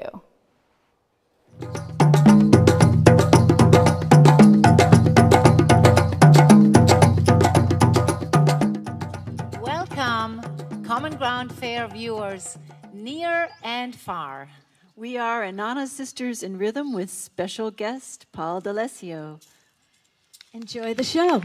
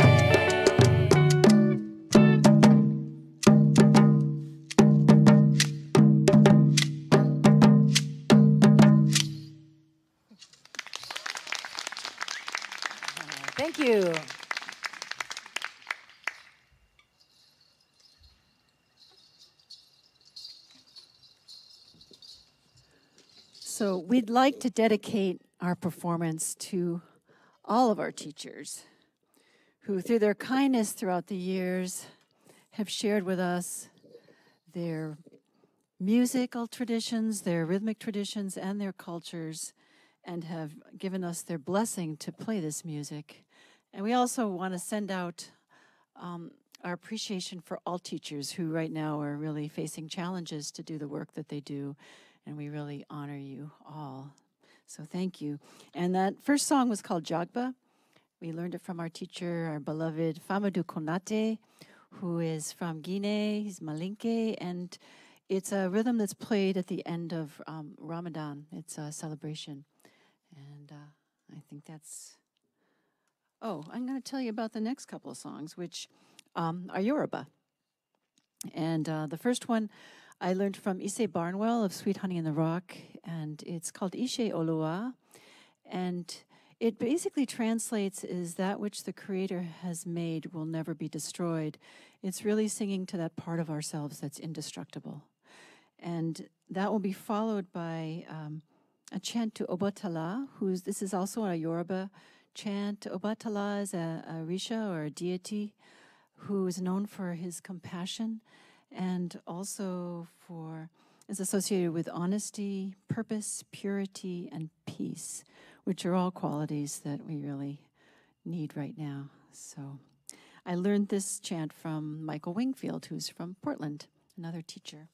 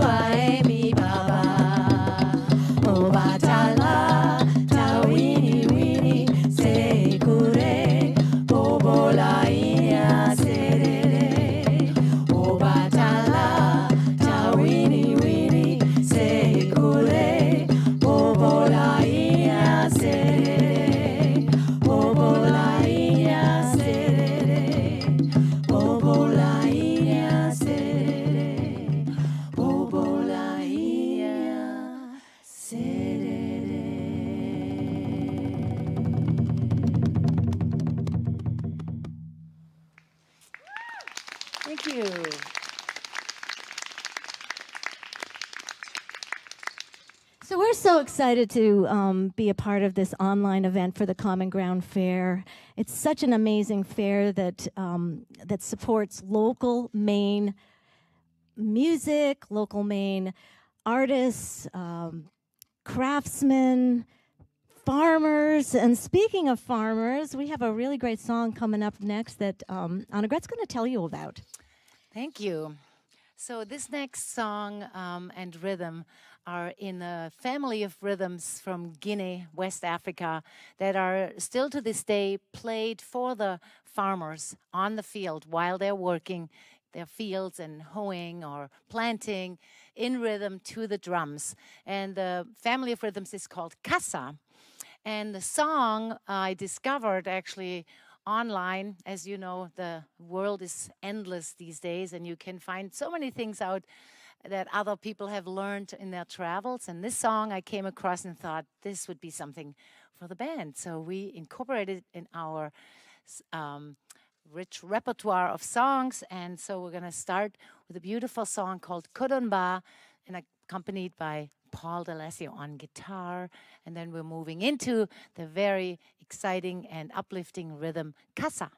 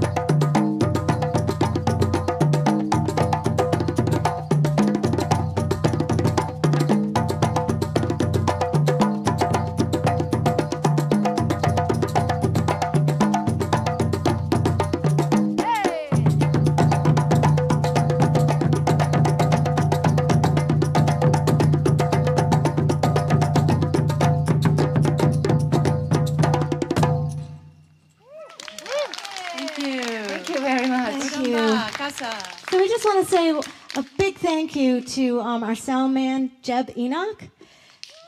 And give a shout out to our- the main music mill as well.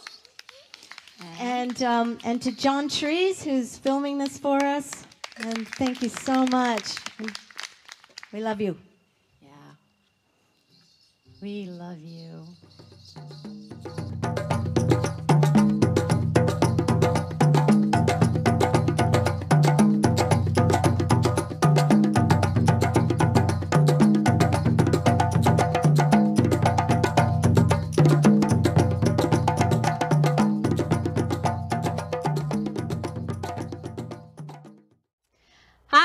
I'm Sarah Alexander, Executive Director of the Maine Organic Farmers and Gardeners Association.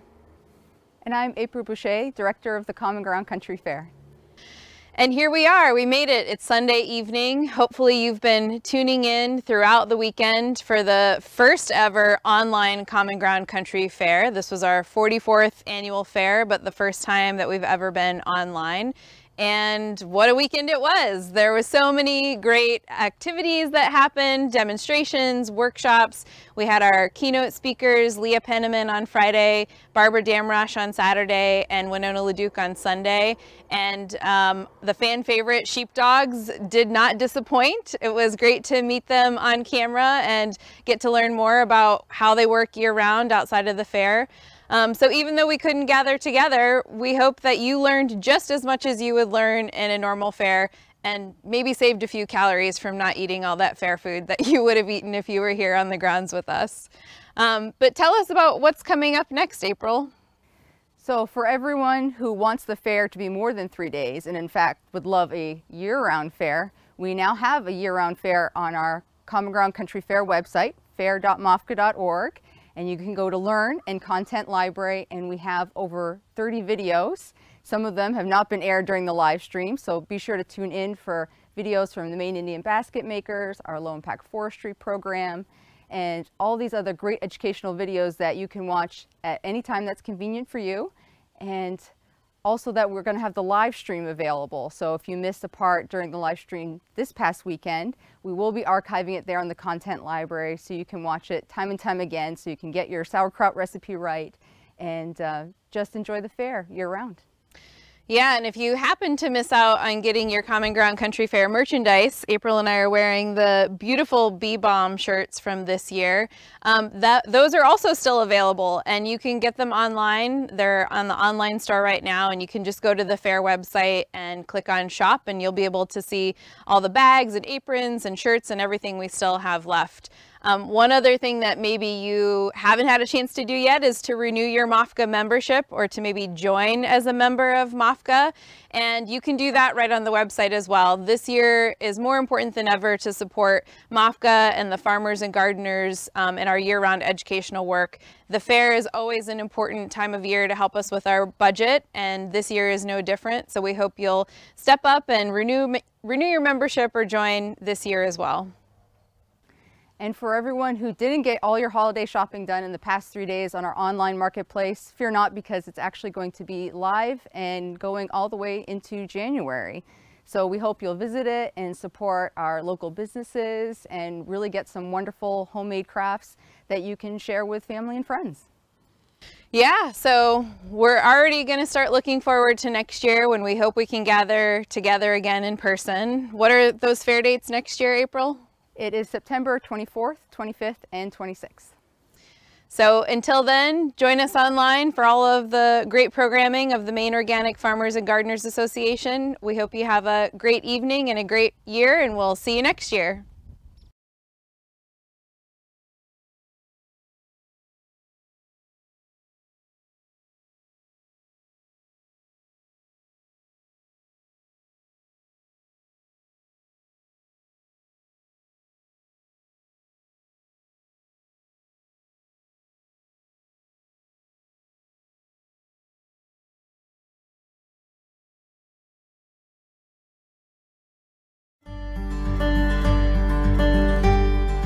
MOFGA's vision for the future is to transform the way we relate to our food through organic agriculture. Become a member today at mofga.org and support our ongoing work to create healthier, more resilient, and ecologically based communities. Thank you to all of our supporting members who make this work possible year after year.